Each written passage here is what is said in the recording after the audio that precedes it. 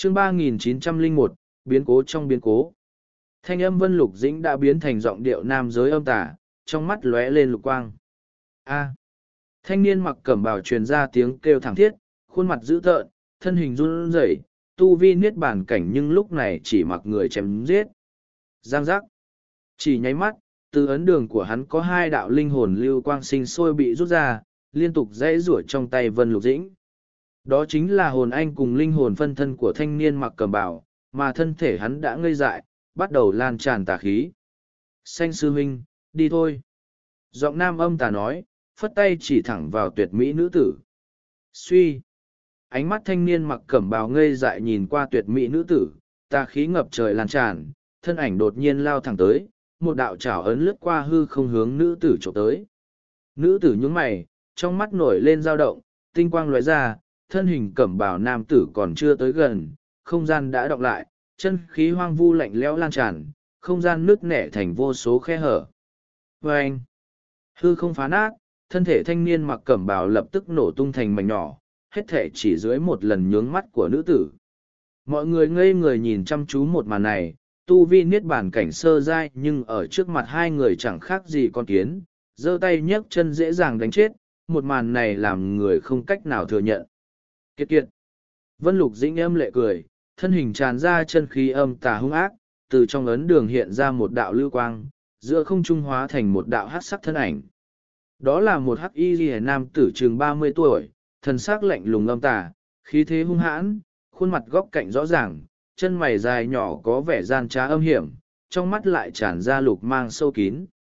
Âm phong, ngươi xem ngươi tính toán tường tận, tìm nhiều người như vậy chẳng lẽ cho rằng có thể làm gì được ta sao? Nữ tử nhìn hắc y rìa nam tử trong mắt không chút dao động giọng nói linh hoạt kỳ hảo. Kiệt kiệt. Hắc y rìa nam tử âm lệ cười lạnh nói những con kiến này tuy không thể đối phó ngươi nhưng chỉ cần phá vỡ phong ấn của ngươi là đủ rồi. Nếu như ta không tính sai lần này ngươi đang ở thời điểm trọng yếu nhất trong vô thượng niết bàn đi. Nếu bị con kiến quấy rầy, hiện tại chỉ sợ cũng khó qua nếu ngươi biết ta trong giai đoạn khẩn yếu nhất, vì sao không tự mình tới?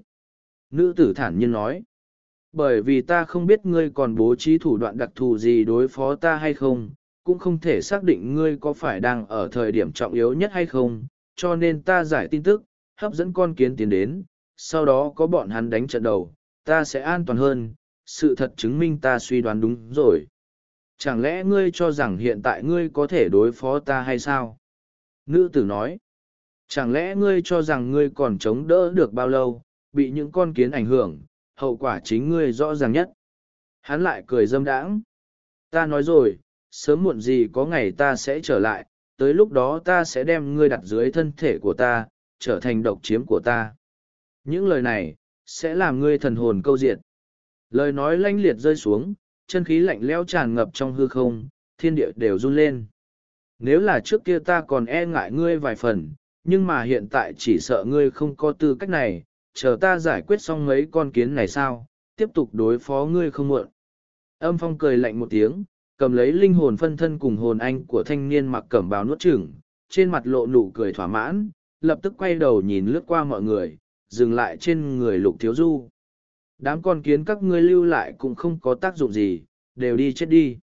Âm phong vừa nói, âm tà hắc vụ lan tràn, mơ hồ có quỷ khóc thần hào khiến mọi người dùng mình dựng tóc gáy. Ô ô hắc vụ trào ra, trong khoảnh khắc bao trùm hư không không gian rung chuyển, âm tà hung hãn, mang theo khí tức kịch độc tràn ngập, uy áp mênh mông quần cuộn buông xuống, sắc mặt mọi người trắng bệnh, linh hồn run rẩy không ớt. hiu hiu. Bên trong hắc vụ, từng đạo hắc sắc lưu quang như độc xà, nhanh như thiểm điện xuyên qua không gian lao thẳng về hướng mọi người. Cẩn thận.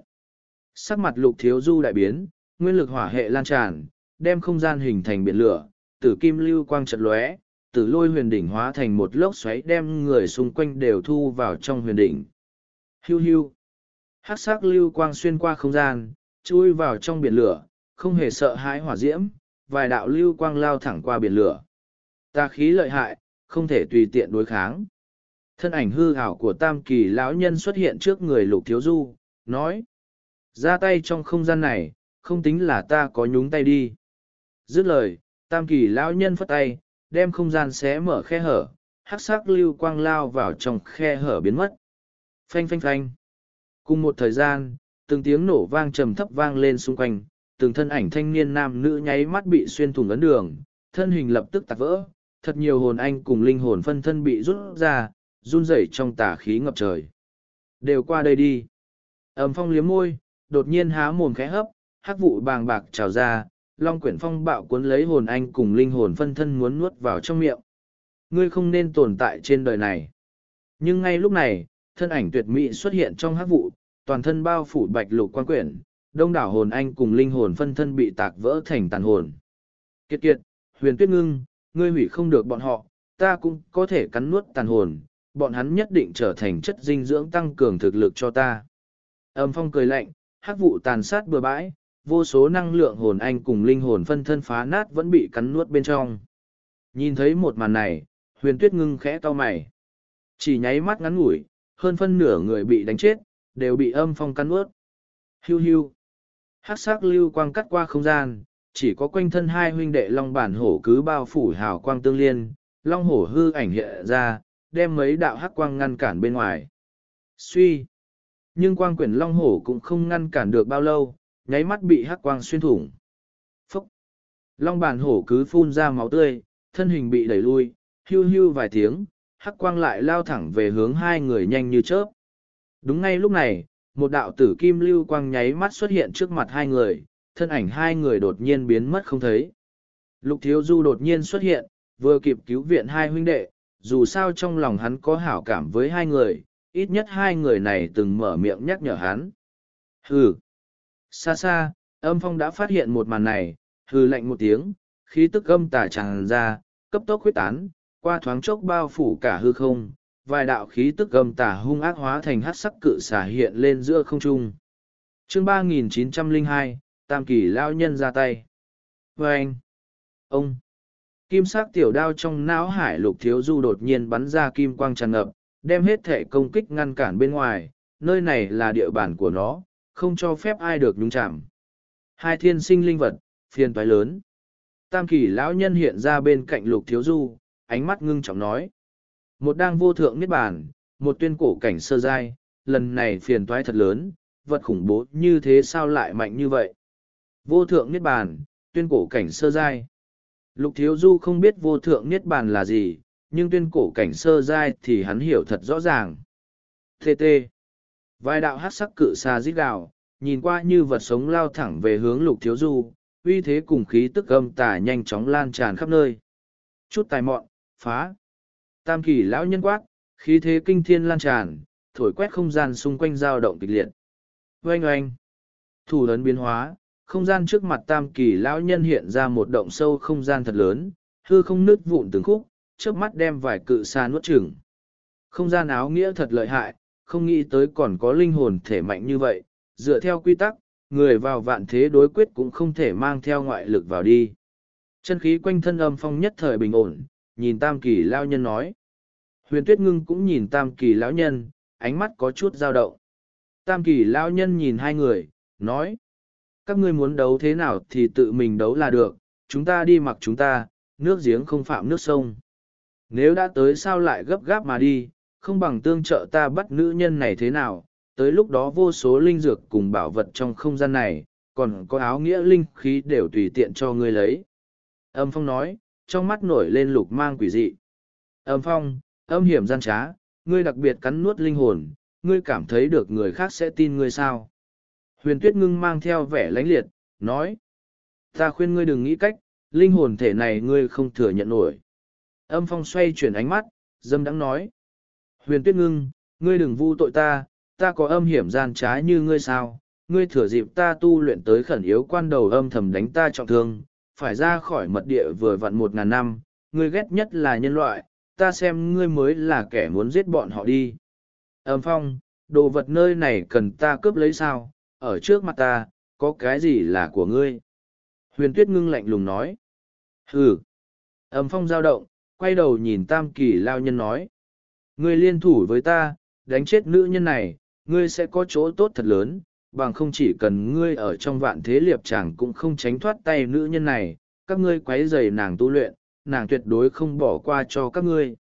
Tam kỳ lão nhân nhìn hai người, mái tóc khẽ động, sắc mặt ngưng lại. Kỳ lão, hai người này đều là thiên sinh linh vật sao? Lục thiếu du truyền âm hỏi. Đúng vậy, cả hai người. Tam kỳ lão nhân truyền âm. Một lát ngươi cẩn thận một chút, nếu là trước kia ta đối phó bọn hắn tự nhiên không thành vấn đề, nhưng với trạng thái bây giờ của ta, nhiều nhất đối phó một tên, cũng khó mà bảo vệ ngươi. Ngươi nghĩ kỹ hay chưa? Âm phong hỏi. Tam kỳ lão nhân liếc mắt nhìn âm phong, lại nhìn huyền tuyết ngưng, nói. Trạng thái hiện tại của ngươi chỉ sợ cũng không đánh thắng được âm phong, chúng ta liên thủ, sau đó nước giếng không phạm nước sông. Huyền tuyết ngưng nhìn chằm chằm tam kỳ lão nhân, nói. Được, chúng ta liên thủ. Nhân loại đáng chết, biết ngay các ngươi không đáng tin cậy. Nghe lựa chọn của tam kỳ lão nhân, sắc mặt âm phong trầm xuống, trong mắt hiện ra âm tà hàn ý. Ngươi đã không biết điều, vậy cũng tốt, chờ sau khi ta cắn nuốt ngươi, tin tưởng thực lực của ta có thể tiến một bước. Tin tưởng ngươi, ngươi nghĩ ta ngu ngốc hay là kẻ mù? Ánh mắt tam kỳ lão nhân trầm xuống, trầm giọng nói. Về phần cắn nuốt ta, ngươi còn chưa đủ tư cách, nếu lao tử ở thời kỳ toàn thịnh, chỉ một cái tát vỗ trên ngươi. Nói thế nào hiện tại ngươi chỉ là một linh hồn thể, cũng không có bổn sự hung hăng cản quấy trước mặt ta. Và anh, hư không đột nhiên chấn động, hát vụ nồng đậm bạo tuôn, khí tức âm tà hung ác như gió lốc thổi quét, nháy mắt không gian run rẩy không nớt. Ông, khí tức âm tà hung ác lại dũng manh tràn vào não hải lục thiếu du, kim mang lan tràn lập tức ngăn cản khí tức âm tà ở bên ngoài. Khí tức thật khủng khiếp. Ánh mắt lục thiếu du ngưng tụ, nếu không có kim sắc tiểu đao, hắn tuyệt đối khó thể đối kháng, cho dù có tiểu đao bản thân hắn cũng bị ảnh hưởng thật lớn, chỉ sợ so sánh với huyết thiên đế cũng không kém hơn bao nhiêu. Trước cắn nuốt linh hồn thể ngươi rồi nói sau. Âm phong quát lạnh một tiếng, hắc vụ khởi động, chào ấn chào ra, không gian vặn mẹo, năng lượng khủng bố lập tức bao phủ về hướng tam kỳ lao nhân. Chào ấn bóp nát không gian, chân khí âm tả hung ác ngập trời sen lẫn tiếng vỡ tan răng rắc nháy mắt xuất hiện trước mặt tam kỳ lão nhân. Khí tức âm tả của ngươi không có bao nhiêu tác dụng với ta, ngươi tính là vật gì, cho dù lao tử chỉ là linh hồn thể cũng không phải thứ như ngươi có tư cách động vào. Uy áp kinh khủng bao trùm, phong vân khuấy động. Tam kỳ lão nhân sấn tới một bước, không gian xung quanh chấn vỡ, chân khí quần quận mang theo nóng cháy mang theo tốc độ quỷ mị hóa thành trưởng ấn đánh lên trào ấn. Oanh long. Không gian run lên, năng lượng khủng bố tràn ra, trào ấn trưởng ấn va chạm, kính phong thổi quét tứ tán. Đặng đạo. Âm phong cùng tam kỳ lão nhân đồng thời thối lui vài bước, chẳng qua âm phong còn lui nhiều hơn vài bước mới đứng vững thân hình, rõ ràng đã rơi xuống hạ phong. Di, sao lại mạnh như vậy? Ánh mắt âm phong đại biến. Hừ, tuyên cổ cảnh sơ giai, nếu ta ở thời kỳ toàn thịnh tính cái giám. Trường bào run lên, chân khí mênh mông quần cuộn tràn ra, uy áp đống nhiên phóng thích. Uy áp thật mạnh, âm phong không thể so sánh. Lục Thiếu Du đã sớm lui ra sau vài bước, lần đầu tiên nhìn thấy tam kỳ lão nhân chính thức ra tay, mặc dù chỉ là linh hồn thể còn không phải trong thời kỳ toàn thịnh, nhưng giai vị uy áp vẫn luôn tồn tại. Nguyên lai ngươi đã tới bước này. Ánh mắt âm phong nóng rực, tham lam nói. Thật sự là trời cũng giúp ta, không nghĩ tới ngươi đã tới tình trạng này, còn không phải trong thời kỳ toàn thịnh, nếu cắn nuốt ngươi đối với ta mà nói chỗ tốt thật lớn, trời cũng giúp ta, trời cũng giúp ta. Ngươi đủ tư cách sao? Thân ảnh tam kỳ lão nhân đứng thẳng, uy áp nồng đậm lan tràn, phong vân cuộn cuộn, uy thế kinh người. Huyền tuyết ngưng, ngươi cũng không có hảo cảm đối với nhân loại, chúng ta liên thủ đối phó linh hồn thể này, đem hắn giao cho ta, món nợ giữa chúng ta xóa bỏ, mật địa này ta cũng không cần, toàn bộ cho ngươi, thế nào? Âm phong hỏi chương ba nghìn chín trăm lẻ ba nghịch thiên tà long. Ngươi căn bản không nên tồn tại trên đời này, tuy rằng ta không thích nhân loại, nhưng lại càng chán ghét ngươi hơn, ta nói rồi, ngươi sẽ thần hồn câu diệt. Lời vừa dứt, bạch lục quang mang khuyết tán, nương theo chân khí hoang vu lạnh leo thổi quét, bàn tay mềm dao động, một đạo năng lượng giải lụa mang theo uy thế khủng bố nháy mắt xuyên qua không gian, bắn nhanh tới trước người âm phong. Thân ảnh âm phong chợt biến mất, năng lượng giải lụa xuyên thủng không gian, đánh tan tảng lớn hắc vụ nồng đậm. Huyền Tuyết Ngưng, ngươi cho rằng ngươi còn có thể chống đỡ bao lâu? Khi âm phong xuất hiện đã đi tới trước người Huyền Tuyết Ngưng, hắc vụ cuồng bạo khởi động, khí tức âm tà hung ác lan tràn, một đầu hắc sắc cự xà khổng lồ lao ra, uy áp áp bách không gian, lao thẳng về hướng Huyền Tuyết Ngưng. năng lượng giải lụa lần thứ hai lướt tới lại như lốc xoáy quấn quanh Hắc sắc cự xả đột nhiên thu lại gắt gao trói buộc suy cự xà cũng không rằng co bao lâu, tiêu tán. Suy. Cự xà tiêu tán, năng lượng quỷ dị bắn ra, nháy mắt tới trước mặt huyền tuyết ngưng. Ân. Đột nhiên từ trong cô năng lượng quỷ dị kia truyền ra thanh âm rên rỉ dâm loạn. Thanh âm đánh vào linh hồn người khác, ngay cả lục thiếu du cũng bị ảnh hưởng, trước mắt giống như xuất hiện vô số nữ tử diễm lệ trần chuồng trong mắt dâng lên dục hỏa lao thẳng về phía hắn. Ảo ảnh lập tức bị kim sắc tiểu đao chém vỡ vẻ mặt lục thiếu du càng thêm ngưng trọng, thực lực âm phong quá mức cường hãn, mình đứng thật xa cũng bị lan tới, thật sự khó thể đối kháng. Huyền tuyết ngưng cũng bị ảnh hưởng, thân ảnh chật lui, bạch lục quang mang bao phủ đem tàn ảnh đụng nát trong hư không. Và anh tàn ảnh bị đụng nát, lập tức hóa thành tà khí quỷ dị ngập trời. Âm phong, ngươi lại cắn nuốt nghịch thiên tà long. Trong mắt huyền tuyết ngưng động dung. Kiệt kiệt, ngươi đoán đúng rồi. Âm phong cười lạnh nói ta thừa dịp tà long đột phá tới lúc khẩn yếu, đã đem hắn cắn nuốt, tà long trời sinh yêu thích dâm huế, dâm khí chính là khắc tinh của ngươi, nếu không phải vậy ta sao dám tới tìm ngươi? Không có khả năng, ngươi không có khả năng cắn nuốt nghịch thiên tà long, hắn cũng không dễ cắn nuốt như vậy. Huyền tuyết ngưng lập tức lắc đầu. Kiệt kiệt. Âm phong cười lạnh, trầm giọng nói. Ngươi nói không sai, tà long đích thật không dễ cắn nuốt, cho dù ta thừa dịp hắn đột phá cũng chỉ tẩu hỏa nhập ma cuối cùng chỉ cắn nuốt được linh hồn phân thân của hắn bản thể của hắn chạy trốn nhưng hắn phải trả giá thảm trọng thực lực đại tổn tẩu hỏa nhập ma chỉ sợ đời này cũng khó mà khôi phục chờ sau khi ta tìm được hắn sớm hay muộn sẽ bị ta cắn nuốt. hắn dừng lại một chút trong mắt lộ vẻ cười dâm hế, nói cắn nuốt linh hồn phân thân của hắn cũng đủ đối phó ngươi hiện tại ngươi cũng như tà lòng chỉ sợ không chống đỡ được bao lâu ngươi sớm hay muộn là của ta tới lúc đó ta sẽ sủng ái ngươi ta thật muốn biết mùi vị của ngươi rốt cục thế nào có thể càng thêm mất hồn hay không muốn chết nghe được lời dâm hế xấu xa khuôn mặt huyền tuyết ngưng băng sương bạch lục mang trào ra, chân khí hoang vu thê lương khởi động, bàn tay xoay tròn, tám thân ảnh xinh đẹp giống nhau như lúc xuất hiện, làm cho người ta không dám kinh nhợn. Chín thân ảnh nhất thời lao ra, mang theo chín đạo chân khí hoang vu lạnh leo đánh thẳng về hướng âm phong. Ta long ảnh. Âm phong quát một tiếng, ánh mắt cười lạnh, trong hắc vụ xuất hiện chín hư ảnh long hình. Ngao. Chín hư ảnh rít gào, mang theo thanh âm dâm loạn nhất thời dây dưa cùng chín thân ảnh của huyền tuyết ngưng. Huyền tuyết ngưng tựa hồ bị thanh âm dâm loạn kia làm ảnh hưởng. Oanh long long. Hai bên liên tục va chạm, trong tích tắc không ngừng giao thủ, phá vỡ thật lớn hư không. Lục thiếu du đứng xa xa, cảm giác mình không đủ thực lực đúng tay, nếu bị lan tới thật sự khó thể đối kháng. Những thân ảnh liên tục va đập vào nhau, chín hư ảnh long hình tiêu đạm biến mất, tám thân ảnh huyền tuyết ngưng quay về bản thể, sắc mặt hơi tái nhợt, thân hình không nhịn được bật lui mấy bước. Tới lượt ta. Tam kỳ lão nhân nháy mắt xuất hiện trước người âm phòng, phất tay dựng lên, hư không tụ tập một mảnh mây đen quần cuộn quỷ dị, một đạo quyền ấn cực lớn chống rông thành hình. Kỳ linh quyền. Tam kỳ lão nhân hét lớn một tiếng, quyền ấn bạo hoanh xuống, không gian đều bị phá hủy. Linh hồn thể ở trước mặt ta không có tư cách hung hăng cản quái. Âm phong hét lớn một tiếng, chân khí âm tà hung ác khởi động, hóa thành một đạo hát sắc quang trụ hung hăng và chạm vào quyền ấn. Vâng!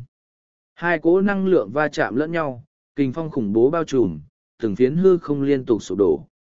Cũng không biết phiến không gian này là nơi nào, năng lượng khủng bố đụng nhau như vậy vẫn chưa bị phá hủy. Đặng đạo, tam kỳ lão nhân cùng âm phong đều bị đẩy lui, nhưng âm phong lui nhiều hơn một chút, nhìn qua tam kỳ lão nhân, sắc mặt vô cùng khó xem. Hắn không ngờ thực lực linh hồn thể này mạnh mẽ vô cùng, còn mạnh hơn trong tưởng tượng của hắn, mà linh hồn thể kia lại không bị hắn ảnh hưởng bao nhiêu.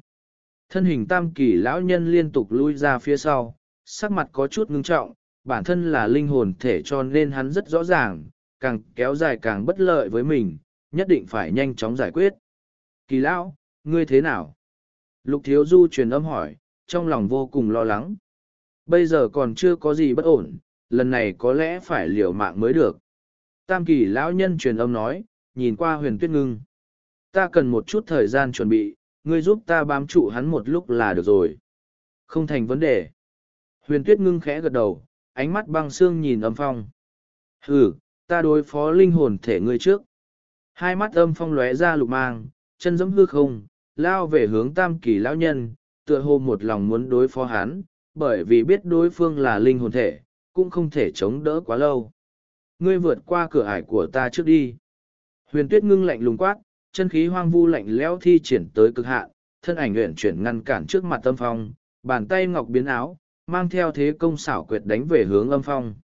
Huyền tuyết ngưng, ngươi không nên dây dưa ta, nếu vậy cho ngươi sớm tẩu hỏa nhập ma tốt lắm, ta cảm giác được khí tức của ngươi đã sớm dao động không bình thường, nhìn xem ngươi còn chống đỡ được bao lâu. Sắc mặt âm phong âm lệ, lao thẳng tới trước, khí tức âm hàn hung ác bạo tuôn, ngưng tụ thành một mảnh năng lượng không gian cuồn cuộn trên bầu trời, sen lẫn thanh âm rên rỉ dâm loạn bao trùm huyền tuyết ngưng. Hai người nháy mắt giao thủ với nhau, chân khí khởi động, hư không run rẩy không ngớt. Tam kỳ lão nhân nhanh chóng đánh ra thủ ấn, giữa không trung lặng yên biến sắc. Lục thiếu du đứng thật xa, cũng không giúp đỡ được gì, chỉ có thể khẩn trương nhìn cuộc chiến. chương ba nghìn chín trăm linh bốn toàn lực ra tay. Huyền tuyết ngưng, ngươi sớm muộn là nữ nhân của ta, sẽ ở dưới khố của ta rên rỉ hầu hạ. Âm phong không ngừng cười to dâm đãng, hắn cũng cực kỳ kiêng kỵ chân khí hoang vu lạnh lẽo kia. Một ngàn năm trước hắn đã thua bại trong tay nàng, bại thật thảm. Nếu không phải lần này có chỗ dựa hắn tuyệt đối không dám trêu chọc huyền tuyết ngưng. Ngươi còn không có tư cách này. Ánh mắt huyền tuyết ngưng lánh liệt như đao, bạch lục quang mang phóng thích chân khí hoang vu lạnh lẽo cuồn cuộn, thậm chí lục thiếu du phải dựa vào kim sắc tiểu đao bảo hộ mới có thể đứng vững. Không bao lâu nữa ngươi sẽ biết ta có tư cách này hay không. Ánh mắt âm phong âm tàn, mạnh mẽ hoanh ra một quyền. Và anh, quyền ấn nứt toát, khe không gian hiển lộ đánh thẳng về hướng huyền tuyết ngưng. Đồ vô sỉ, nếu không thừa dịp ta đang khẩn yếu con đầu, ngươi sao lại là đối thủ của ta. Huyền tuyết ngưng quát một tiếng, một đạo năng lượng giải lụa bắn ra, hung hăng oanh kích vào quyền ấn khủng bố. Vâng! năng lượng văng tung tóe, không gian rách nát tả tơi, khuôn mặt huyền tuyết ngưng đột nhiên tái nhợt, khỏe môi tràn ra ngụm máu trắng như bạch ngọc. Hắc hắc, chắc ngươi đã sắp không thể áp chế đi, lúc khẩn yếu quan đầu bị mấy con kiến ảnh hưởng, ngươi không ngờ mình có loại kết quả này đi. Âm phong cười lạnh một tiếng, hai tay vừa động, mấy đạo hát sắc giải lụa âm tà ngưng tụ xảo quyết thổi quét về hướng huyền tuyết ngưng. Suy! Huyền tuyết ngưng chân giẫm hư không, khí tức hoang vu lạnh leo khởi động, bàn tay chém ra, vài đạo thủ lớn bắn tới, ngăn cản mấy giải lụa âm tà, cả phiến hư không đều bị chấn vỡ. Đặng đặng! Huyền tuyết ngưng lại hộp máu, thân hình liên tục thối lui, sắc mặt càng thêm tái nhợt, trong mắt nổi lên huyết sắc quan mang, chân khí dao động vô cùng bất ổn. Ngươi đã hoàn toàn không áp chế được nữa rồi chứ? Âm phong cười to, vừa định tiếp tục ra tay. Giao hắn cho ta đi. Nhưng đúng lúc này, thân ảnh tam kỳ lão nhân xuyên qua không gian đi tới trước người huyền tuyết ngưng, trong mắt mang theo cười lạnh, một đạo năng lượng thủ ấn ngưng kết bay ra. Nhìn thấy thủ ấn ngưng kết, ánh mắt âm phong chợt run lên. Thủ ấn hóa thành ma bản, hào quang chói mắt, chung quanh hiện lên quang quyển tối đen, không có chút năng lượng tiết ra ngoài, nhưng vô hình chung làm trong lòng âm phong chợt run lên. Đại không kình thiên ấn. Tam kỳ lão nhân khẽ quát, ma bàn bay đi, cắt qua không gian, đón gió mà trướng, nháy mắt bao phủ cả hư không. Đáng chết. Âm phong hét lớn một tiếng, hắc vụ quần cuộn bao phủ không trùng, hào quang đen như mực bao trùm quanh thân hắn. Chỉ trước mắt ma bàn đã đi tới trước hắc sắc quan quyển, va chạm tới như vẫn thạch rơi xuống, cả phiến hư không run lên. Phanh! Thanh âm trầm đục truyền ra, ma bàn nổ tung, cả không gian run rẩy kịch liệt, hư không nứt vụn từng khúc, không gian xung quanh hóa thành hư vô, hủy diệt hết thảy. Năng lượng hủy diệt phóng thích làm lục thiếu du hết hồn, thậm chí ánh mắt huyền tuyết ngưng cũng rung động, uy áp giai vị ngập trời khiến cho nàng cũng bị áp chế. Hư không tối đen khẽ quét lướt qua, hóa thành hư vô, ngay sau đó lập tức khôi phục. Giữa không trung, quanh thân tam kỳ lão nhân hiện ra quang quyển bao phủ, ánh mắt khẩn trương nhìn chằm chằm phía trước. Ngay lúc này một đạo hát sắc quang đoàn đột nhiên nhảy ra. Vừa nhìn thấy hát sắc quang đoàn, tam kỳ lão nhân cùng huyền tuyết ngưng đều khe biến. Linh hồn thể chết tiệt, ngươi thật sự chọc giận ta. Một tiếng hét lớn truyền ra, hát sắc quang đoàn nở rộ, mơ hồ xuất hiện một hình dáng thật lớn khổng lồ như ngọn núi, ước chừng phải hơn ngàn thước, tối đen như mực, vốn lượn xoay quanh, chân khí kinh người phóng thích, làm người ta cảm thấy sợ hãi. Ngao! Đột nhiên từ trong quang đoàn tràn ra khí thế âm tà hung ác ngập trời thổi quét, một tiếng long ngâm rít gào, một đầu cảnh càng nhảy lên giữa không trung. Đó là một đầu mánh thú như xà phi xà, như long phi long, bộ dạng dữ tợn uy mãnh, toàn thân đen như mực, quanh thân tràn ngập hắc vụ nồng đậm. Huyền Tuyết ngưng ngẩng đầu quan sát vật kềnh càng kia, ánh mắt hơi trầm xuống, tựa hồ đang nói chuyện với Tam Kỳ lão nhân. Hình người kia chẳng qua là một nhân loại bị âm phong đoạt xá, thôn thiên tà giao này mới là bản thể chân chính của âm phong. Thôn thiên tà giao cùng nghịch thiên tà long là tà vật sản sinh trong không gian này, nghịch thiên tà long do dâm khí, nộ niệm, tham niệm hình thành, mà thôn thiên tà giao là do khí âm tà hung ác ngưng tụ, nhờ cơ duyên xảo hợp mới có được thân thể thôn thiên tà giao, hai bên tà khí như nhau cho nên một mực cắn nuốt lẫn nhau. Nguyên lai thiên sinh linh vật nơi này thật sự không ít. Lục thiếu du ở xa xa cũng nghe được, trong lòng kinh hãi. Linh hồn thể, ngươi nhất định phải chết. Âm phong lập tức hóa thành một đạo quang trụ tối đen lao về hướng tam kỳ lão nhân, năng lượng âm tà hung hãn đáng sợ tràn ngập, những nơi đi qua hư không hiển lộ khe không gian tối đen, như không gian thông đạo thâm thúy hiển lộ ra trong hư không. Ngươi tiếp tục bám trụ hắn một hồi, cho ta thêm một chút thời gian. Sắc mặt tam kỳ lão nhân trở nên vô cùng ngưng trọng, lập tức nói. Được. Huyền tuyết ngưng cắn răng, gật nhẹ đầu, thân ảnh bỗng nhiên phóng thích bạch lục mang trói mắt, mái tóc bạc tung bay, chân khí hoang vu lạnh leo khuyết tán khắp hư không. Chỉ nháy mắt một đóa hoa tuyệt mỹ hiện lên trong không trung, toàn thân trắng muốt, mang theo vẻ xanh biếc, như một tác phẩm nghệ thuật động lòng người. Đây là bản thể của nàng sao. Lục thiếu du nhìn đóa hoa tương tự hoa lan, phóng thích ra chân khí lạnh leo hoang vu, làm cho linh hồn người ta tuyệt vọng hỏng mất. Âm phong, cho dù ta đang đột phá khẩn yếu quan đầu bị ảnh hưởng, ngươi vẫn không thể làm gì ta. Bên trong đóa hoa rung động lòng người truyền ra thanh âm lãnh liệt của huyền tuyết ngưng, hoa thể hóa thành khổng lồ hơn trăm thước, chân khí lạnh leo hoang vu quần quận ngăn cản trước người thôn thiên tà giao. Huyền tuyết ngưng, ngươi làm cho ta mất đi tính nhẫn lại, rơi vào trong tay ta, ta nhất định khiến cho ngươi muốn sống không được, mỗi ngày bị ta trả đạp. Ẩm phong rít gạo chân khí âm tà hung ác gầm ầm va chạm cùng chân khí hoang vu lạnh lẽo. Không ngờ là thiên hoang huyền ngọc lan viễn cổ, không nghĩ tới thiên sinh linh vật này thật sự tồn tại. Nhìn thấy bản thể huyền tuyết ngưng, ánh mắt tam kỳ lão nhân kinh ngạc, thủ ấn kết xuất, huỳnh quang không ngừng tràn ngập. Tam kỳ lão nhân truyền âm cho lục thiếu du. Tiểu tử, ta thật sự chuẩn bị liều mạng, bằng không không thể thắng được thôn thiên tà giao, nghiệt xúc kia muốn cắn nuốt ta để cao tu vi, nhưng đây cũng là một cơ hội cho ta, nghiệt xúc này so ra còn kém hơn xích linh liệt hỏa, mà ta là linh hồn thể cũng có thể dung hợp hắn, nếu ta có thể thành công thì tốt, nếu thất bại ngươi nghĩ biện pháp trốn, hư không này đã bị nghiệt xúc kia động tay chân, chỉ sợ khó thể thoát thân, ngươi trốn trong thiên trụ giới có lẽ tránh được một kiếp. chương 3905, Đại không kình thiên ấn. Đã có cách rồi sao? Lục Thiếu Du nghe vậy mới biết tam kỳ lão nhân đã có chủ ý, tựa hồ cũng đang nưu đồ, lúc này cũng có nắm chắc, từng đạo thủ ấn ngưng kết, một luồng chân khí vô hình thẩm thấu khắp hư không. Oanh long long. Chân khí va chạm ầm ầm vang rền, Lục Thiếu Du đứng thật xa nhìn lại, khí thế của huyền tuyết ngưng tựa hồ hùng hậu hơn, nhưng không biết vì sao lại không thúc giục được thực lực sẵn có, ngược lại liên tục bị áp chế, chân khí ngày càng suy yếu. Ngao. ầm phong rít gào, vừa đối kháng huyền tuyết ngưng vừa rình dập hành động của tam kỳ lão nhân, nhìn thủ lớn biến hóa, hư không rung động khiến hắn cũng ngưng trọng lên, nhất định không thể để cho đối phương có thêm cơ hội lần nữa. Huyền tuyết ngưng, vốn định cuối cùng đối phó ngươi, tới lúc đó có thể yên tâm sủng hạnh ngươi, hiện tại chỉ có thể giải quyết ngươi trước tiên. Âm phong hét lớn một tiếng, từ trong miệng lao ra một đạo hắc sắc lưu quang.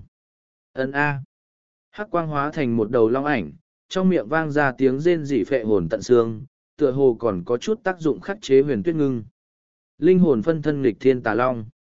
Bên trong đóa hoa truyền ra tiếng hô kinh ngạc của huyền tuyết ngưng. Kiệt kiệt, ta còn chưa hoàn toàn luyện hóa linh hồn phân thân của tà long, đặc biệt lưu lại một tia đối phó ngươi, nếu không có chuẩn bị, ta làm sao dám đối phó ngươi. Âm phong cười lạnh không nớt. Suy. Hư ảnh long hình mang theo tiếng rên rỉ dâm loạn nháy mắt đột phá phòng ngự của huyền tuyết ngưng, lập tức tiến vào trong bản thể của nàng. Cùng lúc đó bản thể nàng không ngừng run lên, chân khí rung động không nớt. Ngao. Âm phong rít gào, bản thể khổng lồ nhân cơ hội va chạm vào bản thể huyền tuyết ngưng. Và anh. Bản thể huyền tuyết ngưng bị đẩy lui, chân khí nhất thời hể vải không ít. Không tốt, phiền toái lớn. Nhìn thấy huyền tuyết ngưng bị đẩy lui, sắc mặt lục thiếu du ngưng trọng tới cực hạn, nếu nàng không thể ngăn cản âm phong, tam kỳ lão nhân sẽ gặp phiền thoái, thân ảnh tam kỳ lão nhân đang liên tục biến hóa, hẳn còn cần một ít thời gian. Linh hồn thể chết tiệt, quấy rầy chuyện tốt của ta, cũng tốt, sau khi cắn nuốt ngươi cũng là nỗi vui mừng ngoài ý muốn. Âm phong cuồn cuộn lao tới, bởi vì khí tức linh hồn thể kia làm cho hắn cảm giác nguy hiểm tuyệt đối. Lưu lại cho ta. Hư không nổi lên không gian xung quanh như thời không thác loạn, trong nháy mắt thân ảnh lục thiếu du mang theo khe không gian lan tràn, kéo dài qua hư không nháy mắt hiện ra trước người âm phong, không gian xung quanh vặn mẹo, thời gian áo nghĩa cùng không gian áo nghĩa tràn ngập, một đạo trưởng ấn phá không bay ra, hướng thẳng về phía âm phong. Thập phương vũ trụ ấn. Trường ấn hạ xuống, lục thiếu du hét lớn một tiếng, không gian nổi lên sóng to gió lớn, đột nhiên xuất hiện cỗ chân khí như hủy diệt, nơi nơi đi qua đều vặn vẹo sụp đổ. Tiểu tử, có chút thực lực, tu vi đại đạo cảnh trung giai lại có thực lực niết bàn cảnh, ta đã sớm chú ý tới ngươi, những năm gần đây những người tham gia vạn thế đối quyết, thiên phú của ngươi đủ tiến vào trước năm, chỉ tiếc vẫn quá yếu, ta thích nhất là linh hồn người có thiên phú không tệ, mùi vị thật mỹ vị. Âm phong cười lạnh, cự vĩ va chạm vào trường ấn. Và anh, cự vĩ va chạm, hư không run lên, thập phương vũ trụ ấn nhất thời bị chấn vỡ. Lục thiếu du tự biết thập phương vũ trụ ấn căn bản không thể đánh thắng âm phong, cùng một thời gian thủ ấn ngưng kết, kim, thanh, lam, xích, hoàng năm loại hào quang trói mắt phóng lên cao, vài luồng thiên địa năng lượng cuồn cuộn làm hư không run rẩy, tận sâu trong không gian xuất hiện một lốc xoáy tối đen. Năm loại năng lượng thuộc tính chiếu dọi lên lốc xoáy, ở giữa lại có một hình cong tương liên hắc bạch, hình thành đồ án âm dương hình tròn, không gian run lên không ngớt. Thời không lao ngục. Lục thiếu du hét lớn một tiếng, bố trí ba mươi hai lần uy lực thời không lao ngục, đồ án âm dương bao phủ, kim quang rạng rỡ, tiêu sát sắc bén, nhất thời đem thân thể khổng lồ của âm phong thổi quét bên trong. Thoáng chốc hư không như muốn sụp đổ, sấm sét văng rội, chân khí khủng bố xa lạ vô cùng vô tận lan tràn, nương theo sau thiên uy hạo hãn, cuồn cuộn không nớt. Đây là thủ đoạn gì? Thiên địa uy áp mênh mông cuồn cuộn, bản thể âm phong cũng run lên, ánh mắt lộ vẻ kinh ngạc. Oanh long. Trong gió dục mây vẩn, lục thiếu du lăng không đứng lơ lửng, sau lưng nổi lên sấm sét văng rội, bên trong không gian thời không lao ngục kim hệ, một đạo kim sắc thủ lớn phá không giáng xuống. Suy. Hư không nứt vụn từng khúc, vẫn khó thể khôi phục. Có chút buồn sự. Âm phong phun ra một đạo quang trụ tối đen, nên đón kim sắc thủ ấn. Oanh long. Hai cỗ năng lượng va chạm, phá hủy hư không, năng lượng ngập trời khuyết tán. Hô hô. Lực lượng cuồng bạo thổi quét, thân hình lục thiếu du liên tục lui về phía sau, miệng phun máu tươi. Bản thể khổng lồ của âm phong chỉ khẽ run lên mà thôi. Siêu. Miệng phun máu tươi, từ trong ấn đường lục thiếu du bay ra một đạo tử kim lưu quang, sát khí thao thiên cùng khí huyết sát âm hàn lan tràn, như gió bao thổi quét khuyết tán. Đại hồn anh lao thẳng tới, vì tranh thủ thời gian cho tam kỳ lão nhân, lục thiếu du chỉ có thể toàn lực dùng hết thủ đoạn bám trụ âm phong. Ám ma phân thân bí pháp. Đại hồn anh vừa lướt ra, hào quang hiển lộ, nháy mắt từ khắp bốn phương tám hướng bắn ra phân thân vây quanh. Chỉ thoáng chốc sáu mươi tám thân ảnh giống đại hồn anh như lúc xuất hiện, ngay lúc này trong hư không hội tụ linh hồn phong bạo thổi quét, linh hồn lực âm hàn huyết sát huyết tán, sát khí ngập trời. Gì? sáu mươi tám thân ảnh sát khí ngập trời lướt ra, âm phong lại kinh ngạc. Thiên linh hồn nhãn. Trảm hồn cửu liên quyết. Thiên linh diệt hồn chỉ. Toái hồn sư tử hống. Trong khoảnh khắc hư không lung lay sắp đổ, chân khí hủy diệt như gió lốc thổi quét khắp cả bầu trời. Hư không một mảnh hỗn loạn, ánh mắt huyền tuyết ngưng không ngừng lóe lên, chân khí quỷ dị khởi động, như đang rẽ rủa gì đó. Khi hư không dần dần khôi phục lại, thân thể âm phong vẫn kéo dài qua trong hư không, bị linh hồn công kích mênh mông quần cuộn, không ngờ lại không có việc gì. Ngược lại 67 linh hồn phân thân chợt bay vòng, lập tức quay trở lại bản thể đại hồn anh. Ta cảm giác được, mùi vị rất mỹ vị, rất mỹ vị. Ánh mắt âm phong rơi lên người đại hồn anh, thân hình lao thẳng tới trước, mở ra miệng rộng dữ tợn, hấp lực thật lớn hướng đại hồn anh cuốn tới. Đại hồn anh run lên, giống như đã bị uy áp, chân khí của đối phương thật sự vô cùng cường hãn. Hống! Lục thiếu du giống lên một tiếng, thúc giục thanh linh khải giáp hổ biến, bên trong hổ trường, kim huyết sắc lưu quang tràn ra. Ngao! Một tiếng long ngâm vang vọng, một thanh huyết đao xuất hiện trong tay, chân khí tiêu sát sắc bén thổi quét hư không, uy lực không giống áo nghĩa linh khí bình thường có được. chương ba nghìn chín trăm linh sáu tiểu chu thiên tinh đấu luyện thế trận duệ kim hồn đao bản thể lục thiếu du xuất hiện sau lưng đại hồn anh, vung đao chém xuống, kim huyết sắc đao mang mang theo tiêu sát khí bảng bạc cầm ấm lướt qua giữa không trung. Suy. Đao mang đi qua, không gian hóa thành cho tàn, chân khí tiêu sát sắc bén thẩm thấu hư không, hóa thành sóng gợn khuyết tán khắp bốn phương tám hướng, thiên địa đều rung chuyển. Cách. một đao bổ lên cự vĩ của âm phong, mở ra một khe hở thật lớn, nhưng chưa chặt đứt được, máu đen cuồn cuộn tràn ra. Ngao âm phong rít gào thảm thiết, cự vĩ cuồn cuộn, phá hủy phần lớn hư không, đồng thời hung hăng quất lên người lục thiếu du. Phúc! Lục thiếu du phun máu tươi, thân hình bay ngược ra sau, liên tục đụng nát từng phiến hư không. Dám đả thương ta ta muốn đem ngươi nghiền xương thành cho. Âm phong hét lên giận dữ, thân hình khổng lồ lao về hướng lục thiếu du. Nghiệt xúc, hiện tại tới lượt ta. Tam kỳ lão nhân chống rông xuất hiện, thiên địa năng lượng lạng yên hội tụ chỉ tích tắc đã nổi lên dao động quỷ dị. Chân khí thật đáng sợ. Âm phong đống nhiên dừng lại, thân hình xoay quanh trên không, ánh mắt biến thành cực kỳ nghi hoặc, có dao động làm cho hắn cảm thấy nguy hiểm. Thân hình tam kỳ lão nhân biến thành cực kỳ trong suốt, cực kỳ hư ảo, quang ấn huyền ảo đánh xuống, cả hư không run lên. Trên hư không hiện lên vô số lưu quang, nhìn qua thật giống như lưu tinh vũ. Chỉ thoáng chốc thiên hôn địa ám, trên hư không tinh quang lấp lánh, thiên uy kinh người nhìn biến hoa xung quanh, không biết cảm nhận được điều gì, ánh mắt âm phong lộ xem ra kinh hãi, lớn tiếng rít gào. Rốt cục ngươi muốn làm gì? Tam kỳ lão nhân ngạo nghễ đạp không đứng lơ lửng, tuy chân khí hể vải nhưng lại dâng lên xu thế kình thiên không thể ma diện khỏe môi cười lạnh nói. Lúc trước không thể làm gì xích linh liệt hỏa, nhưng với ngươi thì chưa chắc không được, nhìn xem rốt cục là ngươi luyện hóa ta, hay ta cuối cùng có thể luyện hóa ngươi tam kỳ lão nhân đánh ra thủ ấn cuối cùng.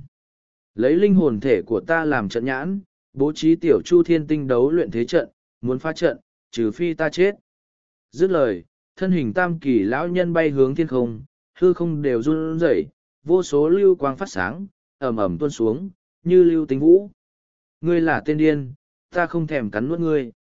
Âm phong thật sự sợ hãi, cấp tốc thối lui, giờ khác này trong lòng hắn cảm thấy vô cùng kinh hoàng chỉ tiếc đã muộn, thân thể to lớn của hắn bị động lại giữa không trung, dưới lưu tinh vũ, chân trời xa xa nứt vụn từng khúc, hiện lộ quang quyển tối đen. Lục thiếu du đang cuồng phun máu tươi, tam kỳ lao nhân lại truyền âm. Tiểu tử, ta dùng linh hồn làm trận nhãn bố trí đại trận, nếu không phải ta chết thì nghiệt xúc này vong, ta có sáu thành cơ hội thành công, nhưng dù vậy thời gian cũng không ngắn ngủi, ta ở trong này hẳn thật an toàn, ngươi không cần lo lắng kế tiếp ta không thể tiếp tục đi cùng ngươi, hiện tại ta đưa ngươi rời khỏi đây, tự ngươi cẩn thận, nếu trong hai đại liên minh muốn ngươi gia nhập môn hạ, tự ngươi có thể lựa chọn, đương nhiên ngươi cũng có thể lựa chọn ta. Thanh âm tam kỳ lão nhân rơi xuống, không gian trước mặt lục thiếu du văn mẹo, khí lưu phun trào. Và anh, khi lục thiếu du phục hồi lại tinh thần, thân hình đã rơi xuống đất, hư không quần quận xung quanh đã hoàn toàn biến mất. Đây là nơi nào? Lục thiếu du nhìn quanh bốn phía, nơi này là một bãi cỏ, thiên địa năng lượng nồng đậm, nơi nơi phiêu đãng hương thơm ác kỳ hoa dị thảo, xa xa có không ít núi non. Lục thiếu du hiện lại hình người, khoe môi đầm địa máu tươi, dãy rủa đứng lên, nhìn nơi này thật giống như trốn đào nguyên. Suy, đại hồn anh cũng bị bài xuất đi ra, quay về trong bản thể. Đây là nơi nào? Lục thiếu du đứng dậy nhìn xung quanh, không gian nơi đây như mộng như ảo, tựa như tiên cảnh nơi nơi mây mù lợn lờ, thiên địa năng lượng ngừng tụ thành những áng mây, cơ hồ có thể cắn nuốt hấp thu. Thiên địa năng lượng thật nồng đậm, đây rốt cục là địa phương nào? Lục thiếu du có chút nghi hoặc, không gian này tựa hồ khác hẳn không gian khu vực vạn thế liệp tràng. Suy. Ngay lúc lục thiếu du còn đang nghi hoặc, chân khí hoang vu lạnh leo giang xuống, rơi lên người hắn. Vâng! lục thiếu du vừa dễ rủa định đứng dậy lại bị đập rơi xuống đất một đóa hoa khổng lồ hơn trăm thước đặt trên người lục thiếu du, trong suốt trong sáng, toàn thân như bạch ngọc phiếm xanh biếc, hương thơm ngát vô cùng, tựa như hoa lan, phóng thích ra chân khí hoang vu lạnh lẽo. Nhưng chân khí hoang vu lạnh lẽo kia lại cực kỳ rối loạn, còn mang theo tia nhiệt ý. Ngay khi lục thiếu du còn chưa kịp phản ứng, đóa hoa đã biến thành một thân ảnh luyện chuyển xinh đẹp. Toàn thân nữ tử tản ra mùi hương thơm ngát, dáng người hối lượng bóng loáng như ngọc, lại không hề có mảnh vải che thân là lướt nảy nở làn da như tuyết chân mịn như ngọc. Đôi mắt nàng chậm rãi mở ra, trong ánh mắt linh vận tràn đầy, mơ hồ mang theo tia khắc thường.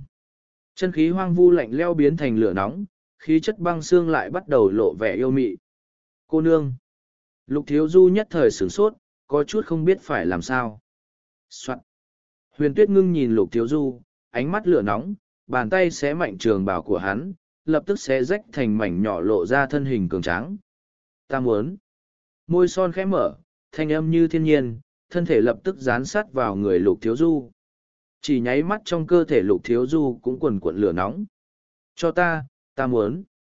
Thanh âm mờ ảo truyền ra, bạch lục mang nở rộ, gắt gao đem không gian xung quanh bao phủ bên trong, cả hư không vẻ xuân dặn rào, xuân sắc dặn rào. Sáng sớm, trong sơn mạch mở mang, có chút sương mù chưa tán đi, từ xa nhìn lại như mộng như huyễn. Bên trong dãy núi yên tĩnh, xung quanh lục ý mơn mởn. Bên trong một thâm cốc ngoài rừng rậm, ngọn núi liên miên, xung quanh sơn cốc hắc khí lan tràn, không một ngọn cỏ. Một thân ảnh xuất hiện ngoài thâm cốc, chậm rãi đi tới, cảnh giác nhìn chăm chú xung quanh, trên khuôn mặt tuấn lãng ôn hòa hiện lên vẻ âm trầm. Lục thiếu du, ta sẽ không bỏ qua ngươi, đừng để cho ta tìm được cơ hội. Thanh niên tuấn lãng tràn ngập hắn ý, mấy tháng trước nếu không phải hắn chạy nhanh thì hậu quả thê thảm, không nghĩ tới phi dương cùng Lưu Vân lại cũng không làm gì được lục thiếu du. Nhớ tới động tĩnh của lục thiếu du vô cùng khủng bố, khuôn mặt hoài linh ngọc lại càng oán hận không thôi, không nghĩ tới lục thiếu du cường hãn như vậy. Kiệt kiệt, rốt cục có người tới đây, bùn long đang cần chất dinh dưỡng. Nhưng vào lúc này, một thanh âm âm lệ bỗng nhiên vang vọng, lập tức giữa không trung gió dục mây vẩn, một mảnh hôn ám, một thanh âm dâm loạn mơ hồ truyền ra. Lục thiếu du cảm giác mình dần dần ngủ say, vốn đã bị thương thế nghiêm trọng, khi hắn vừa khôi phục được một ít ý thức lập tức cảm giác nguyên lực đang quần quận lưu động trong cơ thể của mình, ít nhất ngoại thương đã không còn trở ngại, nhưng nội thương cũng có chút nghiêm trọng. chương 3907, vẻ xuân giặt rào. Lục Thiếu Du cảm nhận được một kích của âm phong cơ hồ phá hủy thân thể của mình, nếu không phải hắn có lực phòng ngự hơn người, chỉ sợ lần này đã chơi xong. Hình như đã xảy ra chuyện gì đó thật hương diễm. Ý thức Lục Thiếu Du đông nhiên run lên, lập tức mở hai mắt, ánh mắt nhất thời sửng sốt, một thân hình mềm mại bóng loáng như ngọc đang gắt gao triển lấy thân thể hắn, hai người trần trùi ôm lấy nhau. Lục Thiếu Du mơ hồ nhớ rõ, trước khi mình mê mang, tựa hồ đã cùng nữ tử này xảy ra triền miên mãnh liệt, loại cảm giác này thật sự không gì sánh nổi. Hình như bị trọng thương. Lục Thiếu Du kinh ngạc, lập tức cảm giác được chân khí của nữ tử suy yếu vô cùng, xem như đã hôn mê. Nhẹ nhàng rời huyền tuyết ngưng ra khỏi người mình, Lục Thiếu Du ngồi dậy, áo dài đã bị nàng xé nát rơi vãi trên bãi cỏ, hắn lập tức lấy ra bộ thanh y đi trong giới chỉ mặc vào người. Sau đó hắn mới đưa mắt nhìn thân thể nằm trên bãi cỏ, đó là một tác phẩm nghệ thuật hoàn mỹ, hoàn mỹ tới mức làm người không dám kinh nhận. Trọng thương thật nặng. Lục Thiếu Du đánh ra thủ ấn rơi lên người huyền tuyết ngưng, phát hiện thương thế của nàng thật nghiêm trọng, như có dấu hiệu tẩu hỏa nhập ma. Nàng là thiên sinh linh vật, nhưng tu vi cấp độ tới trình độ này cũng không khác gì nhân loại, với thương thế của nàng, lục thiếu du thật bó tay hết cách. Nhìn thân thể động lòng người trước mắt, lục thiếu du rồi dám, không biết nên làm như thế nào. Nếu huyền tuyết ngưng tỉnh lại, với thực lực của nàng muốn giết hắn thật dễ như chơi, hắn căn bản không phải đối thủ. Lục Thiếu Du cũng hiểu rõ sở dĩ huyền tuyết ngưng muốn ân ái với hắn hẳn là vì âm phong ảnh hưởng, cho nên mới sản sinh hậu quả này, nếu đợi khi nàng tỉnh táo lại sẽ làm thế nào, hắn thật sự không dám cam đoan. Lục Thiếu Du thậm chí còn suy nghĩ, với tình huống bây giờ của huyền tuyết ngưng, nếu đem nàng luyện hóa chính là thời cơ tốt nhất. Đủ loại ý tưởng lướt qua trong đầu Lục Thiếu Du, nhưng tới cuối cùng đều bị hắn phủ định, bất kể là bỏ mặc hay đem nàng luyện hóa hắn cũng không làm được, dù sao hai người từng phát sinh mối quan hệ mất hồn tới như thế. Khẽ to mày, Lục Thiếu Du thở dài một hơi, lập tức lấy ra một bộ thanh ý y mặc lên người huyền tuyết ngưng. Sau một lát, Lục Thiếu Du tìm được một thạch thất tinh xảo, sau khi bố trí xong cấm chế, Lục Thiếu Du ôm huyền tuyết ngưng đi vào tử lôi huyền đỉnh. Trong huyền đỉnh, nhóm người tiết mặc kỳ đều đang khẩn trương lo lắng, nhìn thấy Lục Thiếu Du đi vào đều thở sâu một hơi, có chút thả lỏng. Đội trưởng! Mọi người nhất thời tụ lại, ánh mắt nhìn lên huyền tuyết ngưng đang nằm trong lòng Lục Thiếu Du. Là nàng, nữ nhân kinh khủng kia. Nhìn thấy chính là huyền tuyết ngưng, mọi người lập tức dừng lại, ánh mắt lộ vẻ hoảng sợ. Nàng bị trọng thương, nói ra thật dài dòng, sau này hãy nói, mặc kỳ, ngươi giúp ta xem tình huống của nàng, nhìn xem có biện pháp nào không. Lục Thiếu Du nói, cuối cùng nhìn qua Tiết Mặc Kỳ. Tiết Mặc Kỳ đi tới, nhìn thấy huyền tuyết ngưng mặc quần áo của Lục Thiếu Du, ánh mắt mơ hồ dao động nhưng cũng không biểu hiện ra ngoài, nói. Ta cảm giác thương thế của ngươi cũng không nhẹ. Ta không sao, ta có thể tự mình khôi phục được, ngươi xem nàng trước. Lục Thiếu Du nói xong liền đặt huyền tuyết ngưng xuống đất, mọi người nghe vậy cũng tụ tập tới. Tiết mặc kỳ kiểm tra xong, ánh mắt khẽ động, nói. Nàng là thiên sinh linh vật, hình như bị tẩu hỏa nhập ma, nhưng đang toàn lực áp chế, tựa hồ không làm được, tình huống không tốt lắm. Lục Thiếu Du nghe vậy nhướng mày, huyền tuyết ngưng hẳn đã bị tẩu hỏa nhập ma, về sau còn miễn cưỡng ra tay, tình huống càng thêm nghiêm trọng, nếu không âm phong căn bản không làm gì được nàng. Ngươi có biện pháp không? Lục Thiếu Du hỏi. Hẳn không thành vấn đề, đại phục nguyên áo nghĩa của ta đều hữu dụng đối với hết thể thương thế, trước kia trong tộc có trưởng lão bị tẩu hỏa nhập ma ta cũng có thể trị liệu được. Tiết mặc kỳ nói. Vậy làm phiền ngươi, làm hết sức là được rồi. Lục Thiếu Du nói, với thực lực của Tiết mặc kỳ muốn cứu chữa cho huyền tuyết ngưng chưa chắc làm được, chỉ có thể cố hết sức. ân Tiết mặc kỳ gật đầu. Sau một lát, Tiết mặc kỳ thi triển đại phục nguyên áo nghĩa, đem huyền tuyết ngưng bao vây trong lục sắc quan quyển. đa tạ cứu rút. Hai huynh đệ long bản hổ cứ lúc này mới đi tới bên cạnh lục thiếu du, ôm quyền hành lễ, trên khuôn mặt tuấn lãng vô cùng cảm kích. Chỉ nhấc tay giúp đỡ mà thôi. Lục thiếu du gật đầu, hắn có hảo cảm với hai huynh đệ này, vì vậy mới cứu giúp, lúc cứu người hắn còn chưa biết âm phong đã đạt tới cấp độ tuyên cổ cảnh. Nếu sớm biết chưa chắc hắn đã dám nhúng tay. Gian do mọi người một tiếng, lục thiếu du đi tới tầng bảy hiện tại hắn cần có thời gian khôi phục lại khoanh chân ngồi xuống lục thiếu du lấy ra một đám đan dược linh dược chữa thương nuốt vào thúc giục cơm dương linh võ quyết toàn thân bao phủ trong kim mang trong tầng thứ hai mọi người cũng bị thương tận lực khoanh chân ngồi xuống chữa thương bên trong một không gian trong lục mang quang đoàn sinh cơ bừng bừng tiết mặc kỳ đặt tay lên lưng huyền tuyết ngưng thi triển đại phục nguyên áo nghĩa liên tục chuyển vào trong thân thể nàng Thời gian chậm rãi trôi qua, sắc mặt huyền tuyết ngưng thêm tia hồng nhuận, mà sắc mặt tiết mặc kỳ ngày càng trắng bệnh, nhưng nàng vẫn tiếp tục thi triển đại phục nguyên áo nghĩa chuyển vào thân thể huyền tuyết ngưng. Hô! Trong tầng thứ bảy đã qua một tháng, lục thiếu du thu lại thủ ấn, kim mang thu liễm, thở ra một hơi chọc khí, chậm rãi mở mắt, khí tức man hoang thương cổ chợt lóe liền biến mất. Dùng tâm thần quan sát, mọi người đều đang chữa thương, tình huống hiện tại của Thái A còn chưa rõ ràng, tiết mặc kỳ vẫn đang chữa thương cho huyền tuyết ngưng. Ai? Lần này tam kỳ lão nhân thúc giục tiểu chu thiên tinh đấu luyện thế trận vây khốn âm phong, chỉ có sáu thành cơ hội, còn chưa biết kết quả cuối cùng thế nào, điều này làm lục thiếu du thật lo lắng.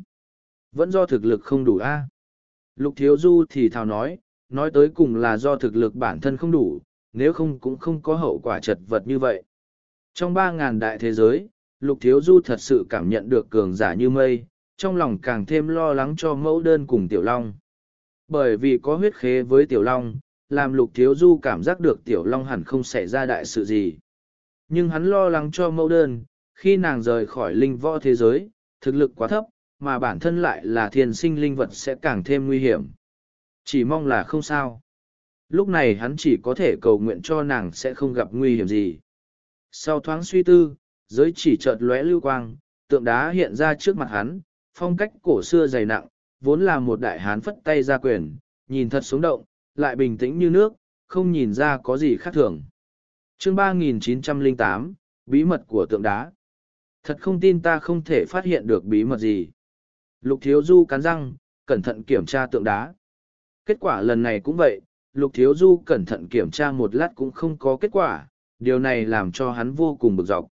Chẳng lẽ phải lấy máu nhận chủ? Lục thiếu du tự hỏi, sau thoáng do dự, nhất thời cắn vỡ ngón tay nhỏ giọt máu lên tượng đá nhưng không có chút phản ứng nào. Lục thiếu du liên tục nhỏ vài giọt máu tươi, kết quả vẫn là như thế, tượng đá vẫn thật bình tĩnh không chút phản ứng.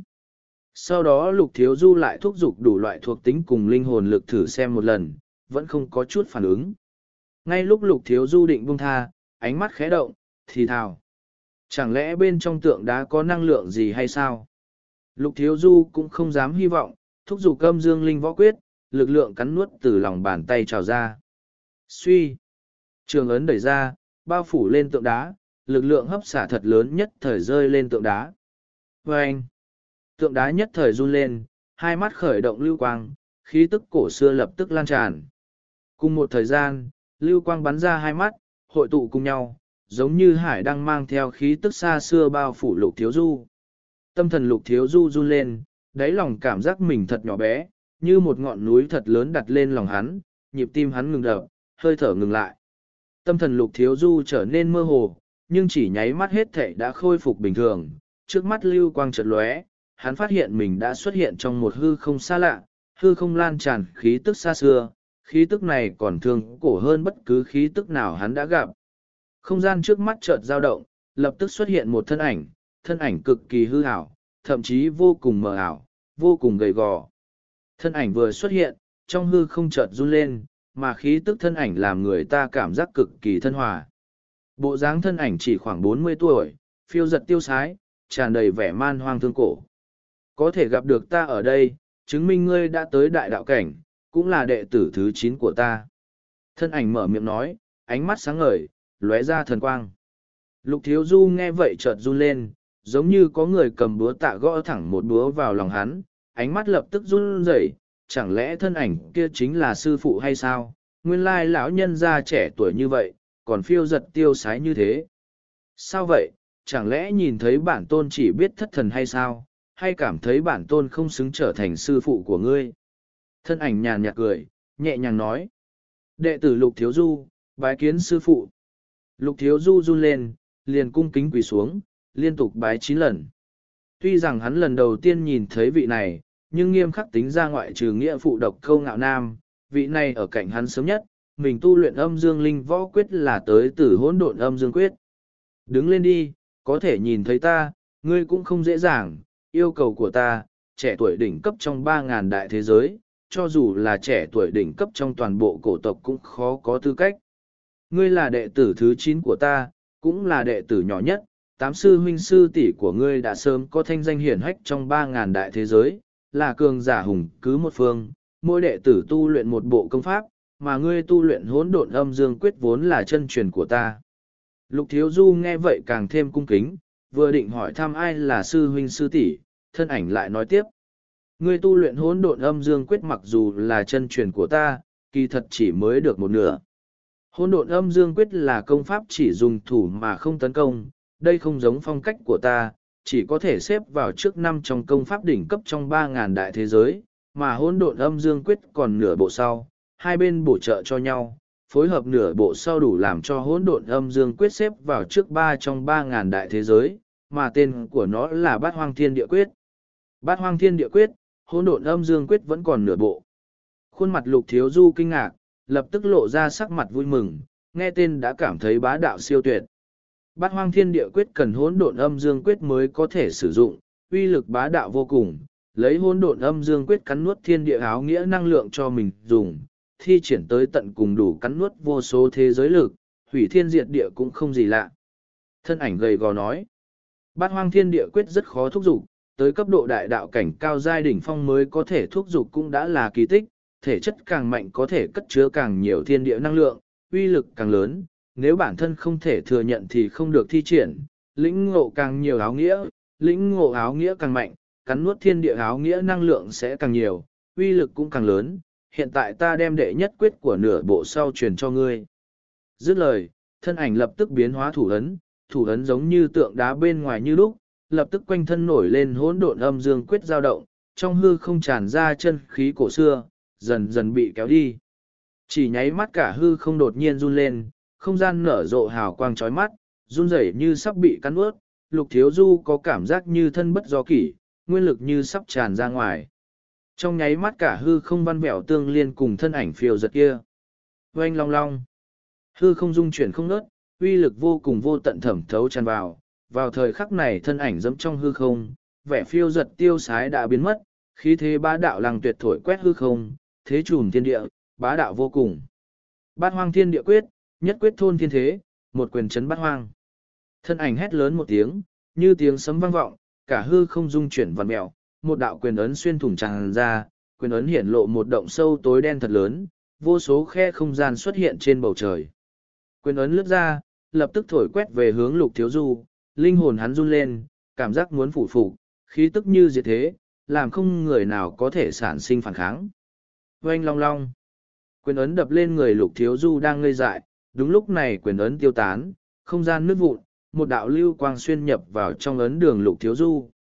Đỗ nhi, nhớ kỹ danh hào bản tôn, bát hoang thánh tôn, đế bá thiên.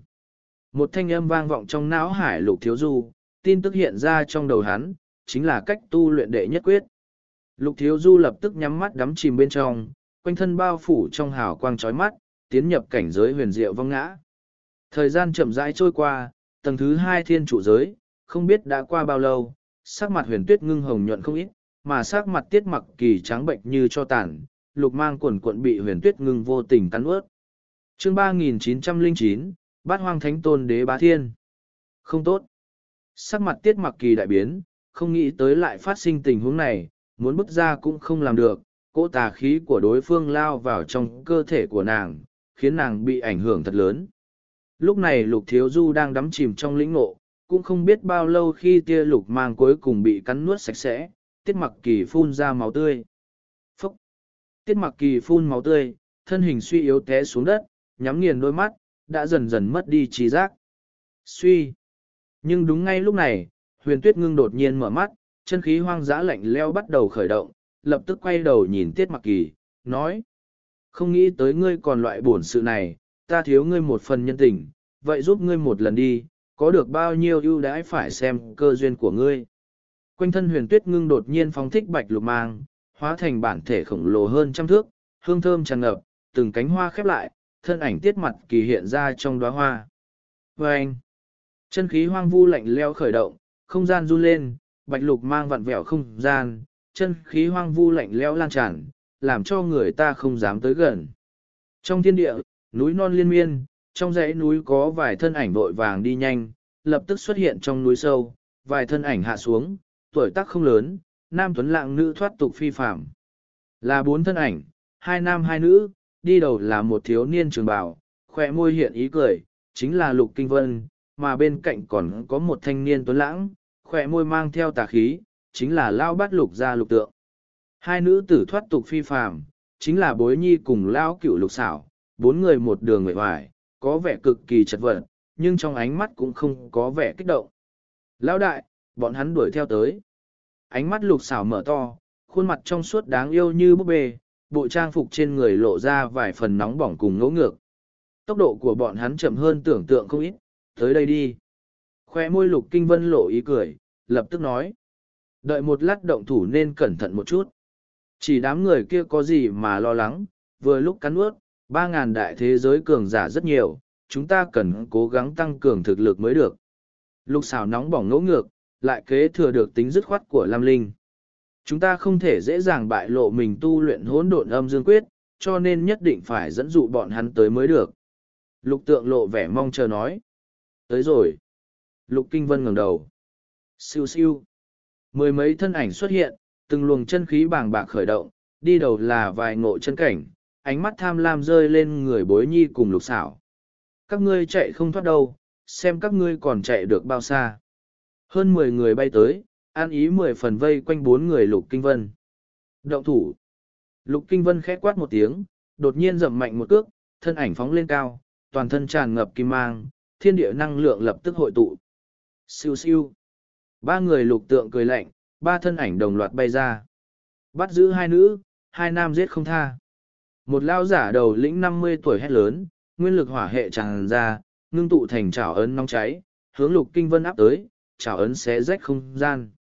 Nội chân cảnh cao dai, ở trước mặt ta không có tư cách hung hăng càng quái, thật nghĩ sợ các ngươi hay sao.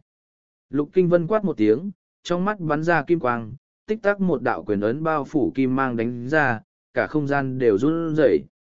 Và anh, một chảo một quyền va chạm, kim mang phóng thích, phá nát hư không, tiêu sát khí xâm nhập vào lòng bàn tay lão giả. Giang giác, tay phải lão giả bị đụng nát, tiếng hét thảm còn chưa truyền ra thì thân ảnh đã bị hạ cấm chế.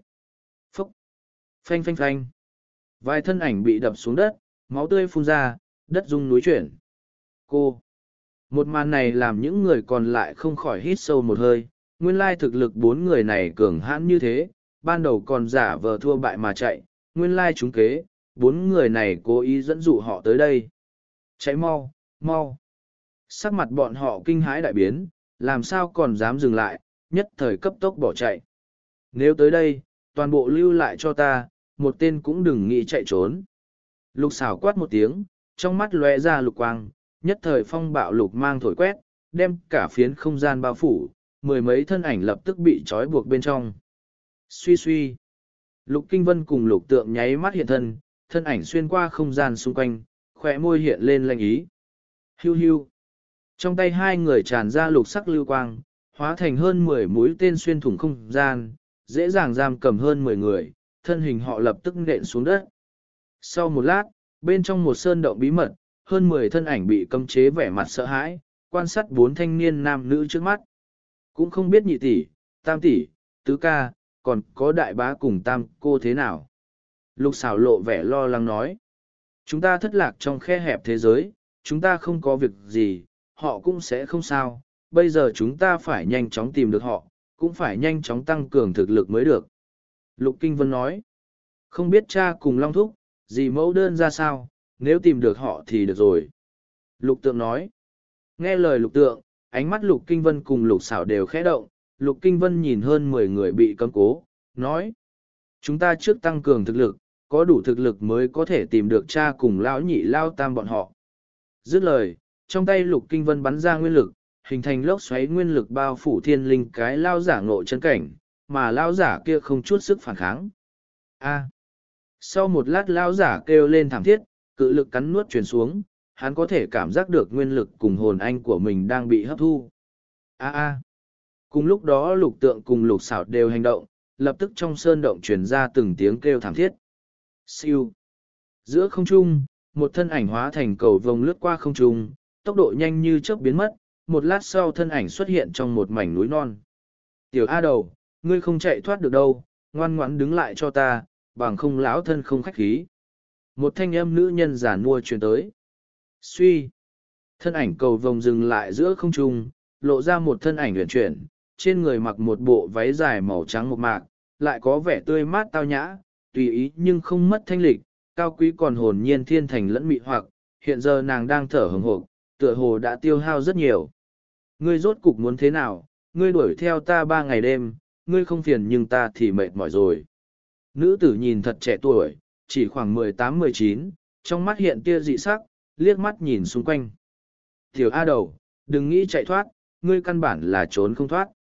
chương ba nghìn chín trăm mười, lục doanh cùng lao phụ nhân. Không gian dao động, một thân ảnh giả nua xuất hiện, vài lần lắc mình đã đi tới trước mặt nữ tử. Thân ảnh già nua lại có ánh mắt trong suốt, khuôn mặt lại cực kỳ trẻ tuổi mỹ mạo, thậm chí khuôn mặt lại không có nếp nhăn, trên người mặc quần áo màu trắng, khí chất hồn nhiên thiên thành. Đôi mắt nữ tử thoáng dao động, lập tức lộ ra nụ cười rào hoạt nói. Vị tiền bối này, chúng ta ngày xưa không oán ngày gần đây không thủ, vì sao ngươi theo đuổi ta không bỏ a? Đây là lục gia lão thất lục doanh, sau khi thất lạc với huynh đệ tỷ muội trong khe hẹp không gian, nàng đi tới thế giới xa lạ này. Về sau nàng đánh chết một người có ý đồ bất chính với mình, lão phụ nhân lại vô duyên cơ theo đuổi nàng, liên tục đuổi theo suốt ba ngày đêm cũng không ngại mệt, rõ ràng thực lực mạnh hơn nàng không biết bao nhiêu lần, nhưng lại không xuất toàn lực, chỉ đi theo sau nàng. Ngươi nói cho ta biết trước, ngươi rốt cục đến từ địa phương nào, là ai? Lão phụ nhân nhìn lục doanh, nói. Tu vi ngộ chân cảnh trung giai, thực lực cũng rất mạnh, chân khí trên người không đơn giản, tu luyện nhiều áo nghĩa. Lục doanh biết mình trốn không thoát, vì vậy cũng không chạy, tựa hồ nhìn ra lão phụ nhân cũng không có ác ý, bằng không cũng không truy theo nàng ba ngày đêm, bèn nói. Tiên bối, ta đã nói qua, ta gọi là lục doanh, đến từ thế giới thổ dân, nói ngươi cũng không biết. A đầu ngươi cũng biết thận trọng, ngươi nghĩ rằng ta sẽ tin sao, trên người ngươi rõ ràng có một nửa huyết mạch cổ tộc, còn có một nửa huyết mạch cửu vi thiên hồ, thế giới thổ dân sao có được. Lao phụ nhân nói tiếp, Lao thân đã mấy ngàn vạn năm không xuất thế, nhưng chỉ bằng A đầu chưa giáo máu đầu như ngươi muốn lừa gạt Lao thân hay sao? Lục Doanh nghe vậy kinh ngạc nói. Làm sao ngươi biết ta có huyết mạch cửu vĩ thiên hồ, còn có huyết mạch cổ tộc là gì? Huyết mạch cửu vĩ thiên hồ của ngươi rõ ràng cực cao, còn rất tinh thuần, ngươi có huyết mạch cửu vi thiên hồ tự nhiên không chạy thoát sự thăm dò của ta. Lao phụ nhân khẽ cười, tay áo phất qua, chân khí nhất thời lan tràn. Khí tức tràn qua, sắc mặt lục doanh đại biến, biến thành đỏ đậm, huyết mạch sôi trào, ánh mắt nhìn phụ nhân vô cùng giật mình. Lao phụ nhân thu liễm, lộ vẻ hiền lành cười nói. Tiểu A đầu, hiện tại biết vì sao ta biết ngươi có một nửa huyết mạch cửu vĩ thiên hồ rồi chứ. Lục doanh bái kiến tiền bối. Lục doanh cung kính hành lễ. Cũng tốt, gặp ngươi cũng là duyên phận, khó trách gần đây tâm thần ta không yên, luôn cảm giác có chuyện cần phát sinh, lúc này phá quan đi ra ngoài một chút, nguyên lai là vì A đầu ngươi. Lao phụ nhân tràn đầy ý cười nói. Ta cũng không quản ngươi từ đâu tới, có lẽ ta cũng biết chút lai lịch của ngươi, hiện tại theo ta trở về đi. Tiên bối, ta không thể cùng ngươi trở về, ta thất lạc huynh đệ tỷ muội trong khe hẹp không gian, ta còn muốn tìm bọn họ. Lục Doanh nói, lấy lực lượng một mình ngươi cùng thực lực sao tìm được người trong ba ngàn đại thế giới, theo ta trở về tiếp tục nghĩ biện pháp đi. Lao phụ nhân mỉm cười nói, như vậy đi, ngươi bái ta làm sư phụ, trở thành đệ tử của ta, ta sẽ giúp ngươi tìm bọn họ thế nào. Đệ tử lục doanh bái kiến sư phụ. Lục doanh nghe vậy liền cung kính quỳ xuống dập đầu. Hai tử dễ dạy, với huyết mạch cùng thiên phú của A đầu ngươi, không bao lâu là có thể trở thành đỉnh cấp trong giới trẻ tuổi, chúng ta về đi thôi. Lão phụ nhân mỉm cười, tay háo phất qua, không gian vặn mẹo, thân ảnh hai người liền biến mất, phảng phất như chưa từng xuất hiện qua bao giờ. Vạn cổ thế giới, vô minh thế giới đều đã rơi vào trong tay phi linh môn, phó hành trưởng phi linh thương hành âm quỷ đã lấy được ghế hộ pháp trong vạn thiên liên minh, xem như chiếm cứ nhỏ nhoi. Về phần phi linh thương hành, hiện tại đã phát triển làm không ít thương hành sợ hãi, trong thời gian ngắn phi linh thương hành quật khởi phát triển, khống chế vô minh tiểu thế giới. Nghe nói trong vô sắc trung thiên thế giới cũng có không ít thương hành đều mang dấu vết của phi linh thương hành, mà tới thời điểm này mọi người mới biết được phi hổ chiến hạm cùng tòa giá khôi lỗi thiểm điện là xuất thân từ phi linh thương hành. Hiện tại trưởng môn phi linh môn lục thiếu du chính là nhân vật mà các thế lực lớn trong vô sắc thế giới đang mượn sức, còn đi vào trong vạn thế liệp tràng, một khi có thể bái tướng phong hoàng, tới lúc đó không còn ai trêu chọc được nổi. Cho nên trơ mắt nhìn phi linh thương hành phát triển lớn mạnh, các đại thương hành cũng bó tay hết cách, không dám ngăn cản. Trong vô sắc thế giới, trên quảng trường, trong một năm nay phồn vinh còn hơn ngày thường, giữa quảng trường dựng đứng một khối ngọc bích khổng lồ. Khối ngọc bích khổng lồ cao hơn trăm thước, dài vài trăm thước, lưu quang dao động, có vô số quang mang không ngừng chớp nháy. Mới một năm thời gian đã có một ngàn người bị đánh chết, chỉ sợ đầu hàng càng nhiều đi. Mới một năm thời gian, ở lại bên trong vạn thế liệp tràng tổng cộng khoảng ba năm thời gian, còn lại hai năm khẳng định chết càng nhiều. Mười người của vô sắc thế giới chúng ta vẫn bình yên vô sự, cũng không biết có đầu hàng hay không. Hy vọng lần này người vô sắc thế giới có thể bước lên phong thần đài. Trên quảng trường, vô số ánh mắt nhìn chăm chú vào điểm sáng trên ngọc bích, tụ năm tụ ba nghị luận, mà những điểm sáng kia đại biểu cho những người tiến vào vạn thế liệp tràng, điểm sáng biến mất chứng minh người đã chết. Đông đảo ánh mắt nhìn lên mười đạo lưu quang trên ngọc bích, mười đạo lưu quang cũng đại biểu mười người của vô sắc thế giới. Một năm, theo ngày trước mà nói một năm thời gian chỉ còn lại một hai người, lần này cả mười người đều bình yên vô sự, như vậy lần này vô sắc thế giới có thể xuất hiện kết quả không thể tưởng được. Trên một lầu các quanh quảng trường, vài thân ảnh nhìn lưu quang lóe ra trên ngọc bích, ánh mắt lo lắng, Hoàng Thiên Tứ khoanh tay đứng thẳng, nói. Mỗi một lần vạn thế đối quyết, những người có thiên phú bất phàm rơi xuống không biết bao nhiêu, đó đều là người trẻ tuổi thiên phú tốt nhất ta. Hoàng Thiên Tứ, ngươi lo lắng Hoàng sa sao? Thiết Hưng Quốc nhìn Ngọc Bích, ánh mắt cũng lo lắng nói. Thiên phú thì bất phàm, nhưng so sánh với người hỗn độn thế giới thì tính cái gì? Hoàng Thiên Tứ thu hồi ánh mắt, mỉm cười, nói.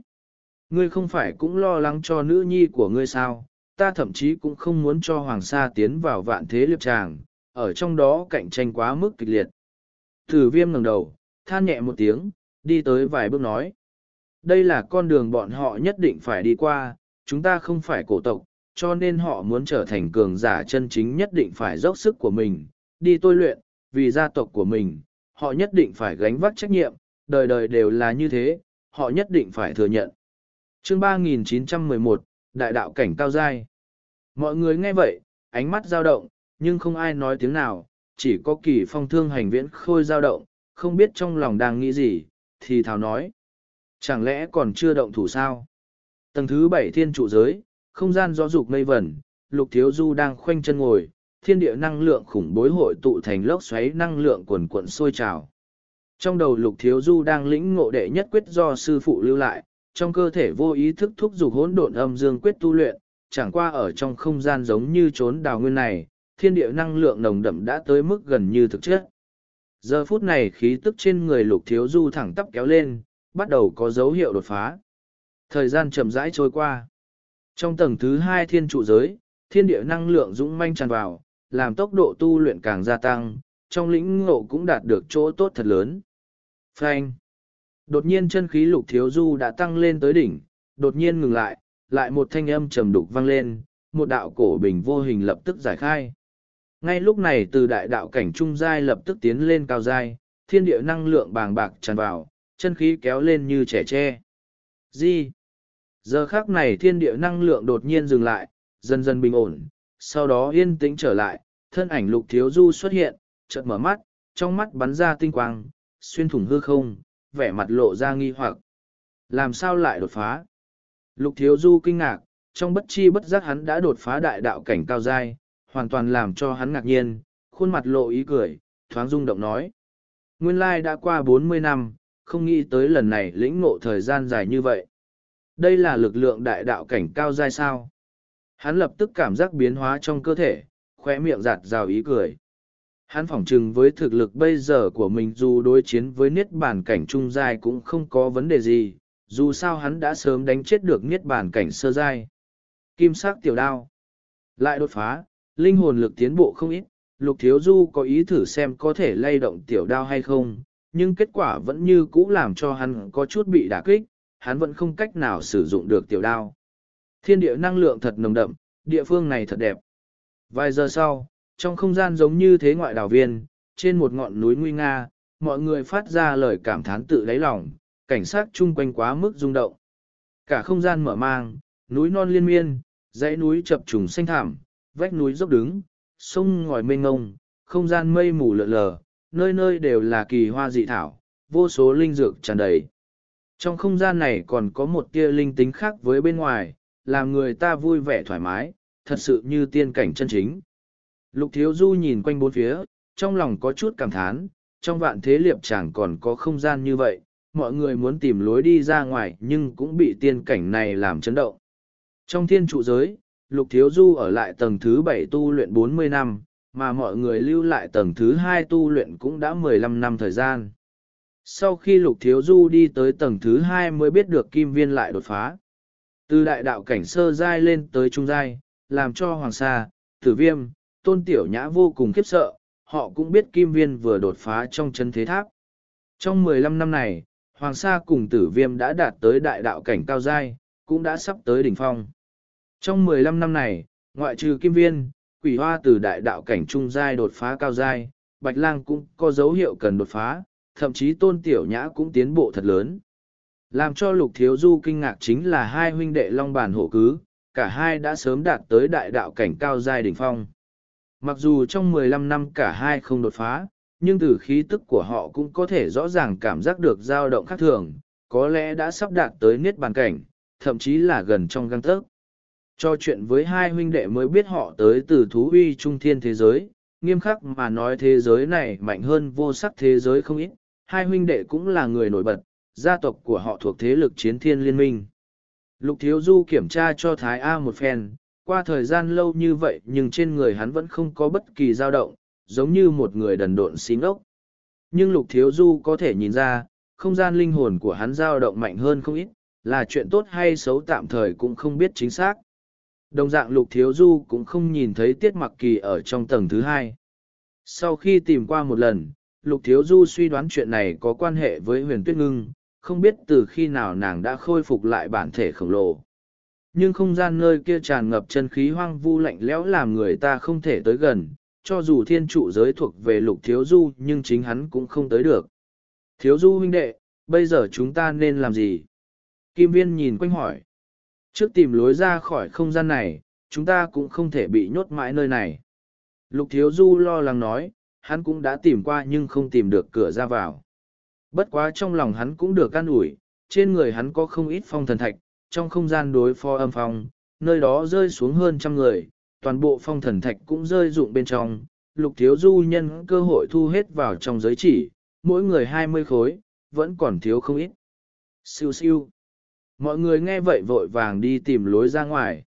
Núi non sừng sững, dãy núi trung điệp, vực thẳm sâu hút, mọi người tìm kiếm suốt hai ngày cũng không tìm được lối ra, nơi này giống như một không gian cách biệt, hoàn toàn bị khép kín. Siêu. Thân ảnh hoàng sa cấp tốc bay nhanh tới bên cạnh lục thiếu du, nói.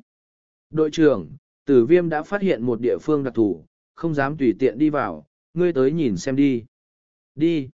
Mọi người lập tức lao nhanh. Sau một lát, trước một dãy núi liên miên phập phồng, một ngọn núi đột ngột mọc lên, trên núi cây cối rậm rạp, kỳ hoa dị thảo khắp nơi, đem cả ngọn núi bao phủ cực kỳ loa mắt. Tử viêm nhìn thấy mọi người đã tới, chỉ vào khe sâu có năng lượng dao động dị thường bên dưới nói. Đội trưởng, ta đã phát hiện địa phương quỷ dị này, cảm giác có chút đặc biệt, tâm thần không thể xâm nhập vào, không biết sâu bao nhiêu, cho nên không dám tùy tiện đi vào. Linh hồn lực của lục thiếu du hóa thành tia năng lượng xâm nhập vào bên trong, nơi này thiên địa năng lượng dị thường nồng đậm, thậm chí còn nồng nặc hơn cả trốn đảo nguyên này không ít. Khe sâu không thấy đáy, linh hồn lực đi xuống cũng không biết bao sâu, năng lượng bàng bạc bắt đầu khởi động, làm tâm thần lục thiếu du run lên, lập tức thu hồi linh hồn lực. Nơi đây không đơn giản, mọi người cẩn thận một chút theo ta đi vào. chương 3912, Niết Bàn Luân Hồi Thụ Thanh Linh Khải Giáp Vì phòng ngừa vắng nhất, Lục Thiếu Du khởi động Thanh Linh Khải Giáp mới đi vào trong khe sâu. Mọi người nhìn thấy Lục Thiếu Du cẩn thận chuẩn bị, đều bố trí thủ đoạn phòng ngự sau đó đi theo vào. Bên trong khe sâu vô cùng hỗn độn, không ít khe nước không cách nào thông qua, nhưng với thực lực của mọi người cũng không thể ngăn cản họ. Dọc theo đường đi mọi người cũng không phát hiện được nguy hiểm, cũng không biết đi xuống sâu bao nhiêu, cuối cùng mới tới mục đích, khi đi tới bên dưới nền đất rộng rãi, trên mặt bọn họ không khỏi lộ xem ra rung động. Chơi ạ, thiên địa năng lượng thật nồng đậm. Bên trong hang động diện tích thật lớn dắt đầy trụ năng lượng giống như thạch nhũ ngưng tụ, năng lượng quần cuộn làm người ta cảm giác như khó thở. Đó là cái gì? Bên trong động có một cây năng lượng màu trắng diện tích vài trăm thước, cao hơn mười thước, trên cây bóng loáng như ngọc, có vô số chạc cây, nhưng không có lá cây, chân khí bàng bạc lan tràn, làm cho người ta cảm giác linh hồn đều run rẩy. Đây là địa phương gì lại có cây quái dị như vậy? Kim viên kinh ngạc nói. Bên trên còn ngưng kết đồ vật gì đó. Tôn tiểu nhã lên tiếng. Ngay trung ương cây ngưng kết năng lượng tinh đoàn thể tích như một hài nhi, trong suốt trong sáng, làm linh hồn không ngừng dao động gợn sóng. Khí tức này tựa hồ có chút quen thuộc. Lục Thiếu Du nói, loại cảm giác quen thuộc kia càng ngày càng đậm. Niết bàn luân hồi thụ, đây nhất định là niết bàn luân hồi thụ, đó là niết bàn luân hồi quả. Thanh âm long bàn kinh ngạc truyền ra, khiếp sợ không thôi. Mọi người nghe vậy đều kinh ngạc nhìn hắn. Niết bàn luân hồi thụ là một loại thiên tài địa bảo kỳ lạ, là vật vô cùng thưa thất trong ba ngàn đại thế giới, có thể ngưng kết ra một loại trọng bảo là niết bàn luân hồi quả, đồn đãi dùng nó làm cho người ta bước vào niết bàn cảnh giới dễ dàng vô cùng, càng sớm dùng thì càng tốt. Nghe nói trong hỗn độn thế giới còn có đại gia tộc hoặc thế lực lớn thu thập trọng bảo này, từ nhỏ cho đệ tử thiên phú bất phàm sử dụng, sẽ có chỗ tốt thật lớn trong lĩnh ngộ áo nghĩa, tới lúc đó cần đột phá niết bàn cảnh thật sự dễ dàng, cơ hội thành công ngoài chín thành. Long bàn rung động nói tiếp, giá trị một niết bàn luân hồi quả thậm chí áo nghĩa linh khí bình thường cũng không thể so sánh, tương đương áo nghĩa linh khí đỉnh cấp, có một lần ta vô ý nhìn thấy được giới thiệu về nó trong một quyển bí giảng, cho nên chắc chắn là không sai. Còn có loại bảo vật này. Lục Thiếu Du ngạc nhiên nói. Nhìn xem niết bàn luân hồi quả chỗ nào đặc biệt. Lục Thiếu Du điểm mũi chân xuống đất, thân hình lướt ra, một đạo năng lượng hào quang dâng lên, lập tức rơi lên tinh đoàn năng lượng trên cây, lực lượng hấp xả hái xuống, thân ảnh vừa lui liền quay lại bên cạnh mọi người. Đây là niết bàn luân hồi quả sao. Năng lượng quang đoàn hiện ra trên lòng bàn tay lục thiếu du, thể tích như một trẻ sơ sinh, chân khí cực kỳ cổ xưa lan tràn, làm linh hồn mọi người rung động. Giang giác. Nhưng đúng lúc này thanh bạch vũ khí tản ra, niết bàn luân hồi quả nước nẻ, cuối cùng phân chia thành hai. Lục thiếu du cầm hai mảnh niết bàn luân hồi quả trong tay, từ bên trong tản ra cỗ chân khí khiến linh hồn hắn cực kỳ thoải mái. Mọi người nhìn xem, từ trong hai mảnh năng lượng tinh đoàn xuất hiện một đống thanh bạch vật rầm rạp, trong suốt trong sáng như linh quả lại như đang dược, lại giống như ngọc thạch thanh bạch sắc. Vật này tản ra chân khí khiến người rung động, một cảm giác nói không nên lời lan tràn, cảm giác này khiến người cảm thấy thật hưởng thụ, ngửi vào có tác dụng thật lớn với linh hồn. Là vật này. Sắc mặt lục thiếu du kinh ngạc, hắn biết đây là vật gì, chẳng trách hắn cảm thấy chân khí vô cùng quen thuộc. Nguyên lai vật này ban đầu ở linh võ đại lục hắn từng dùng qua, bên trong tử vong thâm viên vốn có vật như thế. Đây là niết bàn luân hồi tử, mà nếu bên trong một quả có càng nhiều hạt, chứng minh giá trị càng cao, cao nhất là trăm hạt, có thể làm người luân hồi muôn đời. Sau khi dùng có ưu đãi cho tâm cảnh thật lớn, đủ tiến bước bay nhanh trong việc lĩnh ngộ áo nghĩa. Long bàn run giọng nói, nhìn số hạt này thật sự là không ít. Càng sớm dùng càng tốt, nguyên lai like lúc trước mình từng dùng vật này. Lục thiếu du thì thào nói, cho tới nay hắn cũng không biết mình ăn bảo vật gì bên trong tử vong thâm nguyên. Từ sau khi ăn vật này lực lĩnh ngộ cùng tâm cảnh của hắn tiến bộ kinh người, mà sau khi hắn dùng vật kia lại giống như từng trải qua muôn đời luân hồi. Nếu là như thế, hắn từng dùng qua niết bàn luân hồi tử tốt nhất. Cao nhất là trăm hạt sao. Lục thiếu du đang định bóp vỡ, lập tức bị long bàn ngăn cản. Không thể dùng tay đụng chạm vào hạt, nếu không sẽ lập tức tan vào thân thể, gặp phải vật chất kim trúc sẽ bị phá hủy, chỉ có thể dùng bình ngọc chứa đựng nó mà thôi. Thì ra là thế. Lục thiếu du tựa hồ còn nhớ rõ lúc trước bởi vì mình chạm vào niết bàn luân hồi tử mà nó dung hợp vào thân thể của mình. Nghe vậy lục thiếu du cũng không dám sờ loạn, lấy ra một hộp ngọc đem niết bàn luân hồi tử đánh vỡ, tổng cộng là chín mươi chín hạt, chỉ còn thiếu một hạt. Phát tài, không nghĩ tới nơi này còn có bảo vật như vậy. Niết bàn luân hồi quả, chín mươi chín hạt niết bàn luân hồi, nếu ở bên ngoài đủ khiến cả đại thế giới chú ý. Mọi người thấp giọng kêu lên, ánh mắt rung động nhìn vào niết bàn luân hồi tử. Mọi người đều có thực lực đại đạo cảnh, nghe đồn dùng vật này có thể giúp người ta bước vào niết bàn cảnh như đi trên đất bằng. Loại hấp dẫn này đối với tu vi đại đạo cảnh thật quá lớn. Dù sao hiện tại cũng không thể đi ra ngoài, mọi người dung hợp một hạt đi, trong không gian này thiên địa năng lượng nồng đậm, ta nghĩ nếu ở trong này tu luyện nhất định đạt được ưu đãi thật lớn. Lục Thiếu Du thấy thế lấy ra mấy hộp ngọc phân niết bàn luân hồi tử cho mọi người, dù sao cùng chung một tiểu đội, thực lực mọi người càng mạnh thì thực lực cả tiểu đội càng mạnh. Hai người cũng lấy đi. Lục Thiếu Du đưa hai hạt cho Long Bản hổ cứ, nếu đã cứu họ, dù niết bàn luân hồi tử có chân quý cũng không cần tiếc rẻ, dù sao mọi người đang ở chung một chỗ, quá nhỏ mọn cũng không tốt. Đa tạ, phần nhân tình này huynh đệ chúng ta nhớ kỹ, chỉ cần chúng ta không chết, sau này sẽ báo đại ân hôm nay. Hai huynh đệ ngoại ý muốn thoáng lặng người, hai người thật không ngờ bảo vật như vậy lục thiếu du cũng phân chia cho họ, huống chi lục thiếu du còn cứu mạng của họ, trong lòng họ thật sự vô cùng cảm kích. Thiên trụ giới tương liên cùng không gian bên ngoài, mà thiên địa năng lượng nơi này nồng đậm, bên trong thiên trụ giới cũng không kém, điểm này lục thiếu du đã sớm biết, bởi vậy đều thu mọi người vào thiên trụ giới tranh thủ tu luyện. chương 3913, Thiên Nữ Cung Lục thiếu du đi lên tầng bảy, hắn cũng muốn thử dung hợp thêm niết bàn luân hồi tử lần nữa, dù sao trong tay hắn còn có không ít. Cầm niết bàn luân hồi tử trong tay, một cảm giác mát mẻ truyền ra, đột nhiên một đoàn thanh bạch hào quang phong thích, chỉ thoáng chốc đã biến thành một đoàn linh dịch trong tay hắn. Linh dịch mát rưởi dung nhập vào tay lục thiếu du biến mất, năng lượng tinh thuần lập tức tràn vào trong cơ thể hắn. Cỗ linh khí thanh bạch sắc chia thành hai phần, tràn vào không gian đại não, nhất thời toàn thân lục thiếu du đắm chìm trong sương mù tràn ngập. Tại một không gian tràn ngập thiên địa năng lượng nồng đậm, bên trên núi non trùng điệp, thật nhiều nữ tử trôi nổi trên không trung, cung kính nhìn ngọn núi cao vút trong mây phía trước, phảng phất như ngọn núi đó chính là thánh địa. Hôm nay xảy ra chuyện gì, sao toàn bộ trưởng lão đều trở về? Không chỉ như thế, toàn bộ trưởng lão bế quan cùng cung chủ đều đi ra. Ta nghe nói là lão tổ luôn ẩn cư mang về một tiểu nha đầu, vì vậy toàn bộ trưởng lão mới tụ tập. Là tiểu nha đầu nào vậy, lại có thể kinh động toàn bộ trưởng lão cùng cung chủ, còn kinh động lao tổ tông trong truyền thuyết. Các nữ tử thấp giọng nghị luận, chân khí hùng hậu lan tràn, chứng minh những nữ tử này cũng không phải người bình thường, thậm chí đều là cường giả, nhưng ánh mắt của họ nhìn về phía ngọn núi vô cùng cung kính. Siêu siêu. Thời gian chậm rãi trôi qua, không biết qua bao lâu trong ngọn núi có hơn hai mươi thân ảnh lướt qua trời cao, hiện thân trên không. Trong hơn hai mươi thân ảnh, chỉ có một ít mỹ phụ, đa số đều dáng vẻ thương lão, ánh mắt thâm thúy như biển, lẳng lặng đứng trong hư không, cả phiến thiên địa giống như hỗn loạn, gió dục mây vẩn.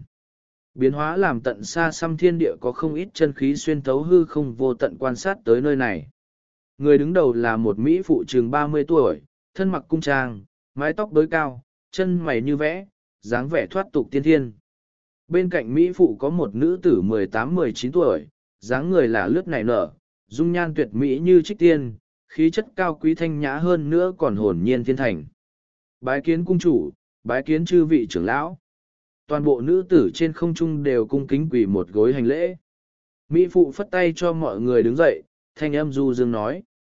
Các đệ tử nghe lệnh, từ hôm nay trở đi lục doanh bái nhập môn hạ lao tổ thiên nữ cung, trở thành đệ tử quan môn của lão tổ, được tôn làm thiên nữ thiên nữ cung, địa vị như bổn cung, có thể trưởng quan toàn bộ đệ tử trong cung. Cái gì? Lão tổ tông thu đồ dệ, đệ tử của lão tổ không ít, nhưng cho tới hôm nay chỉ còn lại một mình cung chủ trời ạ, địa vị thiên nữ, không kém hơn cung chủ. Bái kiến thiên nữ. Mọi người quỳ một gối, không ai dám bất kính. Chư vị miễn lễ. Lục doanh lên tiếng, khí chất huynh đảo chúng sinh. Tiểu sư muội, ngươi về bồi sư tôn trước đi, theo sư tôn tu luyện, chuyện khác ta sẽ lập tức căn bài. Thiên nữ cung toàn lực tìm kiếm lục thiếu du, lục kinh vân, lục du thượng, dương quá, lục tâm đồng, lục thành. Mỹ phụ nói. Vậy phiên thoái sư tỷ Lục doanh túi người thi lễ, bóng hình xinh đẹp chợt lóe hóa thành lưu quang bay vào trong ngọn núi. Ngay sau khi nàng tiến vào trong núi, đông đảo thân ảnh thương lão ngẩng đầu, nhìn vào hư không xa xa. Một lao phụ nhân ăn mặc mộc mạc nhìn hư không vô tận nói. Lao tổ thiên nữ cung hôm nay thu đồ đệ, đám lao quỷ các ngươi có gì khẩn trương, nếu đã quan sát thì phiền các ngươi thông chi đệ tử trong môn đi, thiên nữ của thiên nữ cung còn nhỏ tuổi, ngày sau nếu ai dám động tới nàng, đừng trách thiên nữ cung không khách khí. Thanh âm già nua tuy nói không lớn, nhưng thật lâu sau mới dần tan biến. Hô! Lục thiếu du mở mắt, thở mạnh một hơi. Lại dùng thêm một hạt niết bàn luân hồi tử, làm linh hồn hắn lại tẩy lễ thêm một lần, trải qua chín mươi chín lần luân hồi. Tuy lần này cũng lấy được không ít ưu đãi, nhưng không thể sánh với lần đầu. Tâm thần quan sát toàn bộ biến đổi trong thiên trụ giới, nhóm người kim viên còn đang dung hợp niết bàn luân hồi tử, mà Thái Á cùng huyền tuyết ngưng còn chưa có động tĩnh gì. Có thể lưu lại trong không gian tràn đầy năng lượng thế này là một chuyện đáng giá cao hứng, nhưng lục thiếu du lại không vui mừng, nếu không thể đi ra khỏi vạn thế liệp tràng, hắn chắc chắn sẽ hỏng mất. Nhưng tìm không thấy lối ra hắn cũng không có biện pháp nào, lại không thể xé rách không gian rời đi, chỉ có thể bị vây khốn ở đây. Buồn bực hồi lâu lục thiếu du chỉ có thể chờ đợi, chỉ cần huyền tuyết ngưng khôi phục hẳn là có thể đi ra ngoài, chẳng qua sau khi nàng khôi phục sẽ làm gì thì bản thân hắn cũng không dám cam đoan. Ba láo giả, quần áo có chút hỗn độn, chẳng qua chân khí vô cùng hùng hồn như núi lớn, trên đầu vai ba người có khối huy chương tinh mỹ, vô cùng độc đáo, có chút khác biệt với quần áo hỗn độn cùng dáng vẻ hung thần ác sát của ba người. Giờ phút này bên ngoài sơn cốc có hai tòa giá khôi lỗi trôi nổi, mấy trăm người vây quanh nhìn giống như đạo phỉ thế giới, đang vô cùng cung kính dập đầu, đầu rơi máu chảy cũng không dám dừng lại, toàn thân bị hù dọa run rẩy, sắc mặt đều trắng bệnh.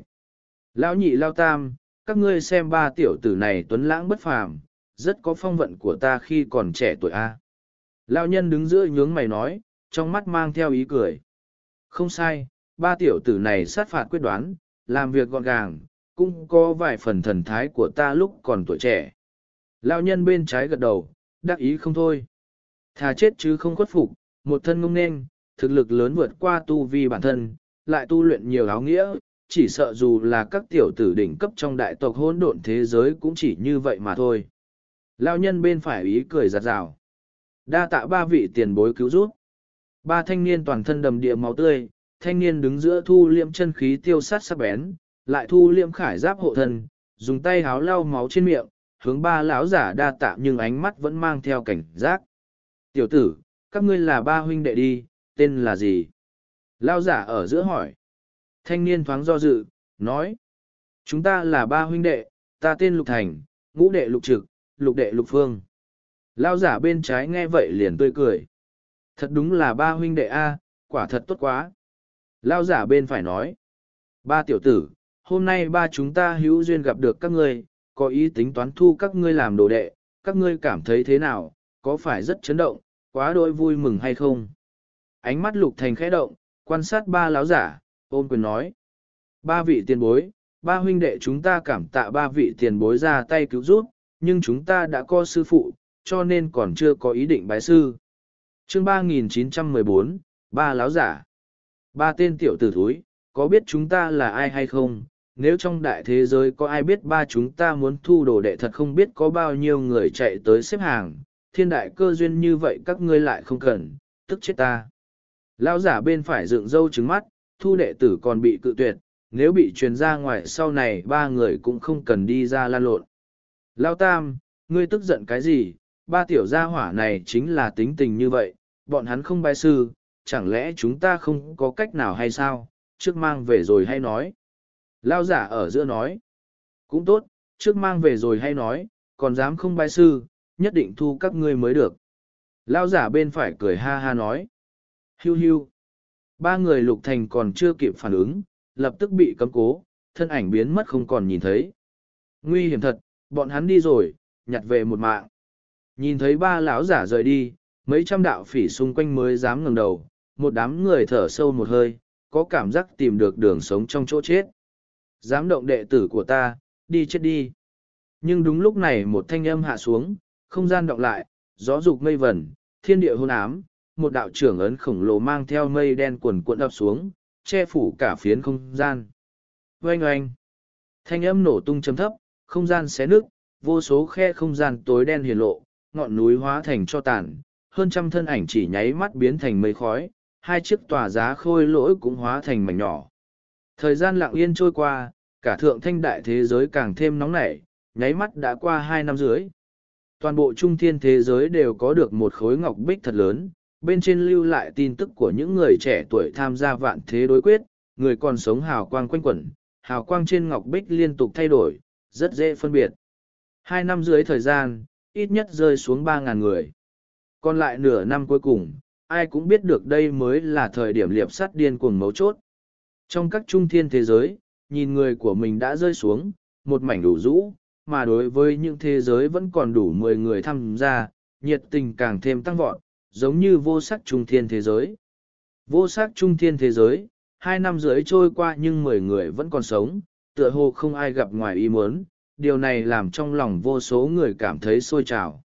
Vào lúc này trên lầu cát, mọi người đang nhìn vào khối ngọc bích trên quảng trường, chính là người của phi linh môn cùng phi linh thương hành, âm minh dạ xoa, thiên khu, địa long, đường ngũ, bạch kinh đường, âm quỷ, phong đô tam hồn bọn họ. Cạnh tranh thật đúng là kịch liệt. Đường ngũ nói, đương nhiên cạnh tranh kịch liệt, đây là vạn thế liệp tràng.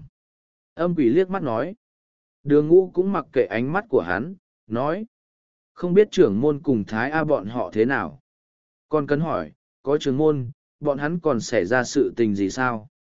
Phạm Thông thấp giọng nói, lại nhìn âm quỷ. Âm quỷ, sự tình đều chuẩn bị xong chưa?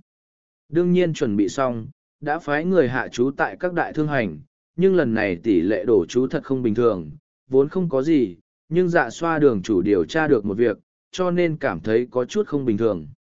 Âm quỷ có chút nghi hoặc nói, trong vô sắc thế giới, lần này đổ chú mười người trưởng môn xem ai cuối cùng có thể bước lên thần hoàng đoàn, ai có thể còn sống đi ra, toàn bộ tỷ lệ đặt cược hơn phân nửa là do kỳ phong thương hành thầm ảnh hưởng, nóng nảy nhất là trưởng môn, thai A, còn có tiết ra tiết mặc kỳ. Âm minh dạ xoa nhìn Ngọc Bích, nói, nhưng tỷ lệ đặt cược của trưởng môn còn cao hơn tiết mặc kỳ không ít, hai người đều đứng thứ nhất trong chấn thế tháp, kỳ thật hai cũng biết thực lực trưởng môn mạnh hơn, nhưng tỷ lệ đặt cược chỉ cao mà không hạ thấp, ai tới cũng không cự tuyệt, vậy thì kỳ quái, chẳng lẽ bọn hắn không sợ phá sản hay sao? Tất cả chuyện này còn do kỳ phong thương hành ảnh hưởng, mà Hoài Linh Ngọc là người kỳ phong thương hành, ta đã lưu ý, tỷ lệ đặt cược của hắn lại giống như tôn tiểu nhã, ta luôn cảm giác có. Điều không thích hợp. Loại tình huống này chỉ có một khả năng, kỳ phong thương hành cho rằng Hoài Linh Ngọc nhất định sẽ còn sống, mà trưởng môn nhất định sẽ ra ngoài ý muốn, cho nên mới xuất hiện loại khả năng này. Phạm Thống suy tư một hồi, lập tức nói. Lúc trước kỳ phong thương hành đột nhiên lấy lòng trưởng môn, bỏ qua hết thể ân oán, ngay cả mối thù giết con cũng có thể bông, chỉ sợ không phải bởi vì hy vọng trưởng môn không đối phó Hoài Linh Ngọc trong vạn thế liệp chàng mà thôi, có lẽ còn có an bài khác. Sắc mặt bạch kinh đường biến đổi, hỏi. Ý của ngươi là kỳ phong thương hành sẽ âm thầm đối phó trưởng môn. Hơn phân nửa có khả năng này. Phạm thống gật đầu, ánh mắt ngưng lại, khẽ động nói.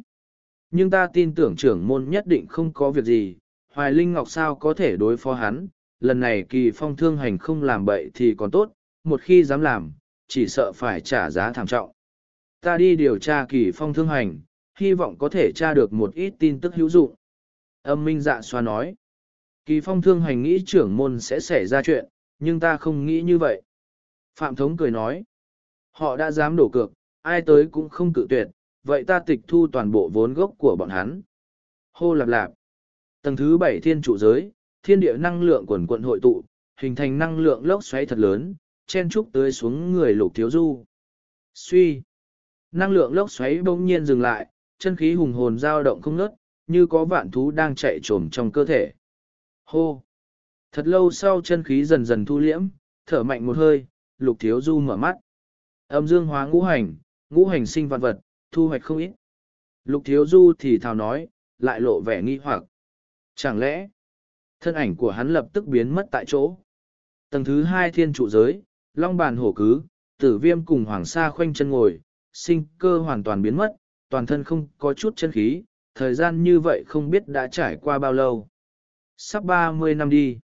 Lục thiếu du như mày, tính toán thời gian hắn ở trên tầng thứ bảy một trăm lẻ năm năm, tầng thứ hai cũng đã qua ba mươi năm. Long bàn hổ cứ đã sớm cần niết bàn, hoàng sa cùng tử viêm cũng không kém bao xa, phỏng chừng bây giờ họ cũng đang niết bàn. Chân khí của bốn người biến mất, thân thể lạnh lẽo, nhưng lục thiếu du có thể nhìn ra được chân khí nội liễm dao động, đặc biệt là long bản hổ cứ dao động càng lúc càng kịch liệt. Trên thân hai người tản ra hào quang, đồng thời lan tràn, cuối cùng hóa thành quang quyển đường kình vài thước, bao phủ khắp thân thể, hình thành quang quyển năng lượng, vô cùng chói mắt, từng luồng năng lượng bàng bạc dao động dựng lên. Đây là đang niết bàn sao. chương 3915, niết bàn như thế nào? Lục thiếu du khoanh chân ngồi xuống chờ đợi, quan sát người khác đột phá đối với tu luyện giả cũng là một lần lĩnh ngộ, nếu có thu hoạch cũng xem là một lần cơ duyên. Thiếu du huynh đệ. Bốn người quỳ hoa ở cách đó không xa, cảm giác được chân khí bên này dao động lập tức nhìn tới. Tôn Tiểu Nhã rung động nói. Họ đang niết bàn sao? Long bàn hổ cứ đã sắp niết bàn, dùng niết bàn luân hồi tử nên thành công tiến vào niết bàn cũng không có gì chắc trở. Một khi đặt chân niết bàn cảnh, phong thần đài lại có thêm một chỗ cho bọn họ. Quỳ hoa âm trầm lên tiếng, quen biết thời gian lâu dài mọi người cũng đã thói quen. Hiện tại bọn họ đang tiến vào hữu dư niết bàn vòng thứ nhất, hẳn sắp chính thức bước vào niết bàn cảnh. Bạch lang giao động nói. Hữu dư niết bàn. Lục thiếu du như mày, tam kỳ lão nhân nhắc tới vô thượng niết bàn, tựa hồ niết bàn còn chia thành nhiều loại, nhất thời hỏi. Niết bàn chẳng lẽ còn có phân chia nhiều loại sao? Tôn tiểu nhã cùng quỷ hoa cảm thấy kỳ quái, bạch lang lập tức nói. Nói thế này, niết bàn cảnh có ba loại cấp độ, đột phá đại đạo cảnh đỉnh phong đi vào niết bàn cảnh sơ giai, cũng cứ gọi là hưu dư niết bàn, kế tiếp là vô dư niết bàn cũng là niết bàn trung giai, qua trung giai là tới niết bàn cao giai. Trong mắt Bạch Lang lộ vẻ hướng tới. Niết bàn cao giai cũng là sinh tử niết bàn, qua sinh tử là có thể tiến vào tuyên cổ cảnh, tuyên cổ trường tồn. Loại cấp độ này mỗi một người đều là tồn tại rung động một phương, ở trong ba ngàn đại thế giới có được địa vị tối cao. Hữu dư niết bàn, vô dư niết bàn, sinh tử niết bàn, lại có gì bất đồng? Lục thiếu du nghi hoặc hỏi. Bạch lang cười khổ nói. Ta cũng không rõ lắm, nếu biết ta cũng đủ chỉ là đại đạo cảnh. Và anh, vào thời khắc này ở cách đó không xa truyền ra thanh âm dao động chấm thấp, hai đạo quang quyển thật lớn run lên, lập tức thu liễm vào thân thể hai huynh đệ long bàn hổ cứ, hai người liền mở mắt, trong mắt bắn tinh quang, chân khí hoàn toàn khác hẳn lúc trước. Niết bàn cảnh sơ giai, cả hai đều bước vào niết bàn cảnh. Kim viên rung động nói, trong mắt vô cùng hâm mộ. Hữu dư niết bàn, vô dư niết bàn, sinh tử niết bàn, ta có hiểu một ít. Long bàn thu liễm chân khí, nói. Niết danh vi xuất, bàn danh vi thú, chư thú vượt qua sinh tử, thì cũng xem như vượt qua khỏi thú giã. Thời gian lâu dài, trong vũ trụ thời không sinh linh tu luyện, mục đích là vì vượt qua sinh mệnh hữu hạn, một ngày kia có thể chứng ngộ niết bàn, chẳng khác nào đột phá hàng rào thời không, đem sinh mệnh trải rộng hết thể không gian, dựng thẳng cùng tam tế, hoành khắp mười phương, tràn ngập qua hết thể thời gian, diệt hữu dư, qua vô dư, độ sinh tử, từ thời tuyên cổ đã bất biến, lịch vạn kiếp mà thường tân, cuối cùng đặt chân tuyên cổ, là có thể siêu việt sinh tử vô thường, đây là Niết Bàn. Hổ cứ đứng dậy nói, Niết Bàn cũng là tâm bao thái hư, lượng chu xa giới, vật cùng ta tương ứng, người cùng ta như nhau. Hổ cứ tiếp tục nói, kiến tư hoặc, thân bị diệt, chính là hưu dư Niết Bàn, thân dực diệt, thụ sinh tử, được gọi vô dư Niết Bàn, tam hoặc toàn đoạn, sinh tử vĩnh diệt, có thể bước lên tuyên cổ, tuyên cổ xưa nay bất biến, lịch vạn kiếp nhi thường thân. Mọi người nghe vậy, đều cái hiểu cái không, ánh mắt khẽ động, có điều nộ ra, lập tức khoanh chân ngồi xuống, nhắm mắt bắt đầu lĩnh ngộ, như được lợi rất nhiều. Suy lạp lạp. Đúng lúc này quanh thân hoàng sa cùng tử viêm đều hiện ra một đạo quang quyển bao trùm lấy thân thể họ.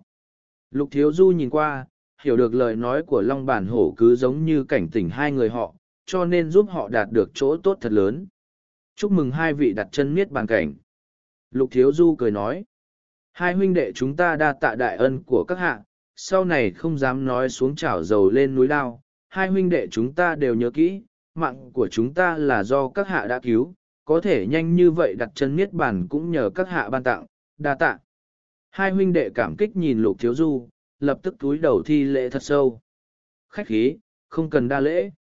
Lục thiếu du nâng lên hai người, ánh mắt khẽ động, cảm nhận được mình cũng không nhìn lầm người, lập tức hỏi. Hai vị vừa nói hữu dư niết bàn, vô dư niết bàn, sinh tử niết bàn, còn có niết bàn nào khác nữa hay không? Long bàn cùng hổ cứ khẽ lắc đầu, hổ cứ nói. Mọi người đều biết niết bàn chỉ có ba loại cấp độ mà thôi. Hẳn không còn cấp độ nào khác đâu. Long bàn cũng lắc đầu, suy tư hồi lâu, hắn cũng không nghe nói qua còn có cấp độ niết bàn nào khác. Lục Thiếu Du không tiếp tục hỏi, có lẽ hai người họ cũng không biết vô thượng niết bàn là gì. Một tháng sau, tầng thứ hai thiên trụ giới, tử viêm hóa thành bản thể khổng lồ, toàn thân tử hỏa dao động, làm cho người ta cảm giác gáp bách thật lớn, vừa đặt chân lên niết bàn cảnh sơ giai. Mấy ngày sau Hoàng Sa cũng đặt chân lên niết bàn sơ giai, tôn tiểu nhã vô cùng cao hứng, khiến Bạch Lang, quỷ hoa cùng kim viên vô cùng hâm mộ. Lục Thiếu Du mỉm cười, như vậy thực lực tiểu đội của mình cũng có chút địa vị trong toàn bộ tiểu đội của trung thiên thế giới. Gì? Đúng ngay lúc này ánh mắt lục thiếu du khẽ động, thân ảnh lập tức biến mất ngay tại chỗ. Hình như phía trước có dao động. Long bản tựa hồ nhìn ra được điều gì, mọi người lập tức theo sau. Trong không gian tràn ngập khí tức hoang vu lạnh leo, hư không vặt mẹo, một đóa hoa khổng lồ lớn hơn trăm thước trôi nổi giữa không trung, cánh hoa khép chặt lại, chân khí khủng bố lan tràn, làm lòng người sản sinh cảm giác hoang vu tuyệt vọng. Lục thiếu du nhìn thấy chân khí quần cuộn dâng tràn, khí tức khủng bố thổi quét, linh hồn run rẩy không nớt. Chân khí thật hoang vu lạnh lẽo. Ta không thể chống cự, khí tức này làm ta sinh lòng tuyệt vọng, sẽ mất đi lý trí. Sắc mặt mọi người đại biến, tôn tiểu nhã là người đầu tiên không thể đối kháng. Một mùi hương thơm ngát lan tràn, mùi hương hoàn toàn trái ngược với khí tức hoang vu lạnh lẽo vừa rồi, khí tức làm người ta vui vẻ thoải mái, nhịn không được thở sâu vài hơi, hương thơm kia có chỗ tốt thật lớn cho tu luyện lĩnh ngộ. Hai loại khí tức từ từ biến mất, giờ phút này đóa hoa hiện ra hào quang chói mắt khiến mọi người không cách nào nhìn thẳng tới. Mãi tới khi hảo quang nhạt dần, mọi người mới nhìn thấy hai thân ảnh xinh đẹp bên trong. Nghiết bàn cảnh, chân khí tựa hồ có chút không giống lắm. Mọi người phát hiện khí tức trên người tiết mặc kỳ có chút không giống lắm. Lại đột phá niết bàn cảnh. Lục thiếu du kinh ngạc, nguyên lai thời gian này tiết mặc kỳ vẫn luôn đột phá niết bàn cảnh. Khi ánh mắt hắn nhìn thấy thân ảnh xinh đẹp bên cạnh tiết mặc kỳ, lập tức dao động, lúc này huyền tuyết ngưng đã thay một bộ áo bạch lục sắc, cũng không có trang sức nào khác, đơn giản lại hồn nhiên thiên thành, thanh nhã thanh tú. chương 3916, tiết mặc kỳ đột phá. Mọi người nhìn thấy huyền tuyết ngưng đều không nhịn được lui ra sau mấy bước, trong lòng tuyệt đối kiên kỵ, dù họ đã đột phá tới niết bàn cảnh nhưng đứng trước mặt nữ tử tuyệt mỹ kia bốn người hoàn toàn không dám đối kháng, thậm chí không có dũng khí đối kháng. Mặc kỳ. Tôn Tiểu Nhã thoáng do dự, lại đi tới bên cạnh Tiết Mặc kỳ, Hoàng Sa muốn ngăn cản cũng không còn kịp nữa, khuôn mặt vô cùng lo lắng. Mọi người đều ở đây sao, hình như đều đột phá rồi. Tiết Mặc kỳ khét lời, ánh mắt đảo qua, lập tức phát hiện hoàng sa bọn họ đều đột phá tới niết bàn cảnh, điều này làm cho nàng ngạc nhiên. Chúng ta có thể một mình nói chuyện không? Huyền tuyết ngưng nhìn lục thiếu du, thanh âm trong vắt nói. Toàn bộ ánh mắt rơi lên người lục thiếu du, mang theo vẻ khẩn trương lẫn nghi hoặc. Lục thiếu du cũng không do dự, gật gật đầu. Một lát sau, trong tầng ba thiên trụ giới, lục thiếu du quan sát nữ tử tuyệt mỹ trước mặt, không nói lời nào. Huyền tuyết ngưng cũng nhìn hắn, trong mắt nổi lên một ít dao động, cũng không nói gì, không khí có chút xấu hổ. Ngươi thế nào? Lục thiếu du dẫn đầu lên tiếng, nếu huyền tuyết ngưng muốn đối phó hắn cũng không yêu cầu nói chuyện riêng như vậy, huống chi nơi này là thiên trụ giới, cũng có chỗ dựa cho nên lục thiếu du vẫn yên tâm hơn. Ta nghĩ, đầu tiên ta hẳn nên đa tạ ngươi, bởi vì ngươi để tiết mặc kỳ chữa thương cho ta, áo nghĩa của nàng tác dụng cực lớn với ta, bằng không ta sẽ cực kỳ phiền thoái. Sau đó thì sao? Lục thiếu du ngẩng đầu hỏi. Huyền tuyết ngưng khẽ cắn môi, nói. Chính ngươi làm gì thì ngươi tự mình biết, ta tuyệt đối sẽ không cho phép nhân loại làm bận ta, cho nên ta sẽ giết ngươi, ta vốn có thể lập tức đánh chết ngươi, nói riêng với ngươi là vì nể tình ngươi đã cứu ta, cho ngươi chết hiểu được. Lục Thiếu Du nói, ta làm bẩn ngươi. Ta nghĩ nếu ngươi còn nhớ rõ, rõ ràng là ngươi làm bẩn ta đi. Ngươi! Huyền Tuyết ngưng nhất thời sửng sốt, hiển nhiên thật không ngờ Lục Thiếu Du lại nói như vậy, tựa hồ cũng nhớ rõ tình huống lúc đó, trên mặt không khỏi hiện lên dị sắc. Ngươi hẳn là bị âm phong ảnh hưởng, cho nên mới dị thường như vậy. Lục Thiếu Du nói, chẳng lẽ ta nhận lấy ảnh hưởng thì ngươi muốn nhân cơ hội làm bẩn ta sao? Đây không thể làm lý do để ngươi khỏi chết. Đầu tiên tuyên bố, là ngươi bắt buộc ta mà không phải ta làm bẩn ngươi. Lục Thiếu Du nói, mặc dù ngươi là thiên sinh linh vật, nhưng tố thể lại biến thành rung động lòng người, nữ nhân khác so sánh với ngươi đều biến thành dung tục, dù thời gian chạy ngược gặp được loại sự tình như vậy, ta nghĩ ta vẫn không thể cự tuyệt ngươi. Ngươi hạ lưu, chẳng lẽ nam nhân nhân loại đều háo sắc vô sỉ, còn hạ lưu, miệng lươi bén nhọn như ngươi hay sao? Huyền tuyết ngưng sửng sốt, chân khí hoang vu lạnh lẽo thổi quét tràn ra. Ta chỉ nói sự thật, ta cứu ngươi, ngươi còn muốn giết ta, có thể nói lý lẽ một chút hay không? Lục thiếu du nói, kim sắc tiểu đao bắn ra kim quang ngăn cản khí tức hoang vu lạnh lẽo kia. Đôi mắt huyền tuyết ngưng dần dần bình tĩnh. Nhưng ngươi nhân cơ hội điếm ô ta, mà ta chỉ bị âm phong làm ảnh hưởng. Lục Thiếu Du nói, ta mới là người bị hại, vì sao không nói ngươi điếm ô ta, nói vậy không công bình. Chân khí hoang vu tuyệt vọng ngày càng đậm, môi run lên, huyền tuyết ngưng nói. Trên đời này vốn không có công bình, muốn công bình, mượn thực lực để đổi. Loại nữ nhân ích kỷ như ngươi, nếu cho ta thêm một lần cơ hội, ta sẽ không cự tuyệt ngươi làm bẩn ta, sau đó đem ngươi luyện hóa, ta không nên cứu ngươi, bỏ qua bảo vật cứu ngươi, còn làm phiền cho mình. Lục thiếu du mắng, ánh mắt lại trở nên cảnh giác. Lá gan ngươi không nhỏ, thật sự không sợ chết sao. Lục thiếu du như mày, gắt gao nhìn nàng nói. Ai lại không sợ chết, nói lời vô nghĩa, ai bảo thực lực của ta không đủ, chỉ có thể đối mặt chuyện không công bình. Ngươi muốn giết cứ giết, ta nói gì cũng vô dụng, ta vẫn nói như thế, dù sao cho ta thêm một lần cơ hội ta vẫn lựa chọn như thế. Ngươi! Huyền tuyết ngưng nhìn chăm chú vào lục thiếu du, nàng thật sự chưa từng gặp qua kẻ vô lại như vậy, người thường dưới tình huống này đã sớm quỳ xuống cầu xin, mà hắn không chút nhượng bộ, bị chân khí của nàng ảnh hưởng mà vẫn có thể duy trì. Ta thế nào, lẽ ra ta không nên cứu ngươi, hẳn đem ngươi luyện hóa, muốn giết thì cứ giết, nếu cho ta vài chục năm thời gian ngươi muốn giết ta cũng không làm được, tới lúc đó ta nhất định khiến cho ngươi tiếp tục trở thành nữ nhân của ta. Lục Thiếu Du cũng không sợ hãi tiếp tục nói, bởi vì ngày hôm đó thật sự rất mỹ diệu. Được, ta cho ngươi công bình, vài chục năm thời gian chỉ sợ là không đủ, ta cho ngươi một trăm năm, một trăm năm sau ta sẽ giết ngươi, tới lúc đó cũng không còn thiếu ngươi cái gì. Huyền Tuyết ngưng vung tay nói. Được, một trăm năm. Lục Thiếu Du mỉm cười, trong lòng thầm thở ra một hơi, một trăm năm nơi này cũng đã sớm đóng cửa, một ngàn năm mới mở ra một lần, sau ngàn năm không biết mình đã sớm đi nơi nào, nếu ngàn năm sau thực lực của mình còn chưa đủ, còn không bằng bị huyền tuyết ngưng giết cho xong huống chi ngàn năm sau linh hồn phân thân thái cổ U Minh Viêm hẳn cũng đã luyện hóa song xích linh liệt hỏa.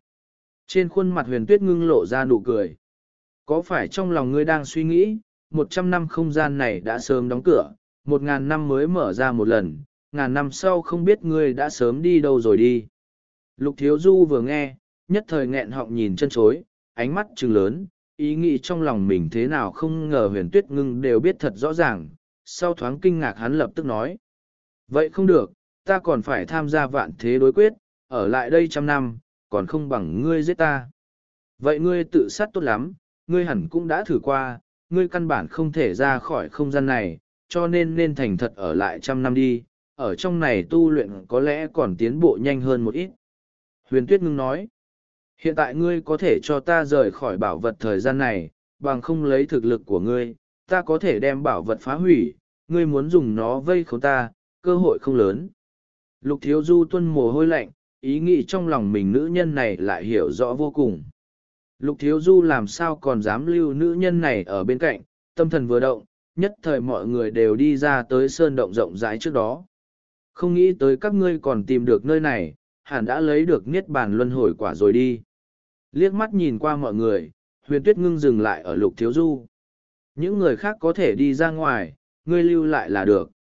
Dứt lời, vẻ mặt nàng cực kỳ đắc ý như người thắng trận nhìn lục thiếu du, lập tức biến mất, còn truyền âm cho hắn. Chuyện giữa chúng ta nếu ngươi dám nói ra, ta sẽ giết ngươi cùng người biết. chương ba nghìn chín trăm mười bảy điều kiện của huyền tuyết ngưng. Thiếu du huynh đệ, sao lại thế này? Kim viên đợi nàng rời khỏi, mới dám đi tới hỏi. Không có đại sự gì, chỉ là nữ nhân kia thấy ta tuấn tú, muốn ta bồi một trăm năm. Lục thiếu du cười khổ nói. Đội trưởng, chúc mừng a Hoàng sa, tử viêm, bạch lang cùng quỷ hoa nghe vậy nhất thời cảm thấy hâm mộ lẫn ghen tị.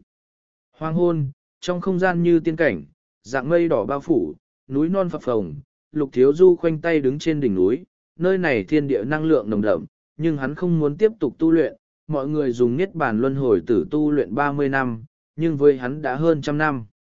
Trong trăm năm thời gian, có hỗn độn âm dương quyết, đan điền khí hải của hắn cũng chỉ tu luyện được phân nửa mà thôi, chỉ xem như đạt tới đại đạo cảnh cao dài trung kỳ.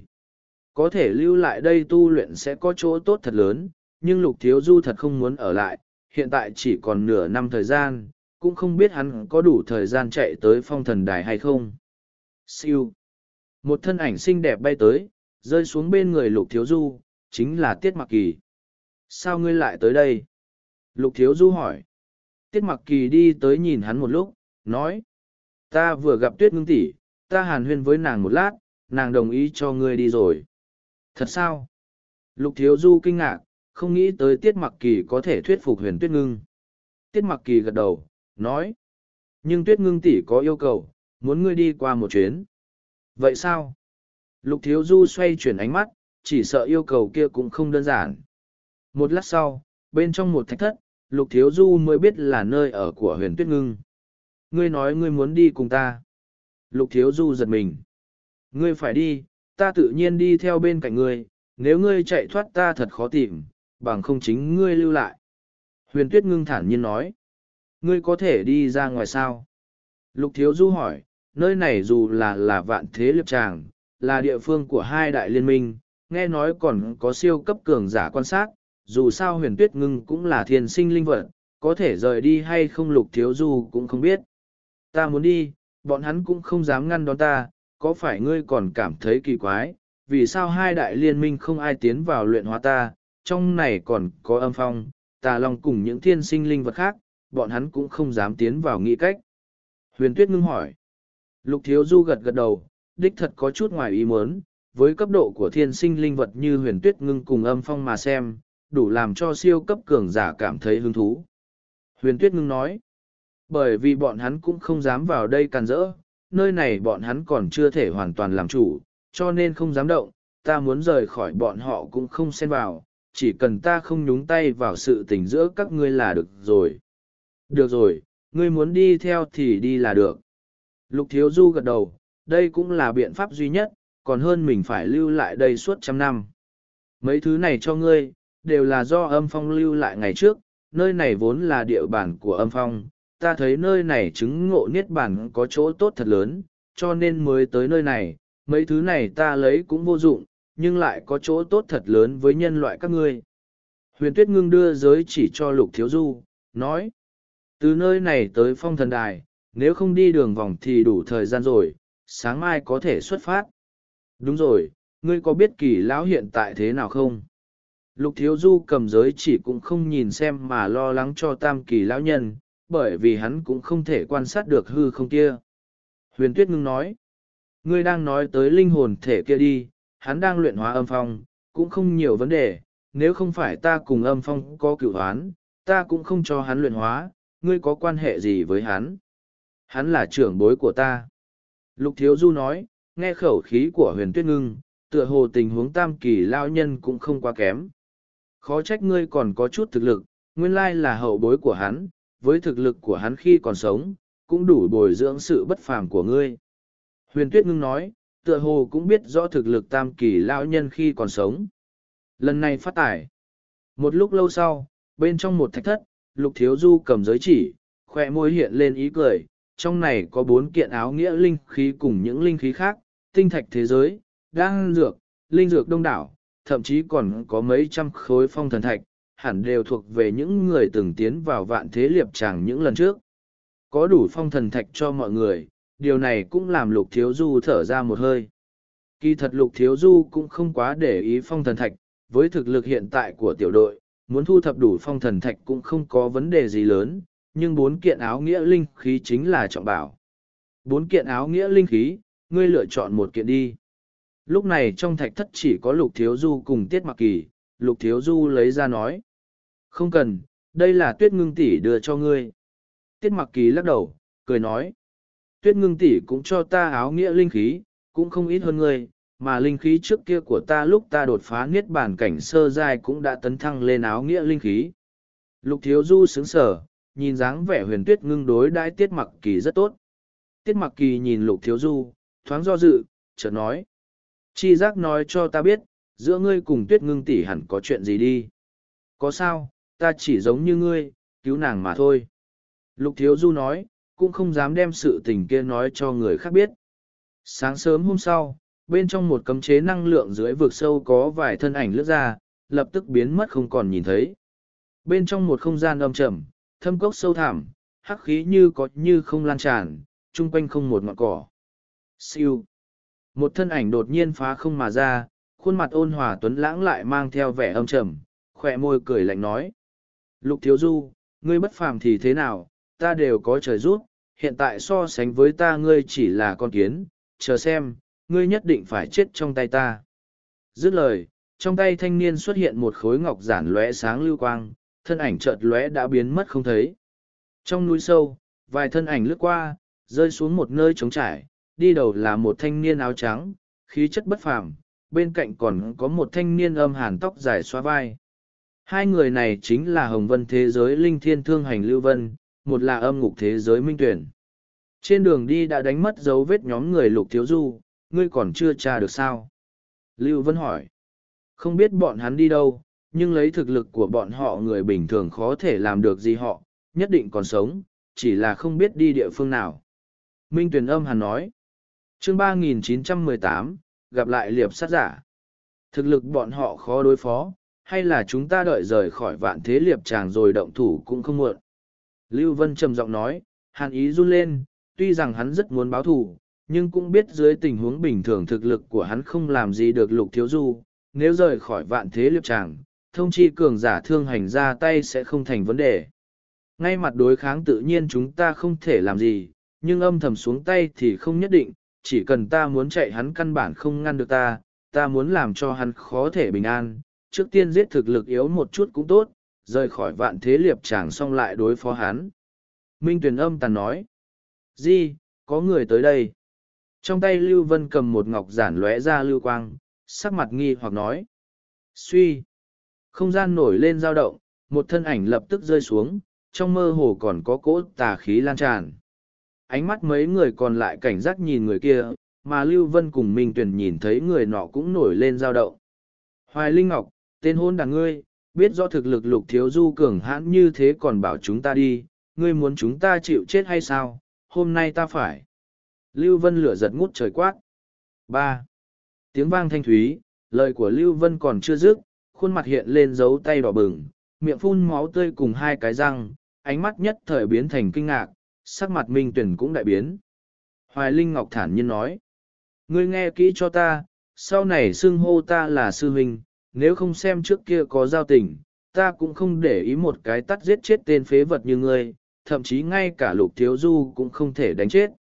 Lưu Vân nghe vậy khuôn mặt dại ra, rung động thật sâu không cách nào phục hồi lại tinh thần, một tắt vừa rồi làm cho hắn rất rõ ràng, hiện tại thực lực Hoài Linh Ngọc vô cùng khủng bố, hắn tuyệt đối không khả năng đối kháng. Hoài Linh Ngọc cười lạnh nói, Lục Thiếu Du chết chắc rồi, ta tự nhiên sẽ đối phó hắn, mà các ngươi đều thành thật một chút, nếu không ta không để ý lấy mạng các ngươi. Vừa dứt lời, Hoài Linh Ngọc nhìn thấy một mỹ nữ đứng phía sau hai người, ánh mắt lộ vẻ dâm huế, một đạo năng lượng màu đen thổi quét bao phủ lấy nàng, lực lượng hấp xả trào ra. Nữ tử kinh hãi, lập tức bị kéo tới bên cạnh Hoài Linh Ngọc, liền nghe thì thảo. Là ngươi, để cho ta thư thái, tới lúc đó tự nhiên sẽ cho ngươi được hưởng phúc. Giang giác. Trong rừng rậm, mười một thân ảnh toát ra, dẫm lên cảnh khô dưới đất, có ba nữ tử đủ làm người động dung. Đây chính là nhóm người lục thiếu du vốn luôn vội vã lên đường suốt mấy tháng nay, hai huynh đệ Long Bản Hổ cứ đương nhiên gia nhập vào tiểu đội, có hai niết bản cảnh gia nhập, đương nhiên không ai sẽ phản đối. Bởi vì huyền tuyết ngưng đi cùng, mặc dù nàng không ra tay nhưng vì dung nhan tuyệt mỹ cho nên luôn tạo ra phiền phức, những phiền toái kia chủ yếu đều do lục thiếu du bọn họ xử lý. Giao ra phong thần thạch cùng chữ vật giới chỉ, nếu không phải chết. Trong rừng rậm có hai mươi thân ảnh xuất hiện, ánh mắt tham lam trắng trợn rơi lên thân mọi người, đặc biệt còn có không ít ánh mắt dâm tà nhìn chằm chằm huyền tuyết ngưng. Với loại ánh mắt này mọi người đều hiểu rõ ràng, bởi vì suốt mấy tháng nay họ gặp được không ít. Bởi vì trên người có đủ phong thần thạch, cho nên họ cũng không hứng thú đi liệp sát người khác, mà cũng thường xuyên gặp được người muốn cướp vật của mình. Lúc này cả nhóm không lộ ra chút kinh hoàng, ngược lại còn mang theo vẻ mặt hài hước nhìn nhóm người vừa xuất hiện. Một niết bàn sơ giai, ngoài ra đều là đại đạo cảnh, còn có hai thông thiên cao giai đỉnh phong. Ánh mắt tử viêm nhìn lướt qua, thản nhiên nói. Quy củ cũ, đội trưởng đối phó niết bàn cảnh, những người khác giao cho chúng ta, tốc chiến tốc thắng. Hoàng Sa nói. Lục Thiếu Du nhìn hai mươi người xung quanh, dừng lại trên người thanh niên niết bàn sơ giai, nói. Cho các ngươi một lần cơ hội, giao ra phong thần thạch cùng giới chỉ, nếu không các ngươi chỉ có thể chết. Buồn cười, các ngươi chỉ có mười một người, chúng ta hai mươi 21 người, các ngươi muốn tìm cái chết sao, khẩu suất cùng nôn, không biết trời cao đất dài. Thanh niên cười lạnh một tiếng. Cơ hội chỉ có một lần, không quý trọng thì đi chết đi. Ngay khi lời hắn vừa dứt, tử viêm, hoàng sa, long bàn hổ cứ cùng tiết mặc kỳ đã đột nhiên thả người nhảy ra, chân khí bàng bạc thổi quét, cả không gian nháy mắt đọc lại. Nam tu vi niết bàn cảnh, mau lui lại, mau.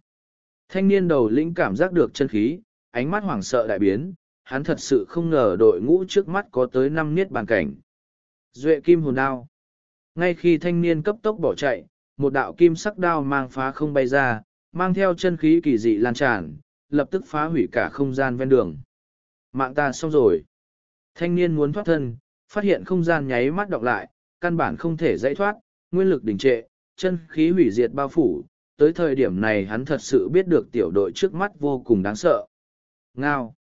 Một tiếng đao minh như long ngâm vang lên, kim huyết sắc đao mang hạ xuống, thanh niên thần hồn câu diệt, lần này muốn chặn cướp người không thành, lại đem chính mình biến thành vạn kiếp bất phục. Thân ảnh lục thiếu du nháy mắt xuất hiện, thu lại giới chỉ, huyết lục lập tức biến mất. Nhìn một màn này huyền tuyết ngưng cũng không kỳ quái, ánh mắt không chút dao động, khí chất băng xương làm người không dám kinh nhợn. Huyền tuyết ngưng chỉ nói một câu. Lòng dạ độc ác, còn là hạ lưu thị huyết. Tuyết ngưng tỷ, đội trưởng đối với người khác mới độc ác, đối với người của mình tốt phi thường, hắn chỉ lo lắng cho mọi người, không lưu lại địch nhân cho mọi người. Trước kia chúng ta đã bị người phản bội qua, bây giờ còn có người sống chết chưa rõ. Tôn Tiểu Nhã nói, trải qua mấy tháng, quan hệ giữa huyền tuyết ngưng cùng Tôn Tiểu Nhã tốt hơn không ít, nhưng nhóm người Hoàng Sa vẫn vô cùng e ngại nàng, căn bản không dám tới gần. Huyền tuyết ngưng cũng chỉ nói chuyện với Tôn Tiểu Nhã cùng Tiết Mặc Kỳ. Huyền tuyết ngưng cũng không nói gì, tựa hồ đồng ý với lời của Tôn Tiểu Nhã, dọc theo đường đi càng thêm tò mò với Lục Thiếu Du, tựa hồ người bên cạnh cực kỳ giữ gìn hắn, cũng tuyệt đối thần phục hắn. Phanh phanh phanh. Thanh âm trầm thấp vang lên, 21 người không một ai đào thoát, đều bị đánh chết. Loại chuyện này mọi người đã sớm ăn ý mười phần, cũng không phải lần đầu tiên, chỉ hoàn thành trong thời gian ngắn, năm tu vi niết bản cảnh đủ quét ngang hết thảy. Cuối cùng thu được hơn sáu mươi khối phong thần thạch trong tay, cũng không thiếu linh dược, linh khí cùng thế giới tinh thạch, thu hoạch xem như không ít, chẳng qua phong thần thạch sớm đã thu thập đầy đủ. Mọi người đang định tiếp tục xuất phát, huyền tuyết ngưng chợt nói. Ta nhớ được cách đây không xa hẳn có một đầu nguyên cổ linh tinh thú, tính toán thời gian cũng đã sắp có linh trí. chương 3919, Nguyên cổ linh tinh thú. Nguyên cổ linh tinh thú là vật gì? Lục Thiếu Du hỏi. Nguyên cổ linh tinh thú là một loại tồn tại đặc thù, xen lẫn trong thiên sinh linh vật, tồn tại thật nhiều năm, thậm chí khi ta xuất hiện nó cũng đã tồn tại, nhưng rất khó có linh trí, đối với nhân loại các ngươi mà nói là tuyệt đối trọng bảo. Huyền Tuyết Ngưng nói, dọc theo đường đi Huyền Tuyết Ngưng luôn nhắm vào Lục Thiếu Du, việc này ai cũng nhìn ra, trong lòng mọi người đều hoài nghi, chỉ sợ đội trưởng cùng nữ tử khủng bố cực điểm kia nhất định là có chuyện xưa mà người khác không biết. La trọng bảo, ở địa phương nào, chúng ta đi nhìn xem đi. Nghe được là trọng bảo, ánh mắt lục thiếu du sáng ngời, thật không muốn bỏ qua cơ hội. Vì sao ta phải tiện nghi ngươi? Huyền Tuyết ngưng nói, căn bản không có ý tứ muốn nói với lục thiếu du, chỉ cố ý lộ tin tức là muốn chọc tức hắn. Nữ nhân này, ta và ngươi có cửu đoán hay sao?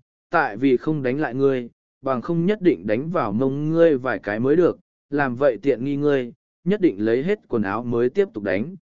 Lục Thiếu Du nhìn huyền tuyết ngưng, lời này cũng chỉ ngẫm lại trong lòng mà thôi, không dám nói ra ngoài. Vô sỉ hạ lưu. Lục Thiếu Du vừa hiện lên ý nghĩ này, huyền tuyết ngưng chợt hung hăng trợn mắt nhìn hắn, mắng to một tiếng, thân ảnh lập tức biến mất ngay tại chỗ. Ánh mắt mọi người lập tức rơi lên người lục thiếu du, còn tưởng rằng vừa rồi hắn truyền âm nói gì đó với nữ nhân kia, lời nói khẳng định là không bình thường. Ta vô sỉ hạ lưu gì chứ? Nhìn thấy ánh mắt kinh ngạc của mọi người, vẻ mặt lục thiếu du vô tội, vừa rồi hắn cũng đâu có nói gì, làm sao lại biến thành vô sỉ hạ lưu. Đội trưởng, vừa rồi trong lòng ngươi nhất định là suy nghĩ chuyện gì chọc giận tuyết ngưng tỷ đi, có một số việc cũng không thể tùy tiện suy nghĩ. Tiết mặc kỳ liếc mắt nhìn hắn, ánh mắt khác thường, rõ ràng là hoài nghi lục thiếu du. Ta không có A. Lục thiếu du kiên định lắc đầu, vừa rồi trong lòng nghĩ cởi hết quần áo huyền tuyết ngưng, nhất định không thể thừa nhận. Tiết mặc kỳ rõ ràng không tin lời lục thiếu du, nói. Đội trưởng, quên nói cho ngươi biết, tuyết ngưng tỷ thân là viễn cổ thiên hoang huyền Ngọc Lan, có thiên phú trời sinh, có thể tâm linh cảm ứng. Trong lòng ngươi nghĩ gì chỉ cần nàng muốn biết là sẽ biết rõ ràng, cho nên vừa rồi rõ ràng là ngươi đã nghĩ bậy lung tung gì đó. Tâm linh cảm ứng. Lục thiếu du nhất thời sửng sốt, hồi tưởng lại những lần nàng biết trong lòng hắn đang nghĩ gì, đều có thể đoán được, nguyên lai nàng có thiên phú, trời đời này không ngờ còn có thiên phú như thế. Còn có thiên phú như thế, cũng may trong lòng ta không có nghĩ lung tung. Mọi người nghe vậy có chút khiếp sợ. Vậy nàng không phải đã biết ta muốn cởi hết quần áo đánh mông của nàng. Lục thiếu du nghẹn họng nhìn chân chối, lập tức vẻ mặt tối đen, nữ nhân kia có thiên phú gì không tốt, không ngờ lại có thiên phú như thế. Mọi người tiếp tục lên đường đi, ta đi tìm tuyết ngưng tỉ hỏi một chút, rốt cục nguyên cổ linh tinh thú là gì. Tiết mặc kỳ cười cười nhìn lục thiếu du, thân ảnh đuổi theo huyền tuyết ngưng. Tôn tiểu nhã nhìn lục thiếu du, khẽ thở dài nói. Không nghĩ tới nam nhân đều là thế này, còn là đội trưởng ngươi ai. Các ngươi đừng hiểu lầm, không phải ý tứ mà các ngươi nghĩ đâu. Lục Thiếu Du nhất thời nói. Đội trưởng, đừng giải thích, đều là nam nhân chúng ta hiểu được, chỉ là thực lực của nàng quá mạnh mẽ, vì mạng, ta sẽ không nói thêm cái gì.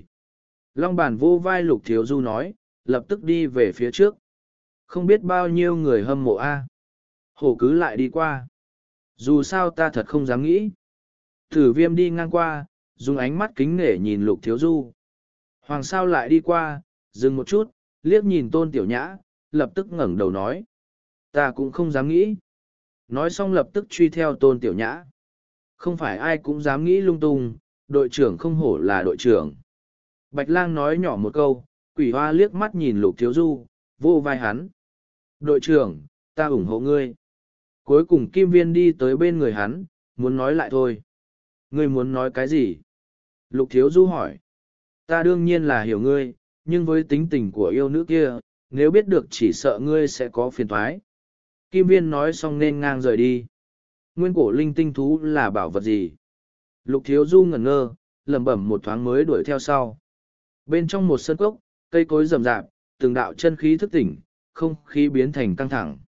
Đông đảo ánh mắt nhìn chăm chú vào sâu trong sân cốc, tựa hồ đang chờ mong điều gì. Đội trưởng, hiện tại người tụ tập càng nhiều, thực lực không đủ ở vòng ngoài, nhưng cường giả không ít, phượng dương thế giới, thông linh thế giới, thông thiên thế giới, pháp đạo thế giới đều đã tới. Ở một góc sân cốc, một thanh niên áo xám khoanh tay đứng thẳng, tóc dài xóa vai, đôi mắt sáng ngời, khí độ bất phàm nhìn ra xung quanh, nói. Không nghĩ tới nhiều người cùng tới, phượng dương thế giới, thông linh thế giới, thông thiên thế giới, pháp đạo thế giới, những tiểu đội này cũng không dễ trọng, lần này nhất định có trận đánh ác liệt. Đội trưởng, chúng ta cần tìm đồng minh hay không? Một người nói, thái độ đúng mức, lại có đủ tôn kính tuyệt đối với thanh niên áo xám, từ chân khí dao động mà xem người này tuyệt đối không phải kẻ yếu, chỉ sợ đã đột phá tới niết bàn cảnh. Không có đồng minh nào có thể đáng tin, thực lực mạnh hơn chúng ta tìm tới thì chúng ta biến thành vật hy sinh, thực lực yếu hơn lại biến thành gánh nặng cho chúng ta. Thanh niên áo xám nói, nhưng nếu không tìm đồng minh, cơ hội của chúng ta không quá lớn, đạp không vô ngân thiên thương ấn, vô pháp vô thiên ngô phá thiên, phong hoa tuyệt đại tuyệt phong hoa, hoành đao diệt không độc nhất đao, những người này cũng không phải dễ trọng. Thanh niên khi nay nói, mấy người này đích sắc không dễ trọng, trong giới trẻ tuổi thượng thanh đại thiên thế giới, người có thể làm gì được họ tuyệt đối không vài người, cho dù muốn làm gì, cũng phải trả giá đại giới tuyệt đối. Thanh niên áo xăm nói, siêu siêu, mười một thân ảnh xuyên phá trường không, cầu vồng thu liễm, từng thân ảnh rơi xuống đất, chính là nhóm người lục thiếu du. Ở phía trước, hình như có không ít người đã phát hiện nguyên cổ linh tinh thú. Huyền Tuyết ngưng thản nhiên nói. Mọi người nghe vậy đều nhìn theo, ở núi non bên dưới, bên trong rừng rậm có một sơn cốc, sơn cốc dốc đứng, diện tích thật lớn, nhưng vì có rừng rậm bao vây nên không dễ phát hiện. Nguyên cổ linh tinh thú. Ánh mắt lục thiếu du chấp động, hắn cũng nghe tiết mặc kỳ tìm hiểu được tin tức. Sau khi nghe được lai lịch của nguyên cổ linh tinh thú, hắn cũng rất khiếp sợ, cho nên trong lòng hạ quyết tâm, nhất định phải đạt tới. Nguyên cổ linh tinh thú cực kỳ kỳ lạ, cũng tương tự như thiên sinh linh vật, nhưng chỉ là một tồn tại quái dị, nghe nói đã tồn tại rất nhiều năm tháng. chương 3920, đánh chết người khiêu khích. Nghe nói nguyên cổ linh tinh thú vô cùng ngây thơ thiên chân, hoàn toàn do thiên địa năng lượng ngưng tụ, tu luyện giả đạt được sẽ lấy được vô số chỗ tốt. Quan trọng nhất là có được nó, sẽ dễ dàng tìm được địa phương có linh mạch thế giới tinh thạch, giá trị có thể biết, nếu trong linh mạch còn có thượng phẩm thế giới tinh thạch, quả thật là phát tài lớn. Ngoài ra nghe đồn đãi nguyên cổ linh tinh thú còn có thể tụ tập thiên địa năng lượng. Đó là vật thuần khiết nhất trong thiên địa, sau khi được nó, có thể tẩy rửa toàn bộ ma chướng, đủ làm cho tu luyện giả điên cuồng. Với những ưu đãi này Lục Thiếu Du đương nhiên không muốn bỏ qua, sau khi nghe được tin tức, hắn lập tức nhờ Tiết Mặc Kỳ nói với Huyền Tuyết Ngưng, để nàng lộ ra vị trí của nguyên cổ linh tinh thú. Huyền Tuyết Ngưng cũng đã đáp ứng, nàng chỉ đưa mọi người tới địa phương kia nhưng tuyệt đối sẽ không giúp đỡ. Nguyên cổ linh tinh thú ở phía trước, ta có thể cảm giác được chân khí. Huyền Tuyết Ngưng nhìn thoáng qua phía trước, lại giống như nói chuyện với Tiết Mặc Kỳ, lại như đang nói với Lục Thiếu Du. Đội trưởng, xung quanh có không ít người, chân khí cũng không yếu. Thử viêm nhìn vào rừng rậm, cảm giác được đông đảo chân khí. Hô! Cảm giác được thật nhiều chân khí xung quanh, lục thiếu du thở sâu một hơi, có không ít cường giả chân chính, mà nhân số tụ tập ít nhất là hai ba ngàn người. Nhiều người tụ tập trung một chỗ đúng là lần đầu tiên, lục thiếu du nói. Rốt cục náo nhiệt. Tâm thần quan sát xung quanh, lục thiếu du lập tức nói với mọi người. Mọi người cẩn thận một chút. Mọi người cũng cảm nhận được xung quanh có nhiều người, tuy thực lực của họ cũng gia tăng không ít, nhưng không ai dám có chút khinh thường. Trong lòng tất cả mọi người đều biết rõ, có thể tiến vào vạn thế liệp chàng không có ai là kẻ yếu, mà có thể sống sót tới hiện tại thực lực đều là người nổi bật, đều có chỗ bất phàm. Mọi người chậm rãi đi tới sân cốc, xuyên qua rừng rậm vừa đi tới bên ngoài, nhất thời từng luồng chân khí dao động lập tức tràn tới. Khi mọi người bước vào sân cốc, ánh mắt những người khác lập tức nhìn qua, đều bị huyền tuyết ngưng hấp dẫn. Đứng lại. Ngay khi bọn họ vừa đi thêm vài bước, một tiếng hét lớn từ phía sau chuyển tới. Có mười mấy thân ảnh khoanh chân ngồi, lúc này cùng đứng dậy, ánh mắt sắc bén dừng lại trên thân nhóm người lục thiếu du. Tổng cộng là mười ba người, hẳn là do người các thế giới tự tạo thành tiểu đội, hoặc là người của hai đại liên minh, chân khí đại đạo cảnh, Đầu lĩnh là một người dâu quai nón, khoảng ba mươi tuổi, vẻ mặt dữ tợn mang theo khí thế hung hãn. Có việc gì thế? Mọi người dừng lại, quỷ hoa quay đầu âm trầm hỏi. Các ngươi là người thế giới nào? Đầu lĩnh dâu quay nón nhìn nhóm người lục thiếu du như có điều cố kỵ hỏi. Quỷ hoa âm trầm nói. Vô sắc trung thiên thế giới. Vô sắc trung thiên thế giới, chẳng lẽ không biết quy củ tới trước sau hay sao? Nghe vậy vẻ băn khoăn trong mắt đầu lĩnh dâu quay nón thiếu đi không ít, vô sắc thế giới chỉ là một trung thiên thế giới không có danh tiếng gì mà thôi. Chúng ta muốn tới phía trước nhìn xem, chẳng lẽ không được sao, hay là nơi đây là địa phương tư nhân của ngươi, chúng ta cần thủ quy củ của ngươi. Quỳ hoa thản nhiên hỏi. Nhìn dáng vẻ các ngươi ngại mạng dài, muốn đi tới cũng được, vậy lưu lại chữ vật giới chỉ, ta sẽ cho các ngươi đi qua. Đầu lĩnh dâu quay nó nói, trong mắt tràn ngập lanh ý, chân khí mười hai người phía sau càng thêm sắc bén. Từng luồng khí tức sắc bén mang theo huyết tinh khí, loại chân khí này chỉ có thể tồn tại trong giết chóc, đủ thấy tiểu đội kia đi được tới nơi này cũng không đơn giản. Muốn chết. Một tiếng quát lạnh vang lên, cơ hồ đồng thời khí tức nóng bỏng liền thổi quét, không gian xung quanh đột nhiên run lên. Suy. Một đạo tử sắc thân ảnh đi tới trước mặt đầu lĩnh dâu quay nón, một đạo quyền ấn như sấm đánh nháy mắt công kích thẳng vào lồng ngực đầu lĩnh kia. Phanh. Thanh âm nổ tung trầm thấp vang ra, đầu lĩnh kia không kịp phản ứng, thân hình lập tức bị đánh bay. Cảm giác nóng cháy quỷ dị lao vào trong lồng ngực người kia, ngọn lửa thổi quét, với xu thế do cuốn mây tan đem ngũ tạng lục phủ hắn thiêu hủy khô héo, ngay lúc hắn phun máu tươi cũng biến thành xương khói màu đen. Và anh, khi người kia rơi xuống đất, thân hình đều bị phá hủy, từ mi tâm bay ra linh hồn phân thân cùng hồn anh, hoảng sợ bỏ chạy. Chỉ bằng đám người các ngươi lại dám diều võ dương ai trước mặt chúng ta, lần này các ngươi đá trúng tấm sắt rồi, thà cho ngươi không được. Thanh âm âm trầm truyền ra, khí tức âm trầm cô động không gian, trào ấn chống rông hạ xuống nhất thời đem linh hồn phân thân cùng hồn anh trộm vào trong tay. Đội trưởng bị một chiêu đánh chết, tiểu đội này có tu vi niết bàn cảnh. Nhóm người còn lại thấy thế kinh hãi ngây dại. Một tên cũng không để lại. Lục thiếu du quát. Giết. Mọi người lao ra nhanh như chớp, ra tay liền dùng sắt chiêu, không chút lưu thủ, nếu kéo dài thời gian sẽ tự gây phiền cho chính mình. Minh quỷ trảo. Thiên lang quyền. Phanh phanh phanh. A. Tiếng kêu thảm thiết cùng tiếng nổ vang liên tục vọng ra, đầu lĩnh của tiểu đội kia cũng mới tới đại đạo cảnh cao giai đình phong, tử viêm đánh ra một chiêu đã giết chết hắn, kết cục người khác liền có thể biết. Lục Thiếu Du cùng Tiết Mặc Kỳ cũng không xuất thủ, chỉ đứng yên tại chỗ nhìn qua. mười hai người còn lại chớp mắt liền bị giải quyết, linh hồn phân thân cùng hồn anh đều rơi vào tay quỷ hoa. Giải quyết xong, mọi người lập tức thu thập chiến trường, phối hợp ăn ý, sau đó quay về bên cạnh lục thiếu du.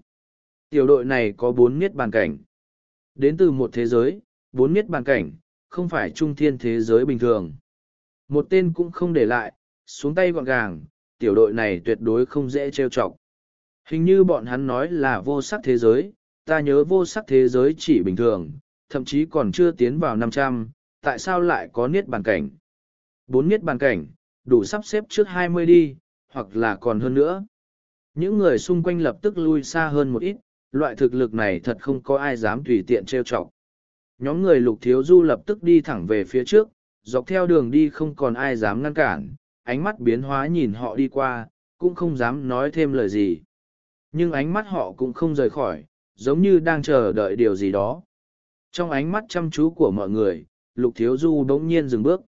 Nhóm người tử viêm có chút kỳ quái, nơi lối vào sơn cốc không còn ai ngăn cản, tại sao đội trưởng lại đột nhiên dừng lại? Người bên ngoài nghe đây, mặc kệ các ngươi tới từ thế giới nào, đều phải tuân thủ quy củ ở đây, nơi này chỉ có mười tiểu đội có thể tiến vào, các ngươi muốn mạnh mẽ xông tới thì phải thử xem các ngươi có thể đối kháng được mười tiểu đội liên thủ tiêu sát hay không.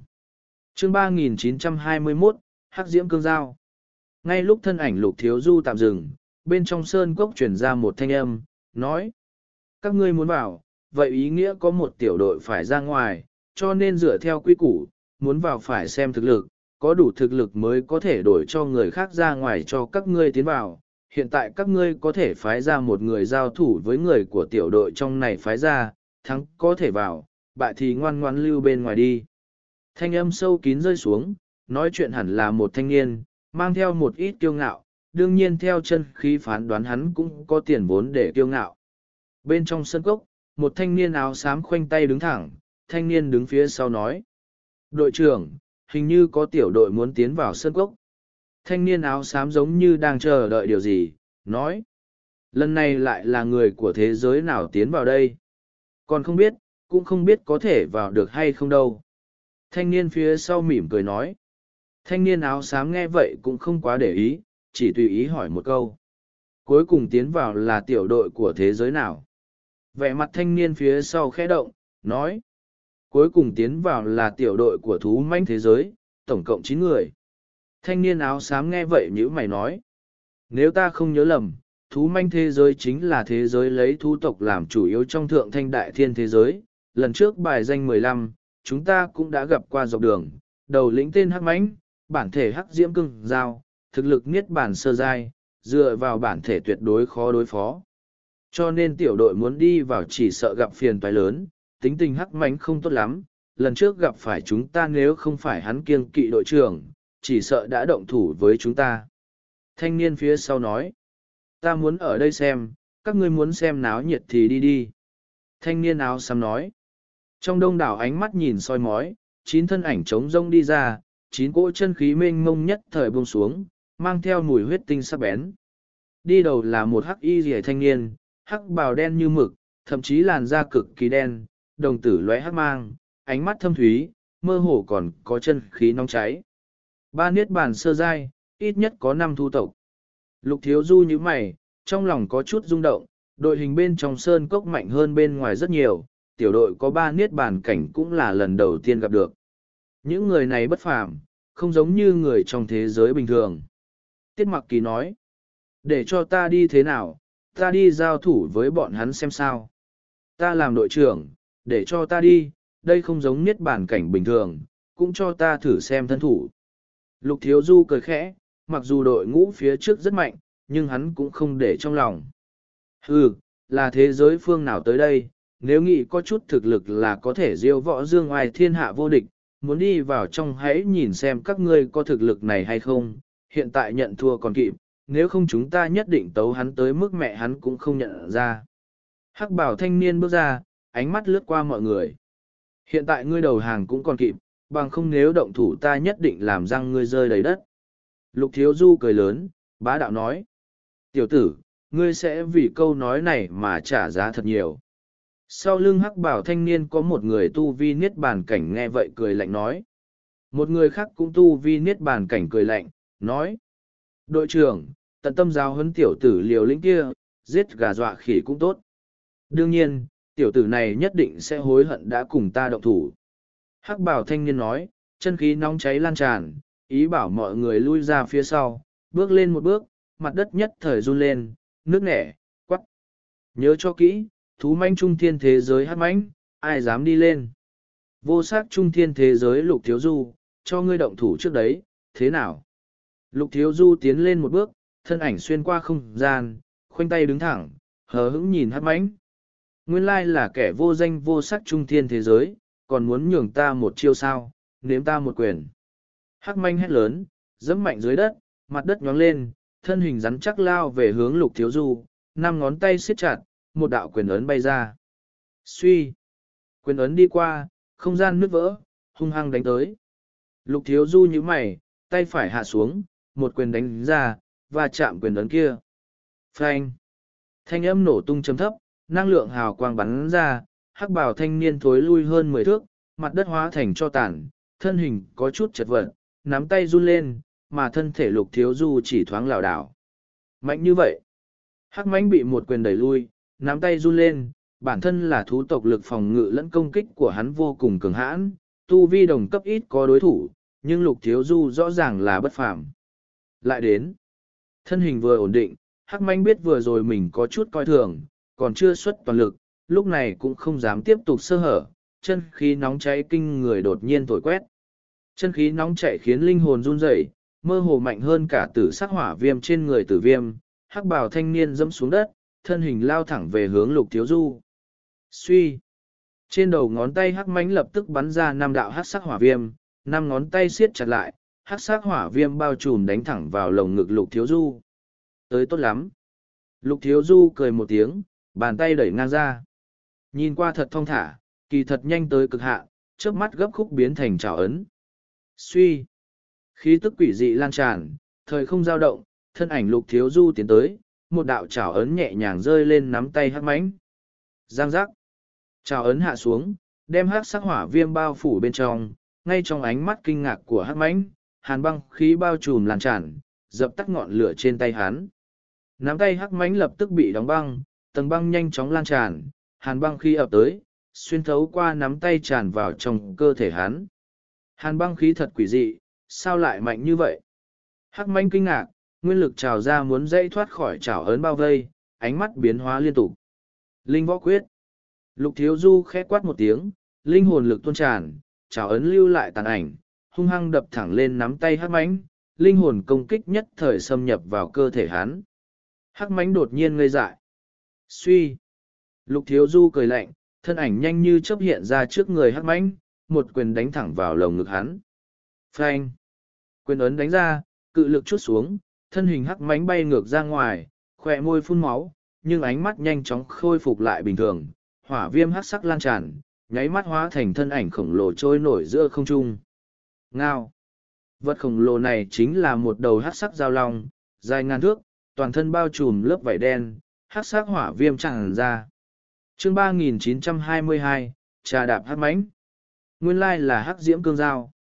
Tử viêm nhíu mày, hắc diễm cương Giao huyết mạch mạnh hơn tử diễm huyền xa một ít, cho nên hắn cũng hiểu rõ sự lợi hại của người kia. Nguyên lai là hắc diễm cương Giao. Lục thiếu du ngẩng đầu, hắc diễm cương Giao ở trong toàn bộ thú tộc xem như cực kỳ cường hãn, thực lực hắc mánh đích thật là không kém. Tiểu tử, ngươi thành công chọc giận ta, hiện tại ta thu thập ngươi. Hắc mánh lớn tiếng rít gào, bản thể vốn éo, cự vĩ mang theo hắc diễm quất thẳng về hướng lục thiếu du. Suy.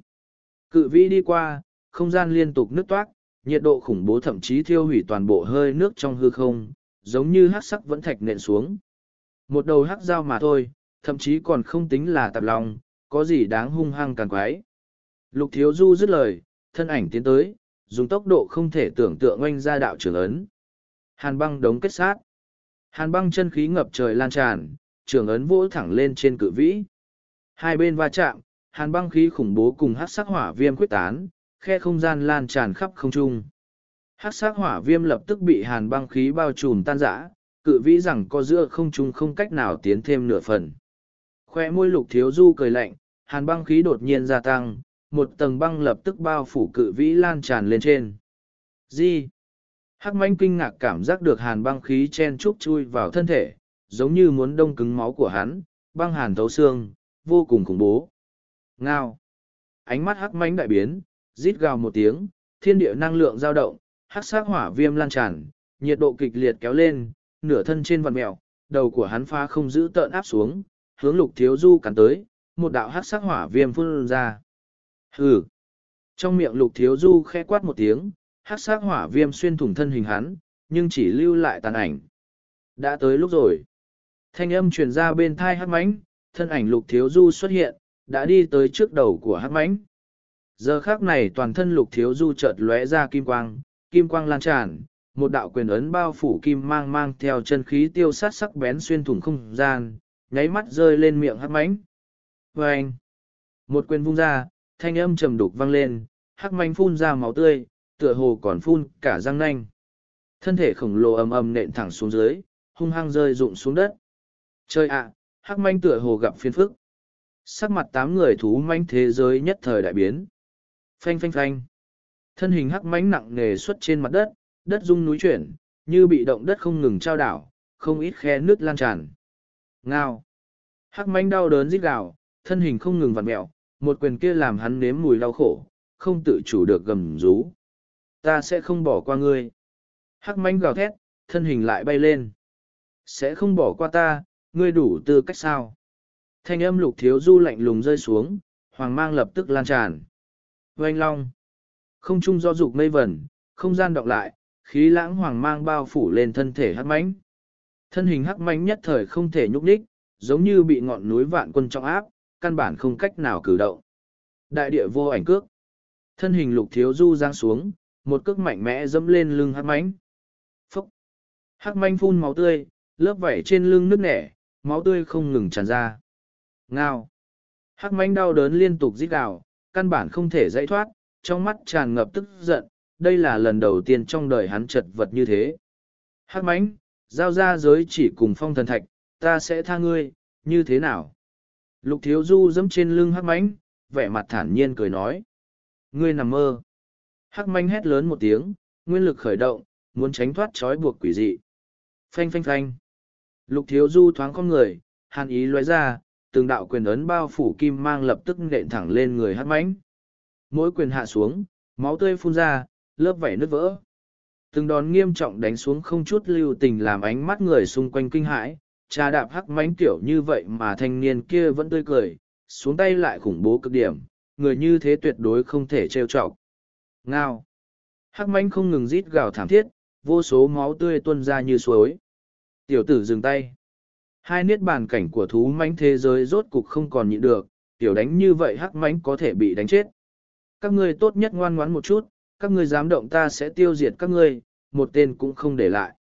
Bốn người tử viêm, hoàng sa cùng long bàn hổ cứ đồng thời bước ra, khí tức lan tràn, chân khí bốn niết bàn cảnh lập tức tập trung lên thân hai người. Hai người kia nhất thời bị chấn nhiếp không dám cử động, dù họ ra tay cũng không thay đổi được gì. Oanh long. Một đạo quyền ấn lại hạ xuống, đầu lẫn đuôi hắc mánh bị đánh tới cong lên, thân hình lom xuống mặt đất, toàn thân vết máu loang lổ không còn lực đối kháng. Ngao. Hắc manh kêu thảm thiết, tiếng kêu nhỏ dần, ánh mắt biến thành sợ hãi. Dừng tay, ta bại, ta nguyện ý giao ra giới chỉ cùng phong thần thạch. Hắc manh hét lớn, khí tức càng thêm vẻ vải. Bên trong sân cốc, một thanh niên lướt tới bên cạnh thanh niên áo xám, có chút rung động nói.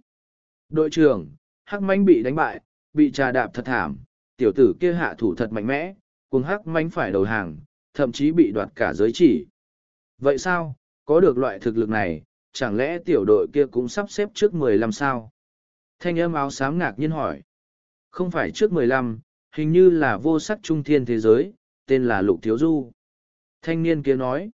Cái gì, ngươi lặp lại lần nữa? Thanh niên áo xám bỗng nhiên quay đầu, ánh mắt run lên. Phản ứng của hắn làm người kia có chút ngạc nhiên, gật đầu nói. Ta chính thai nghe được, là vô sắc thế giới lục thiếu du, tiểu tử đó rất mãnh liệt. Không chỉ mãnh liệt, hắc manh gặp phải tên kia nhất định là tìm thai vạn, không thảm mới là lạ, không nghĩ tới tiểu tử này cũng tới giúp vui, rốt cục chịu rời khỏi thị hoang thế giới rồi sao. Thanh niên áo xám lập tức cười nói. Mọi người theo ta đi ra ngoài. Đội trưởng, đi ra ngoài làm chi? Thanh niên kia nghi hoặc hỏi. Minh hữu của chúng ta đã tới, tuyệt đối có thể yên tâm làm đồng minh. Thanh niên áo xám nói xong, thân ảnh chợt lóe biến mất ngay tại chỗ. Bên ngoài sân cốc, hắc mánh mang theo thân thể thê thảm đưa ra giới chỉ, lập tức chín người chật vật thối lui ra sau, trong mắt vô cùng phẫn hận. Chúng ta đi thôi, vào xem. Lục thiếu du cầm giới chỉ trong tay thưởng thức, lập tức thu lại định tiến vào sân cốc. Vô sắc thế giới, nghĩ sơn cốc này dễ tiến vào như vậy hay sao? Nhưng đúng ngay lúc này một tiếng hét lớn từ trong sơn cốc truyền ra, một thanh niên áo xám nhất thời xuất hiện, tóc đen áo choàng, cực kỳ phiêu dở, lộ ra thân ảnh cao ngất, khí vũ hiên ngang.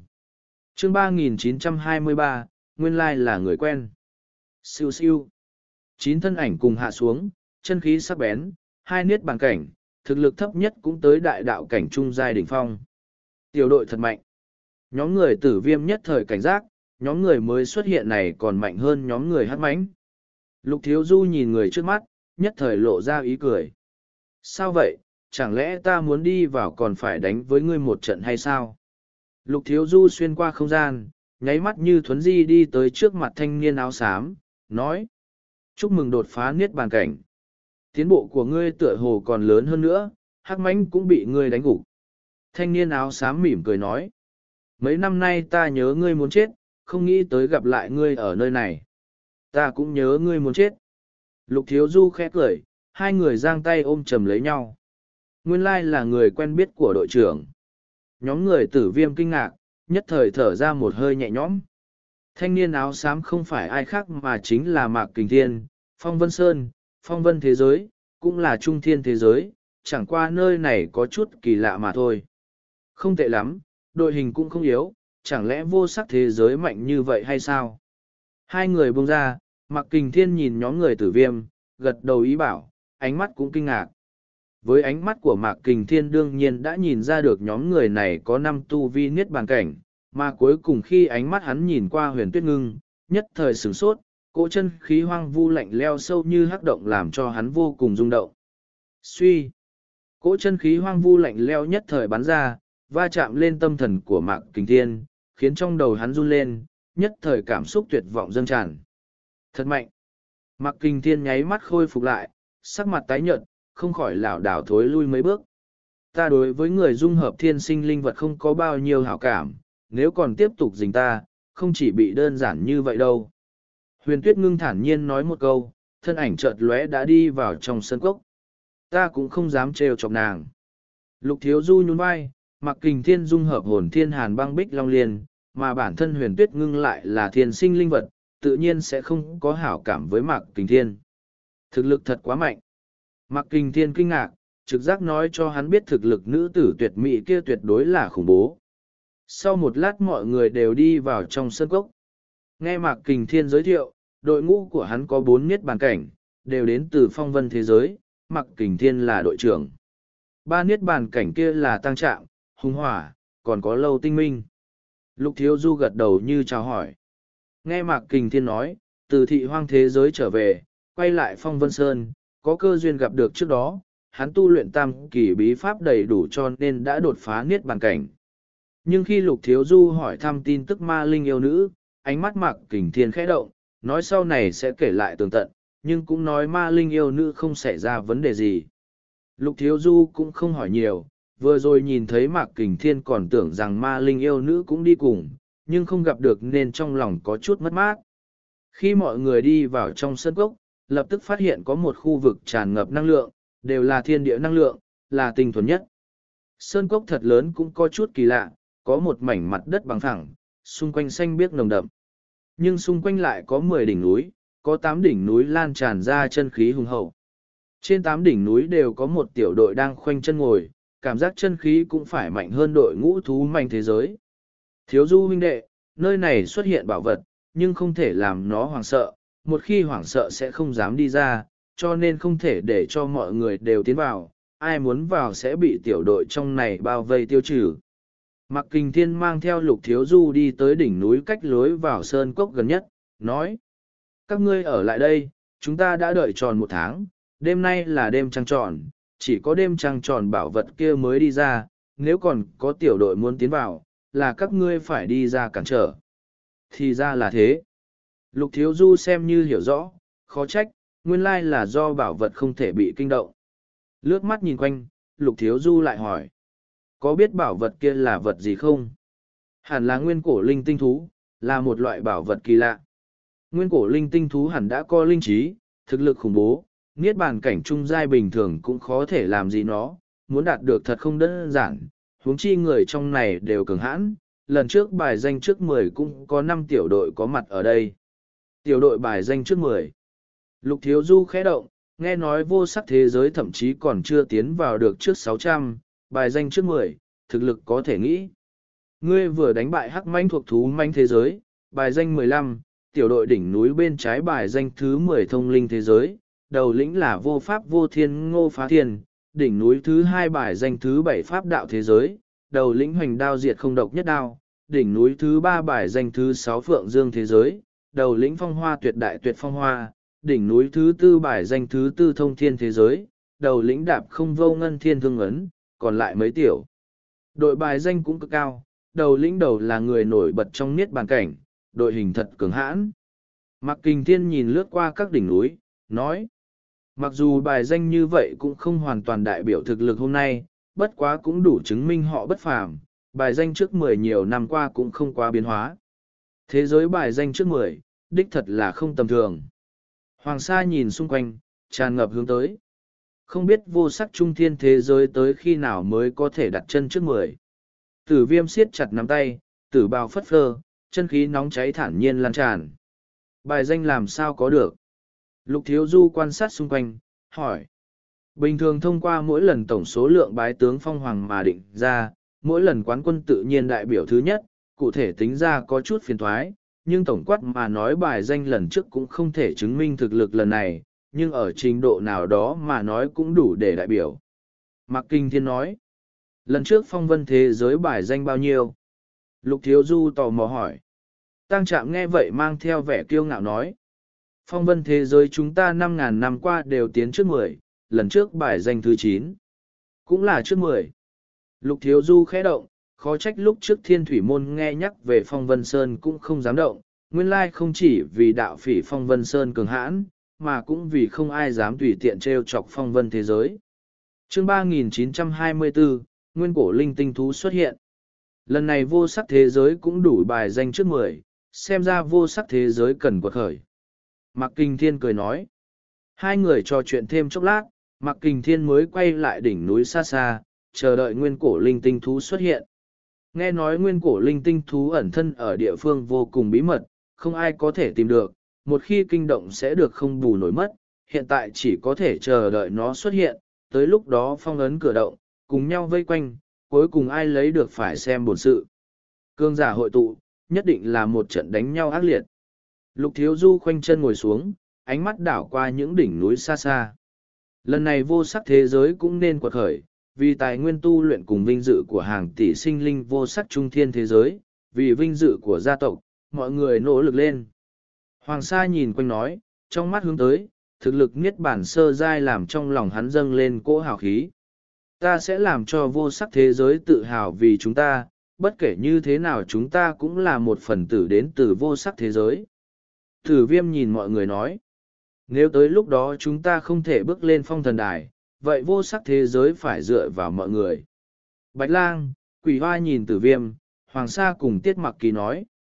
Ta nghĩ có đội trưởng ở đây, sẽ không có vấn đề gì, lần này bái tướng phong hoàng chắc chắn sẽ có tên của vô sắc thế giới, chúng ta sẽ chiến thắng trở về.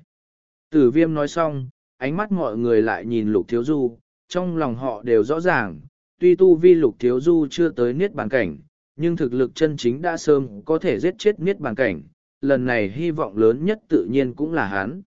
Lục thiếu du thản nhiên cười, không nói lời nào, trong lòng cảm thán, trong vô sắc thế giới các đại gia tộc tranh giành cấu xé lẫn nhau, nhưng khi đi vào vạn thế liệp tràng mọi người đều giúp đỡ cho nhau, đoàn kết nhất trí, vì danh dự của cả vô sắc thế giới cùng gia tộc của chính mình mà cố gắng.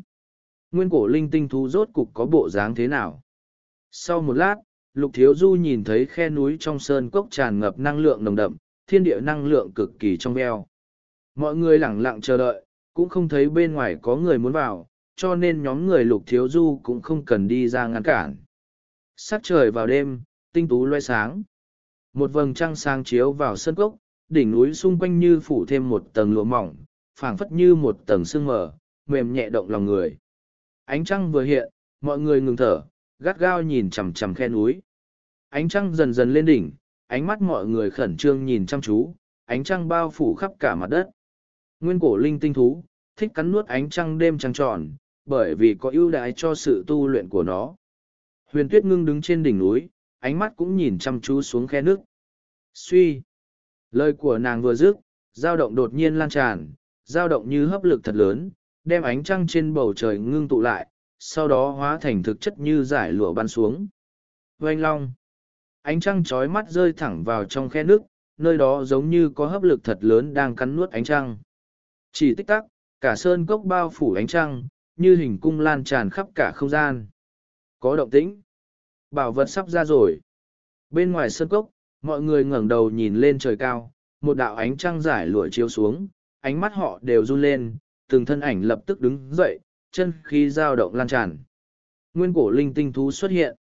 Toàn bộ ánh mắt đều rơi xuống chỗ khe nước, lặng lặng chờ đợi, ở thời điểm khẩn yếu quan đầu mọi người đều thu liễm chân khí, không ai dám gây ra tiếng vang. Suy! Một đạo bạch quang từ trong khe lan tràn ra ngoài. Bạch quang lan tràn, khuyết tán trong sân cốc, cả không gian tràn ngập khí tức làm người vui vẻ thoải mái vô cùng. Từ trong khe nước lộ ra một cái đầu giống lộc phi lộc, đôi mắt linh động cảnh giác nhìn quanh bốn phía, tựa hồ đang tìm kiếm gì đó. Mặc dù đầu nguyên cổ linh tinh thú này mở ra một ít linh trí, nhưng vẫn vô cùng ngu ngốc, thật không biết tại sao lại có đồ đần như vậy tồn tại. Huyền tuyết ngưng thản nhiên nói, ánh mắt nổi lên dao động. Lúc này đầu linh tinh thú vươn đầu ra, vùng cổ thon dài như linh lộc, thân hình hoàn toàn xuất hiện trong sân cốc. Đó là một sinh vật dài trường ba thước, cao một thước dưới, cổ gáy thon thả, như lộc phi lộc, nửa thân dưới lại giống tượng phi tượng, toàn thân tuyết trắng, trên trán còn có cặp sừng thật dài, hình thái vô cùng duyên dáng. Sinh vật kia trắng như tuyết, ánh mắt linh động, toàn thân tràn ngập chân khí dịu dàng, khí tức vô cùng thuần khiết, làm cho người ta cảm thấy thoải mái nói không nên lời. Không gian nhất thời yên tĩnh, từng ánh mắt biến thành tham lam nóng cháy. Đó là nguyên cổ linh tinh thú sao. Lục thiếu du nhìn chăm chú vào sinh vật kia, khí tức của nó so với diễn linh thiên quả cùng niết bàn luân hồi tử cũng giống nhau, đều có tác dụng tẩy rửa linh hồn. Ánh mắt sinh vật linh động nhìn chăm chú xung quanh, tựa hồ không phát hiện được gì, lập tức dôi đầu há miệng, bắt đầu cắn nuốt ánh trăng trên cao. Suy! Hào quang dao động, ánh trăng biến thành thực chất bị nó cắn nuốt vào trong miệng, sinh vật kia như động không đáy, đám chìm trong việc cắn nuốt ánh trăng. Động thủ! Một tiếng quát khẽ vang lên, từng luồng chân khí dao động lan tràn, thật nhiều thân ảnh nhảy xuống núi nhanh như chớp. Phong tỏa lối vào khe nước, không cho nó thối lui. Có không gian áo nghĩa phong tỏa không gian. Có thời gian áo nghĩa ảnh hưởng thời không, đừng cho nguyên cổ linh tinh thú chạy thoát. Từng tiếng quát vang lên, hơn mười thân ảnh nhảy ra, từng luồng chân khí dao động, nguyên cổ linh tinh thú nháy mắt bị kinh động. Đôi mắt đen nhánh của linh tinh thú cả kinh, cấp tốc dừng lại việc hấp thu ánh trăng, thân hình lại muốn chui xuống khe nước bên dưới. Hiu hiu. Trong tích tắc, đông đảo lực công kích đồng thời đánh thẳng xuống khe nước bên dưới. Oanh long long. Đông đảo lực công kích thổi quét, mặt đất run rẩy, khe nước nhất thời bị phong tỏa, lối vào hoàn toàn nứt vụn, nguyên cổ linh tinh thu không còn đường lui, cấp tốc bỏ chạy về phía trước. Phong tỏa không gian. Hơn trăm thân ảnh nhất thời lao ra, cấp tốc bao phủ toàn bộ không gian nơi này, đem cả phiến hư không đều phong tỏa bên trong. Thoáng chốc nguyên cổ linh tinh thú nhất thời bị bao vây, bị phong tỏa trong không gian sân cốc. Ngao. Nguyên cổ linh tinh thú bị nhốt, nhất thời lộ ra diễn cảm kinh hãi, miệng phát ra tiếng rít gào trầm thấp, cũng không cách nào dễ thoát hơn trăm người bao quanh. Bên trong động thủ, bảo vật xuất thế. Mặc kệ, người có duyên có được, dựa vào cái gì bị bọn hắn độc chiếm, chúng ta nhiều người cùng tiến vào, bọn hắn có thể làm được gì, chẳng qua cùng bọn hắn liều mạng. Xông lên, bảo vật chỉ thuộc người hữu duyên. Thật nhiều thân ảnh hóa thành lưu quang lao thẳng vào trong sân cốc, mấy ngàn thân ảnh lướt qua trời cao, chân khí gào thét, cảnh tượng vô cùng rung động. chương 3925, Đại chiến tranh đoạt. Oanh Long. Bên trong sân cốc, hơn trăm thân ảnh đem nguyên cổ linh tinh thú phong tỏa, ngoài sơn cốc mấy ngàn thân ảnh cấp tốc lao vào. Vừa lao vào sơn cốc bọn họ liền nhìn thấy một đầu dị thú màu trắng bị vây quanh, trong mắt đều lộ vẻ tham lam, không chút do dự lập tức xông tới trước. Bảo vật dành cho người hữu duyên, cùng nhau ra tay cướp A. Xông lên. Mấy ngàn thân ảnh lao tới, chân khí bàng bạc khởi động, nhìn thấy mấy ngàn người lao vào, sắc mặt hơn trăm người đại biến, vô cùng khó xem. Không có đủ thực lực còn dám tới gây sức ép, vậy đi chết đi. Một thanh niên sắc mặt khó xem dẫn đầu bước ra, hàn ý lan tràn, một đoàn hỏa diễm lập tức bừng lên. Và anh, hỏa diễm cuồn cuộn, chỉ nháy mắt đã bao phủ hơn mười thân ảnh lao tới đầu tiên, hỏa diễm khủng bố lan tràn, khí tức nóng bỏng làm linh hồn nóng cháy héo rút, nhiệt độ đáng sợ nháy mắt lan tràn. Vô pháp vô thiên ngô phá thiên. Lục thiếu du nhủ thầm, ban ngày người lên tiếng bên trong sơn cốc chính là người này. Phanh phanh phanh. Nhiệt độ khủng bố bao phủ, thanh âm nổ bạo trầm thấp liên tục vang lên, hơn mười người hóa thành cho tàn, bị hỏa diễm cực nóng thiêu hủy thành hư vô. Dám đi vào quấy rối, muốn chết. Giết, giết bọn hắn không dám quấy rối mới thôi. Đông đảo thân ảnh bước ra, từng đạo công kích khủng bố bộc phát, nguyên lực vỡ áp giữa không trung. Người ở bên ngoài quá nhiều, tiến vào chỉ biết quấy rối, giết. Ánh mắt lục thiếu du trầm xuống, ba người tiết mặc kỳ, long bản cùng hổ cứ đang hỗ trợ vây khốn nguyên cổ linh tinh thú, mà hoàng sa, tử viêm, bạch lang, kim viên cùng quỷ hoa nghe vậy bắt đầu động thủ, công kích khủng bố thổi quét ra ngoài. Liều mạng với bọn họ, ra tay. Mấy ngàn thân ảnh lao vào trong sơn cốc nhìn thấy người bên trong đã ra tay, lập tức cắn răng đánh tới, vô số công kích phá hủy cả phiến không gian. Oanh long. Nhất thời cả sơn cốc đều biến thành gió dục mây vẩn. Thiên địa run run, đại chiến hết sức căng thẳng. Phanh phanh phanh. Từng tiếng nổ vang trầm thấp truyền ra, đông đảo thân ảnh hóa thành huyết vụ, thực lực không đủ bạo thể mà chết. Thời không hư lao.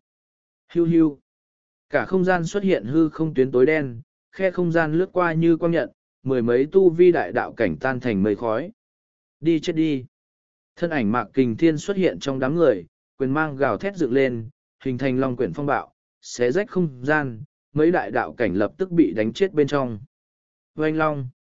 Lúc này đã có không ít người bên ngoài nhân cơ hội lao vào trong sân cốc, kinh khí dư ba khủng bố làm người đang vây khốn nguyên cổ linh tinh thú cũng bị đẩy lui. Phanh phanh phanh. Một đám niết bàn cảnh ra tay đại khai sát giới. Phanh phanh phanh. Chỉ vài lần giao thủ, đông đảo thân ảnh lao vào trong sơn cốc rơi xuống, máu tươi tuôn trào khiến những người còn lại đều cảm thấy lạnh lẽo. Người xông tới cũng đã khôi phục lý trí, ánh mắt hoàng hốt, đối chiến cùng niết bàn cảnh, họ không cách nào chạy thoát. Mau lui lại, thực lực bọn hắn quá mạnh mẽ, không cách nào đối kháng. Người đang lao vào lập tức thối lui, cũng không dám xông về phía trước. Hống! Toàn thân nguyên cổ linh tinh thú tràn ngập bạch mang, lực lượng bàng bạc dâng lên, không gian bạo vỡ, thân hình lại dãy thoát khỏi bao vây. Mau bắt nguyên cổ linh tinh thú. Nhìn linh tinh thú dãy thoát, đông đảo niết bàn cảnh cũng không còn quản được người bên ngoài xông vào, lập tức lao qua. Hiu hiu. Từng thân ảnh lao qua ngăn cản linh tinh thú, chân khí quần cuộn trói buộc nó bên trong. Hống. Nguyên cổ linh tinh thú rít gào chấm thấp, hướng một hoàng y thanh niên mở to miệng, quang trụ nhất thời bắn ra. Ánh mắt hoàng y thanh niên lóe lên, chân khí cũng không thua gì hắc mãnh, trưởng ấn đánh tới, xuyên thủng không gian doanh về hướng quang trụ kia. Vâng! Tiếng nổ trầm thấp vang vọng, năng lượng kinh khí khủng bố khuyết tán, hoàng y thanh niên phun ra máu tươi, thân hình bị đánh bay ra ngoài. Một màn này làm người xung quanh vô cùng kinh ngạc. Nhưng linh tinh thú cũng không hề có ý tiếp tục công kích mọi người, ánh mắt mang theo vẻ bất lực cùng sợ hãi, lập tức hóa thành tia chớp phá không chạy đi. Cùng nhau ra tay, nếu để nó chạy thoát cũng không tìm được nữa, trước lưu lại rồi nói sau. Một thanh niên mặc hoa phục tuấn lãng bất phàm dẫn đầu lao tới, ngăn cản trước người linh tinh thú, khí thế khủng bố vỡ áp không gian, một đạo nguyên lực giải lụa bạo hoanh ra. Thực lực thật mạnh, chỉ sợ sắp tới niết bàn sơ giai hậu kỳ đi. Lục Thiếu Du đã sớm chú ý người này, phong hoa tuyệt đại tuyệt phong hoa của Phượng Dương thế giới, thực lực cứng hãn. Cùng ra tay, lưu lại nguyên cổ linh tinh thú rồi nói sau. Suy. Hơn mười đạo quang trụ cùng giải lụa hiện lên, oanh thẳng tới linh tinh thú, tựa hồ muốn đánh trọng thương nó trước tiên. Hống. Thân ảnh linh tinh thú khựng lại, trong đôi mắt linh động hiện lên vẻ kích động bất lực, nhưng không hề e ngại. Thân thể linh tinh thú đột nhiên bành trướng, hào quang trắng xóa dịu dàng nháy mắt bao vây quanh người nó. Bạch quang như vầng trăng sáng, chiếu rọi chói mắt. Phanh phanh phanh. Toàn bộ công kích va chạm vào vầng bạch quang kia, từng đạo năng lượng phát ra hào quang chói mắt, tiếng nổ như sấm sét quanh quẩn trên không. Giang giác. Không gian nứt vụn từng khúc, hắc mang làm linh hồn người phủ phục, nháy mắt bị không gian động sâu căn ướt, năng lượng kinh người bạo tuôn, chân khí triệt để phóng thích, cùng bạo thổi quét. Oanh long. Suy suy. Không gian hỗn loạn nháy mắt khôi phục, bạch quang chói mắt vẫn hiện lên giữa không trung, chỉ là hào quang mở đi không ít. Hống. Bạch mang thu liễm, linh tinh thú hiện ra giữa không trung, nhìn qua giống như không chút tổn thương. Không thể nào, điều này sao có thể? Mọi người nghẹn họng nhìn chân chối, còn tưởng là mình đã nhìn lầm. Lực phong ngự thật mạnh. Ngươi là đồ đần, thiên hạ không có ai còn ngu dốt hơn ngươi, với thực lực của ngươi còn sợ hãi như vậy. Ngay trong lúc mọi người còn đang khiếp sợ, một thanh âm thiên nhiên truyền ra, thanh âm như bay trong mây, phát xem ra linh hoạt kỳ hảo. Một thân ảnh lướt qua không gian, xuất hiện trên trời cao. Váy dài nhẹ nhàng, dáng người huyển chuyển trôi nổi giữa không trung, toàn thân tản ra hương thấm át. Nữ tử nhìn nguyên cổ linh tinh thú, bàn tay như ngọc vung lên, giọng nói như nũng nịu hờn giận nói. Còn không mau lại đây. Nguyên cổ linh tinh thú đang kích động, vừa nghe thanh âm liền nhìn qua, vừa thấy thân ảnh tuyệt mỹ kia, trong ánh mắt kích động bất lực nhất thời lộ xem ra sợ hãi lẫn vui mừng. Hống! Nguyên cổ linh tinh thú vui sướng rít gào một tiếng, lập tức chạy như điên về hướng nữ tử, thân thể xuyên phá không gian, khi xuất hiện ngay trước mặt nữ tử cũng đã rút nhỏ lại chỉ còn kích thước của con thỏ con. Nữ tử vươn hai tay ôm lấy linh tinh thú, vuốt ve bộ lông trắng như tuyết, nói. Có linh trí còn đần như vậy, sau này đi theo ta đi. Hống. Nguyên cổ linh tinh thú trầm thấp hô, tựa hồ đang nói gì đó, không ngừng gật đầu, lại giống như sợ hai gắt gao rúc vào trong lòng nữ tử. chương 3926, Nguyên cổ linh tinh thú quý trúc. Là nàng. Nguyên cổ linh tinh thú đã rơi vào tay nữ nhân kia. Nguyên cổ linh tinh thú tựa hồ có quan hệ không đơn giản với nữ nhân này, rốt cục là chuyện gì xảy ra. Cơ hồ mọi người lập tức nhận ra được nữ tử này đi cùng nhóm người lục thiếu du. Nhất thời vô số ánh mắt cũng rơi lên người lục thiếu du, có cả ánh mắt của chín tiểu đội bên trong sân cốc. Mặc kinh thiên kinh ngạc nhìn nữ tử, nhưng lại không dám nhìn lâu, ánh mắt chuyển qua trên người lục thiếu du. Lục thiếu du kinh ngạc nhìn huyền tuyết ngưng, cũng không hiểu là chuyện gì xảy ra. Nhưng ngay sau đó trong lòng hắn chợt vui mừng, rơi vào trong tay huyền tuyết ngưng vẫn tốt hơn thuộc về người khác, hơn nữa cũng không ai đủ khả năng tiếp tục cướp đi. Suy. Không gian dao động, huyền tuyết ngưng đi tới bên cạnh lục thiếu du, liếc mắt nhìn hắn, không nói lời nào, nhẹ nhàng vuốt ve nguyên cổ linh tinh thú. Linh tinh thú nhìn đám người lục thiếu du, ánh mắt sợ hãi, gắt gao dán chặt trong lòng huyền tuyết ngưng. Nguyên cổ linh tinh thú này cũng thật háo sắc. Lục thiếu du nhủ thầm. Hạ lưu vô sỉ, thật không biết trong lòng ngươi còn có bao nhiêu vô sỉ hơn đâu. Huyền tuyết ngưng quay đầu mắng lục thiếu du, hung hăng trợn mắt nhìn hắn, nói. Nguyên cổ linh tinh thú là vật tinh khiết nhất trên đời này, không có hạ lưu vô sỉ như trong đầu ngươi nghĩ đâu. Ta. Lục thiếu du mấp máy môi, lập tức câm miệng, dù sao hắn cũng đấu không lại nữ tử này. Huyết tuyết ngưng tựa hồ thật hưởng thụ thái độ ngoan ngoãn của lục thiếu du, nói. Chúng ta có thể đi rồi. Đi thôi. Lục thiếu du khẽ gật đầu, nguyên cổ linh tinh thú đã rơi vào trong tay huyền tuyết ngưng, tự nhiên có thể rời đi, mọi người nghe vậy cũng chuẩn bị đi theo. Như vậy đã đi, các ngươi không cảm thấy có chút quá mức hay sao? Một tiếng quát ngạo nghễ truyền ra, một thanh niên bước tới, toàn thân mang theo chân khí nóng cháy, ánh mắt tập trung lên nhóm người lục thiếu du. Vô pháp vô thiên ngô phá thiên. Ngoại trừ nhóm người của Mạc Kinh Thiên, những người khác đều tập trung lên nhóm người lục thiếu du. Những đạo chân khí kia không chút thiện ý, chỉ sợ nhóm người lục thiếu du vừa bước đi, bọn hắn sẽ không chút do dự phát động công kích. Từng đạo chân khí tập trung bọn họ, nhưng ngoại trừ ngô phá thiên cũng không có ai bước ra, chờ xem ngô phá thiên đi thăm dò sâu cạn của đối phương. Ngô phá thiên tựa hồ cũng hiểu ý tưởng của bọn họ, bởi vì thanh niên này tuy tu vi đại đạo cảnh cao dai, nhưng thực lực có thể đánh bại hắc mãnh, đủ chứng minh hắn không dễ trêu chọc. Sao vậy, chúng ta không thể đi sao, chẳng lẽ ngươi còn muốn chiêu đãi chúng ta hay sao? Thần sắc lục thiếu du ngưng lại, nhưng cũng không quá khẩn trương, dù sao chuyện này do huyền tuyết ngưng gây ra, mời nàng giải quyết rất tốt, ít nhất sau này cũng không còn ai tiếp tục dám làm phiền. Chúng ta nhiều người như vậy, thậm chí cũng đã ở đây chờ đợi cả tháng thời gian, các ngươi lại đem nguyên cổ linh tinh thú mang đi, như vậy thì quá đơn giản rồi, ngươi nói thế nào cũng nên cho mọi người lời công đạo mới tốt. Lục Thiếu Du nhìn qua huyền tuyết ngưng, ý bảo nàng tự mình giải quyết là tốt nhất, bởi vì chỉ cần nàng ra tay, sự tình sẽ vô cùng đơn giản. Huyền tuyết ngưng vẫn thản nhiên, ánh mắt đảo qua mọi người, cỗ chân khí hoang vu lạnh lẽo lan tràn, làm mọi người chợt run lên. Ngươi đơn giản là muốn nguyên cổ linh tinh thú, như vậy đi, nếu ngươi có thể đánh bại lục thiếu du, ta tặng nó cho ngươi, cam đoan không ai có thể cướp khỏi tay ngươi. Huyền tuyết ngưng nói, nhưng nếu ngươi bị thua, ngươi phải giao ra chữ vật giới chỉ. Mọi người nghe vậy ánh mắt nghi hoặc, mà lục thiếu du nhìn huyền tuyết ngưng, không nghĩ tới nàng lại nhắc tới mình, nữ nhân này nhất định là cố ý.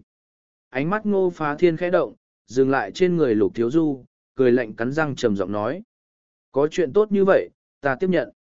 Chúng ta có thể lui xa một chút. Huyền tuyết ngưng khẽ cười, nhìn tiết mặc kỳ cùng tôn tiểu nha nói, lập tức thối lui ra sau. Nhóm người tiết mặc kỳ kể cả kim viên lập tức lui về phía sau, cũng không ai lo lắng cho lục thiếu du, biểu tình kinh ngạc nhìn ngô phá thiên, không khỏi cầu nguyện cho hắn, hy vọng hắn sẽ không thua quá thảm. Mặc kinh thiên ngẩng đầu phất tay, đội ngũ của hắn cũng lui ra sau, toàn bộ những người xung quanh đều thối lui, ánh mắt mừng rỡ xem náo nhiệt. Đội trưởng, ngô phá thiên thật không dễ đối phó, lục thiếu du chỉ đạt tới đại đạo cảnh cao giai, thực lực thiên phú tuy đáng sợ nhưng ban ngày mới đối phó hắc mãnh bây giờ còn có thể đối phó ngô phá thiên sao thực lực người này rất mạnh nghe nói thủ đoạn không ít tăng chẳng hỏi thông linh thế giới chỉ bài danh thứ mười mà thôi nếu bài danh trước năm thì còn khó thể phán đoán mặc dù thực lực ngô phá thiên không kém thậm chí đủ đặt chân phong thần đài phong tướng phong hoàng. Bất quá hôm nay hắn gặp phải người không nên gặp cho nên kết cục chỉ sợ không khá hơn chút nào. Hy vọng vận khí tốt một chút, tới lúc đó còn có thể đặt chân phong thần đài, nếu vận khí không tốt chỉ sợ có hối hận cũng không còn kịp rồi. Mạc Kinh Thiên cười nhạt nói, không nhắc tới thực lực khủng bố của nữ tử kia, với ánh mắt cùng tâm thần cảm giác, hắn tự nhiên nhìn ra được mấy năm nay lục thiếu du lại biến hóa nghiêng trời lệch đất, thực lực càng thêm đáng sợ, nô phá thiên tuyệt đối không chiếm được tiện nghi. Người của phong vân thế giới nghe vậy đều tò mò nhìn lục thiếu du.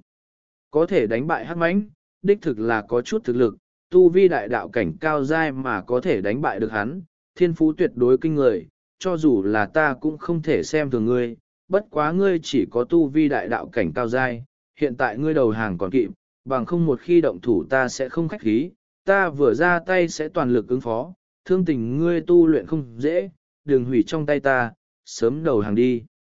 Nô phá thiên âm trầm nhìn lục thiếu du, nhưng không hề xem thường, lạnh lùng nói. Lục thiếu du biết mình không còn lựa chọn nào khác, nhất định phải ra mặt cho huyền tuyết ngưng. Nhìn thấy đông đảo thân ảnh xung quanh, ánh mắt đều vui sướng khi thấy người gặp họa, cũng có rất nhiều người muốn ngư ông đắc lợi, thậm chí đang chờ đợi thời cơ. Có thể nói toàn bộ những người có mặt đều đánh chủ ý với nguyên cổ linh tinh thú, như vậy cần phải có thực lực tuyệt đối làm kinh sợ, nhưng thực lực tuyệt đối còn chưa đủ, còn cần thủ đoạn thiết huyết. Hạ quyết tâm, lục thiếu du nhìn ngô phá thiên khẽ cười, tiến tới một bước, nói. Nhìn xem ngươi hủy ta hay ta hủy ngươi, nói thật, ta còn chưa đặt ngươi trong lòng. Không gian nổi lên dao động kịch liệt, bởi vì đã quyết định chủ ý, lục thiếu du cần dùng ngô phá thiên bắt đầu. chương 3927, thiết huyết chấn nhiếp. Sắc mặt ngô phá thiên đông trầm, hừ lạnh nói. Hừ, thật nghĩ đánh bại hắc manh thì có thể càn rỡ trước mặt ta sao, tuy đồng cấp nhưng thực lực vẫn có khác nhau, huống chi ngươi chỉ là đại đạo cảnh mà thôi. Dứt lời, trường bào run lên, chân khí nóng cháy lan tràn, hỏa diễm thực chất nhảy lên, bao phủ về hướng lục thiếu du. Chỉ có chút tài mọn đó thôi sao. Lục thiếu du cười nhạt một tiếng, hàn băng chân khí lan tràn, hỏa diễm nhất thời tiêu tán tàng ra, căn bản không thể đến gần người. Tiểu tử, nói mạnh miệng thì phải xuất đủ thực lực. Nô phá thiên quát lạnh một tiếng, thủ ấn kết xuất, nguyên lực hỏa hệ khởi động, thiên địa năng lượng hỏa hệ hội tụ, đem bầu trời tô thành màu đỏ đậm. Hỏa hệ áo nghĩa bổn nguyên. Lục thiếu du như mày. Vô pháp hỏa ảnh quyền. Nô phá thiên hét lớn, toàn thân mang theo nguyên lực mênh ngông nóng cháy, như kéo theo dao động trong thiên địa, nguyên lực hỏa hệ cùng thiên địa năng lượng nháy mắt ngưng tụ thành quyền ấn. Suy. Thân ảnh ngô phá thiên giẫm mạnh hư không, không gian liên tiếp giẫm vỡ, thân hình như hỏa cầu nháy mắt xuất hiện trước người lục thiếu du, quyền ấn hỏa diễm đốt cháy không gian thành cho tàn, lan tràn tới ngực lục thiếu du. Oanh long. Lục thiếu du không hề tránh né, một bộ khải giáp kim sắc bao phủ trên người, bất ngờ loại sáng. Oanh. Quyền ấn khủng bố đánh tới, không gian nổ tung, hỏa diễm kích tán đầy trời như khói hoa. Thân hình lục thiếu du trúng một quyền vỡ nát, phân thành bốn năm ảnh, nhưng không thấy có máu tươi phun ra. Tàn ảnh. Sắc mặt ngô phá thiên kinh hãi, gần trong gang tấc vẫn bị lục thiếu du tránh thoát, tốc độ này thật sự quá nhanh, đối phương tuyệt đối tu luyện không gian hoặc thời gian áo nghĩa. Suy. Chỉ nháy mắt thân ảnh lục thiếu du lại xuất hiện sau lưng ngô phá thiên, khỏe môi cười lạnh, thủ ấn ngưng kết, năm loại hào quang kim, thanh, lam, xích, hoàng đồng thời phóng lên cao. Năm cỗ năng lượng nháy mắt hội tụ, trên bầu trời đêm đột nhiên hiện lên hắc bạch lốc xoáy khổng lồ, ở giữa có một đường cong tương liên, hình thành đồ án hắc bạch âm dương hình tròn, bên dưới kim quang rạng rỡ, thiên địa biến thành tiêu sát sắc bén. Không tốt. Nô phá thiên tựa hồ cảm nhận được điều gì, kinh ngạc quay đầu lại, giờ phút này không gian đang run rẩy không nớt. Thời không lao ngủ. Oanh long. Tiếng sấm sét nổ vang, chân khí khủng bố xa lạ lan tràn. Nô phá thiên cảm nhận được nguy hiểm, sắc mặt hoàng hốt, lập tức ngưng tụ công kích. Vô pháp vô thiên vô thiên viêm hỏa ấn. Một tiếng hét lớn truyền ra, nguyên lực bạo tuân, chỉ nháy mắt hội tụ thành một đạo hỏa viêm trưởng ấn khổng lồ giữa không trung, từng luồng chân khí nóng cháy khủng bố tràn ngập, cả phiến không gian run rẩy không ngớt. Thật mạnh. Và anh. Hỏa viêm trưởng ấn mang theo uy thế đáng sợ bay thẳng tới trước. Lục thiếu du bước lên một bước, phất tay vô ra. Suy. Một đạo kim sắc thủ ấn vặn vẹo không gian, như sấm đánh thẳng tới. Suy. Hư không nước vụn, không gian phá nát, ầm ầm va chạm vào hỏa viêm trường ấn, như hai viên vẫn thạch chạm vào nhau. Hỏa viêm trường ấn bị chấn vỡ, hóa thành hỏa viêm ngập trời khuyết tán trên thiên không. Suy! Kim sắc thủ ấn vẫn chưa tiêu tán, thế như trẻ tre vỗ lên người ngô phá thiên. Vâng! Kim sắc trưởng ấn vỗ xuống, xung quanh hiện lên khe không gian tối đen, năng lượng ngập trời khuếch tán. Phúc! Nô phá thiên phun ra máu tươi. Phanh! Thân hình hắn lập tức nện xuống đống đá vụn dưới sân cốc, mất đi dấu vết. Lục thiếu du lăng không đứng giữa không trùng, thanh linh khải giáp trôi nổi hoàng mang, trong mắt tràn ngập hàn ý sắc bén làm người run sợ. Thực lực thật biến thái, đại đạo cảnh cao dai một chiêu trà đạp ngô phá thiên, điều này sao có thể? Chỉ một chiêu, lục thiếu du thật sự là người của vô sắc thế giới sao? Giang giác. Bên trong đống đá vụn bên dưới sân cốc, thân hình ngô phá thiên chật vật bò lên, sắc mặt tái nhợt cực điểm, khuôn mặt rung động kinh hãi, khỏe môi không ngừng tràn ra máu tươi. Ngơ ngác nhìn thân ảnh trên không trung, Nô Phá Thiên vẫn không dám tin mình bị một chiêu đánh bại, đối phương chỉ là đại đạo cảnh cao dai mà thôi, lẽ ra không thể mạnh như vậy, vì sao khác biệt giữa hai cấp bậc lại không hề xảy ra trên người hắn. Ngươi nên giao ra giới chỉ chữ vật, tính nhẫn mại của ta không tốt lắm. Lục Thiếu Du thản nhiên nói. Nô Phá Thiên nhìn Lục Thiếu Du, ánh mắt kiêu ngạo có chút tạm đạm, lập tức ném giới chỉ về hướng đối phương, một chiêu bị thương nặng, hắn đã không còn lực tái chiến, thương thế nặng bao nhiêu chỉ có hắn tự mình hiểu được. Nếu bị người biết hắn trọng thương thế nào, chỉ sợ sẽ khiến không ít người đánh chủ ý với tiểu đội của hắn, cho nên hắn không còn lựa chọn nào khác, chỉ phải giao ra giới chỉ. Suy! Ngay khi giới chỉ bay về hướng lục thiếu du, hắn định thu lấy thì có một bàn tay ngọc vươn ra thu lấy giới chỉ, một thân hình tuyệt mỹ trôi nổi giữa không trung, chính là huyền tuyết ngưng. Chỉ nháy mắt huyền tuyết ngưng đã mở ra giới chỉ, xuất ra một gốc linh dược bên trong. Năng lượng dị thường lan tràn, mọi người còn chưa kịp nhìn thấy rõ ràng cũng đã bị nàng thu vào trong người, ánh mắt nhìn xuống ngô phá thiên. Nhớ kỹ, có nhiều thứ không phải ngươi muốn thì có thể lấy. Dứt lời nàng đem giới chỉ ném cho lục thiếu du. Lục thiếu du khẽ động, khó trách huyền tuyết ngưng muốn lấy giới chỉ của ngô phá thiên, nguyên lai bên trong có vật mà nàng cần, linh dược kia có chút quái dị, không biết là vật gì. Thu hồi giới chỉ, thu liêm thanh linh khải giáp, lục thiếu du nhìn quanh, nói. Ta nghĩ hiện tại không cần ta cấp thêm công đạo gì nữa đi, nguyên cổ linh tinh thú chỉ thuộc về người hữu duyên, muốn động thủ, tiếp theo ta sẽ không khách khí như vậy. Nghe lời của hắn, không ít ánh mắt dao động, nhưng không ai bước lên, trước mặt thực lực tuyệt đối cũng đủ làm người kinh sợ, không ai nắm chắc có thể đi cướp đoạt. Lục Thiếu Du nhìn thấy phản ứng của mọi người, đang định rời đi, mặc kình thiên chợt nói. Ta đi cùng ngươi, dọc đường có bằng hữu đồng hành. Được. Lục Thiếu Du gật đầu, hai đội ngũ hóa thành lưu quang biến mất tại chỗ. Bên trong sân cốc, từng ánh mắt phẫn nộ nhìn theo bọn họ rời khỏi, nhưng cũng đành bỏ qua. Không gian hoàn toàn yên tĩnh, ánh trăng như nước. Vô sắc thế giới, Lục Thiếu Du. Trong mấy đội hình trôi nổi giữa không trung, mấy thanh niên nhìn theo bóng lưng Lục Thiếu Du, trong mắt quần quận chiến ý, nhưng đều bị họ nhẫn nhịn xuống. Trong dãy núi yên tĩnh, ánh trăng bao phủ, huyền tuyết ngưng ôm dị thú trong lòng, từ xa nhìn lại thân hình tuyệt mỹ khiến lòng người rung động. Có thể mời ngươi giúp một việc hay không? Một thanh y rìa nam tử đi tới, nhìn dị thú trắng như tuyết hỏi. Ngươi muốn ta hỗ trợ nhìn xem thương thế của đệ tử ngươi, nhưng vì sao ta phải giúp ngươi? Huyền tuyết ngưng cũng không nhìn lục thiếu du, như hiểu được hắn muốn làm gì. Lần này ta giúp ngươi, huống chi đây chỉ là nhấc tay làm phiền mà thôi. chương 3928, một điều kiện đơn giản.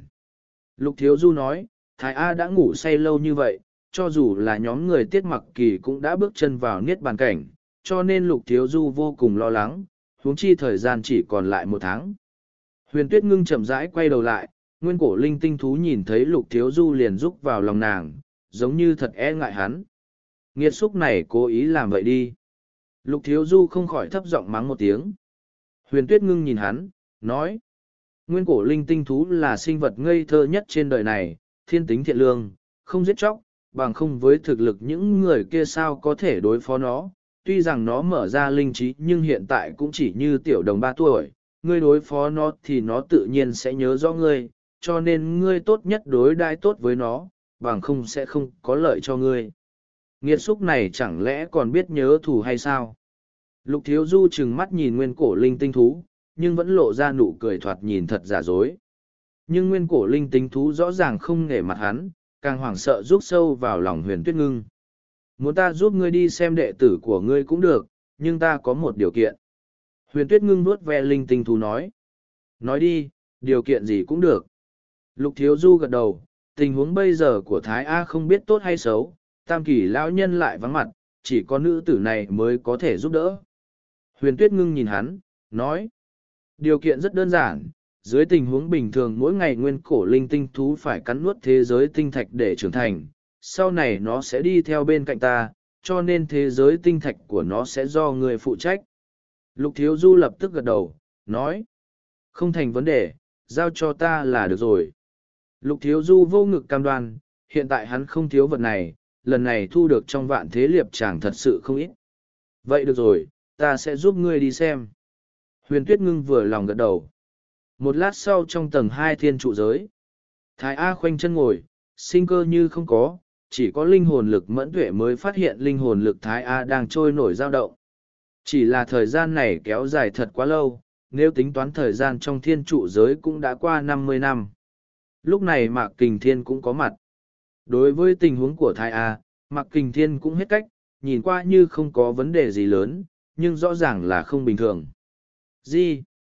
Huyền Tuyết ngưng đứng trước mặt Thái A, ánh mắt dao động, nàng có thể cảm giác được trên người Thái A mang theo cỗ chân khí man hoang thương cổ đang tán phát. Một lát sau huyền Tuyết ngưng chợt mở mắt, thở sâu một hơi. Tuyết ngưng tỷ, Thái A thế nào? Tiết mặc Kỳ hỏi. Hắn không có việc gì, ngược lại gặp được cơ duyên không nhỏ, còn đi trước các người, ta nghĩ không bao lâu nữa hắn có thể thức tỉnh. Huyền Tuyết ngưng có chút kinh ngạc nói. Thái A thật sự không có việc gì sao? Lục Thiếu Du vui vẻ hỏi, thả lỏng một hơi. Chẳng lẽ các ngươi không nhìn ra hiện tại hắn đang ở diệt hữu dư sao? Huyền Tuyết ngưng nhìn mọi người. Niết bàn tam giai, diệt hữu dư, qua vô dư, độ sinh tử. Hiện tại các ngươi mới đặt chân niết bàn cảnh mà thôi, đang ở giai đoạn hữu dư niết bàn, còn chưa chứng ngộ hữu dư niết bàn, mà Thái A đã chứng ngộ hữu dư niết bàn, lúc hắn thức tỉnh cũng đã tới niết bàn trung giai. Cái gì? mọi người nghe vậy khiếp sợ không thôi không nghĩ tới thái a có thể liên tục đột phá như thế việc này có gì đáng kinh ngạc cấp độ niết bàn cảnh vốn là một cấp độ đặc biệt chứng ngộ niết bàn cùng thời gian không gian là không có vấn đề gì vừa qua hữu dư niết bàn cũng không có gì là kỳ quái cho dù vừa qua vô dư niết bàn chỉ cần thiên phú đủ cũng đều có thể huyền tuyết ngưng nói không sai niết bàn cảnh vốn là cấp độ cực kỳ huyền ảo chỉ cần thiên phú biến thái không có gì là không khả năng. Đồn đãi cổ tộc trong hỗn độn thế giới, người có thiên phú biến thái có thể vừa diệt hữu dư là đặt chân vô dư niết bàn. Loại tình huống này cùng thiên phú mặc dù là hiếm thấy, nhưng không phải là không có.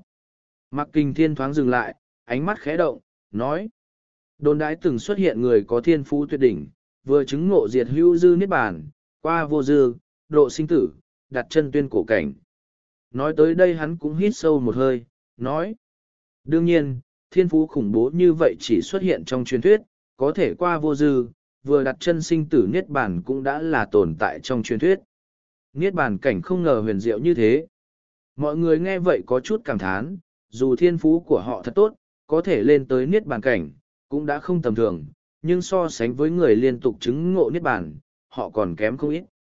Vừa liên tục đột phá đại biểu cho thiên phú, nhưng cũng không phải nói không thể liên tục chứng ngộ hữu dư niết bàn thì thiên phú kém hơn người liên tục đột phá.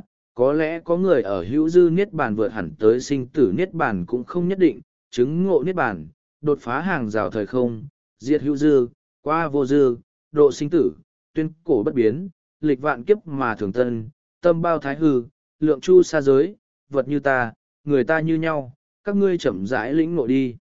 Hôm nay tâm tình huyền tuyết ngưng tựa hồ không sai, nói không ít chuyện với mọi người. Trong Niết Bàn, vô thượng Niết Bàn là sao vậy? Vì sao trong tam giai Niết Bàn cảnh không nghe nhắc tới vô thượng Niết Bàn? Ta nhớ được ngươi hẳn là vô thượng Niết Bàn đi. Lục Thiếu Du chợt hỏi. Vô thượng Niết Bàn. Mặc Kình Thiên nghe vậy ánh mắt run lên, nói.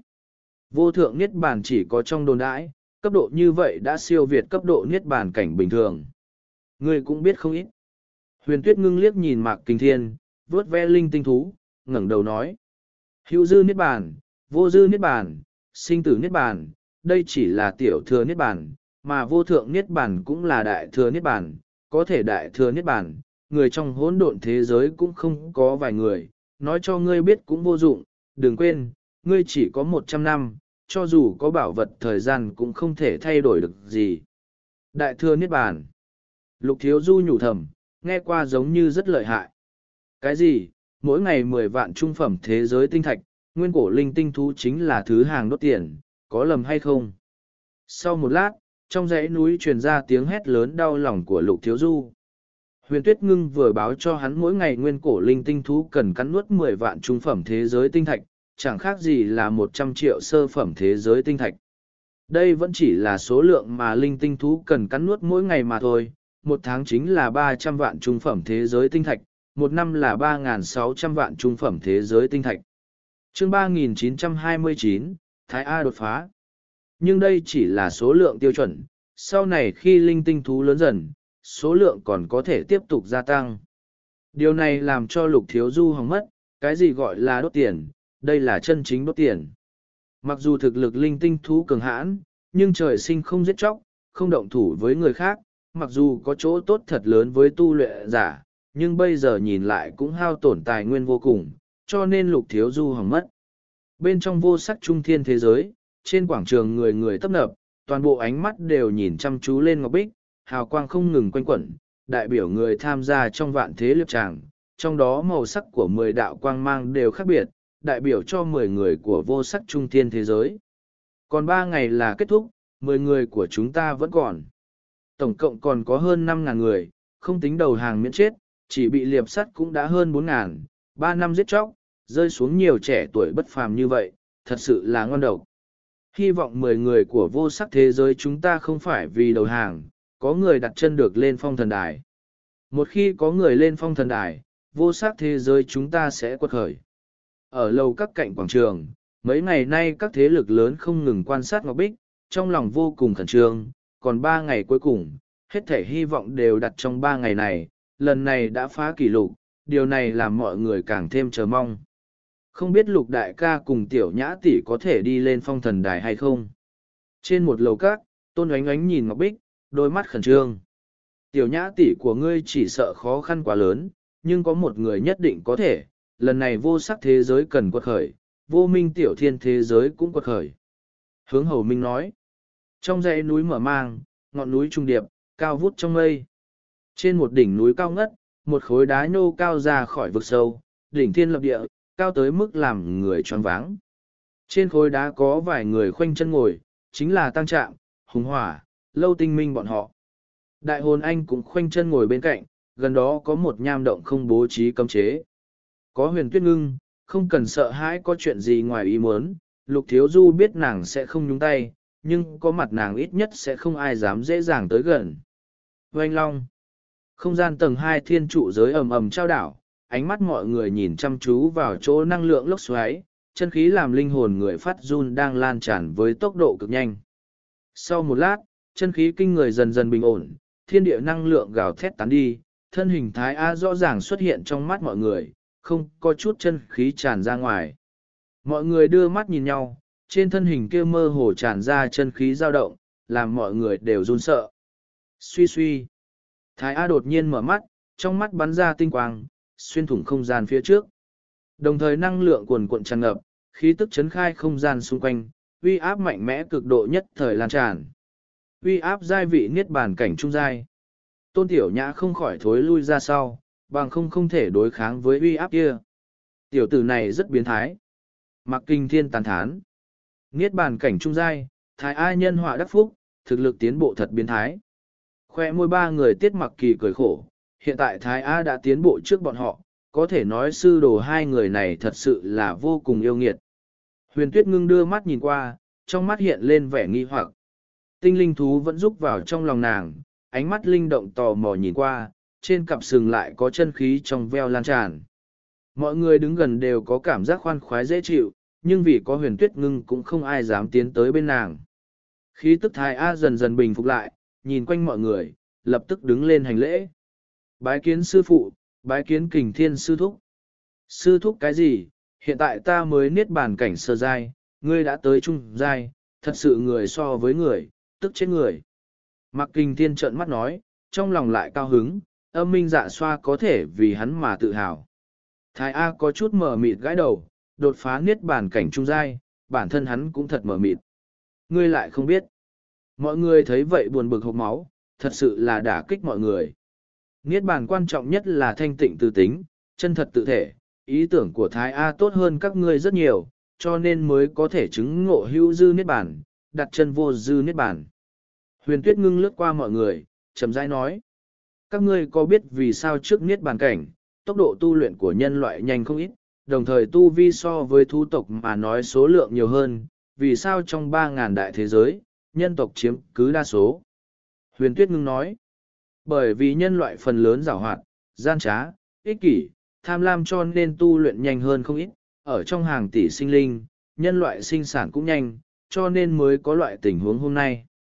Nhưng khi lên tới niết bàn cảnh, tính tình gian trá tham lam giảo hoạt của nhân loại lại nhất định biến thành ma chướng trên con đường tu luyện, cho dù chứng ngộ niết bàn, nhưng cách chính đạo ngày càng xa, tình huống sau này ngày càng tệ hại. Trái ngược lại, ý tưởng của thú tộc đại đa số đơn giản một ít, chứng ngộ niết bàn cũng dễ dàng hơn không ít, cho nên tu vi sau niết bàn cảnh, thú tộc tỷ lệ cực cao, nhân tộc rất ít, cũng may số lượng nhân loại nhiều, cho nên trong 3.000 đại thế giới mới có thể tiếp tục bảo trì nhân loại là chủ yếu. Thì ra là thế. Mọi người nghe vậy không ai phản bác huyền tuyết ngưng, bởi vì nàng nói chính là tình hình thực tế. Lục Thiếu Du cũng sức tỉnh, ý tưởng của Thái A Đích thật là không sai, điều này mới có thể giúp hắn thuận lợi đạt tới niết bàn cảnh. Ngu si, vô minh, tà kiến có thể tận diệt tức là niết bàn, tham dục tiêu hết, sân si tiêu hết cũng là niết bàn, các ngươi có thể hiểu được bao nhiêu, tự mình lĩnh ngộ. Huyền Tuyết ngưng nói, thanh âm thiên nhiên rơi vào thai mọi người, làm tâm thần người cũng run rẩy. Đêm đen yên tĩnh, thanh âm truyền ra ngoài động khiến nhóm thanh niên bên ngoài nghe được, tâm thần rung động không ngừng. Bên trong sơn động u ám, hai thân hình trần trụi dây dưa cùng nhau, mà thanh niên chính là Hoài Linh Ngọc. Thật lâu sau trận mây mưa mới chấm dứt. Lưu Vân, Minh Tuyển, các ngươi vào đi. Hoài Linh Ngọc đứng dậy nói. Hoài Sư Minh, chúng ta tra được tin tức của Lục Thiếu Du. Lưu Vân cùng Minh Tuyển đi vào sơn động, nhìn thấy nữ tử Mỹ mạo trần trụi, ánh mắt không khỏi luyến tiếc rời đi. Nữ tử đang mặc lại trường bào cho Hoài Linh Ngọc, nhưng ánh mắt lại đầy mị thái nhìn Lưu Vân cùng Minh Tuyển, trắng trợn dụ hoặc. Tin tức gì? Nói đi. Hoài Linh Ngọc chậm rãi nói. chương ba nghìn chín trăm ba mươi trong phong thần sơn. Lục Thiếu Du chiếm được nguyên cổ linh tinh thú, đánh bại bài danh mười lăm thú mạnh thế giới hắc mãnh, đánh bại bài danh thứ mười thông linh thế giới ngô phá thiên, hai người đều là niết bàn sơ giai. Minh Tuyền túi đầu nói, ánh mắt rời khỏi thân thể nữ tử kia. Niết bàn sơ giai chỉ là phế vật mà thôi, lần này bài danh trung thiên thế giới nhất định đổi chủ, nguyên cổ linh tinh thú cuối cùng cũng là của ta. Trong mắt hoài linh ngọc chợt lóe hàn mang, khỏe môi cười lạnh nói. Ba năm thời hạn hẳn đã tới rồi đi, nên đăng phong thần đài. Hoài sư huynh, sáng mai hẳn là sẽ đóng cửa vạn thế liệp tràng đăng phong thần đài, không ít người đã tới phong thần sơn, ta tra được tin tức, lục thiếu du cũng đã tới phong thần sơn, chúng ta có cần động thủ ngay bây giờ hay không? Lưu Vân hỏi, ánh mắt không nhịn được lướt qua người nữ tử kia. Tới sao? Trong mắt Hoài Linh Ngọc lóe hàn mang, lập tức nói. Các ngươi có hứng thú với sư muội sao? Vậy thì cho các ngươi, đi theo ta, sẽ không để các ngươi hối hận. Dứt lời thân ảnh hắn biến mất không còn bóng dáng. Lưu Vân Sư Minh, Minh Tuyển Sư huynh, lại đây đi, ta muốn. Nữ tử làm đủ loại động tác mị hoặc, đôi mắt nóng bỏng nhìn hai người. Lưu Vân thở sâu một hơi, lập tức lao về hướng nữ tử. Ta đi trước. Minh Tuyền nhìn thoáng qua nữ tử, đi ra sơn động, từng tiếng cười dâm hế truyền ra. Núi non chập trùng, như ba đảo phập phồng trên biển, mãnh liệt mênh ngông, hùng vĩ trắng lệ. Ngọn núi cao ngất, mây mù lượn lờ, như bao phủ một tầng lụa mỏng, mờ ảo chợt xa chợt gần, như gần như xa. Bên trong núi non là một mảnh đất bằng phẳng thật lớn, dãy núi vốn lượn xoay quanh. Siêu siêu. Xung quanh dãy núi thỉnh thoảng lại vang lên tiếng xé gió, từng tiểu đội hạ xuống, liếc mắt nhìn quanh, ánh mắt cảnh giác tự tìm chỗ đặt chân, như đang đợi gì đó. Phanh phanh. Thỉnh thoảng lại có thanh âm tiếng nổ bạo trầm thấp truyền ra, ngẫu nhiên có người giao thủ giữa không trung, ra tay sắc bén, thực lực không tệ, mà những người khác nghe được cũng không kỳ quái. Vạn thế lập tràng sắp đóng cửa, tới thời điểm này những người chưa có đủ phong thần thạch cũng bí quá hóa liều, lựa chọn ra tay ở đây. Trên một ngọn núi, ngẩng đầu có thể nhìn thấy từng dãy núi xanh ngắt, xung quanh vách núi thẳng đứng, một cây tùng khổng lồ sinh trưởng trên đỉnh núi, như bao phủ cả trời đất. Lúc này có hai mươi người đang ngồi dưới gốc tùng, xung quanh cũng có không ít người đặt chân, nhưng nơi vị trí gốc tùng lại không có ai dám tùy ý tới gần. Oanh oanh! Thỉnh thoảng lại có thanh âm đánh nhau truyền tới, có thể biết có người đang giao thủ. Đây là phong thần sân mạch, sáng mai vạn thế liệp chàng sẽ đóng cửa đăng phong thần đài, đây là cơ hội cuối cùng, chỉ có thể xuất thủ lúc này. Mạc Kinh Thiên quan sát xung quanh, nói. Toàn bộ những người còn lại hẳn đã chạy tới nơi đây, xem thử ngày mai có hai trăm bốn mươi người nào đi lên số ghế kia, bái tướng phong hoàng, ngạo tiếu thành thần. Tâm thần lục thiếu du quan sát xung quanh, nơi này hội tụ mấy ngàn người, những người từng tranh giành nguyên cổ linh tinh thú cũng đã tới đây. Ai? Lục thiếu du chợt thở dài một hơi. Người than thở cái gì, chẳng lẽ lo lắng ngày mai không thể đăng phong thần đài sao? Mạc Kinh Thiên hỏi. Ta cảm thấy được trong vạn thế liệp chàng này đúng thật là thảm thiết. Cương giả luôn cần tôi luyện, nếu muốn cảm thán cũng chỉ có thể nói tu luyện vô tình, luôn phải trả giá thật nhiều cố gắng. Mạc Kinh Thiên khoanh tay đứng thẳng, mắt nhìn viễn không. Ngươi nói, nếu trên phong thần đài chúng ta nhất định phải có một trận chiến, ngươi nói kết quả sẽ như thế nào? Lục Thiếu Du nhìn Mạc Kinh Thiên, khẽ cười nói. Ta sẽ toàn lực ứng phó, lấy việc đánh bại ngươi làm mục đích. Ta cũng vậy. Mạc Kinh Thiên thoáng dừng lại, lập tức nói. Chỉ mong đừng gặp được ngươi. Tất cả mọi người cẩn thận một chút, sáng mai chuẩn bị đăng phong thần đài, có thể đi lên hay không, phải xem chính mình, không ai có thể hỗ trợ. Mạc Kinh Thiên quay đầu nói. Mọi người gật đầu, lập tức khoanh chân ngồi điều tức, bảo trì trạng thái đỉnh phong, chờ ngày mai tới. Lục Thiếu Du khoanh chân ngồi xuống, cũng không tiếp tục suy nghĩ nhiều. Trên ngọn tùng, một thân ảnh tóc bạc, dáng người thức tha, váy dài xanh trắng phiêu theo gió, trong tay ôm dị thú tuyết trắng, nhìn như trích tiên, khiến người rung động. Sắc trời dần dần vào đêm, ánh trăng lúc sáng lúc tối, nơi nơi có vẻ lạnh lùng lại hắc ám. Đêm dần khuya, giữa không trung thỉnh thoảng truyền tới tiếng nổ, nhưng đã dần dần giảm bớt, trong không gian tràn tới huyết tinh. Suy! Nguyên cổ linh tinh thú đang giúp trong lòng huyền tuyết ngưng, đột nhiên mở mắt.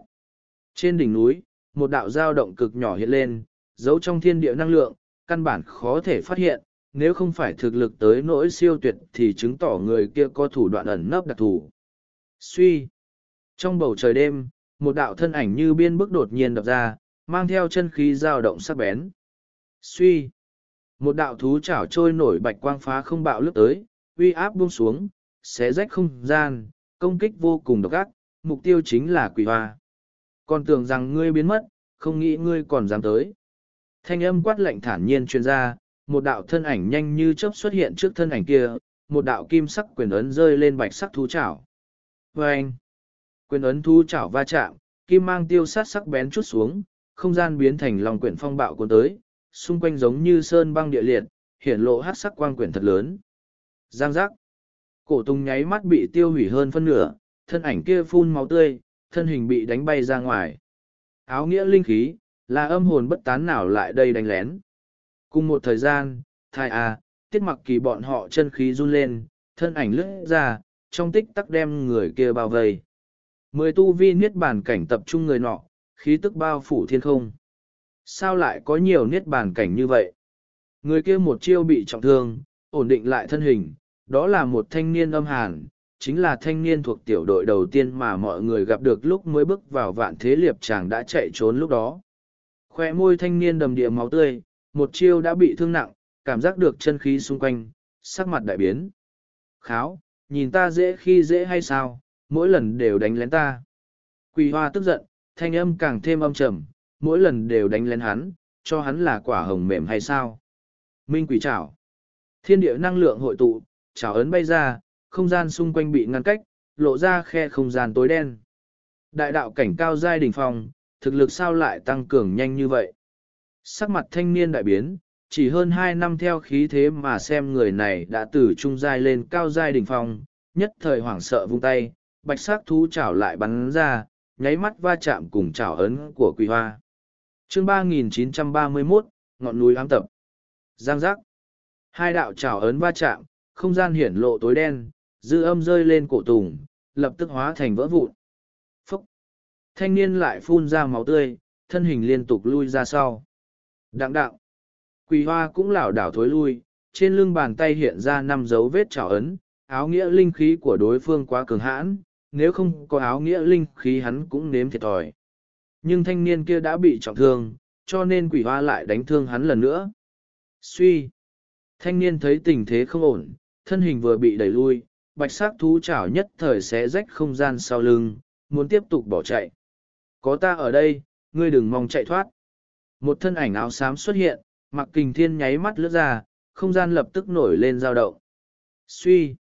Thanh niên vừa xé rách khe không gian, nháy mắt lại biến mất. Không gian áo nghĩa thật mạnh. Sắc mặt thanh niên đại biến, người ra tay không ngờ cường hãn như thế. Người trốn không thoát. Thân ảnh lục thiếu du chật lóe, nháy mắt đã đi tới trước người thanh niên. Trốn không thoát thì đã sao, là các ngươi giết sư muội của ta, ta tuyệt đối sẽ không bỏ qua cho các ngươi. Thanh niên âm lệ quát, hai mắt bắn ra hàn ý, hai tay run lên, hai đạo bạch sắc thú chảo lan tràn bay ra. Ô ô, chào ấn cuộn cuộn, hai hư ảnh dị thú khổng lồ trầm thấp rít gào, uy thế cực kỳ khủng bố, áo nghĩa linh khí tràn ra, hai đầu hư ảnh dị thú giữ tợn lao về hướng lục thiếu du. Là chính ngươi muốn tìm chết tới liệp sắt chúng ta, mất mạng còn đoán ai, tu luyện vốn vô tình, nếu đã tới mà ngươi còn muốn rời đi, ta sẽ rời khỏi vạn thế liệp tràng. Trong mắt lục thiếu du bắn ra hàn ý, song trưởng run lên, kim long hư ảnh xoay quanh, khoảnh khắc hóa trưởng thành quyền, kim mang bạo phát ầm ầm bay ra. Ngao. Hai hư ảnh hoàng kim cự long bắn ra, bước thẳng lên cao, phúc vũ phiên vân, hung hăng đánh về hướng hai hư ảnh dị thú, bốn đạo hư ảnh nhất thời va chạm lẫn nhau. Oanh oanh. Không trung bị kiềm hãm, quang mang chói mắt bộc phát, không gian bị phá nát, khe không gian tối đen tràn ngập, năng lượng kình khí nháy mắt khuếch tán. Phúc! Thanh niên lại phun ra máu tươi, thân hình bay ngược trở ra. Đi chết đi! Thân hình lục thiếu du lướt tới, hữu chảo gấp khúc hướng thanh niên vỗ xuống. Thê thiên liệt địa chảo. Không gian biến sắc, năng lượng hỏa hệ hội tụ đầy trời, một đạo chảo ấn đỏ đậm bay ra, uy lực vô cùng khủng bố. Hưu. Chảo ấn nháy mắt xé nát không gian đi tới trước người thanh niên kia. Tại sao cả đám đều mạnh như vậy, mạng ta xong rồi. Trong mắt thanh niên lộ ra sợ hãi, thân hình hắn bị ảnh hưởng tuyệt đối, còn bị thương nặng, vô lực xoay chuyển trời đất. Kiệt kiệt, lục thiếu du, người của ta không phải ngươi muốn giết thì có thể giết, có ta ở đây, hôm nay ngươi giết không được. Đúng ngay lúc này giữa không trung vang lên một tiếng cười lạnh êm trầm, cùng một lúc bên trong không gian của mạc kình thiên phong tỏa, đột nhiên không gian xung quanh uốn éo, một thân ảnh phá không bay ra, xuất hiện bên cạnh thanh niên kia, một tay nắm lấy đầu vai hắn, một tay đánh ra trưởng ấn va chạm cùng chảo ấn của lục thiếu du. Trường ấn lướt ra, tà khí bao phủ đầy trời, tà khí lan tràn khiến mọi người giật mình run rẩy. Oanh long. Chảo ấn nứt vụn từng khúc, nháy mắt biến mất trên trời cao, chỉ một thoáng vô số ánh mắt tập trung nhìn tới. Khí tức tà long. Trên vách đá cách đó không xa, huyền tuyết ngưng nhất thời như mày, nhìn qua thân ảnh kia. Thật mạnh. Người kia dễ dàng xé rách không gian phong tỏa của Mạc Kình Thiên, chấn vỡ trảo ấn của Lục Thiếu Du, thực lực làm người ngưng trọng, từng ánh mắt cũng tập trung về phía hắn. Là hắn. Ánh mắt mọi người vừa nhìn thấy người kia, nhất thời kinh biến. Hoài Linh Ngọc. Lục Thiếu Du nhìn thấy người kia, nhất thời hàn ý chẳng ra, người kia chính là người đánh trọng thương Thái A, đem đám người Hồng Vân thế giới Lưu Vân tới đối phó tiểu đội của mình, Hoài Linh Ngọc. Chân khí không bình thường. Nhưng lúc này nhìn thấy Hoài Linh Ngọc, cảm giác khí tức trên người hắn, Lục Thiếu Du kinh ngạc, bởi vì khí tức bây giờ của Hoài Linh Ngọc đã khác hẳn ngày trước. Lục Thiếu Du cảm giác được cỗ tả khí trên người Hoài Linh Ngọc có cảm giác quen thuộc, chân khí dao động mơ hồ lan tràn làm linh hồn người run rẩy, nhận lấy áp bách thật lớn, thực lực đã tới nông nỗi khủng bố. Người này rất mạnh, chân khí thật tà, nếu ta suy đoán không sai trên người hắn hẳn có thiên sinh linh vật cực kỳ khủng bố. Mặc kình thiên đi tới bên cạnh lục thiếu du, ánh mắt cảnh giác nhìn Hoài Linh Ngọc. Có quan hệ với thiên sinh linh vật sao, khó trách lại mạnh như vậy. Lục thiếu du nhướng mày. Hoài sư huynh. Thanh niên tìm được đường sống trong chỗ chết, hồi phục lại tinh thần, người này chính là Minh Tuyển. Nghe Lưu Vân điều tra được nhóm người lục thiếu du đi tới phong thần sơn cho nên chạy tới đánh lén. Minh Tuyển, ngươi làm cho ta thật thất vọng, tự tiện hành động, sau khi trở về ta mới thu thập ngươi. Hoài Linh Ngọc thản nhiên nói, ném Minh Tuyển sang bên cạnh, ngẩng đầu nhìn nhóm người lục thiếu du, lại nhìn tiết mặc kỳ, vẻ mặt dâm huế nói. Mặc kỳ, mấy năm nay đi theo bên người lục thiếu du, có phải đã quên ta hay không, ta cho ngươi biết, ta rất nhớ ngươi. Ánh mắt tiết mặc kỳ thay đổi, trầm giọng nói. Không nghĩ tới ngươi còn chưa chết, thực lực hẳn có tiến bộ, bất quá vô sắc thế giới có người vô sỉ như ngươi, thật sự bôi đen vô sắc thế giới. Kiệt kiệt, đi theo bên người lục thiếu du quả nhiên khác với lúc trước. Hoài Linh Ngọc không hề có chút tức giận, âm tả cười lạnh nói. Ta chỉ muốn đánh chết lục thiếu du mà thôi, không biết sao lại bôi đen vô sắc thế giới, các ngươi đơn giản là muốn tìm chỗ dựa vững chắc, hiện tại ta cho các ngươi một cơ hội, đi nhờ và ta, ta không trách lỗi xưa, thế nào? Hoài Linh Ngọc, ngươi còn chưa đủ tư cách, còn dám xuất hiện, hôm nay ngươi nhất định phải chết. Thử viêm phun nước bọn, chân khí nóng cháy nhất thời trào ra. Kiệt kiệt, cấp mặt không biết xấu hổ, cấp cơ hội mà các ngươi không cần, cho rằng mình bò lên lục thiếu du chiếm chút tiểu ân tiểu huệ của tiểu tử đó thì xem là chỗ dựa vững chắc sao, ta sẽ cho các ngươi hối hận. Hoài Linh Ngọc cười lạnh, lập tức nhìn Tiết Mặc Kỳ, lướt mắt nhìn lên thân hình nảy nở của nàng, nói. Mặc Kỳ, ngươi luôn biết tâm ý của ta đối với ngươi, hiện tại ta cho ngươi cơ hội, trở thành nữ nhân của ta, ta sẽ cho ngươi vô số chỗ tốt, dục sinh dục tử, ta nghĩ mùi vị của ngươi tốt hơn nhiều dòng chi tục phân khác. Đồ vô sỉ, ngươi không đủ tư cách. Tiết mặc kỳ run lên, sắc mặt giận dữ. Kiệt kiệt. Hoài Linh Ngọc cũng không trả lời tiết mặc kỳ, ánh mắt nhìn chăm chú vào lục thiếu du cùng thái A, âm hiểm quái dị cười nói. Lục thiếu du, chúng ta lại gặp mặt, không nghĩ tới thái A còn chưa chết, kỳ tích A, vậy còn không chết được. chương 3932, thực lực Hoài Linh Ngọc. Ngươi sẽ phải trả giá thật nhiều, cả Hoài gia cũng vì ngươi mà trả giá thật nhiều. Lục thiếu du lạnh lùng nói, trong mắt tràn ngập sát ý. Sát ý thật lớn. Hoài Linh Ngọc thản nhiên cười lạnh nói. Lục thiếu du, ngươi không phải tự cho là có chút thực lực sao, ngươi nghĩ còn là lúc trước chứ gì, bây giờ ngươi ở trước mặt ta đã không còn tư cách hung hăng càng quái, hiện tại ta muốn giết ngươi thật dễ dàng, bất quá ta thay đổi chủ ý, hôm nay ta không giết ngươi, không biết bất luận kẻ nào, muốn biết vì sao không. Dừng một chút, ánh mắt hắn lướt qua mọi người, cười lạnh nói. Bởi vì ta cần lưu các ngươi tới cuối cùng, ta muốn cho các ngươi chứng kiến một khắc đi lên phong thần đài, bái tướng phong hoàng, ngạo tiếu thành thần. Sau đó ta sẽ đem các ngươi cùng cả gia tộc Sơn môn các ngươi nổ tận gốc, chó gà không tha. Đây là kết cục đối lập với ta, mặc kỳ, tới lúc đó ta sẽ cho ngươi chủ động leo lên chờ ta sủng ái, mặc ta thưởng thức, trở thành nữ nô tùy ý cho ta phát tiết. Về phần lục thiếu du, ta biết ngươi có chút buồn sự, những lao gia hỏa vô sắc thế giới đem tiền đặt cược trên người ngươi, cho nên ta thành toàn ngươi, cho ngươi đi lên phong thần đài, cho ngươi cuối cùng gặp ta, ta sẽ ở trước mặt thượng thanh đại thiên thế giới đem ngươi dẫm nát dưới chân của ta, ta sẽ nói cho mọi người ngươi ở trước mặt ta chỉ là một con kiến, kiệt kiệt. Hoài Linh Ngọc cười to không nớt, phảng phất như đã đem lục thiếu du dẫm nát dưới chân của hắn. Ta nghĩ, chờ ngươi còn sống nhìn thấy Thái Dương ngày mai thì hãy nói sau đi. Lục thiếu du bước ra, sát ý lan tràn, sát khí thổi quét, khí lãng dâng lên khắp thiên không. Sư phụ, hãy giao tên này cho ta đi, ngươi trước tiên đi đối phó ưu hồn không tiêu tan kia đã. Thanh âm thái ai truyền ra, thân ảnh dẫm hư không, nương theo cố linh hồn phong bạo cuộn cuộn, như cơn lốc thổi quét không gian, làm cả thiên địa đều run lên. Thực lực thật mạnh. Chỉ một thoáng xung quanh truyền ra không ít thanh âm than thở, thậm chí có không ít người lăng không đứng xa xa quan sát bên này. Hoài Linh Ngọc, dám đánh lén ta, ta không chết, tới ngươi trả giá thật nhiều. Thân ảnh Thái A lao tới nhanh như chớp, uy thế linh hồn cùng linh hồn áo nghĩa lan tràn, hình thành cô linh hồn phong bạo nóng cháy. Thu la diệt hồn trưởng. Một thanh âm quỷ khóc thần hào sen lẫn trường ấn, không gian gió dục mây vẩn, khí tức man hoang thương cổ lan tràn, đánh thẳng về hướng Hoài Linh Ngọc. Và anh, thực lực thật mạnh, đây là thực lực niết bàn cảnh trung giai hay sao? Nhóm người tử viêm ngẩng đầu nhìn lên, ánh mắt run rẩy, khí thế kinh khủng đủ cho họ có cảm giác các bách, niết bàn cảnh trung giai cùng sơ giai, cách nhau thật quá lớn. Đây là niết bàn cảnh trung giai, tiểu đội vô sắc thế giới không ngờ có cả niết bàn cảnh trung giai. Tiểu đội phong vân thế giới nhìn lên không trung, vẻ mặt khiếp sợ, thanh niên gầy gò kia chỉ là đồ đệ của lục thiếu du mà thôi, không ngờ tu vi cao như vậy. Di, sao lại mạnh như vậy? Hoài Linh Ngọc biến sắc, hai mắt lộ vẻ kinh ngạc lẫn nghi hoặc, một tay hung hăng đánh ra, nguyên lực cùng hắc vụ cuồn cuộn dâng trào. Ta long ảnh. Hoài Linh Ngọc khẽ quát một tiếng, một đạo hư ảnh long hình rít gào lao ra, mang theo thanh âm dầm đãng khiến linh hồn người rung động, giữ tợn xuyên thủng không gian đánh về phía thai A. Oanh long.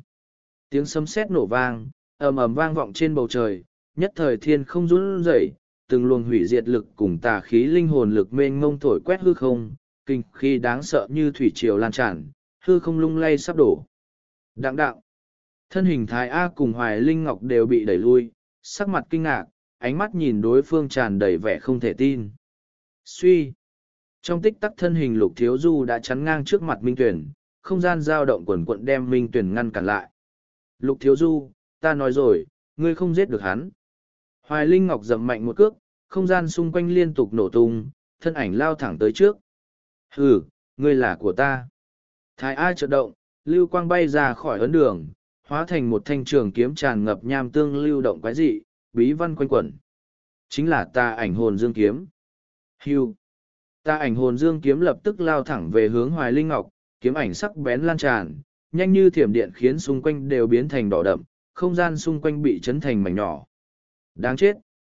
Hoài Linh Ngọc cũng không dám thờ ơ, hắc vụ lập tức tràn ngập, thân hình nháy mắt liền biến mất. Lục Thiếu Du, ta liều mạng với ngươi. Minh Tuyền không thể thoát thân, trong mắt tràn đầy oán hận, đôi thú chảo tràn ngập hào quang xé rách không gian, mang theo kình khí ngập trời cùng thanh âm tiếng rít hung hăng đánh về hướng Lục Thiếu Du. Trên mặt Lục Thiếu Du hiện tia cười lạnh, tay vung lên, một đạo huyết quang hội tụ, huyết quang thu liễm, huyết lục hiện ra. Ngao.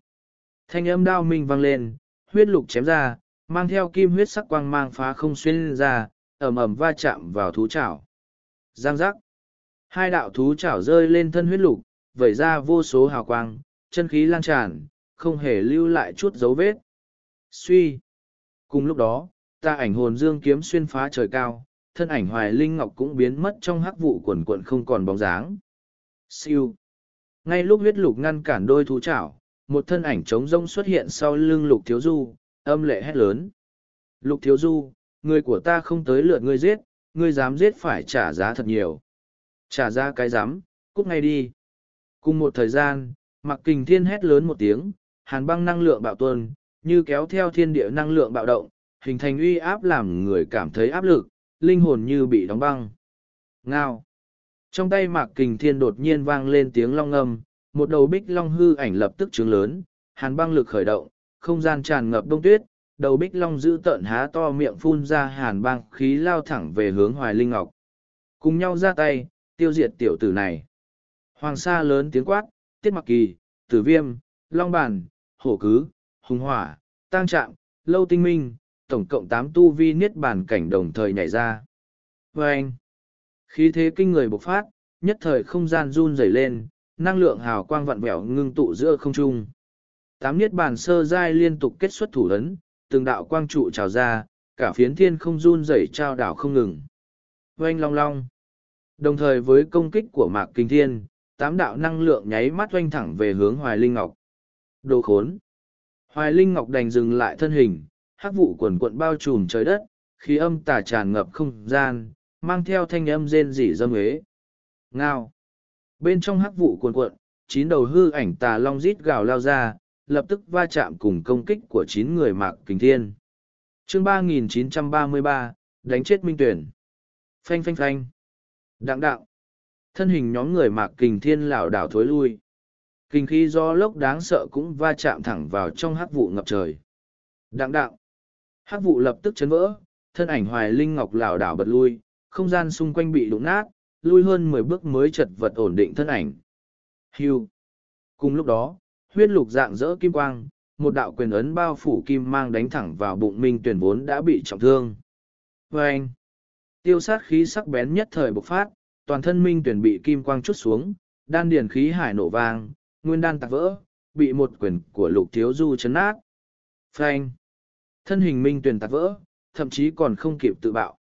Suy, Đồng thời khi Hoài Linh Ngọc vừa ổn định thân hình, một thân ảnh gầy gò xuất hiện ngay sau lưng của hắn. Hiu hiu. Linh hồn lực nóng cháy khởi động, một đạo kiếm ảnh xuyên thấu không gian đâm thẳng tới trước, kiếm quang tà khí tận trời, ba đạo năng lượng vặn vẹo cả không gian như muốn tạc vỡ cả hư không phía trước. Đáng chết. Hoài Linh Ngọc cấp tốc xoay người, trong mắt hiện lên hàn ý, giờ phút này cũng bị hoảng sợ nhìn thấy một kiếm xuyên thủng không gian đập tới, một đạo hắc vụ âm tà dâng lên, âm hàn khí bạo tuôn, lại giống như vô số năng lượng hắc xà triển thẳng tới thanh kiếm kia. Suy suy, vô số hắc vụ âm tà cuốn lấy kiếm ảnh, không gian đều run lên, giống như triệt để đồng cứng lại, nhất thời dây dưa không dứt. Và anh, cùng một thời gian, tay trái Thái A mang theo linh hồn năng lượng nóng cháy hung hăng vỗ lên người Hoài Linh Ngọc. Đặng đạo. Hoài Linh Ngọc lập tức bị đẩy lui. Suy suy. Thân hình minh tuyền nổ tung, hai đạo linh hồn lưu quang đột nhiên nhảy ra, linh hồn phân thân cùng hồn anh đang cấp tốc bỏ chạy. Đã nói ngươi phải chết vậy trốn không thoát, đi chết đi. Một tiếng quát băng xương hạ xuống, thân ảnh lục thiếu du run lên, huyết lục chấn khai hai đạo thú chảo, một đạo thanh lục sắc đao mang nương theo sau chân khí hủy diệt sinh cơ xuyên qua bầu trời, đao mang xuyên thủng linh hồn lưu quang đầu tiên, sau đó lại xuyên thủng đạo thứ hai, phá hủy sạch sẽ. Hiu hiu. Hai đạo linh hồn lưu quang bị hủy diệt, hai kiện áo nghĩa linh khí thú chảo trắng tinh cùng giới chỉ chữ vật lặng yên rơi vào trong tay lục thiếu du. Đặng đạo. Hoài linh ngọc bị đẩy lui, liếc mắt nhìn xung quanh, chân khí càng thêm âm hàn. Chơ mắt nhìn Minh Tuyền bị đánh chết ngay trước mắt, Minh Tuyền chết sống hắn cũng không quan tâm, nhưng lại bị đánh chết ngay trước mặt hắn chẳng khác gì đánh vào mặt của hắn. Giỏi, giỏi, giỏi. Lục Thiếu Du, thai à, ta sẽ nhớ kỹ các người món nợ này sẽ chậm rãi tính toán với các ngươi. Dứt lời, tuy trong mắt hắn hiện lên sắc ý, nhưng quanh thân quần cuộn âm tà hắc vụ, thân ảnh run lên biến mất bên trong hắc vụ tối đen. Suy, chỉ nháy mắt hắc vụ co rút lại, hư không tiêu thất giữa không trùng, thân ảnh hoài linh ngọc cũng biến mất. Trốn đi đâu? Thái A muốn truy theo, lục thiếu du lập tức ngăn cản, nói. Thái A, không cần đuổi theo, để cho hắn đi, đã đuổi không kịp. Các ngươi thật sự đuổi không kịp, nếu không phải hắn xuất hiện vấn đề, chỉ sợ toàn bộ các ngươi liên thủ cũng bị giết, vì mạng nhỏ của mình, không nên đuổi theo tốt hơn. Huyền tuyết ngưng đi tới, nhìn theo hoài linh ngọc biến mất, trong mắt lộ ra tinh quang. Hoài linh ngọc rốt cục gặp được cơ duyên gì, biến thành đáng sợ như thế. Ánh mắt lục thiếu du ngưng trọng, vừa rồi ra tay cũng nhìn ra được, Hoài Linh Ngọc đối phó chín miết bản cảnh sơ dài cũng không bị thương, thực lực quá kinh khủng, huống chi thái á cũng không làm gì được hắn. Người này là ai, thực lực thật mạnh. Mạc Kinh Thiên ngưng trọng hỏi. Nói thì dài dòng. Lục Thiếu Du nói, thực lực Hoài Linh Ngọc mạnh như vậy, ngày mai lên phong thần đài, lần này chỉ sợ gặp phiền toái không nhỏ. Trên một vách núi, mười người lăng không đứng lơ lửng, mơ hồ có mười cỗ chân khí kinh khủng lan tràn, ít nhất có chín người đã tới niết bàn cảnh, người còn lại chỉ sợ cũng đã tới bán niết bàn cảnh. Nhóm người kia thuộc thế giới nào? Thanh niên đứng phía trước khoảng 28-29 tuổi, thân hình cao ngất, khí vụ hiên ngang, khuôn mặt góc cạnh rõ ràng, khỏe môi luôn giống như mỉm cười, làm người ta có cảm giác thật tiêu sái nhẹ nhàng. Nhâm sư huynh, nhóm người đó là phong vân thế giới mạc kình thiên, ngoài ra là người vô sắc thế giới, dẫn đầu tên Lục Thiếu Du, nghe nói đoạn thời gian trước đã trà đạp ngô phá thiên cùng hắc manh trước mặt tuyệt phong hoa, thiên thương ấn, độc nhất đao, đoạt được nguyên cổ linh tinh thú. Thanh niên mặc hoa phục tu vi niết bàn cảnh đứng sau lưng lên tiếng. Diệu thủ không không mạc kinh thiên, cũng không yếu, vô sắc thế giới lục thiếu du, có thể trà đạp hắc mãnh cùng ngô phá thiên, đoạt lấy nguyên cổ linh tinh thú trước mặt tuyệt phong hoa, thiên thương ấn, độc nhất đao, đoán chừng là có được thực lực khiến ba người kia kiến kỵ, xem ra tuyệt đối là một đối thủ.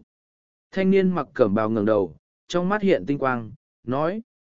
Nhưng cực mạnh hẳn là tên mang theo khí tức cấm tà, cùng thanh niên gầy gò bên cạnh lục thiếu du, lần này không chỉ có hoàng lạc nhan cùng tịnh vô ngân rồi.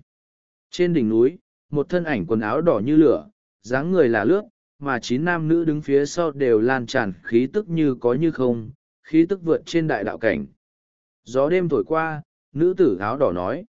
Bên cạnh diệu thủ không không mạc kình thiên là người phương nào. Ta đã tìm hiểu được, đó là vô sắc thế giới lục thiếu du. Một thanh niên lạnh lùng đứng phía sau nói, chân khí ẩn tàng sâu đậm, lộ ra cố khí thế sắc bén cường hãn. Lục thiếu du, chính là kẻ đánh trọng thương hắc mãnh cùng ngô phá thiên, đoạt nguyên cổ linh tinh thú trước mặt tuyệt phong hoa, thiên thương ngấn cùng độc nhất đao, nhìn dáng vẻ hẳn là có chút bản lĩnh thật sự. Thanh âm nữ tử áo đỏ thanh thúy.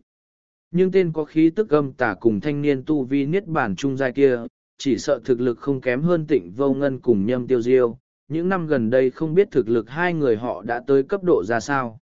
Núi non trùng điệp, mây mù che phủ, trong đêm tối một mảnh thâm thúy u ám. Trên đỉnh núi, ngọn cổ tùng, một thân ảnh cao gầy lăng không đứng lơ lửng, nhìn xuống dây núi bên dưới, song trường ôm một trường kiếm màu trắng, trên vỏ kiếm bí văn quanh quẩn. Một người một kiếm, hồn nhiên thiên thành, người kia khoảng hai mươi tám hai mươi chín, khuôn mặt cương nghị, góc cạnh lanh tuấn, mày rậm mũi cao, khí tức khiến người có cảm giác như bị áp chế. Chín thân ảnh chợt lóe mà tới, chín người vô thanh vô tức xuất hiện, chân khí ẩn nấp dao động cả không gian. Suy. Thanh niên ôm kiếm chợt mở mắt, ánh mắt như xuyên thủng không gian, nói. Tìm hiểu được tin tức gì?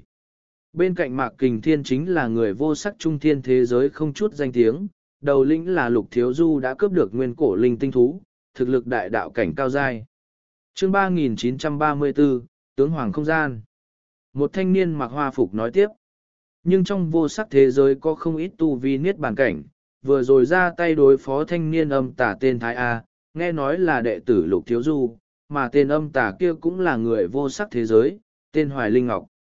Hoài Linh Ngọc mới là kẻ khó dây vào, có lẽ do hắn dung hợp thiên sinh linh vật, mà Thái A cũng rất mạnh, lần này ngoại trừ nhâm tiêu diêu cùng Hoàng Lạc Nhan, hai người này cũng là đối thủ cường hãn, không nghĩ tới một vô sắc thế giới vô danh lại xuất hiện cường giả như vậy.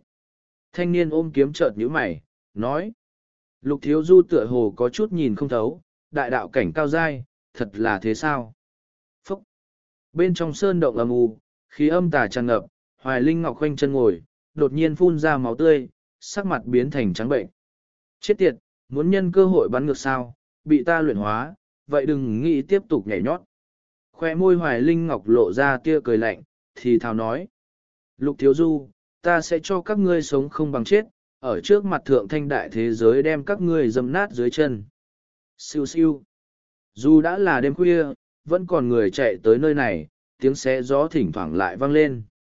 Gần bên phong thần sơn mạch ngày càng tụ tập nhiều người, nhưng người chạy tới ngày càng ít, nhân số cũng lên tới mấy ngàn. Trong những người này cũng có người thuần túy chạy tới xem náo nhiệt mà thôi, thậm chí có không ít người đã sớm đầu hàng, một mặt là tới xem náo nhiệt, mặt khác chờ ngày mai rời khỏi vạn thế liệp tràng. Bởi vì mỗi người cần hai mươi khối phong thần thạch, mà có gần vạn người vào liệp tràng, gần vạn phong thần thạch, như vậy có thể đi lên phong thần đài cũng chỉ khoảng năm trăm người. Trong số đó có người dư thừa phong thần thạch, lại có người thiếu vài khối, như vậy người đăng phong thần đài càng thêm ít. Bởi vậy ngoại trừ có người ra tay cướp đoạt lần cuối cùng, cũng có người bán ra phong thần thạch. Dù sao buôn bán vẫn bảo đảm nhất, mà ra tay cướp đoạt lại không nhiều. Hô hô! Giờ phút này bên trong dãy núi, đột nhiên có mấy ngàn đạo khí tức đồng thời thức tỉnh, chân khí dao động bàng bạc run lên. Hô hô! Trên ngọn núi, nhóm người lục thiếu du cùng mạc kình thiên cũng thở mạnh một hơi, trong mắt chợt lóe tinh quang liền biến mất. Khi ánh mặt trời đầu tiên chiếu xuống đại địa, một thanh âm giả nua chợt truyền ra. Toàn bộ người dự thi trong vạn thế liệp chàng hãy nghe, ba năm thời gian đã đến, tướng hoàng không gian mở ra, mọi người tiến vào tướng hoàng không gian, người dự thi có đầy đủ phong thần thạch đăng phong thần đài. Thanh âm quanh quẩn, u u dương dương, tựa hồ đủ làm cho toàn bộ người trong vạn thế liệp tràng nghe được. Ba năm thời gian, rốt cục cần rời khỏi vạn thế liệp tràng. Mặc kinh thiên đứng dậy, cảm giác được xung quanh có không ít chân khí cường hãn, ánh mắt khẽ động. Bái tướng phong hoàng, ngạo tiếu phong thần, là long là trùng, phong thần đài có thể thấy rõ ràng. Lục thiếu du khoanh tay đứng thẳng, trong mắt tràn ngập chiến ý nóng cháy. Huyền tuyết ngưng ôm nguyên cổ linh tinh thú, ánh mắt vẫn thản nhiên, chỉ có khí tức trong veo từ linh tinh thú tản ra làm mọi người đều được lợi ích. Suy suy. Vào thời khắc này, thiên địa đột nhiên dao động, đông đảo ánh mắt đều nhìn chăm chú vào khoảng không phía trước. Trên bầu trời đột nhiên xuất hiện vô số quan mang, không gian dao động, không ngừng vặn mèo. Hô hô. Chân khí dao động lòng người lan tràn, không gian vặn vẹo càng thêm kịch liệt, chỉ nháy mắt ngắn ngủi liền phát ra tiếng vang vù vù như long quyền phong. Chỉ một thoáng, giống như cả bầu trời đều đang run rẩy, chân khí áp lực lan tràn, làm linh hồn mọi người đều rung chuyển. Không bao lâu, chỉ thấy trên không trung hiện ra một tầng bích trướng, bích trưởng vắt ngang thiên địa, không gian xung quanh gợn sóng, khí tức tang thương kinh người tràn ngập. Mọi người nghe đây, tướng hoàng không gian đã mở ra, đều vào đi thôi. Thanh âm già nua lại truyền ra, ú ú dương dương quanh quẩn trên không.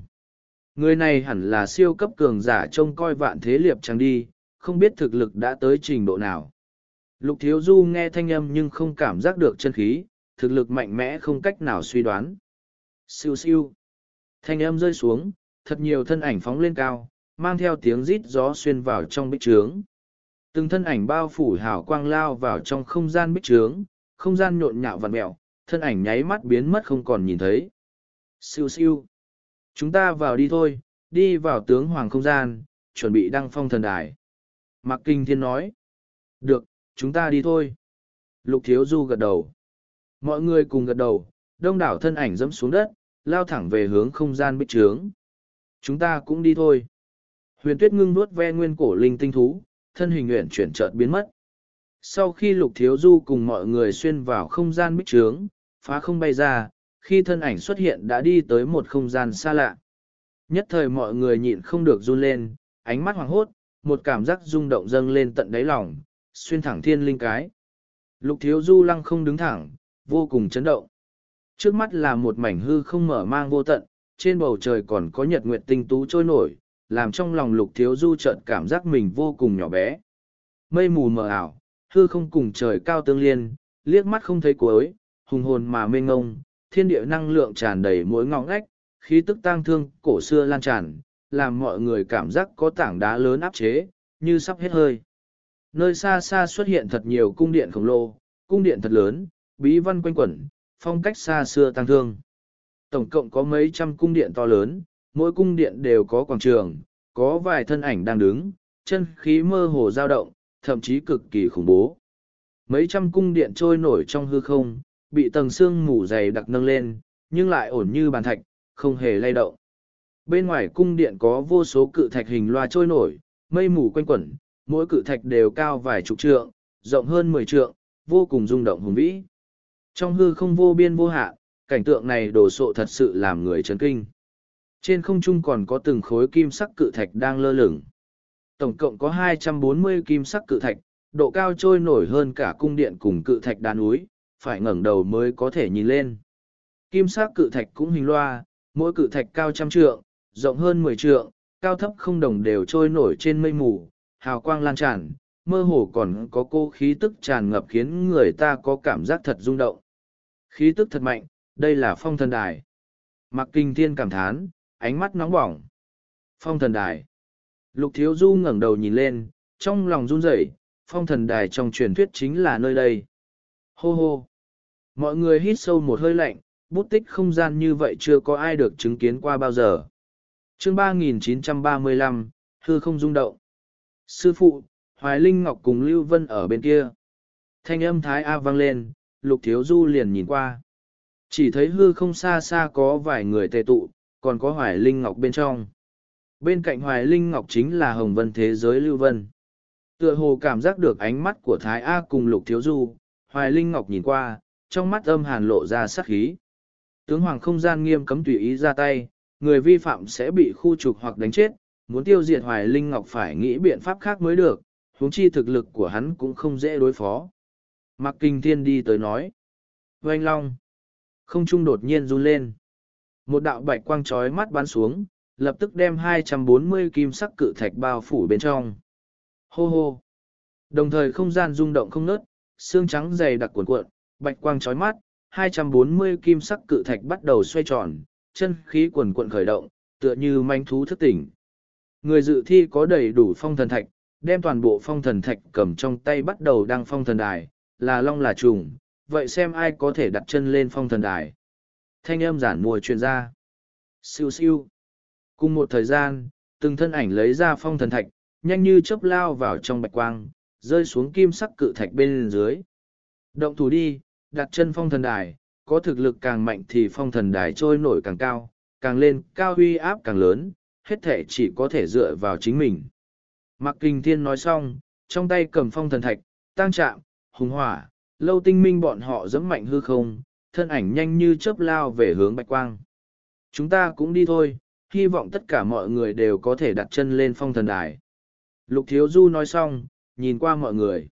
Lần này phong thần đài nhất định có danh hào của vô sắc thế giới. Thử viêm nói xong lấy ra phong thần thạch. Mọi người toàn lực ứng phó đi, từ giờ trở đi, hết thể phải dựa vào chính mình. Hoàng Sa nắm tay tôn tiểu nha nói. Xuất phát. Nháy mắt thân ảnh mọi người chỉ còn lưu lại tàn ảnh, lao thẳng về hướng bạch quang. Suy. Mọi người lao vào trong bạch quang, phong thần thạch đồng thời lóe ra bạch sắc quang mang. Bạch quang bao phủ mọi người, đồng thời áp lực ngập trời vỡ áp xuống. Suy suy. Dưới áp lực ngập trời, mọi người đều run lên, áp lực cực lớn không chỉ tác dụng lên thể sắc còn là linh hồn, như muốn đem linh hồn áp bạo, thân hình phá hủy thành mảnh nhỏ. Chỉ nháy mắt mọi người đồng thời khởi động khải giáp, năng lượng quang quyển phòng ngự, đối kháng cùng áp lực thật lớn, thân hình lao thẳng tới kim sắc cự thạch. Oanh long. Có người rơi lên kim sắc cự thạch, cự thạch run lên, từ từ xoay tròn, kim quang tràn ra, như kim liên từ từ dâng cao. Siêu siêu. Ước chừng có bốn trăm thân ảnh lao vào bạch quang, mà vị trí hai trăm bốn mươi kim sắc cự thạch cũng nhanh chóng có người chiếm lĩnh. Suy. Mọi người rơi xuống vị trí, nháy mắt nguyên lực trào ra, cuốn bánh rơi lên phong thần đài, kim sắc cự thạch từ từ xoay tròn dâng lên. Áp lực cực lớn, người tu vi thấp căn bản không thể tranh đoạt vị trí trên phong thần đài, trừ phi thực lực cao hơn những người khác. Suy. Thân ảnh lục thiếu du xuất hiện cạnh một kim sắc cự thạch, nơi đó đã có một thanh niên mặc hoa phục, thân hình lục thiếu du mạnh mẽ giáng xuống. Cũng ngay, sắc mặt thanh niên mặc hoa phục đại biến, tốc độ cũng thật khủng bố, nguyên lực tràn ra, động tới năng lượng phong hệ, mang theo năng lượng khủng bố chấn vỡ không gian, một đạo quyền ấn ngưng tụ hướng lục thiếu du đánh tới. Đại địa vô ảnh cước. Thân hình lục thiếu du chật nghiêng, cước ảnh bạo lướt, nở rộ như đóa hoa phủ đầy trời, mỗi cước ảnh đều chấn vỡ cả không gian. Phanh phanh. Thanh niên còn chưa kịp phản ứng, thân hình không biết đã bị đá bay nơi nào. Lục thiếu du rơi xuống kim sắc cự thạch, nguyên lực quần cuộn dâng trào, đổ chút lên cự thạch, mà cự thạch dâng lên năng lượng hấp thu nguyên lực của lục thiếu du chút xuống. Oanh long. Cự thạch run lên, từ từ xoay tròn bay lên, uy áp ngày càng mạnh mẽ áp xuống trên người lục thiếu du. Thang. Dưới áp lực cực lớn, lục thiếu du dẫm mạnh lên cự thạch bên dưới. Kim sắc cự thạch không hề bị ảnh hưởng, hai chân lục thiếu du dán chặt lên nó, khởi động thanh linh khải giáp, nguyên lực toàn thân tràn ra, đem uy áp kinh người ngăn cản bên ngoài. Thái A đã sớm đặt chân lên một kim sắc cự thạch, nhưng khi thân ảnh hắn vừa rơi xuống, một thanh niên nháy mắt cùng lao tới. Và anh, thanh niên phất tay đánh ra trưởng ấn mang theo kinh khí khủng bố cùng linh hồn công kích sen lẫn hàn khí nhất thời đánh về phía Thái A. Thu vi bán miết bàn, ngươi tìm lộn người. Thái A lộ ý cười, phất tay đánh ra trưởng ấn nên tiếp, linh hồn nóng cháy chẳng ra, nương theo thanh âm quỷ khóc thần hào va chạm tới. Oanh oanh! Thanh âm nổ mạch trầm thấp vang lên, thanh niên bị đánh bay, miệng phun máu tươi, thân hình nện xuống dưới. Đây là của ta. Kim viên cũng hiện lên cạnh một kim sắc cự thạch, bản thể khổng lồ hiển lộ. Muốn cướp, phải nhìn xem ngươi có bản lĩnh này hay không. Thanh niên đứng trên cự thạch chầm xuống, quát lớn một tiếng, nguyên lực dâng lên, năng lượng thổ hệ run rẩy, thiên địa năng lượng hội tụ, cánh tay phải rung lên, một đạo hoàng mang năng lượng bao phủ quyền ấn hướng kim viên đánh tới. Phá thiên phủ Việt. Kim viên hét lớn, một thanh linh khí lập tức bổ thẳng vào quyền ấn. Suy. Không gian run lên, quyền ấn phá nát, năng lượng kinh khí tàn sát bừa bãi giữa không trung. Cùng một thời gian, bản thể khổng lồ của kim viên chiếm lĩnh cự thạch, một đạo quyền ấn lập tức đánh thẳng vào thanh niên. Phanh. Thanh niên muốn thoát thân đã không còn kịp nữa, cự lực chút xuống, miệng hắn phun máu tươi, thân hình bị đánh bay khỏi kim sắc cự thạch. Trên một kim sắc cự thạch khác, thân ảnh tiết mặc kỳ thản nhiên đứng thẳng, thanh sắc quang mang lan tràn. Hưu. Một nữ tử lao thẳng tới, kiếm ảnh vỡ trộn hư không, áp thẳng xuống dưới. Phá.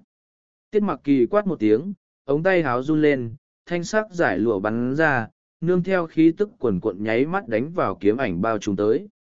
Vâng! anh, kiếm ảnh lập tức bị đánh nát, thanh sắc giải lụa cũng va chạm lên người nữ tử, đánh bay thân hình nàng ra xa.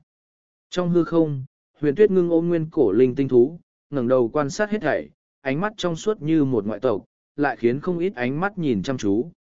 Phanh phanh phanh. Tiếng nổ bạo không ngừng vang vọng, năng lượng va chạm, không gian liên tục sụp đổ, phong vân biến sắc, mơ hồ còn vang lên tiếng sấm sét. Phanh phanh phanh. Từng thân ảnh rơi xuống, máu tươi phun trào, thú minh rít gào, bởi vì có không ít thú tộc trong đó. Oanh long. 240 kim sắc cự thạch dần dần lên cao, sức ép càng lớn, áp lực khổng lồ đủ tạc vỡ thân thể lẫn linh hồn mỗi người. Nhưng càng lên cao càng an toàn, bởi vì người tranh đoạt không phải ai cũng có thực lực đi lên cao. chương 3936, tranh đoạt một vị trí. 240 vị trí đã đầy người, kim mang quanh quẩn, người có thể đặt chân lên đó khỏe môi đều lộ ý cười. Thanh linh khải giáp lóe sáng hào quang, nguyên lực quần cuộn khởi động, mồ hôi lạnh tuôn ra trên trán lục thiếu du, mai tới khi sắc mặt hắn thoáng tái nhợt, độ cao của hắn cũng đem đại đa số cự thạch áp chế bên dưới. Lục thiếu du ngẩng đầu nhìn chăm chú, độ cao của hắn tựa hồ không còn ai đủ khả năng nhảy lên, không gian xung quanh cũng có không ít người chiếm lĩnh cự thạch cũng đang thăng lên. Hô lạp lạp. Ánh mắt lục thiếu du nhìn quanh, kim quang bốc lên, xoay quanh trên không trung. Trên đỉnh cao nhất có ba kim sắc cự thạch, ba thân ảnh đứng bên trên, ba cỗ khí tức quần quận lan tràn. Vị trí đầu tiên là một thanh niên 28-29 tuổi, khí vũ hiên ngang, khóe môi luôn mỉm cười, nhìn thật tiêu sái. Vị trí thứ hai là một thân ảnh gầy gò ngạo nghễ, khuôn mặt lanh tuấn, mày rậm mũi cao, song trưởng ôm một bạch sắc trường kiếm, hồn nhiên thiên thành. Vị trí thứ ba là một thân ảnh luyện chuyển xinh đẹp, quần áo đỏ như lửa, khuôn mặt tuyệt mỹ động lòng người, vô cùng cao quý. Thực lực ba người này, thật đáng sợ. Lục thiếu du khẽ động, độ cao của ba người kia đủ chứng minh thực lực của họ. Kiệt kiệt. Nhưng vào lúc này, một tiếng cười to âm tà truyền ra, một kim sắc cự thạch thăng lên, vượt qua lục thiếu du, đuổi theo độ cao của ba người kia. Hoài Linh Ngọc. Lục thiếu du nhướng mày. Ba người kia nhìn thấy Hoài Linh Ngọc, ánh mắt cũng thoáng dao động. Kiệt kiệt, vị trí cao hơn một chút, quả nhiên khác hẳn. Hoài Linh Ngọc cơm hàn cười lạnh, nhìn lục thiếu du ở bên dưới, trong mắt hiện lên hàn ý. Sư phụ! Thiếu du huynh đệ! Hai kim sắc cự thạch bay lên, là Thái A cùng Mạc Kình Thiên một trái một phải xuất hiện bên cạnh lục thiếu du không xa. Hoa lập lạp! Không ít kim sắc cự thạch cũng lập tức bay lên, lục thiếu du liếc mắt nhìn lại, có vài thân ảnh quen thuộc, còn có mấy đầu lĩnh tiểu đội từng tranh đoạt nguyên cổ linh tinh thú. Trong đó có thông thiên thế giới thiên thương ấn, phượng dương thế giới tuyệt phong hoa, pháp đạo thế giới độc nhất đao.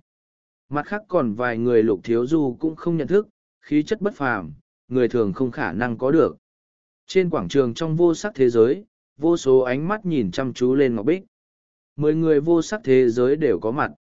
Hy vọng lần này trong vô sắc thế giới có người đặt chân lên phong thần đài. Các thế lực đứng đầu vô sắc thế giới đều hội tụ một chỗ, ánh mắt có chút kích động, lần này tuyệt đối vượt qua sự tưởng tượng của mọi người. Ít nhất bọn họ đều còn sống. Hoàng Thiên Tứ nhìn mười điểm sáng lóe ra trên ngọc bích, thấp giọng nói, thở ra một hơi nhẹ nhõm. Vào thời điểm này nếu không có gì bất ngờ xảy ra, bọn họ hẳn đang phong thần đài. Nếu có người đi lên phong thần đài, tối nay chúng ta sẽ nhận được tin tức, nếu không có sẽ không có tin tức truyền về. Thiết Hưng Quốc nói, tối nay chúng ta ở đây chờ tin tức truyền tới. Tử Huyên nói, ta cũng đợi, tối nay nhất định sẽ có tin tốt lành truyền tới. Hướng Hầu Minh nói, giờ khác này ánh mắt hắn cũng mang theo vẻ khẩn trương. Oanh Long, hư không lại run lên lần thứ hai, 240 kim sắc cự thạch rừng xoay tròn, tận sâu trong hư không 240 kim quang phủ xuống, bao trùm lên 240 kim sắc cự thạch. Kim quang bao phủ, giờ phút này áp lực cực lớn cũng biến mất không còn nhìn thấy. Mọi người ngẩng đầu nhìn lên 240 người, xem như họ đã có quyền tiến vào bên trong, có thể bước lên phong thần đài, chứng minh thiên phú của họ, cho dù họ bị thua cũng có vinh dự. Trong mắt mọi người hiện xem ra hâm mộ lẫn ghen tị, 240 người đại biểu tiền đồ quang minh ngày sau, dù không thể đi vào mật địa hỗn độn thế giới tu luyện, cũng sẽ được an bài tới bên ngoài hỗn độn thế giới tu luyện, sau này tiền đồ vẫn sẽ bừng sáng. Thành tích không sai. Toàn thân lục thiếu du bao phủ kim mang, đảo mắt nhìn qua, tiết mặc kỳ ở cách đó không xa, tử viêm, hoàng sa, bạch lang, quỷ hoa cùng kim viên đều bước lên phong thần đài. Chỉ có tôn tiểu nhã bị thua, bị không ít thương thế, vì vậy bạch quang gạt bỏ nàng ra ngoài. Lục thiếu du cũng nhìn thấy thân ảnh hai huynh đệ long bàn hổ cứ, tăng trạm, hùng hỏa, lâu tinh minh cũng đứng trên phong thần đài. Trên phong thần đài, 240 chỗ ngồi đã đầy, các ngươi đặt chân phong thần đài, sẽ có người tới tiếp đón các ngươi vào trong cung nghỉ ngơi, chuyện kế tiếp sẽ có người nói với các ngươi. Sau khi vạn thế đối quyết chấm dứt, mọi người có thể rời khỏi tướng hoàng không gian. Thanh âm giàn mua truyền ra, lập tức liền biến mất. Siêu siêu. Cùng lúc đó trên quảng trường các cung điện, từng thân ảnh thả người bay về hướng kim sắc cự thạch. Từng thân ảnh lướt tới, ngay ngắn trật tự, như đã sớm sắp xếp xong xuôi. Suy. Một trung niên xuất hiện trước người lục thiếu du, nói.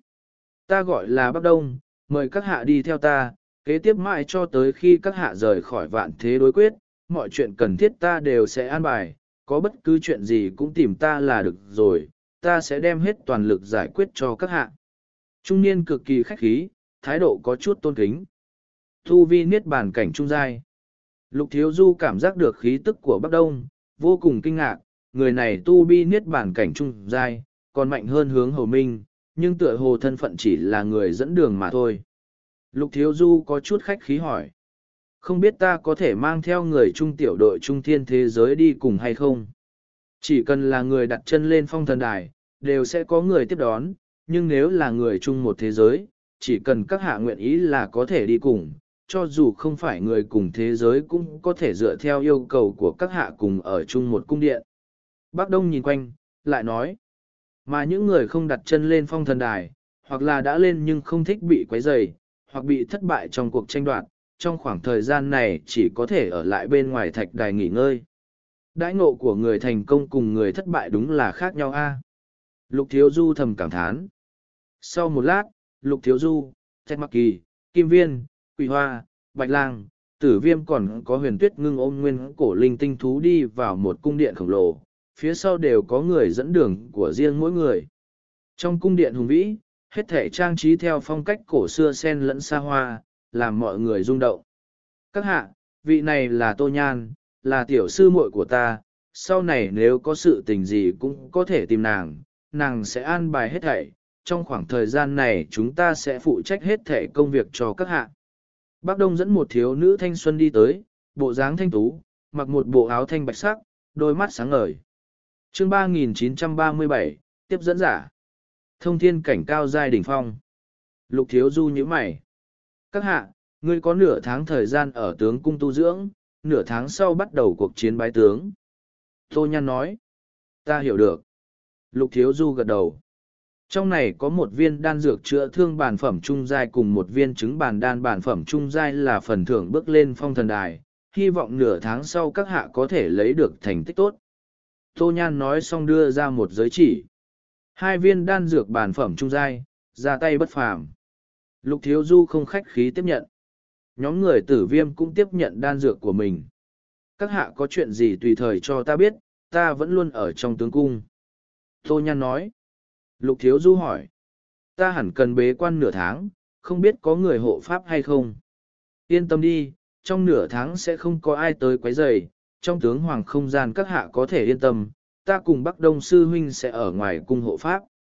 Tô Nhan gật đầu nói. Vậy phiền thoái các ngươi. Lục Thiếu Du gật đầu đa tạ. Đây là việc chúng ta phải làm, có chuyện gì cứ cho chúng ta biết là được rồi, ta cáo lui trước. Bác Đông nói xong cùng Tô Nhan rời khỏi đại điện. Thành công, vô sắc trung thiên thế giới rốt cục có người đặt chân phong thần đài, ta thành công. Đặt chân phong thần đài, lần này thành tích chúng ta kinh người. Thử viêm cùng Hoàng Sa ôm chầm lấy nhau, kích động nói. a Bạch lang bỗng nhiên hét thảm một tiếng, quắc. Quỳ hoa, tên hôn đản, sao ngươi vèo ta, muốn đánh nhau phải không? Kêu là cái gì, ta chỉ thử xem có phải đang nằm mơ hay không thôi. Quỳ hoa âm trầm nói, ánh mắt lại kích động run rẩy. Đây không phải mộng, chúng ta thật sự bước lên phong thần đài. Sao ngươi không tự véo chính ngươi? Bạch lang trừng mắt nói, trong mắt cũng dao động. Chỉ có ta thất bại, kéo chân sau mọi người. Tôn Tiểu Nhã thất vọng nói. muội có ta là được rồi, ta bước lên phong thần đài tương đương là mỗi bước lên đó thôi. Hoàng Sa đi tới nói. Mọi người nên chuẩn bị cuộc chiến bái tướng nửa tháng sau đi, sau khi thắng lợi tiếp tục chúc mừng vẫn chưa muộn. Lục Thiếu Du nói. Nửa tháng sau, tranh thủ bái tướng. Mọi người thầm gật đầu. Trong nửa tháng này ta sẽ vào thiên trụ giới bế quan, ý của các ngươi đây. Lục Thiếu Du hỏi. Chúng ta cũng có ý đó, cho nên mới tới đây, vào thiên trụ giới có lẽ tranh thủ được không ít thời gian. Hoàng Sa, thử viêm đều nói. Các hạ, bên ngoài có hai người vô minh thế giới, bốn người của phong vân thế giới đã tới, nói muốn gặp ngươi, có cho họ tiến vào hay không? Tô Nhan đi tới gõ cửa hỏi. Mời họ vào đi. Lục thiếu du nhướng mày nói. Đám người kia sao cũng tới giúp vui. thử viêm cười nói.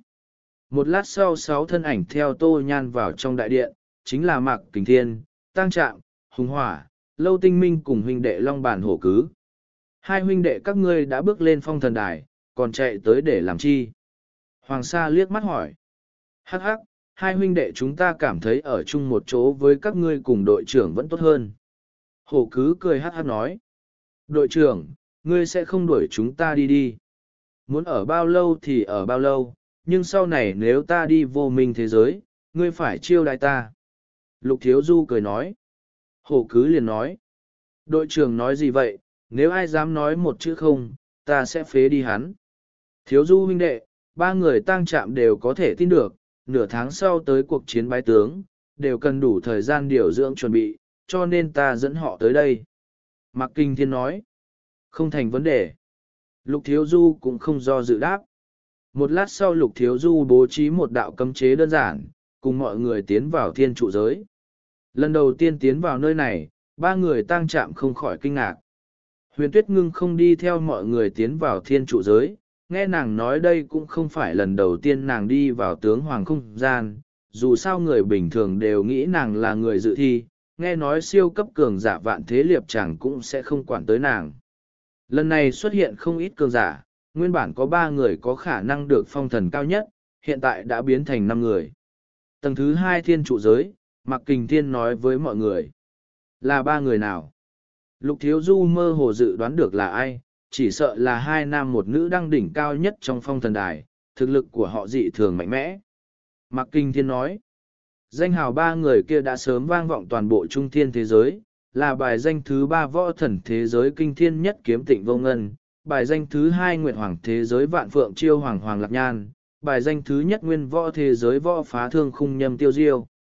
Ta cũng từng nghe nói qua danh hào ba người này, nghe nói thiên phú của họ so sánh với người cổ tộc hỗn độn thế giới cũng không kém bao nhiêu. Hoàng Sa nói. Mạc Kinh Thiên nói tiếp. Tịnh Vô Ngân, Hoàng Lạc Nhan, Nhâm Tiêu Diêu xem như đã sớm điều động nội bộ trở thành người được phong thần cuối cùng, không biết bắt đầu từ lúc nào, mỗi một lần phong thần đều là người của võ thần thế giới, nguyệt hoàng thế giới, nguyên võ thế giới. Chưa từng có ngoài ý muốn, mỗi ngàn năm cuộc chiến phong thần, nhất định luân phiên sinh ra trong ba thế giới này, cho nên lần này cũng không ngoại lệ. Nhưng lần này xuất hiện một ít ngoài ý muốn, thực lực hoài linh ngọc rất mạnh, không biết đã dung hợp thiên sinh linh vật gì, thực lực đủ trở thành đối thủ cạnh tranh của ba người. Còn có thai A, thực lực niết bàn trung giai chỉ sợ cũng có sức đánh một trận, nghe nói hiện tại đã có không ít người xem trọng thai A, thai A, cần phải cố gắng. Sợ là có người quên sư phụ ta. Thái A cười nhạt, hắn biết rõ dù mình đột phá niết bàn trung giai, nhưng muốn động thủ cùng sư phụ vẫn có chút không đủ. Không sai, ta nghĩ kết quả cuối cùng lần này sẽ làm mọi người giật mình. Mạc Kinh Thiên mỉm cười nói. Nhưng ba người nhâm tiêu diêu tuyệt đối không phải kẻ yếu, thực lực mỗi người đều khủng bố. Ta nhận được tin tức bọn hắn đã sớm đột phá tới niết bàn trung giai, hơn nữa còn không phải trung giai bình thường. Trong khoảng thời gian này ta cần phải bế quan. Kinh thiên huynh đệ, vậy còn ngươi, chỉ sợ bọn hắn cũng quên ngươi đi. Lục Thiếu Du mỉm cười nói. Ta sao, chỉ cần đừng gặp phải ngươi là được, nói thật, ta tình nguyện gặp được ba người tịnh vô ngân cũng không nguyện gặp gỡ ngươi. Mặc kinh thiên bất đắc dĩ cười. Ba người tang chạm nghe vậy vô cùng kinh ngạc, đội trưởng đánh giá lục thiếu du cao như vậy cũng làm bọn họ cảm thấy khó hiểu. Lục thiếu du liền nói. Hoàng sa, tử viêm, bạch lang đều có áo nghĩa linh khí thích hợp, chỉ riêng quỷ hoa ngươi chưa có, đôi thú chảo này không tệ, ta sẽ đưa ngươi lên tầng ba tranh thủ thời gian luyện hóa nó, cuối cùng có thể bái tướng phong hoàng hay không phải nhờ vào chính ngươi. chương ba nghìn chín trăm ba mươi tám Nhàn Vân Quỷ Cốc một Dứt lời lục thiếu du đưa đôi thú chảo cho quỷ hoa. Lần trước huyền tuyết ngưng đưa cho hắn bốn kiện áo nghĩa linh khí, hắn đã giao cho tử viêm, hoàng sa cùng bạch lang, chỉ còn quỷ hoa cùng tôn tiểu nhã chưa có áo nghĩa linh khí thích hợp. đa tạ đội trưởng.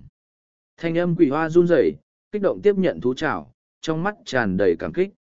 Tăng trạm, hùng hỏa, lâu tinh minh, mặc kình thiên bốn người nhìn thấy lục thiếu du cần áo nghĩa linh khí giao cho quỷ hoa, khí phách cỡ này mấy người có chứ, rốt cuộc bọn họ biết vì sao những người kia tu vị cao hơn lục thiếu du nhưng lại khăng khăng đi theo bên cạnh lục thiếu du. Sợ rằng trừ thực lực ra, nhân cách mị lực của người này mới là trọng yếu nhất.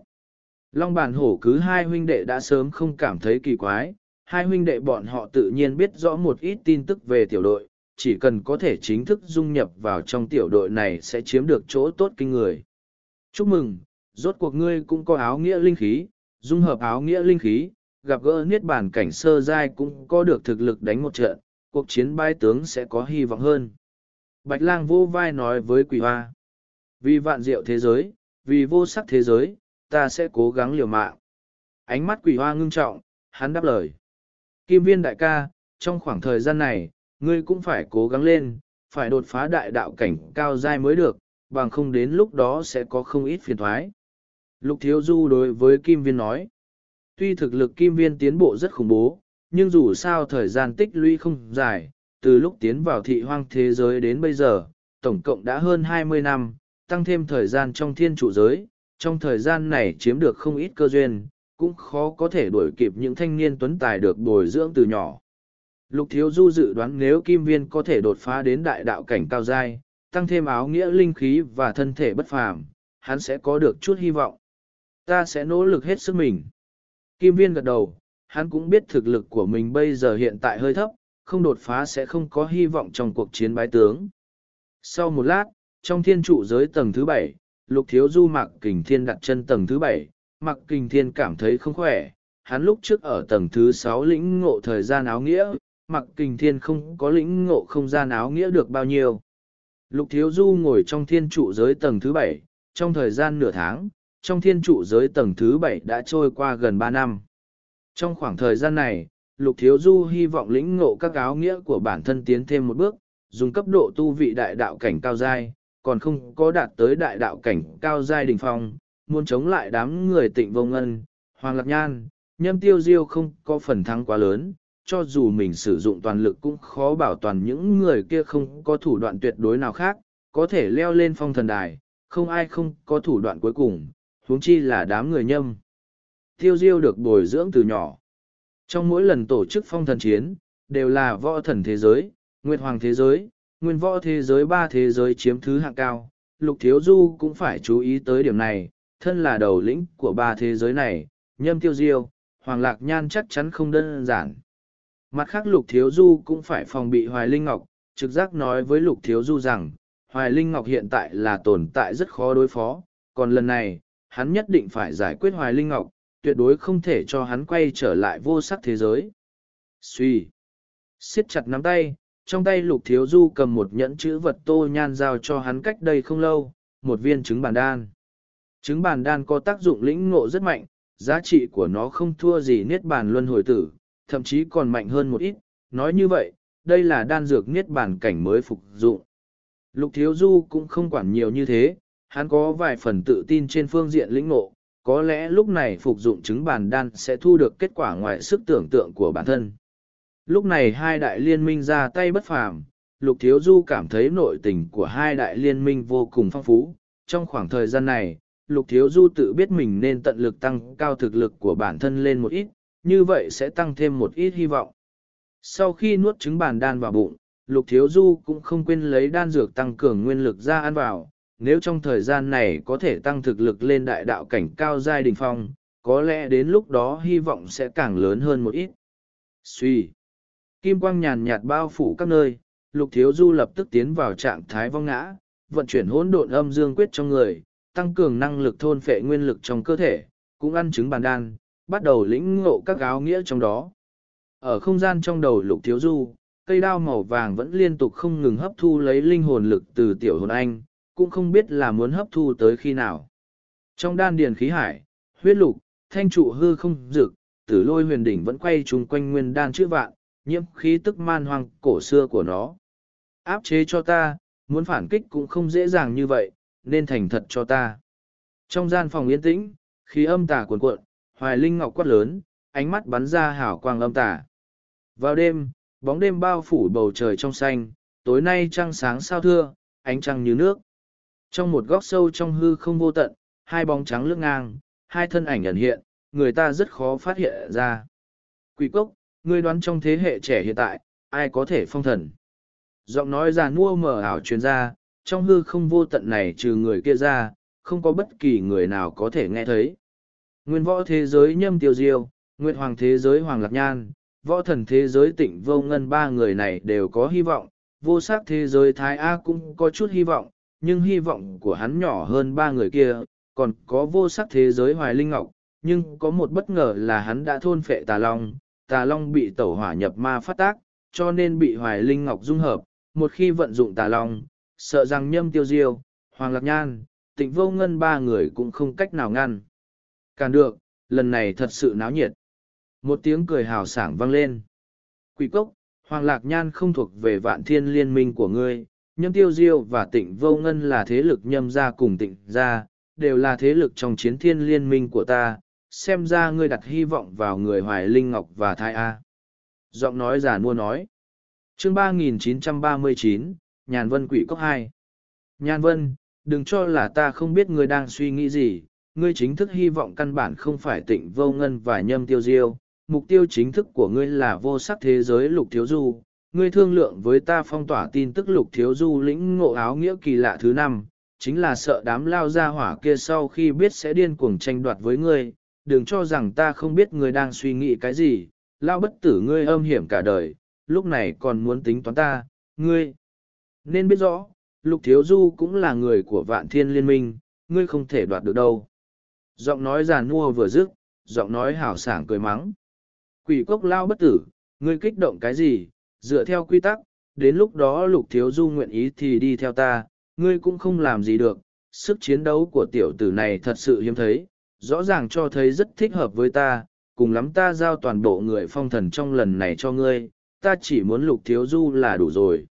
Giọng nói giả nua lại vang lên.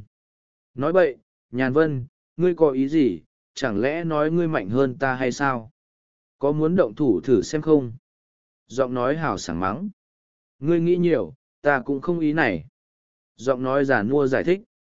Ừ, nhàn vân, ngươi lao bất tử nghĩ quá đẹp rồi, lĩnh ngộ áo nghĩa kỳ lạ thứ năm, tất cả không liên quan tới tu vị, từ thời gian ba năm trong khu vực săn bắn tuyên cổ, tiểu tử lục thiếu du này sát phạt quyết đoán, gọn gàng, thiên phú cực tốt, chỉ cần cho hắn thời gian, hắn chắc chắn sẽ vượt qua đám người phong thần, chẳng qua đây là việc sớm muộn mà thôi.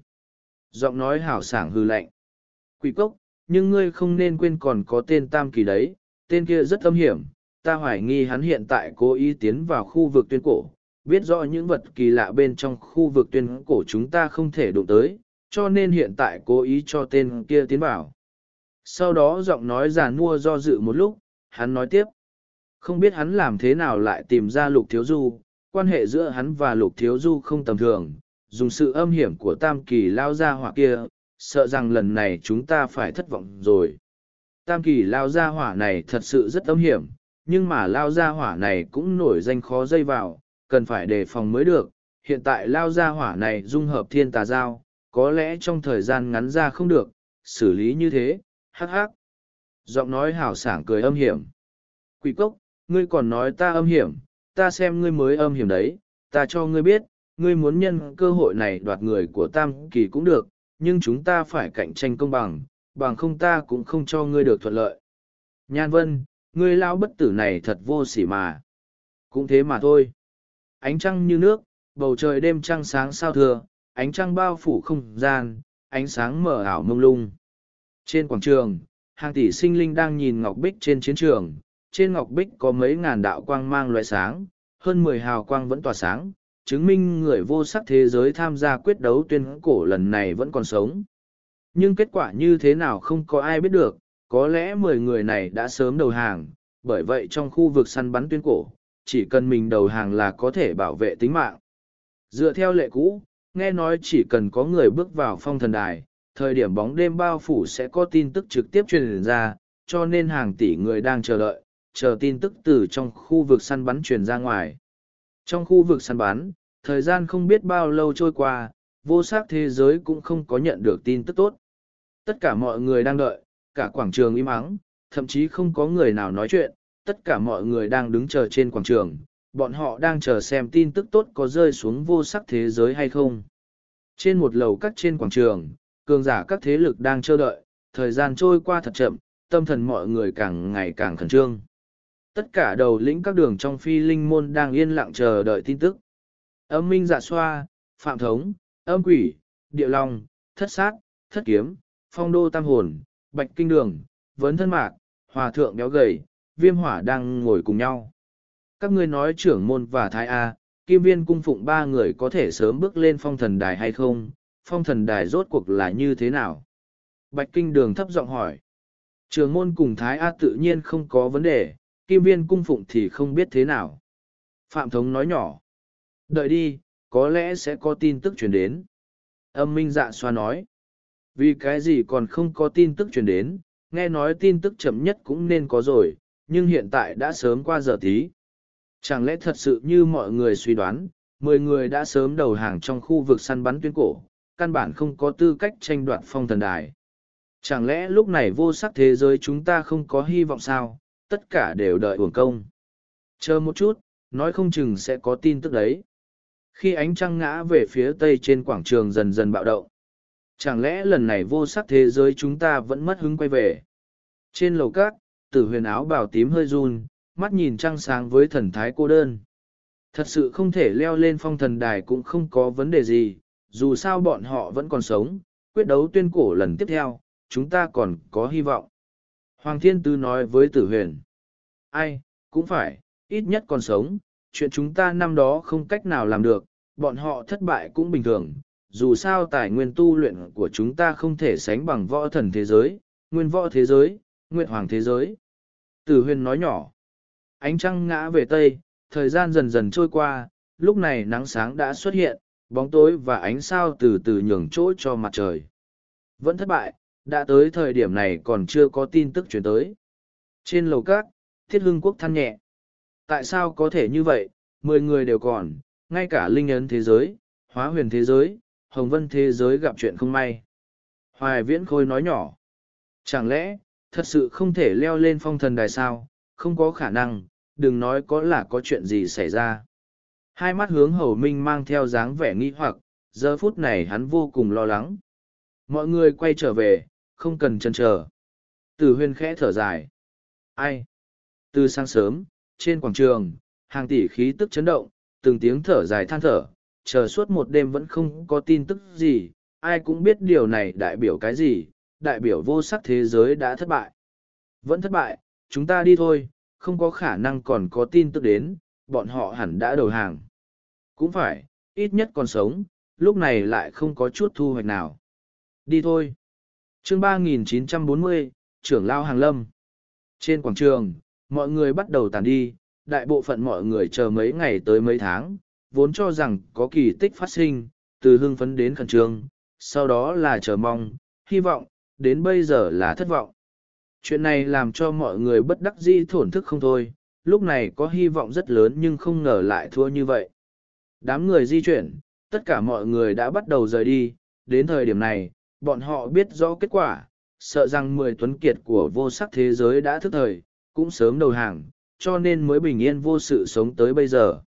Trên lầu các gần quảng trường, tất cả mọi người cũng bắt đầu chuẩn bị rời đi, mang theo thần sắc cô đơn. Suy suy. Vào thời điểm này, không gian phía trên quảng trường lập tức có vết nứt không gian xuất hiện. Ai to gan như vậy, còn dám trực tiếp xé rách không gian tới nơi này, không phải còn có không gian trùng động sao. Người tới cũng quá lớn mật, trực tiếp xé rách không gian đến đây, định gây hấn với vô sắc thế giới sao. Trong tiếng huyên náo xôn xao, tất cả mọi người ngẩng đầu nhìn lên, từng ánh mắt nhìn qua vết nước không gian. Tất cả mọi người đang cảm thấy bất đắc dĩ và thất vọng trong lòng, không ngờ lúc này còn có người cuồng vọng xé rách không gian xuất hiện tại đây, đây không thể nghi ngờ đã chọc nhiều người tức giận. Ai to gan như vậy, dám xem vô sắc thế giới không người sao. Tâm tình đám người tử huyền không ổn, lúc này sắc mặt cũng không khá hơn mọi người. Siêu siêu. Xé rách vết nước không gian, lúc này có hơn hai mươi thân ảnh xuất hiện, khí tức mênh mông bảng bạc bao phủ vô sắc thế giới. Khí tức thật mạnh. Một đạo khí tức khủng khiếp bao phủ quảng trường, trên quảng trường lúc này gió nổi mây phun, khí tức này quá mạnh, vô số thân ảnh trên quảng trường rung động, linh hồn cũng bị chấn áp. Khí tức thật mạnh, có cường giả hàng lâm. Trong một khu lầu các, âm minh dạ xoa, du long đường ngũ, âm quỷ, địa long biến sắc. Hai mươi đạo thân ảnh hàng lâm, hai người đi đầu áo bào tung bay, bộ dáng thất tuần, trên mặt mang theo thần thái uy nghiêm, hai mắt sáng ngời như sao, khí tức tuyên cổ trường tồn cũng bạo phát ra ngoài. Năng lượng thiên địa chung quanh không ngừng thay đổi ở chung quanh hai người, hai người đứng đó nhưng lại làm năng lượng thiên địa biến hóa rất mạnh. Sau lưng hai người, khí tức chấn động quá nhiều, chí ít có sáu người có tu vị niết bàn cảnh, những người khác thấp nhất cũng là đại đạo cảnh sơ giai. Từ huyền, Hoàng Thiên Tứ, Tiết Hưng Quốc, Hoài Viết Khôi, thậm chí là hướng Hầu Minh, An Thế Hải cũng biến sắc, thời điểm nhìn thấy hơn hai mươi người cùng xuất hiện tại đây, sắc mặt lập tức đại biến. Bái kiến lạc trưởng lão, bái kiến công tôn trưởng lão, Tiết Hưng Quốc, Hoài Viễn Khôi, An Thế Hải, Hướng Hầu Minh, Hoàng Thiên Tứ và người vạn thiên liên minh cùng chiến thiên liên minh đứng ngoài nhìn thấy hai người đứng đầu, lập tức cung kính hành lễ, sắc mặt đại biến. Hai người này cũng không phải là người lạ, trong vạn thiên liên minh và chiến thiên liên minh đều có địa vị cực cao. Đám người tiết hương quốc thật sự không rõ, vì sao hôm nay hai trưởng lão lại tự mình hàng lâm vô sắc thế giới. Hai người này một có ghế trưởng lão trong vạn thiên liên minh, một có ghế trưởng lão trong chiến thiên liên minh, hai người đều là cường giả tuyên cổ cảnh, bình thường sẽ không bao giờ tới vô sắc thế giới. Là trưởng lão hai đại liên minh trưởng lão đến. Là hai người, địa vị trưởng lão rất cao thượng, bình thường sẽ không đến vô sắc thế giới, vô sắc thế giới cũng có ghế trưởng lão, nhưng bình thường cũng không ở trong vô sắc thế giới.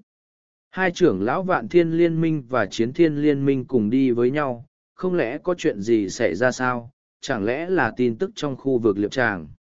Nam mơ đi, cho dù có tin tức tốt, cũng không tới phiên hai trưởng lão tự thân xuất mã, trừ khi có ít nhất vài người bái tướng, sợ rằng bái tướng cũng không thể có tư cách để trưởng lao đến đây, cho dù có một người phong hoàng cũng không có tư cách này. Cho nên đây là chuyện không có khả năng, huống chi còn là tin tức tốt, buổi tối hôm qua nên chuyển đến, sao lại có thể trễ như thế này. Trong áp bức vô hình này, vô số ánh mắt trên quảng trường nhìn đám người tiết hưng quốc cung kính hành lễ, bọn họ mới biết thân phận của người tới. Mọi người trên quảng trường vốn tức giận không nhỏ, lúc này nhìn thấy người tới là trưởng lão hai đại liên minh thì không có biện pháp. Thân là trưởng lão hai đại liên minh, thực lực có thể nghĩ, đủ để diệt toàn bộ người trên quảng trường. Cương giả thế này chỉ cần động thủ là có uy năng di sơn đảo hải, hủy thiên diệt địa, không ai có thể trêu chọc, cường giả cỡ này không phải ai muốn gặp là gặp. Không cần đa lễ. Giữa không trung, lão giả đứng bên trái có tóc ngắn màu đen, ánh mắt như sao, thần thái sáng lạ, thái độ với đám người tiết hưng quốc cũng cực kỳ bình thản, có lẽ đã gặp quá nhiều. Lão giả tóc đen nhìn qua mọi người, hắn tươi cười và nói.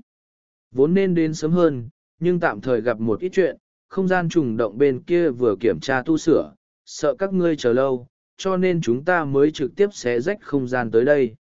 Công tôn trưởng lão, không biết là việc gì cần ngài tự mình tới đây, trực tiếp bảo ta đi là được rồi. Hoàng thiên tứ cung kính nói với lao giả tóc đen, bình thường tuy hoàng gia hơi có giao tình với công tôn trưởng lão, nhưng mà công tôn trưởng lão bình thường cũng không chủ động khách khí với mình, chuyện này làm cho Hoàng Thiên Tứ cảm thấy nghi hoặc. Lão giả tóc đen còn chưa nói chuyện, lão giả khác đã mở miệng nói. Cũng không có chuyện đại sự gì, chỉ muốn nói với các ngươi biết, lúc này trong quyết đấu vạn cổ, trong vô sắc thế giới có chín người leo lên phong thần đài, thành tích như vậy thật đáng mừng.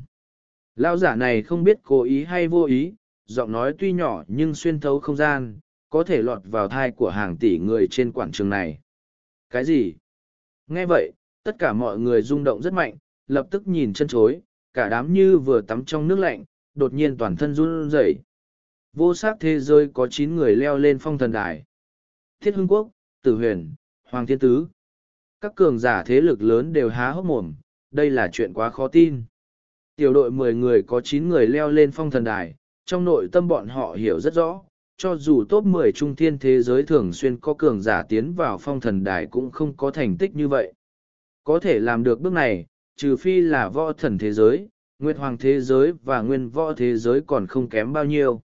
Thế nhưng mà bài danh của vô sắc thế giới còn không thể tiến vào trước 600, tiểu đội 10 người có 9 người tiến vào phong thần đài, điều này sao có thể, đây là chuyện không thể tưởng tượng nổi, không thể tưởng tượng nổi tới mức mọi người căn bản không dám tin. Lạc trường lão, đây là lời nói đùa sao. Ánh mắt hướng hầu minh run rẩy nhìn lão giả vừa nói chuyện, đôi mắt của hắn đầy chờ mong muốn biết đáp án. chương 3941, vô sắc thế giới sôi trào một. Trong ánh mắt rung động của tất cả mọi người, tất cả đều nhìn lên không trung, chờ đáp án khẳng định, chờ đáp án không thể tưởng tượng nổi. Từng ánh mắt nhìn chằm chằm lên không trung, không gian lâm vào yên tĩnh, lặng ngắt như tờ, tiếng tim đập cũng có thể nghe rõ ràng. Đây không phải lời nói đùa, vô sắc thế giới có chín người tiến vào phong thần đài, trong đó có vài người tiến vào phong thần đài biểu hiện không tầm thường. Công tôn trưởng lao tóc đen nói ra.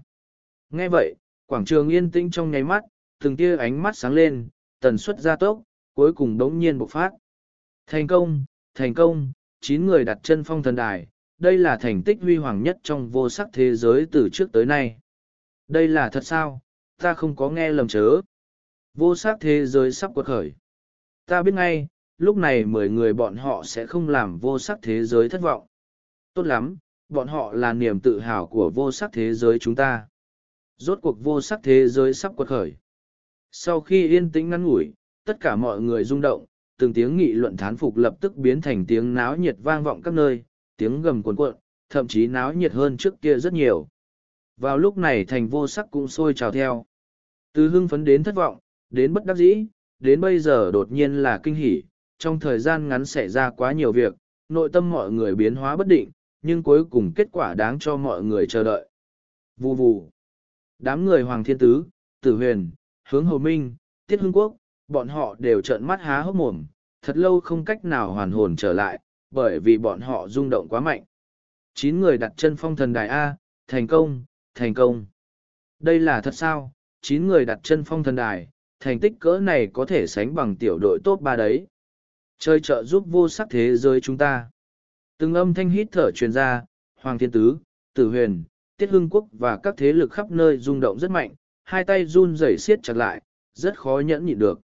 Đối với thế lực khắp nơi mà nói, chín người bước vào phong thần đài đại biểu cho cái gì, đặt chân phong thần đài đều là người có biểu hiện không tầm thường, khó trách hai đại trưởng lão đồng thời đến đây, loại thành tích này đủ làm vô sắc thế giới khiếp sợ. Thành công, ta nói trưởng môn và đám người Thái A không có vấn đề. Ta tới bây giờ chưa từng hoài nghi qua. Trong phi linh môn, mọi người kích động cũng không cao bằng người trong quảng trường, bởi vì trong lòng mọi người, loại kết quả này cũng không làm người ta quá ngạc nhiên. Trường môn, Thái A, Kim Viên Cung Phụng có lẽ cũng tiến vào phong thần đài, lần này là đại thắng. Âm quỷ khẽ cười nói. Kế tiếp là nội đường và ngoại đường, yêu đường nên làm việc rồi. Phạm Thống mỉm cười. Ám đường tra được, trước khi tiến vào vạn thế liệp tràng, kỳ phong thương hội có người âm thầm đi qua hồng vân thế giới, linh ấn thế giới, hóa huyền thế giới. Trong ba thế giới này phân biệt có linh thiên thương hội, tụ phẩm lâu, phong linh thương hội. Đôi mắt đỏ rực của âm minh dạ xoa chấn động, mang theo chút ít hàn khí. Trong vạn thế liệp tràng, sợ rằng có một ít chuyện xảy ra, lúc này kỳ phong thương hội tuyệt đối không thoát liên quan, chờ sau khi trưởng môn quay về, tất cả sẽ rõ. Thiên Sú nói, trên không trung, nhìn phản ứng của mọi người, lạc trưởng lao nói, cấp trên đã quyết định, trong ngàn năm tiếp theo, trong vô sắc thế giới có tổng cộng 500 người trẻ tuổi tiến vào mật địa hai đại liên minh tu luyện, tất cả ghế hộ pháp trong vô sắc thế giới trợ giúp đệ tử tiến vào phong thần đài đều được ban thưởng một viên sinh tử đan, những ghế khác sẽ ban thưởng theo thứ tự. 500 danh ngạch tiến vào mật địa liên minh, top 3 trung thiên thế giới cũng chỉ có bao nhiêu danh ngạch như vậy mà thôi. Vô sắc trung thiên thế giới thật sự quật khởi. Hoàng thiên tứ, tử huyền, tiết hương quốc nghe vậy, ánh mắt rung động rất mạnh, lập tức kích động không nhỏ, nước mắt rơi đầy mặt, có nhiều danh ngạch trong mật địa liên minh, vô sắc thế giới có thể bồi dưỡng thêm nhiều đệ tử trẻ tuổi. Bình thường mà nói, trong vô sắc thế giới mỗi năm có năm danh ngạch chín người của vô sắc thế giới đặt chân phong thần đài dựa theo quy định, trong vô sắc thế giới bố trí thời không hình chiếu truyền tống trận cỡ lớn, đến lúc đó, nửa tháng sau vô sắc thế giới có thể quan sát toàn cảnh vạn cổ liệp tràng. Công tôn trưởng lao nói, bố trí thời không hình chiếu truyền tống trận, cần tu luyện giả tinh thông thời gian cùng không gian và linh hồn áo nghĩa mới có thể bố trí, kỳ thật thực lực còn đạt tới ngoài niết bàn cảnh, cường giả có thiên phú như vậy, trong hai đại liên minh cũng không có bao nhiêu mà bố trí thời không hình chiếu truyền tống trận, người có thực lực bố trí ít nhất cũng phải có cấp độ ngoài tuyên cổ cảnh. Cường giả có thiên phú như vậy trong hai đại liên minh đều là bảo vật, địa vị cao thượng, bình thường sẽ không xuất hiện. Dường như lạc trưởng lão cũng là tuyên cổ cảnh, còn là tu luyện giả linh hồn, thời gian, không gian áo nghĩa, khó trách lạc trưởng lão tự mình đến đây. Lạc trưởng lão, xin hỏi là chín người nào tiến vào phong thần đài? Ánh mắt hoài viễn khôi lập lòe, thần sắc của hắn lúc này khẩn trương, sợ rằng có chuyện xảy ra. Lạc trưởng lão nói, trừ tôn tiểu nhã ra, chín người còn lại đều tiến vào phong thần đài. Thực lực tiểu nhã hơi thấp A, nhưng có thể đi đến bước này đã không tệ. Trong đám người, Tôn Điển kích động nói ra, hắn cũng không có thất vọng, thành tích cỡ này đã vượt qua dự đoán của hắn rồi. Hô! Khi Hoài Viễn Khôi nghe vậy liền thở ra một hơi, lập tức âm thầm nói nhỏ. Tại sao có thể như vậy, Lục Thiếu Du có thể leo lên phong thần đài, chẳng lẽ kế hoạch thất bại sao? Cũng may Linh Ngọc cũng leo lên phong thần đài, có lẽ không xảy ra vấn đề lớn. Quỳ Hoa cũng leo lên phong thần đài, vạn diệu tiểu thiên thế giới sắp quật khởi. Bạch lang tốt lắm, thiên lang tiểu thiên thế giới tự hào vì ngươi. Trên lầu các có hai đội hình hơn mười người kích động nói ra. Trong không minh tiểu thiên thế giới, người phụ trách vạn thiên liên minh hướng hầu minh và người phụ trách vạn thiên liên minh vạn cổ thế giới tôn cao một có ở đây không? Giữa không trung, thân ảnh lạc trưởng lão đáp xuống, hắn lên tiếng hỏi thăm. Hướng hầu minh hộ pháp phụ trách vạn thiên liên minh không minh tiểu thiên thế giới, bái kiến lạc trưởng lão, tôn cao một đường chủ vẫn còn ở vạn cổ thế giới, cho nên không đến vô sắc thế giới. Hướng hầu minh cung kính tiến lên, lạc trưởng lão không phải trưởng lão bình thường, trong trưởng lão hội cả vạn thiên liên minh cũng có địa vị cao thượng, thân là tu luyện giả thời gian, không gian, linh hồn áo nghĩa, thiên phú này trong thượng thanh đại thiên thế giới cũng có thể đếm được trên đầu ngón tay. Ngươi chính là hướng hầu minh sao. chương 3942, vô sắc thế giới sôi trào hai. Lạc trưởng lão nhìn hướng hầu minh, hắn tươi cười nói. Lúc này trong không minh tiểu thiên thế giới, vạn thiên liên minh có ba người leo lên phong thần đài, ta phụng lệnh quỷ cốc trưởng thượng, đặc biệt chúc mừng ngươi một tiếng. Quỷ cốc trưởng thượng bây giờ đang chấn thủ hoàng không gian nên không thể tự mình tới đây, cho nên ta muốn hỏi ngươi một câu, có bằng lòng gia nhập môn hạ của quỷ cốc trưởng thượng hay không, trở thành đệ tử nhập thất, mặt khác tôn cao một đường chủ sẽ thăng lên thành hộ pháp, đồng thời có thể tiến vào mật địa thượng. Thanh đại thiên thế giới tu luyện trăm năm. Cái gì? Hoàng thiên tứ, tiết hưng quốc, hoài viết khôi, an thế hải nghe xong lập tức nghẹn họng nhìn hướng hầu minh, hai đại trưởng lao đến đây đã đủ do người, không ngờ còn có trưởng thượng tự mình an bài. Thậm chí còn tự mình an bài cho hướng hầu minh cùng tôn cao mục, điều này quá rung động rồi, cấp độ trưởng thượng là cường giả quá mạnh, bình thường tuyệt đối là thần long thấy đầu không thấy đuôi, còn bảo hướng hầu minh bái nhập làm đệ tử nhập thất của hắn, đây chính là điểm làm người ta ngạc nhiên ngây người. Hướng hầu minh lúc này dẫm cất chó rồi, vận may này cũng gặp, còn làm môn hạ trưởng thượng, về sau tiền đồ vô lượng. Lúc này hướng hầu minh lão ra hỏa đại phát. Mọi người nhìn hướng hầu minh, ngay cả Hoàng Thiên Tứ, Tiết Hưng Quốc, Tử Huyền cũng phải hâm mộ ghen ghét. Hướng hầu minh cũng rung động, ngơ ngác ngây ngốc sau đó cùng hỉ, lập tức không ngừng gật đầu nói. Ta nguyện ý, đương nhiên nguyện ý. Trong thiên trụ giới, thời gian trôi qua từ từ. Trong không gian tầng thứ bảy, thời gian dần dần trôi qua ba năm, lục thiếu du bao phủ trong kim mang, hắn cũng mất đi khái niệm thời gian, đắm chìm trong trạng thái lĩnh ngộ vong ngã. Trong người lục thiếu du có rất nhiều năng lượng, hắn ăn rất nhiều đan dược, đang bị hỗn độn âm dương quyết thôn phệ, không ngừng rót nguyên lực vào trong đan điền, làm cho đan điền khí hải khổng lồ đang từ từ tràn đầy. Trong đan điền khí hải, đan nguyên chữ vạn buộc phát khí tức man hoang cổ xưa, huyết lục, thanh trụ hư không dực, tử lôi huyền đỉnh đang tương liên với nguyên đan chữ vạn. Thời gian trôi qua thật nhanh, khí tức trên những linh khí này từ từ nhiễm khí tức man hoang, trong lúc vô hình cải biến không ít, làm cho chúng khác với các linh khí khác không ít. Trong ba năm này, lục thiếu du thôn phệ đan dược và nhiều thiên tài địa bảo khác, số lượng đạt tới mức khủng bố, tất cả chỉ có thôn phệ và thôn phệ. Lục thiếu du còn thôn phệ rất nhiều tinh thạch thế giới trúng phẩm, tất cả đều là vì lục thiếu du muốn tăng thực lực của mình lên trong thời gian ngắn nhất. Ngao. Trong thiên trụ giới tầng thứ hai có tiếng long ngâm gào thét, thân thể khổng lồ của kim viên bay lên trời, lúc này đang hội tụ năng lượng thiên địa cuồn cuộn, động tĩnh phải mất thời gian mới bình thường trở lại, mọi người lập tức bị kinh động thức tỉnh. Hô! Kim viên thu hồi bản thể, lại khôi phục hình người, đạp không đứng đó, mở mắt ra, tinh quang trong mắt bắn ra ngoài, hắn đã đạt tới đại đạo cảnh cao giai. Chúc mừng Kim Viên sư thúc. Thân ảnh Thái A đến bên cạnh Kim Viên, so sánh với thân thể khôi ngô của Kim Viên, dáng người của hắn cực kỳ nhỏ gầy. Xem ra ngươi cũng có hy vọng rồi. Mọi người nhao nhao chúc mừng, kim viên thân là thú tộc, nhưng thời đột phá cực nhanh, cũng đủ làm cho tiết mặc kỳ, quỳ hoa, bạch lang, hoàng sa, tử viêm rung động không nhỏ. Hy vọng cũng không lớn, có thể đặt chân phong thần đài không có kẻ yếu, nếu như vận khí tốt gặp gỡ một ít kẻ thực lực yếu, tăng thêm át chủ bài của ta đúng là có chút hy vọng. Kim Viên nói ra, tuy lần này có đột phá, nhưng mà Kim Viên cũng không có cao hứng, cảm giác thực lực người đặt chân phong thần đài, trong cuộc chiến bái tướng không có kẻ yếu, Kim Viên tự biết khó khăn trùng trùng điệp điệp, cho nên phần thắng không lớn. Vẫn có hy vọng, tu vị đại đạo cảnh cao giai, tăng thêm thiên phú huyết mạch hoàng kim long viên nhất tộc, còn có áo nghĩa linh khí, cho dù chiến một trận với bán niết bàn cũng có chỗ dựa vào, vận khí tốt còn có thể chiến thắng. Một giọng nói vang lên, lập tức hai thân ảnh xuất hiện trước mặt mọi người. Sư phụ, đội trưởng, thiếu du huynh đệ. Mọi người lập tức rời bước qua, người tới là lục thiếu du cùng mạc kình thiên hai người. Sư phụ, khí tức trên người của ngươi dường như tăng cường không ít. Thái A tu luyện hỗn độn linh dương quyết, là trực hệ liên hệ với hỗn độn âm dương quyết, bởi vậy hắn có thể cảm giác rõ ràng nhất, trong thời gian này khí tức trên người sư phụ tăng cường lên rồi. Sư phụ ngươi là biến thái, hẳn đã đạt tới chuẩn miết bàn. Mặc kinh thiên vô vai thái A, nhìn lục thiếu du, ánh mắt mang theo vẻ bất đắc dĩ, hắn đã sớm được khí tức trên người lục thiếu du biến hóa. Chuẩn miết bàn. Mọi người nghe xong nghẹn họng nhìn chân chối, chuẩn miết bàn với người ở đây chính là cao thủ mạnh nhất, hoàn toàn khác với bán miết bàn. Bán miết bàn là do lĩnh ngộ không đủ, mà nguyên lực đầy đủ đột phá cấp độ, cho nên mới vượt qua đại đạo cảnh, nhưng lại xấu hổ vì không đạt tới cấp độ niết bàn cảnh, cũng chỉ xem như bước một chân vào cấp độ niết bàn cảnh.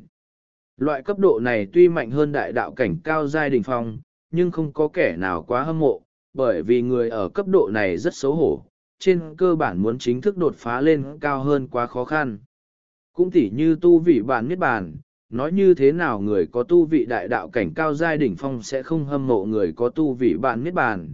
Đến cấp độ bán niết bàn muốn chính thức đột phá đến niết bàn cảnh còn khó hơn từ đại đạo cảnh cao giai đỉnh phong đột phá đến niết bàn cảnh rất nhiều.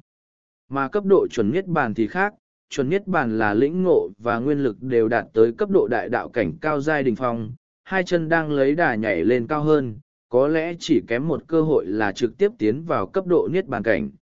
Loại cấp độ này cao hơn đại đạo cảnh cao giai đỉnh phong, chỉ cách niết bàn cảnh một bước, chỉ cần có cơ hội là có thể một lần hành động đột phá, chính thức đặt chân niết bàn cảnh. Thấy biểu lộ kinh ngạc của mọi người, Lục Thiếu Du mỉm cười, cấp độ chuẩn niết bàn cực kỳ huyền diệu, trong thời gian ba năm tận lực tăng cường thực lực, hắn tiêu hao đang dược, thiên tài địa bảo, tăng thêm đại lượng tinh thạch thế giới đã đạt tới con số khủng bố. Sau khi Phạm Thống biết con số chắc chắn sẽ đau lòng muốn chết. Mà cuối cùng đạt tới chuẩn niết bàn cũng làm cho Lục Thiếu Du cảm thấy ngoài ý muốn. Có thể đến cấp độ chuẩn niết bàn, Lục Thiếu Du đoán chừng nguyên nhân lớn nhất chính là nhờ vào trứng bàn đan, đan dược bàn phẩm trung giai, nó có chỗ tốt cực lớn với người có tu vị niết bàn cảnh trung giai. Một viên trứng bàn đan đủ làm cho cường giả niết bàn cảnh trung giai táng ra bại sản, chỗ tốt lớn tới mức có thể nghĩ. Chương 3943, theo một quy tắc. Chỗ tốt cỡ này lục thiếu du cũng cảm giác được, cho dù hắn tiêu hao sạch sẽ, chờ mình đến miết bản cảnh thì trứng bàn đan vẫn mang tới chỗ tốt cực lớn. Thời gian đã không còn nhiều, ta nghĩ chúng ta cũng nên đi ra ngoài chuẩn bị tham gia cuộc chiến bái tướng đi. Lục thiếu du nhìn mọi người, tính toán thời gian, thời gian bên ngoài sắp tới rồi. Nên đi ra ngoài thôi, là long là trùng, đến lúc đó sẽ biết rõ, xem ra trong đám người chúng ta, cuối cùng còn có mấy người tham gia phong hoàng đây, nếu có người có thể thành thần, đây là bá đạo tuyệt luân ra sao? Mạc Kinh Thiên nói, bái tướng phong hoàng, tuyên cổ chú mục Trong mắt mọi người chiến ý cuồn cuộn, nhiệt huyết sôi trào, một đám người trẻ tuổi đứng cạnh nhau, vì vạn thế đối quyết đã kích thích huyết mạch trong người bọn họ sôi lên. Một lát sau, trong đại điện phong cách cổ xưa, phía đông bắc, Tô Nhan cầm đầu hơn hai mươi người đi vào đại điện, trong đó có hơn mười người tu vị niết bàn cảnh.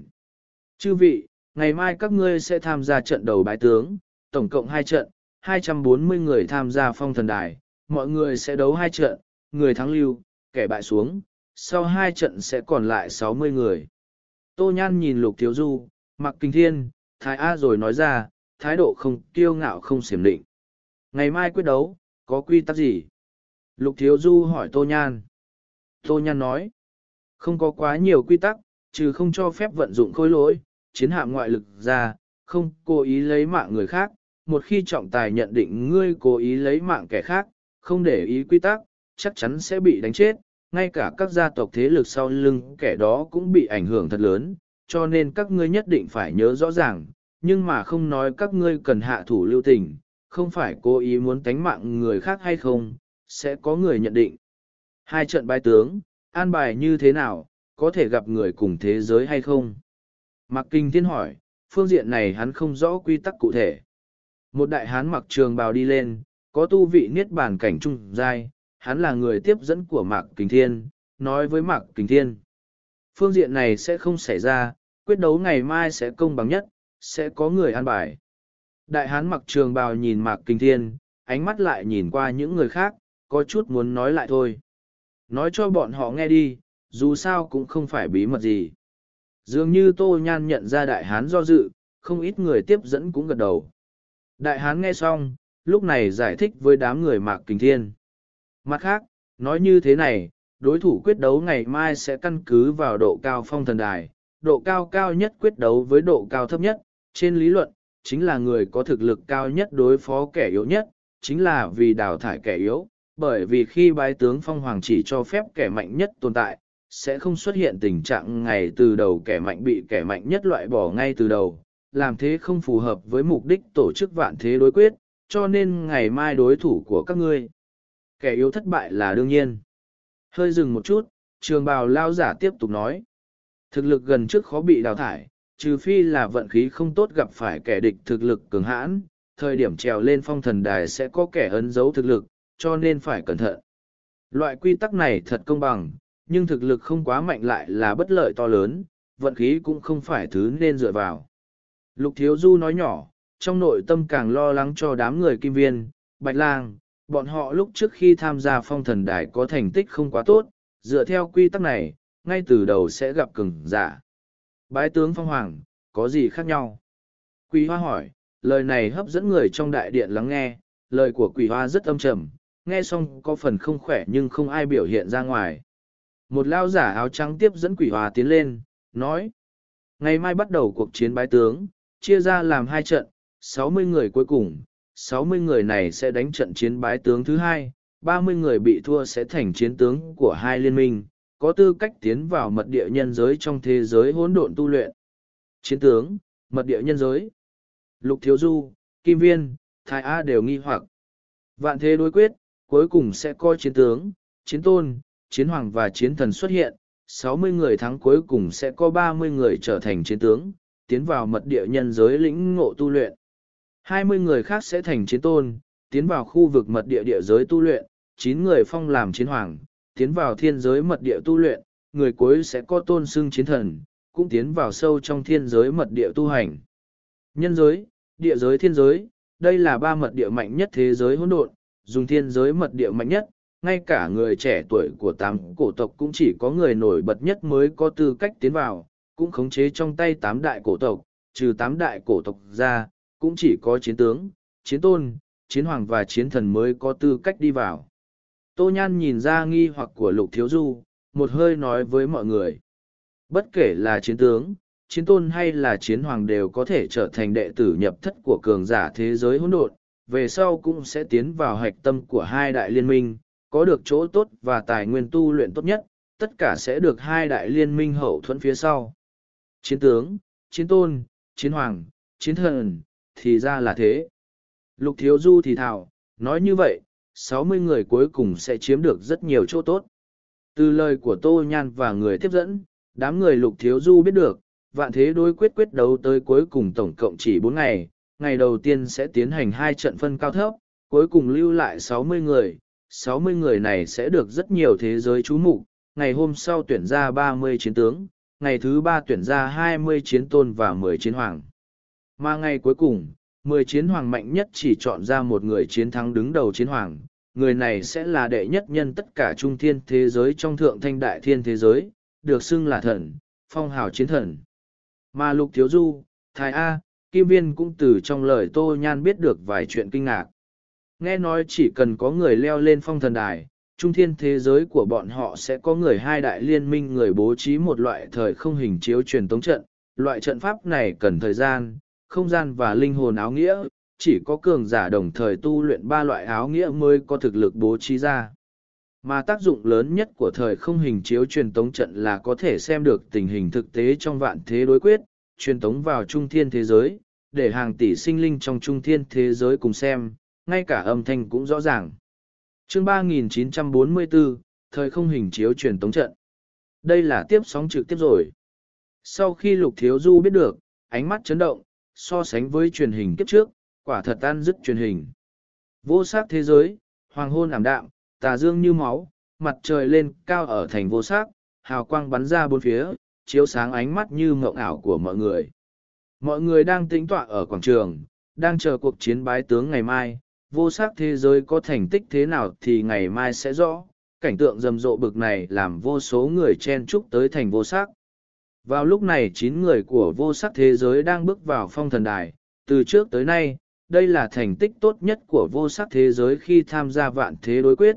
Trong nửa tháng qua việc này lan truyền ra khắp trung thiên thế giới, cho dù là người ở góc nào của thế giới cũng biết tin tức. Vạn cổ thế giới, thiên lang thế giới, vạn diệu thế giới đã sớm răng đèn kết hoa, vui sướng hớn hở. Khi tin tức rung động này truyền ra, tên của Lục Thiếu Du, Hoài Linh Ngọc, Tiết Mặc Kỳ chín người trở thành thần tượng của cả vô sắc thế giới. Thậm chí khi tin tức truyền ra, phi linh môn trong thời gian nửa tháng này có vô số người muốn gia nhập. Không biết thành tích ngày mai như thế nào. Trong một lầu cắt trên quảng trường, hướng hầu minh ngồi ở vị trí trung tâm. Tông lão trong vạn thiên liên minh muốn thu hướng hầu minh làm đệ tử nhập thất, địa vị bực này nên không cần phải cho Hoàng Thiên Tứ, An Thế Hải, Tiết Hưng Quốc mặt mũi. Mà mặt mũi như thế hoài viễn khôi cũng phải kính ba phần. Cứ chờ ngày mai đi. Thời gian nửa tháng qua, tử huyền vẫn còn kích động, lúc này đang chờ ngày mai sẽ đến. Hướng hầu minh, ngươi không đi thế giới hôn độn sao, tại sao còn chưa đi? Hoàng Thiên Tứ hỏi hướng hầu minh. Ta chờ một chút, lạc trưởng lão bảo ta ba ngày sau đi cũng được đấy. Hướng hầu minh nói. Lần này chúc mừng hướng hộ pháp. Tôn Cao Mục nói với hướng hầu minh, từ khi tin tức truyền ra, hắn được nhiều người nên đón tới vô sắc thế giới, tại tôn gia cũng có địa vị không kém, chỉ dưới mỗi tôn điển. Có được kết quả này, tôn cao mục biết rõ vì sao, đều là vì trong vạn cổ thế giới có ba người đặt chân lên phong thần đài, ba người này là hắn ăn bài, giờ phút này hắn cũng được thơm lây. Ngươi cũng không muốn đi vào thế giới hỗn độn bây giờ mà, cùng vui nào. Hướng hầu minh cười với tôn cao mục, hắn biết rõ lựa chọn của hắn lúc trước rất đúng, hắn tin tưởng vào ánh mắt của mình, chỉ tiếc thiên thủy môn hỏa quỷ đạo nhân Phạm Anh ký đã hối hận không kịp. Vào đêm, trong hư không vô tận, bóng tối bao phủ các nơi, nơi này có nhiều khối đá trống. Những người bị thua cơ bản đều ở trong thế giới này, cũng không có ai đặt chân lên phong thần đài, cho nên mới phải đặt chân trên tảng đá trống trải ở đây. Những người thất bại đều tập trung ở đây, phong vân ở ngay trước mặt nhưng bọn họ không thể tham gia, thần sắc vô cùng bị thương. Hiện tại Lục Thiếu Du đứng chắp tay nhìn vô số thân ảnh đứng trên các tảng đá, cũng rất có cảm xúc. Cương giả vi tôn, tu luyện vô tình, trong vạn thế liệp tràng và ở nơi đây, hắn xem như hiểu rõ vài phần. Đứng đầu chiến hoàng, ngạo thế thành thần, chiến thần. Lục Thiếu Du thì thảo, muốn lấy được phong hào chiến thần phải đứng đầu cửu hoàng, sợ rằng cũng không dễ dàng, mà chính mình nếu không bắt được phong hào chiến thần là không xong, cần gì bàn chống lại những thế hệ trẻ của cổ tộc trong thế giới hỗn độn chứ, cũng cô hắn là người mang thế giới chi nguyên. Suy. Đống nhiên Lục Thiếu Du cảm giác có ánh mắt nhìn lên người mình. Lục Thiếu Du nhìn qua bên cạnh, trong một tòa lầu các có một thân ảnh cao gầy cầm kiếm đang đứng, bộ dáng mười chín tuổi, gương mặt góc cạnh rõ ràng, lộ ra ba phần lanh tuấn, khí tức chấn động vô hình. Khí tức này hình thành một áp chế vô hình, một người một kiếm hồn nhiên thiên thành. Kinh thiên nhất kiếm tịnh vô ngân. Ánh mắt lục thiếu du khẽ nhúc nhích, người nọ chính là võ thần thế giới kinh thiên nhất kiếm tịnh vô ngân, là đầu lĩnh tiểu đội thế giới bài danh thứ ba, xác thực bất phàm. Trong khí thế này, lục thiếu du đứng xa khó quan sát được rõ ràng. Bốn mắt nhìn nhau, tịnh vô ngân khẽ gật đầu xem như chào hỏi. Thấy tịnh vô ngân gật đầu, lục thiếu du cảm thấy ngạc nhiên, cũng gật đầu chào hỏi, lục thiếu du cũng cho người kính trọng mình mặt mũi. Suy. Nhưng sau khi gật đầu, thân ảnh tịnh vô ngân nhảy lên, biến mất không thấy gì nữa. Người này bất phàm. Lục thiếu du thì thảo, qua một lát cũng biến mất không thấy đâu. Trong vô sắc thế giới, vô số người lẳng lặng chờ đợi, một đêm này đặc biệt dài. Sáng sớm, mọi âm thanh đều yên tĩnh, bên ngoài thành vô sắc có tia sáng ban mai đầu tiên, ánh sáng xua tan bóng tối. Vù vù. Trên quảng trường thành vô sắc có khí tức kỳ lạ thức tỉnh, nó quét qua tất cả. Hô. Trong cung điện to lớn, lục thiếu du phun ra một ngụm trọc khí, hắn thu liễm khí tức man hoang bào phủ toàn thân. Rốt cục đến. Lục thiếu du nói nhỏ, chiến ý trong mắt xuất hiện. Nắng sáng bao phủ quảng trường thành vô sắc, người bốn phía đang quan sát Ngọc Bích. Xẹt. Mọi người nhìn phía trước Ngọc Bích có không gian vặn mẹo, không gian vài trăm mét chấn động thật mạnh. Sau một lát đông cứng trước Ngọc Bích, một đạo hào quang nhu hòa xuất hiện. Và anh. Không gian run rẩy, từng tia sáng chói mắt bắn ra chung quanh. Thời không hình chiếu truyền tống trận mở ra. Cuộc chiến bái tướng sắp bắt đầu rồi. Trên hư không, nhật nguyệt tinh thần lơ lửng, mây mù mờ ảo tương liên với không gian, hùng hồn mà bao la mờ mịt, tăng thương mà cổ xưa, mọi người đều có cảm giác thở gấp. Hào quang cứng lại, trong hào quang là cảnh tượng núi non trùng điệp, cảnh tượng rất đồ sộ. Đây là tương hoàng không gian sao. Trên quảng trường thành vô sắc, vô số ánh mắt rung rung, bọn họ khó nói nên lời. Siêu siêu. Vào thời khắc này mọi người nhìn thấy rất nhiều thân ảnh lướt đi trên hư không, từng thân ảnh lướt tới tảng đá màu vàng. Tảng đá màu vàng lơ lửng giữa không trung, cao thấp không đều, làm cho người ta có cảm giác rung động khó nói nên lời, kim quang bao phủ nơi nơi. Chẳng lẽ đây là phong thần đài trong truyền thuyết sao? Mau nhìn, ta thấy Hoài Linh Ngọc, ở nơi cao nhất chính là Hoài Linh Ngọc. Thứ sáu là Lục Thiếu Du, bên người là Thái A, còn có Tiết Mặc Kỳ. Còn có Hoàng Sa cùng Tử Viêm, ta thấy bọn họ. Kim Viên, Bạch Lang, Quỷ Hoa, bọn họ đều ở đây. Lục Thiếu Du cố gắng lên. Hoài Linh Ngọc cố gắng lên. Trên tảng đá màu vàng, từng đạo thân ảnh đứng ở trên đó, trên đó có từng thân ảnh quen thuộc. Giờ phút này cả quảng trường sôi trào, từng tiếng hoan hô vang vọng các nơi, giống như sấm sét nổ vang, đinh thai nhức óc. Tương hoàng không gian, trên hư không vô tận có 240 khối đá màu vàng, 240 thân ảnh đứng trên đó. Trung quanh có mấy ngàn người dùng ánh mắt hâm mộ nhìn qua. chương 3945, Thái A chiến thắng. Cuộc chiến bai tướng, đây mới là lúc mọi người bắt đầu chú ý vạn thế đối quyết. Hôm nay 240 người sẽ còn lại 60 người, 60 người này sẽ tiến vào trong thế giới hỗn độn, chính thức biến thành cá chép vượt long môn hóa rồng. Trong hư không, nắng sớm chiếu vào hư không, 240 thân ảnh đặt trên khối đá màu vàng nhìn nhau. Có lẽ tất cả người dự thi đều hiểu rõ quy tắc, khối đá các ngươi đang đứng sẽ dẫn các ngươi gặp đối thủ, đánh bại đối thủ sẽ chiến thắng, người thua chủ động đầu hàng hoặc rời khỏi, không chủ động đầu hàng có thể giết không tha. Giọng nói giả mua từ sâu trong hư không truyền ra, loang thoáng, ung dung lọt vào thai mọi người. Xoẹt. Lúc giọng nói vừa dứt, 240 khối đá hoặc xoay tròn hoặc lên cao, hoặc rơi xuống, hoặc bay xa, trong nháy mắt ngắn ngủi mọi người nhìn thấy đôi thủ của mình. ầm ầm 240 tảng đá run lên, chúng tương liên với khối trước mặt mình tạo thành 120 tảng đá lớn hơn. Hai người trên tảng đá nhìn nhau, đây là đối thủ của bọn họ. Đại đạo cảnh cao dai. Lục Thiếu Du nhìn thanh niên thân thể rắn chắc đứng trước mặt mình, từ khí tức chấn động của người này, hẳn có tu vị đại đạo cảnh cao dai. Dựa theo quy tắc, Lục Thiếu Du biết rõ đây là đối thủ của mình, từ ý nghĩa nào mà nói là không công bằng, nhưng trong vạn thế đối quyết không có công bằng tuyệt đối. Nhưng bất kể là công bằng hay là không công bằng, đối với những người tu vị không đủ tuyệt đối là bi ai, bọn họ đối mặt với đối thủ mạnh nhất, kết cục có thể nghĩ, tất cả cũng bởi vì vạn thế đối quyết chỉ lưu lại những người mạnh nhất. Hiện tại cuộc chiến bái tướng bắt đầu, đánh bại đối thủ, kẻ bại rời khỏi. Giọng nói giả mua vang lên lần nữa. Và anh, khi giọng nói vừa dứt, mọi người lập tức hành động. Minh quỷ trảo. Trên một tảng đá màu vàng, quỷ hoa quát lớn, khí tức âm trầm lan ra các nơi, móng nuốt sắc bén đánh thẳng vào nữ tử trước mặt.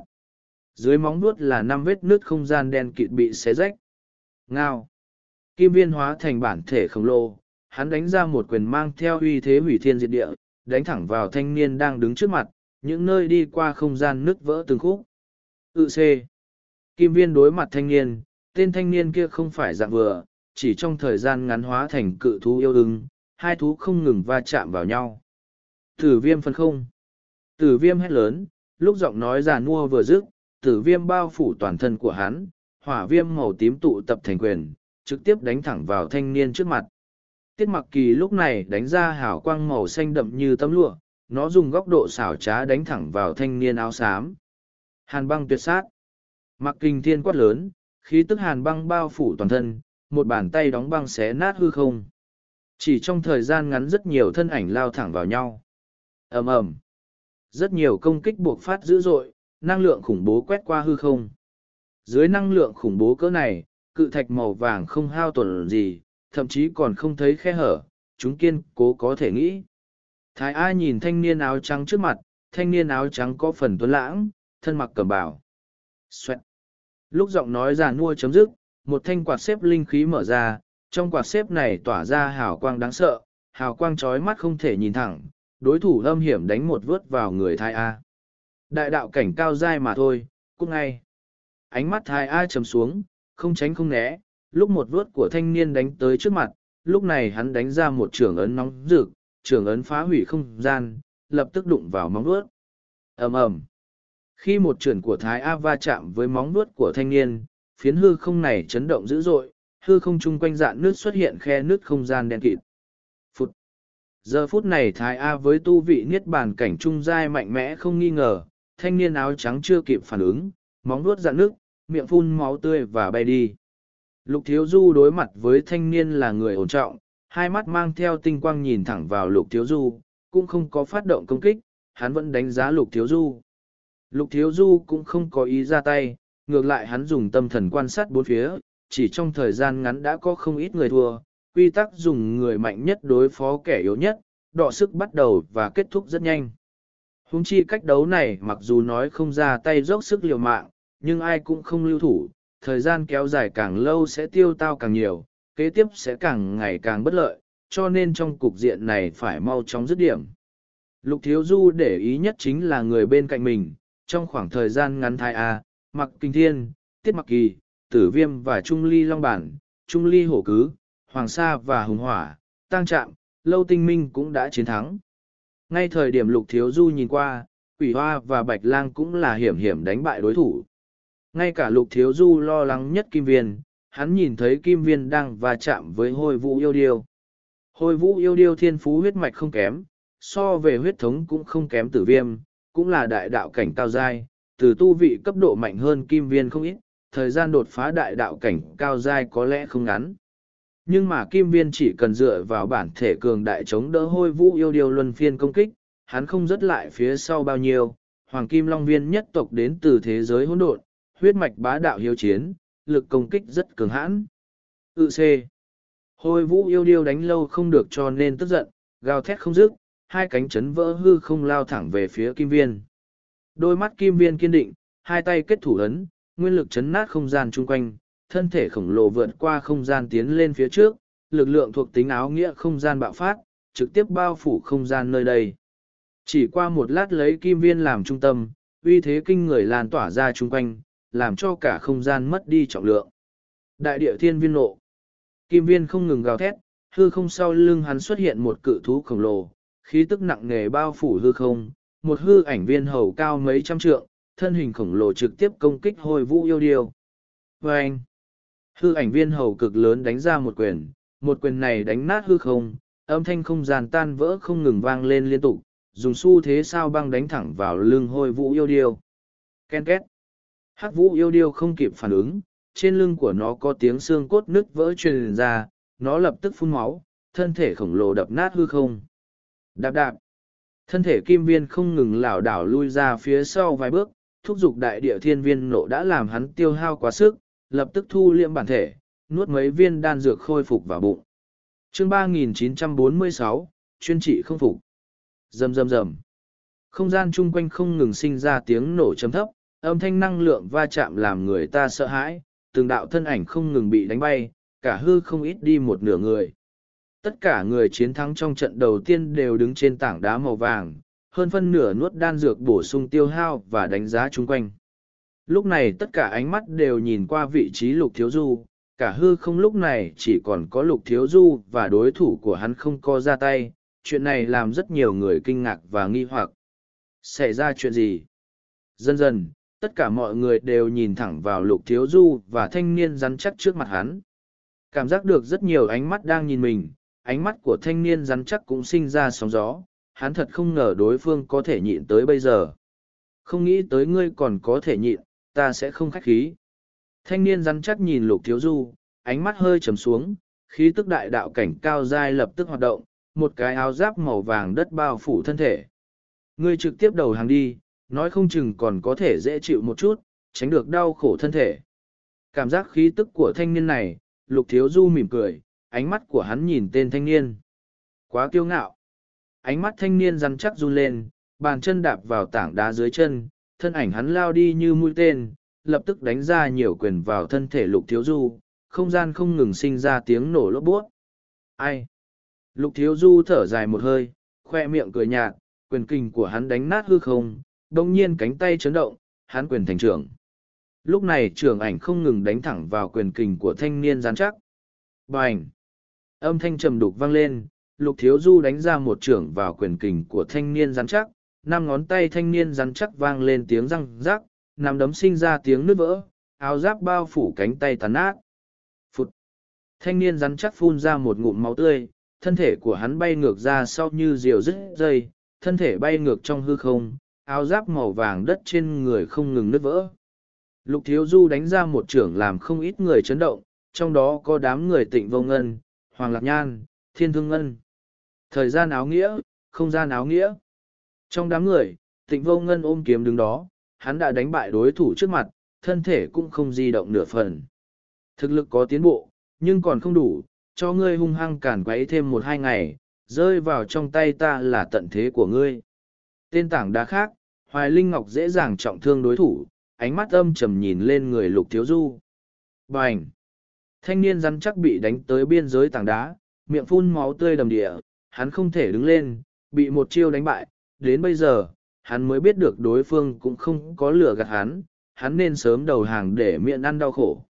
Trận đầu chấm dứt, người thua đi ra ngoài, người thắng trận tiến hành trận đấu tiếp theo. Giọng nói giả mua vang lên trong hư không. Thắng, chín người thắng trận đầu. Trên quảng trường thành vô sắc, mọi người sôi trào, tận mắt nhìn thấy chín người vô sắc thế giới đánh bại đối thủ, làm cho tất cả người trong vô sắc thế giới vô cùng tự hào. Rốt cuộc người trong vô sắc thế giới cũng đạp vào phong thần đài, lại đánh bại đối thủ trên phong thần đài. Vòng tiếp theo mới là mấu chốt, chỉ có thành tích vòng tiếp theo mới giúp vô sắc thế giới chính thức quật khởi. Trên lầu cát, Hoàng Thiên Tứ nhìn qua hình chiếu trên ngọc bích, giờ phút này hắn siết chặt nằm đấm, hưng phấn nói một câu.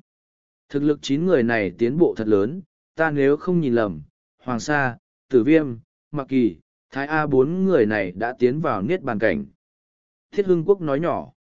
Nhanh đột phá niết bàn cảnh như vậy. Mọi người nghe xong liền hít sâu một hơi.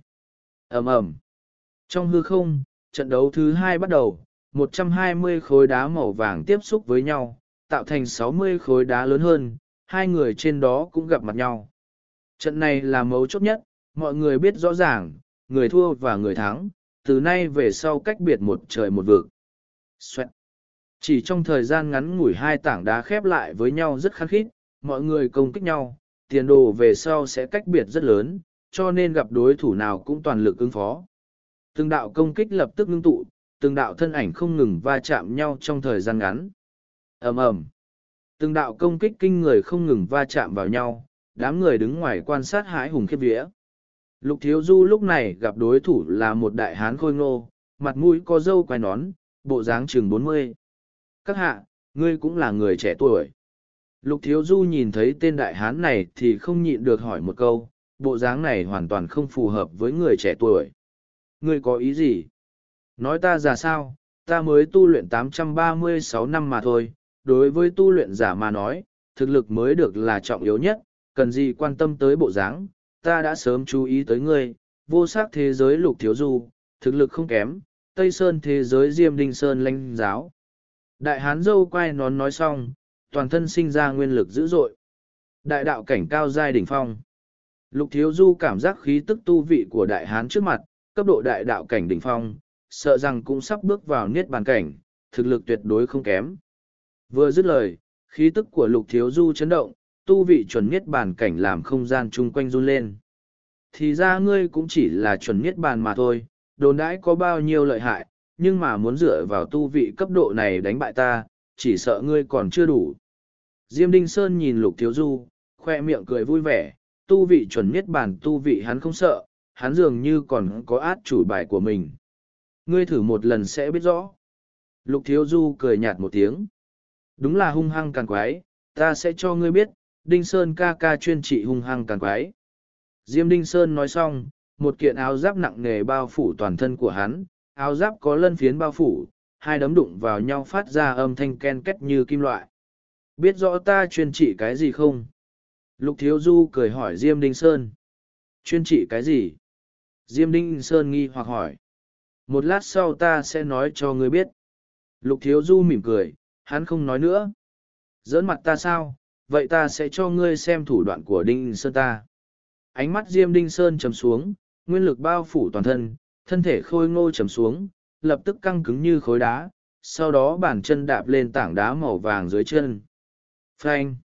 Âm thanh trầm thấp không ngừng vang vọng các nơi, thân ảnh đại hán dâu quai nón lao thẳng về phía lục thiếu du như thiểm điện. Suy suy! Thân ảnh Diêm Đinh Sơn lao tới như một đạo lưu quang, mang theo tàn ảnh kéo dài, chỉ trong giây lát đã lao thẳng về phía lục thiếu du. chương 3947, Long Viên hồn huyết ấn. Với tốc độ cỡ này, đại hán dâu quay nón cười lạnh, thuộc tính nguyên lực không ngừng hoạt động, hắn là tu luyện giả phong thuộc tính và thổ thuộc tính song áo nghĩa, vung quyền ngưng tụ ra một quyền ảnh thật lớn. Xem Đinh Sơn ca ca chuyên trị hung hăng cản quấy đây, tê thiên phá sơn quyền.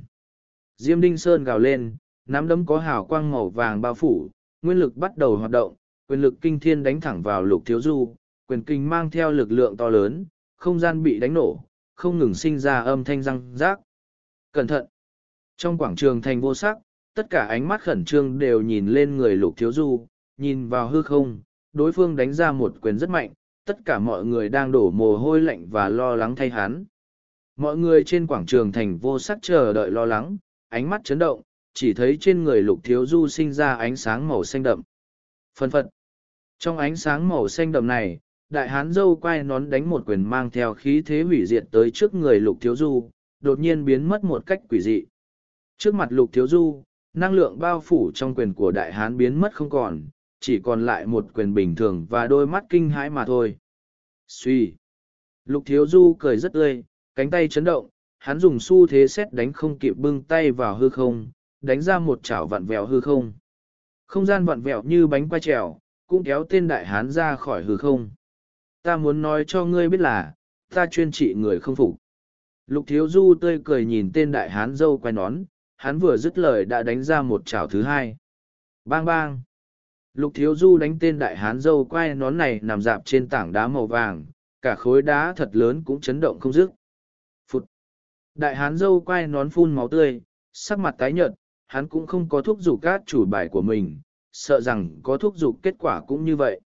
Từ một chiêu này hắn có thể nhận định thực lực của đối phương, loại thực lực này rất khủng bố, không phải hắn có thể chống lại được. Phút. Sau khi không ngừng phun máu tươi, đại hán đứng lên, ánh mắt nhìn lục thiếu du đầy ngạc nhiên. Ngươi nhận thua hay không nhận thua, nếu còn muốn động thủ, ngươi có thể sẽ thảm hơn bây giờ gấp mười lần, nếu tiếp tục động thủ, ta cũng không khách khí như vậy nữa.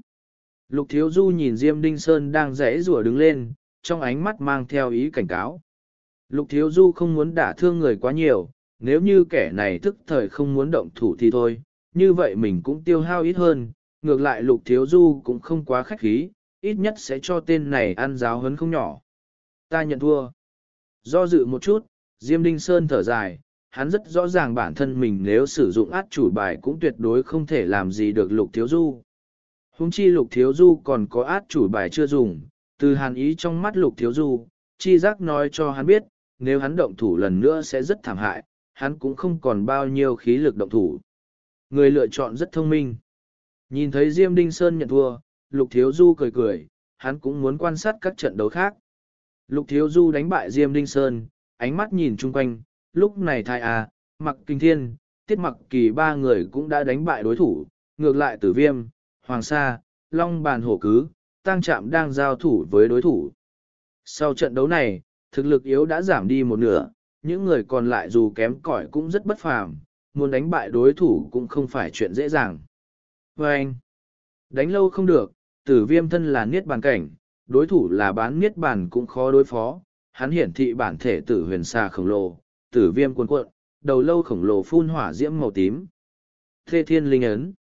Đối thủ của tử viêm là thanh niên gầy gò, hắn thấy thế, hắn rót nguyên lực vào linh khí hình kiếm, quang ảnh đầy trời ngăn cản tử viêm đang đánh tới. Cùng một thời gian, lục thiếu du lo lắng nhất bạch lang, quỷ hoa và kim viên ba người, bọn họ gặp phải đối thủ cường hắn hơn.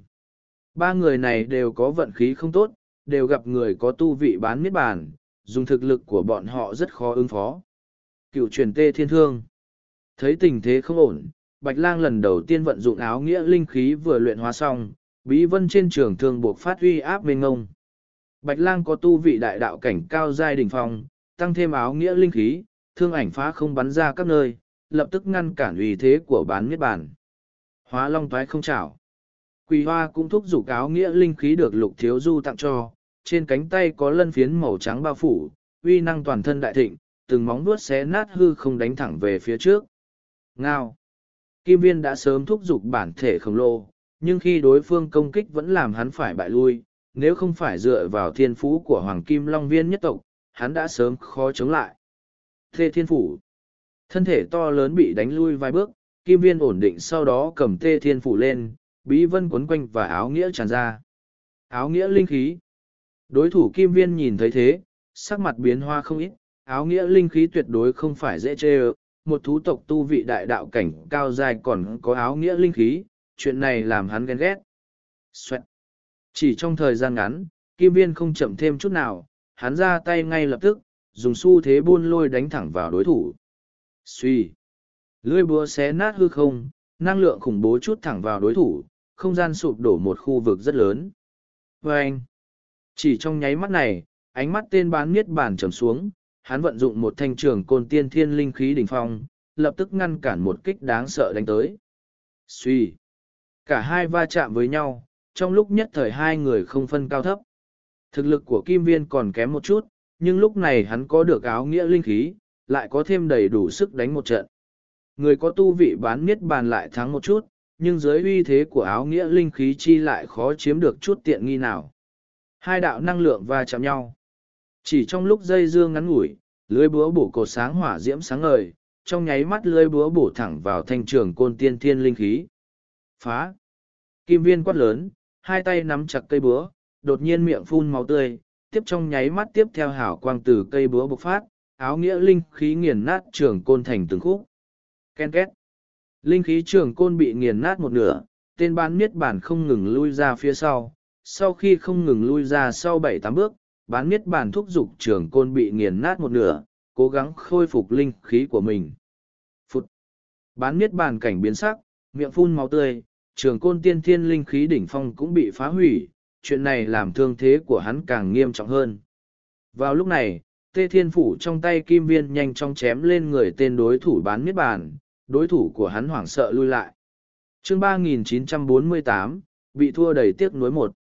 Cùng một thời gian, hào quang trên tê thiên phủ hàm đạm, lập tức chém thẳng vào khối đá màu vàng dưới chân. Suy! Kim viên phun máu tươi, khí tức bệ hoài, vừa rồi nghiền nát tiên thiên linh khí đỉnh phong của đối thủ đã làm cho kim viên tiêu hao tới mức tận cùng.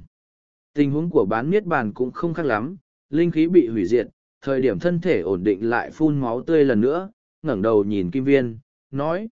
Áo nghĩa linh khí thật lợi hại, nhưng ngươi dù sao cũng chỉ có thực lực đại đạo cảnh cao dai, nếu bản thân ngươi mạnh một chút, ta thật sự không cách nào làm gì được ngươi.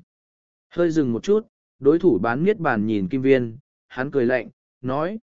Chỉ tiếc thực lực ngươi còn chưa đủ, cho dù áo nghĩa linh khí lợi hại thì sao chứ, hiện tại ngươi đã không cách nào thúc giục áo nghĩa linh khí, mà ta còn có lực công kích, ngươi làm sao có thể chống lại ta chứ? Ánh mắt kim viên nhìn đối thủ, thu hồi linh khí, hắn rất khó thúc giục áo nghĩa linh khí lần nữa, thúc giục áo nghĩa linh khí tiêu hao quá mức khổng lồ, mà hắn không có đan điền khí hải biến thái như lục thiếu du trèo trống. Xem ngươi làm sao chống lại ta, bại đi. Tên bán miết bàn lao thẳng về phía kim viên, thân ảnh như điện, hắn cười lạnh và vận dụng hỏa diễm vào nắm đấm của mình, hắn mang theo thế công rất mạnh công kích kim viên. Hắn tự nhiên nhìn ra được, thú tộc trước mặt đã nỏ mạnh hết đà. Thật sao? Nhìn quyền kình của đối phương đánh tới trước mặt, đôi mắt kim viên lóe lên, trên miệng máu tươi đầm địa cười rất tàn nhẫn, hắn đánh thủ ấn ra ngoài, hiển nhiên đã thúc giục từ sớm, dường như đang chờ thời khắc hiện tại. Phụt! Chỉ trong nháy mắt ngắn ngủi, kim viên không ngừng kết thủ ấn khi miệng vẫn phun máu tươi, hào quang từ thủ ấn lóe lên, lúc này dùng kim viên làm trung tâm, một đạo năng lượng quỷ dị khuyết tán ra chung quanh, không gian chung quanh không ngừng vặn mẹo. Long viên hồn huyết ấn. Chỉ trong thời gian ngắn ngủi, khi quyền ảnh đánh thẳng tới trước mặt, kim viên hét lớn, thủ ấn tỏa ra hào quang sáng ngời. ầm ầm Đông nhiên không gian run run, khí tức làm cho người ta sợ hãi bộc phát, trong thủ ấn còn có tiếng thú giống vang dội không gian. Ngao ngao. Tiếng gầm gừ truyền ra, trong thủ ấn còn có một đầu kim long và một thạch hầu ngưng tụ cùng nhau, cả hai con vật vô cùng to lớn. Phanh.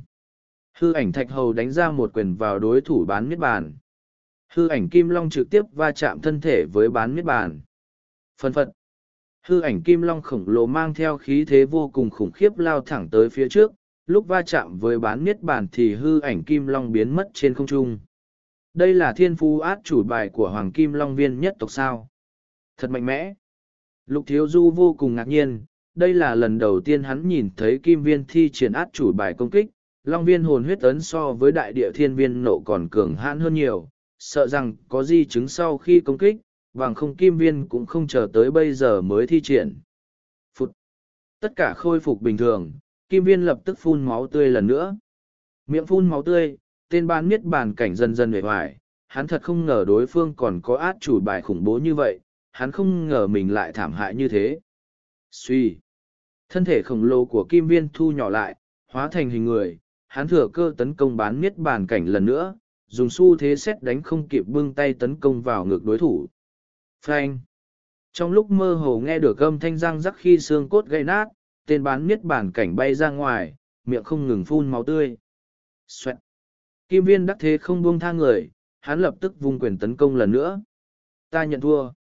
Bán miết bản cảnh hét lớn, hắn chủ động nhận thua, bằng không đến lúc bị người ta đánh chết cũng không coi ai quản, tin tưởng đối phương cũng không quan tâm chuyện khác, sẽ đánh chết hắn. Đạp đạp. Kim viên thu lực đạo lại, hắn lảo đảo lui ra phía sau, miệng không ngừng phun máu tươi, đoán chừng vì chiến thắng hắn cũng trả cái giá thảm trọng. Tháng, kim viên cung phụng cũng chiến thắng. Trung quanh quảng trường thành vô sắc, trong các lầu các, không ít người nhìn thấy đối thủ của Kim Viên nhận thua, người phi linh môn thở dài một hơi, phi linh môn có ba người đồng thời chiến thắng, chuyện này làm rất nhiều người sôi trào. Kim Viên cũng chiến thắng, chiến thắng. Bên cạnh tôn cao mục là tộc trưởng Hoàng Kim Long Viên nhất tộc trong vạn cổ thế giới không ngừng run rẩy, hắn cũng giống như tôn cao mục, được cường giả trong vô sắc thế giới mời đến, lúc này tận mắt nhìn thấy Kim Viên chiến thắng, hắn không ngừng chảy nước mắt, kim dao bên cạnh kéo tay phụ thân. Rầm rầm rầm. Thời không hình chiếu truyền tống trận sinh ra âm thanh năng lượng va chạm nhau, mọi người hãi hùng khiếp vía nhìn vào trong, ánh mắt đều nhìn vào chín người của vô sắc thế giới. Hoài Linh Ngọc cũng chiến thắng, dễ dàng đánh bại đối thủ. Thử Viêm và Hoàng Sa chiến thắng. Quỳ Hoa bị trọng thương, nhưng rốt cục gian nan chiến thắng, Bạch Lang vốn sắp chiến thắng, không nghĩ tới cuối cùng bị thua, trong tay đối thủ cũng có áo nghĩa linh khí. Tám người của vô sắc trung thiên thế giới có tám người tiến vào sáu mươi người còn lại, trời ạ, sáu mươi người trẻ tuổi có tám người là người của vô sắc thế giới chúng ta. Tốt lắm, thật sự là khó lường, trong vô sắc thế giới có không ít cường nhân. Ta không nhìn lầm chứ. Đây là thật sao? Sau khi quảng trường yên lặng trong ngắn ngủi, lập tức buộc phát âm thanh gào thét sôi trào, tất cả mọi người kích động nhìn cảnh tượng trước mặt tổng cộng 60 người, mà vô sắc thế giới lúc này có 8 người tiến vào vòng trong, thành tích cỡ này đủ làm cho cả vô sắc thế giới tự hào. Ken két. Trên lầu cát, tử huyền khẩn trương nắm chặt lan can, lan can run lên, lập tức hóa thành mảnh vỡ trong tay tử huyền. 8. Ít nhất 8 chiến tướng, vô sắc trung thiên thế giới lúc này thật sự quật khởi rồi. Trương bào của Hoàng Thiên Tứ run lên, ánh mắt của hắn nhìn phiến hư không kia càng chấn động dữ dội. Trong tương hoàng không gian, vòng đấu loại đầu tiên cũng chấm dứt, lục thiếu du nhìn lên không trung, ánh mắt hơi thất vọng, bạch lang vốn có dấu hiệu chiến thắng, ai ngờ cuối cùng bán miết bản kia lại có áo nghĩa linh khí, trực tiếp đánh bạch lang trọng thương. Hình như là người của nguyên võ thế giới. Lục Thiếu Du nhìn bán niết bàn đánh bại Bạch Lang, hình như là người của nguyên võ thế giới bài danh thứ nhất trong trung thiên thế giới. Vào lúc này 60 bệ đá màu vàng trải qua hai lần quyết đấu chỉ còn 60 người lưu lại. Ánh mắt Lục Thiếu Du đảo qua, trong 60 người này có rất nhiều trung thiên thế giới bị đào thải. Mà người của các trung thiên thế giới bài danh top ba đa số đều lưu lại, tăng thêm tám người của vô sắc thế giới đã chiếm hơn phân nửa danh lệch. Còn phong vân thế giới, mặc kinh thiên, tăng chạm hai người đều có mặt, nhưng mà lâu tinh minh không biết vì sao đã thua, lục thiếu du cũng không cẩn thận quan sát. chương 3949, bị thua đầy tiếc nuối hai. Vào lúc lục thiếu du nhìn thấy không ít thân ảnh quen thuộc, thông thiên thế giới thiên thương ngân, phượng dương thế giới tuyệt phong hoa, pháp đạo thế giới độc nhất đao, còn có một chút người lục thiếu du không nhận ra. Cũng có một thân ảnh làm cho lục thiếu du cảm thấy ngạc nhiên, đó chính là thông linh thế giới ngô phá thiên bị mình đánh bại lại có mặt trong đó. Lục thiếu du nhớ rõ tên này chỉ nhận thua với mình cũng không có rời khỏi vạn thế đối quyết, tuy bị hắn lấy nhận chữ vật, nhưng cũng không ngại hắn tiếp tục tham gia vạn thế đối quyết. Ngô phá thiên cấp độ niết bàn cảnh sơ giai, ngô phá thiên đúng là bất phàm, còn mạnh hơn hắc mánh nhiều, tuy hắn bị trọng thương, nhưng xem ra thương thế đã tốt lên không ít, có thể đi đến một bước này, Lục Thiếu Du chỉ hơi kinh ngạc chứ không cảm thấy kỳ quái. Lục Thiếu Du cẩn thận quan sát sáu mươi người chung quanh, tu vị cấp độ thấp nhất là Kim Viên, mới đại đạo cảnh cao giai, trừ quỷ hoa ra, đại đạo cảnh cao giai cũng chỉ còn lại một, bán niết bàn có bốn năm, hơn năm mươi người khác đều có tu vị niết bàn cảnh, ngày mai không biết những người này ai sẽ trở thành đối thủ của mình. Đúng là bất phàm. Trong lòng lục thiếu du cảm thán, trong quá trình đào thải tầng tầng, còn lại sáu mươi người đều là tồn tại đỉnh phong trong thế hệ trẻ của trung thiên thế giới trong thượng thanh đại thiên thế giới, trong đó không ít thế hệ bất phàm như huyền tuyết ngưng, nàng đang ôm nguyên cổ linh tinh thú nhìn ra xa, không có biểu hiện quá nhiều chấn động, quyết đấu cấp bậc này nàng không đặt vào mắt, chỉ xem náo nhiệt mà thôi. Một lát sau, Lục Thiếu Du bị Tô Nhan và Bắc Đông tự mình tiếp đón trở lại trong cung điện, đi theo còn có đám người mặc kình thiên, thai A, tiết mặc kỳ. Ngày mai còn phải quyết đấu, Lục Thiếu Du có bảo vật thời gian tự nhiên mang lại ưu thế chữa thương cực lớn. Thái độ của Tô Nhan và Bắc Đông với Lục Thiếu Du là không kiêu ngạo không xiểm định, mà bây giờ trong mắt hai người mang theo vẻ cung kính, những người tiếp dẫn khác cũng thế, đều vô cùng tôn kính.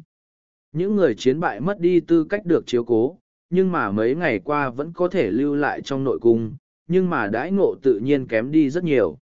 Trong nội cung, Lục Thiếu Du đưa mọi người vào trong thiên trụ giới, mọi người cần điều tức khôi phục, mà Kim Viên và Bạch Lang, quỷ hoa bị thương không nhẹ, cần có thời gian chữa thương. Bạch Lang thần sắc xa suốt, trong nội tâm rất thất vọng, thực lực của hắn và quỷ hoa không kém bao nhiêu, quỷ hoa tấn cấp nhưng vận khí của hắn kém hơn một chút, đụng bán miết bản, vốn dựa vào áo nghĩa linh khí hơn phân nửa là có thể chiến thắng. Ai biết cuối cùng tên kia còn che giấu áo nghĩa linh khí trên người, cho nên hắn gặp bi kịch. Mọi người ăn đan dược chữa thương sau đó điều tức, Lục Thiếu Du cũng tiến vào thiên trụ giới tầng thứ bảy nhắm mắt dưỡng thần, chuẩn bị quyết đấu ngày mai. Liên tiếp đánh bại hai đối thủ, kỳ thật Lục Thiếu Du không tiêu hao bao nhiêu, ngày đầu tiên xem như không gặp đối thủ cân xứng. Trong tương hoàng không gian, hôm nay có người thất bại quay về, đối với những người thất bại mất đi ánh sáng, cũng không hề có người tiếp dẫn, ánh mắt tất cả mọi người chỉ tập trung vào sáu mươi người chiến thắng mà thôi. Đương nhiên, cũng có người đang chờ mong, nếu trong vòng tiếp chiến đấu tiếp theo có người bất hạnh vẫn lạc, như vậy những kẻ thất bại như bọn họ sẽ có khả năng. Chuyện người dự thi trong tương hoàng không gian vẫn lạc tỷ lệ quá nhỏ, đến cấp độ tu vị thế này quá khó xảy ra nhưng mà cũng không bài trừ có ngoài ý muốn, những năm qua cũng xảy ra không ít. Mà một khi có người bất hạnh vẫn lạc, như vậy đám người thất bại còn có một cơ hội dự bị, đây cũng là hy vọng cuối cùng của bọn họ, nhưng mà hy vọng này rất nhỏ. Một ngày từ từ trôi qua, vào đêm, trăng sáng trên cao, vô sắc thế giới thành vô sắc, lúc này là một đêm không bình yên. Vô sắc trung thiên thế giới, tám người tiến vào sáu mươi người, thành tích cỡ này có thể so sánh với võ thần thế giới và nguyệt hoàng thế giới. Tám người tiến vào trước sáu mươi, chứng minh sáu người này sẽ có danh hào chiến tướng, có thể đảm bảo tiến vào thế giới hỗn độn tu luyện. Trong vô sắc thế giới, hiện tại không chỉ lúc trà dư tử hậu, chủ đề hiện tại chính là vạn thế đối quyết, người trong vô sắc thế giới nhiệt tình với vạn thế đối quyết hơn xa di vãng, bởi vì trong lần vạn thế đối quyết này vô sắc thế giới có thành tích rất tốt. Mọi người rất nhiệt tình, cũng làm danh tiếng của Lục Thiếu Du, Hoài Linh Ngọc chuyển khắp vô sắc trung thiên thế giới. Thời gian một đêm không dài, sáng sớm hôm sau, khi phía đông thành vô sắc có ánh bình minh ló dạng, trên quảng trường, rất nhiều ánh mắt đang nhìn lên ngọc bích trên cao, chờ đợi hình ảnh truyền tống xuất hiện. Hô! Trong thiên trụ giới tầng thứ bảy, lục thiếu du thức tỉnh, hắn phun ra một ngụm trọc khí, thu kim quang thâm thúy vào trong cơ thể, khí tức man hoang trong mắt mất đi, thì thào nói nhỏ. Hôm nay mới có thể gặp đối thủ chính thức. Hôm nay là cuộc chiến bái tướng vòng thứ hai, sáu mươi người đối chiến với nhau, quy tắc không thay đổi, ba mươi người chiến thắng tiến vào vòng tiếp theo, ba mươi người thất bại sẽ trở thành chiến tướng của hai đại liên minh, có thể tiến vào thế giới hỗn độn nhân giới mật địa tu luyện. Một lát sau, trong đại điện Bắc Đông nói với đám người lục thiếu du, những người tiếp dẫn nghi hoặc nhìn lục thiếu du. Hai ngày này những người nơi đây xem lục thiếu du là hạch tâm, hết lần này tới lần khác từ cấp độ tu vị lục thiếu du lại tương đối thấp, nhưng mọi người vẫn dùng hắn làm trung tâm, cho nên chuyện này làm không ít người tò mò. Trên tảng đá lớn màu vàng, bốn phong thần đài hợp lại thành duy nhất, diện tích lớn gấp bốn lần lúc trước lơ lửng giữa không trung, cảnh tượng rất rung động, kim quang tỏa ra từ phía. sáu mươi khối đá màu vàng có sáu mươi người đặt chân, sáu mươi người này cho dù bại cũng là chiến tướng của hai đại liên minh. Nhưng sáu mươi người này hiển nhiên không cam lòng trở thành chiến tướng, trở thành chiến tôn, chiến hoàng, thậm chí là chiến thần, đây mới là mục tiêu của bọn họ, càng lên cao, tài nguyên tu luyện càng nhiều. Cuối cùng người đứng đầu cửu hoàng, chiến thần duy nhất càng là vinh dự nhiều người ước mơ tha thiết, nó không chỉ quan hệ tới tài nguyên tu luyện, càng trở thành người quát tháo thế hệ trẻ, chiến thần. Và anh, trên quảng trường thành vô sắc, không gian trước ngọc bích rung động, hình ảnh được chuyển tới lần nữa. Trên quảng trường lúc này đầy tiếng hò reo, bọn họ hoan hô tám người bước vào vòng sáu mươi người này. ầm ầm, sáu mươi khối đá màu vàng va chạm với nhau, hư không sinh ra chấn động thật lớn sáu mươi người đứng đó nhìn đối thủ, trước mặt thái a là một thanh niên với sắc mặt bất đắc dĩ, chính là ngô pha thiên. Chương ba nghìn chín trăm năm mươi, một chiêu đánh bại. Trước mặt kim viên là một thanh niên ôm kiếm, một người một kiếm hồn nhiên thiên thành, khí tức tỏa ra cho kim viên cảm giác như đối mặt với ngọn núi khổng lồ, hắn có khí tức không thể dung chuyển. Trước mặt quỷ hoa là một nữ tử tuyệt thế, dung nhan tuyệt mỹ, khí tức linh hồn tỏa ra rất nóng bỏng. Trước mặt tăng trạng Hoài Linh Ngọc cười lạnh, sắc mặt của tang trạm rất khó coi. Các ngươi có thể bắt đầu. Giọng nói giả nua quanh quẩn trên hư không. ầm ầm Khí tức mênh mông phun trào ra, từng đạo thân ảnh va chạm nhau như thiểm điện. Quyết đấu, hết sức căng thẳng. Ta nhận thua. Tang trạm nhìn về phía Hoài Linh Ngọc, trực tiếp nhận thua. Hắn rất rõ thực lực của Hoài Linh Ngọc, một khi động thủ sợ rằng Hoài Linh Ngọc sẽ không cho hắn cơ hội mở miệng đầu hàng. Hừ, xem như ngươi thức thời, lần sau đừng rơi vào trong tay ta. Hoài Linh Ngọc hừ lạnh một tiếng, đối phương từng động thủ với hắn, hắn đang muốn hảo hảo giáo huấn một phen, lại không nghĩ tới người trước mặt trực tiếp nhận thua, chuyện này làm cho hắn giận dữ. Ta biết do thực lực ngươi rất mạnh, cũng tự biết không phải đối thủ của ngươi, nhưng không chiến mà bại không phải việc Hoàng Kim Long Viên chúng ta nên làm. Kim Viên nhìn thanh niên ôm kiếm, kinh thiên nhất kiếm tịnh vô ngân, hắn tự biết không phải đối thủ, nhưng mà hắn không lùi bước, hắn đánh ra một quyền phá không tới trước. Huyết mạch Hoàng Kim Long Viên nhất tộc cường hãn, có lẽ ngươi chưa tiến vào cổ địa của Hoàng Kim Long Viên nhất tộc lại có được tu vị này thật sự khó tin, nếu sau khi đi vào cổ địa, ngày khác tuyệt đối sẽ là cường giả một phương. Nhìn một quyền của Kim Viên dánh tới trước mặt, thân ảnh tịnh vô ngân tránh né, lúc này một đạo hào quang từ thanh kiếm tỏa ra chung quanh. Suy! Một quyền của kim viên va chạm với kiếm quang lại khó tiến thêm nửa bước, năng lượng trên quyền kình tan biến không thấy. Ta thua. Kim viên ôm quyền thi lễ, đối phương khách khí như thế, kim viên cũng không phải kẻ không biết điều. Bang bang. Quỳ hoa thi triển ra hóa long toái không chảo, trong nháy mắt trước mặt xuất hiện một hư ảnh, còn không biết xảy ra chuyện gì, thân ảnh đã bị đánh bay, miệng phun máu tươi, trong linh hồn bị khí tức nóng bức bao phủ, thậm chí không nhìn rõ ràng đã bị đánh bại trong một chiêu. Sắc mặt Hoàng Sa lúc này có phần lung túng, thậm chí có cảm giác bi kịch, bởi vì hắn đối mặt chính là nhâm tiêu diêu, là đầu lĩnh của nguyên võ thế giới, võ phá thương khung nhâm tiêu diêu. Nguyên lực trong người chấn động, không gian chung quanh cũng chấn động, khí tức quét qua không gian, thổ thuộc tính nguyên lực buộc phát ra ngoài, đến thời điểm này Hoàng Sa cũng không muốn không chiến mà hàng. Vạn dặm chấn thiên lý. Lúc Hoàng Sa quát lớn, nguyên lực bao phủ bàn tay, bàn tay vung lên, lăng không đánh ra một trường ấn thật mạnh. Xoẹt. Bàn chân Hoàng Sa đạp mạnh lên mặt đất, âm thanh trầm thấp nổ vang dưới bàn chân, năng lượng thổ thuộc tính tỏa ra các nơi, thân ảnh hóa thành một đạo tàn ảnh lao thẳng về phía nhâm tiêu diêu. Thực lực ngươi còn chưa đủ.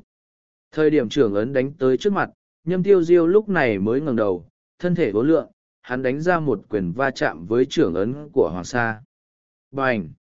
Âm thanh trầm thấp nổ vang, trưởng ấn của Hoàng Sa bị đánh nát dễ dàng, miệng phun máu tươi bay ra sau như diều đứt dây, trực tiếp rơi xuống biên giới tảng đá. Ta bại! Hoàng Sa dễ rùa bò dậy, không có ý định ra tay lần nữa, một chiêu thất bại cũng không có ý định vận dụng áo nghĩa linh khí, dùng thân phận đối phương, đầu lĩnh nguyên võ thế giới không có khả năng không có áo nghĩa linh khí, cho nên cho dù mình sử dụng áo nghĩa linh khí còn có kết quả thảm hại hơn, không chiến mà hàng là khuất nhục, biết rõ không địch lại còn chiến là ngu xuẩn. Lục Thiếu Du nhìn thanh niên mặc trường bào trước mặt, Lục Thiếu Du biết đại khái lai lịch kẻ này, người của Nguyệt Hoàng thế giới, hai lần trước đi bên cạnh Hoàng Lạc Nhan. Tiểu tử vô sắc thế giới, đầu hàng đi, đừng tìm đau khổ, ta sẽ không hạ thủ lưu tình đâu. Tên thanh niên nhìn Lục Thiếu Du, ánh mắt mang theo vẻ khinh thường, cũng không có đặt Lục Thiếu Du vào trong lòng, thân là người Nguyệt Hoàng thế giới, trừ nguyên võ thế giới và võ thần thế giới ra, hắn không giặt người thế giới khác trong lòng, cho dù lúc này vô sắc thế giới biểu hiện không tầm thường cũng vậy. Ánh mắt lục thiếu du không nhìn trận đấu của Hoàng Lạc Nhan và quỷ hoa nữa, hắn nhìn thanh niên mặc trường bào trước mặt, từ khí tức nguyên lực của kẻ này, hắn biết đây là người thú tộc. Vận khí của ngươi không tốt, hiện tại trong lòng của ta hơi có khó chịu nhỏ, cho nên ngươi sẽ gặp phiền phức. Lục thiếu du nhìn thanh niên trước mặt, quỷ hoa bị thương không nhẹ trong tay Hoàng Lạc Nhan, chuyện này làm nội tâm lục thiếu du rất không thoải mái, mà trước mắt tên thanh niên trước mặt lại là người Nguyệt Hoàng thế giới. Tiểu tử đúng là càng quái, hôm nay ta sẽ cho ngươi biết thế nào là thực lực. Ánh mắt tên thanh niên này trầm xuống, lập tức nguyên lực bàng bạc quanh thân chấn động, năng lượng thiên địa chung quanh cuồng bạo, năng lượng thổ thuộc tính rung động không nhỏ. Thổ thuộc tính áo nghĩa bổn nguyên, niết bàn cảnh sơ giai trung kỳ. Ánh mắt lục thiếu du hơi chấn động, thanh niên mặc trường bảo trước mặt có được thổ thuộc tính áo nghĩa bổn nguyên, tăng thêm tu vị niết bàn cảnh sơ giai, cũng không phải là niết bàn cảnh sơ giai bình thường, đúng là có tiền vốn hung hăng càng quái. Chỉ trong giây phút ngắn ngủi, thủ ấn của thanh niên mặc trường bảo ngưng tụ năng lượng thổ thuộc tính rất mạnh, năng lượng màu vàng đất trên không trung tỏa ra hào quang sáng ngời, bao phủ toàn bộ không gian chung quanh, cuối cùng xoay tròn quanh người của hắn. Chỉ trong nháy mắt không gian run lên không nhỏ, trở nên vô cùng trầm trọng, khí tức khủng bố bao phủ các nơi. Nhìn thấy thanh niên mặc trường bào ngưng tụ thủ ấn, lục thiếu du cười lạnh, dùng thân thể làm trung tâm, không gian chung quanh thác loạn, vết nước không gian đen kịt bao phủ các nơi, một thủ ấn thật lớn bao phủ hư không. Thập phương vũ trụ ấn.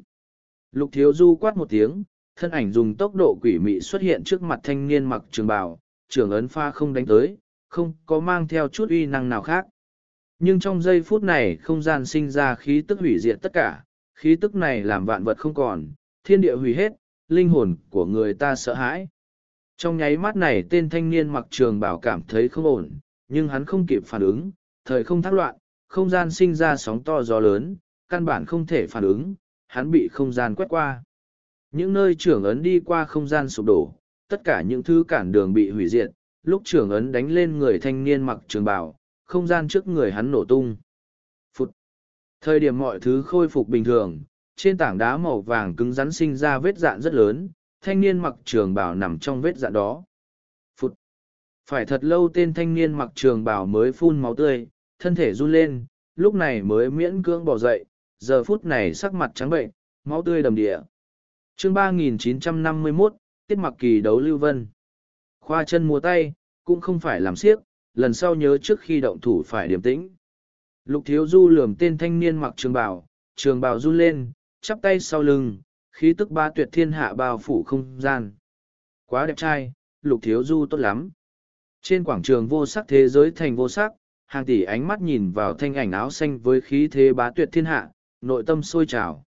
Trong tương hoàng không gian, từng ánh mắt tập trung vào người lục thiếu du, dùng tu vị chuẩn niết bàn một chiêu đánh bại niết bàn cảnh sơ giai trung kỳ của nguyện hoàng thế giới, thực lực này đủ làm người ta phải ghé mắt nhìn. Từng ánh mắt nhìn chằm chằm vào, trong đám người có vài người âm trầm nhìn lục thiếu du.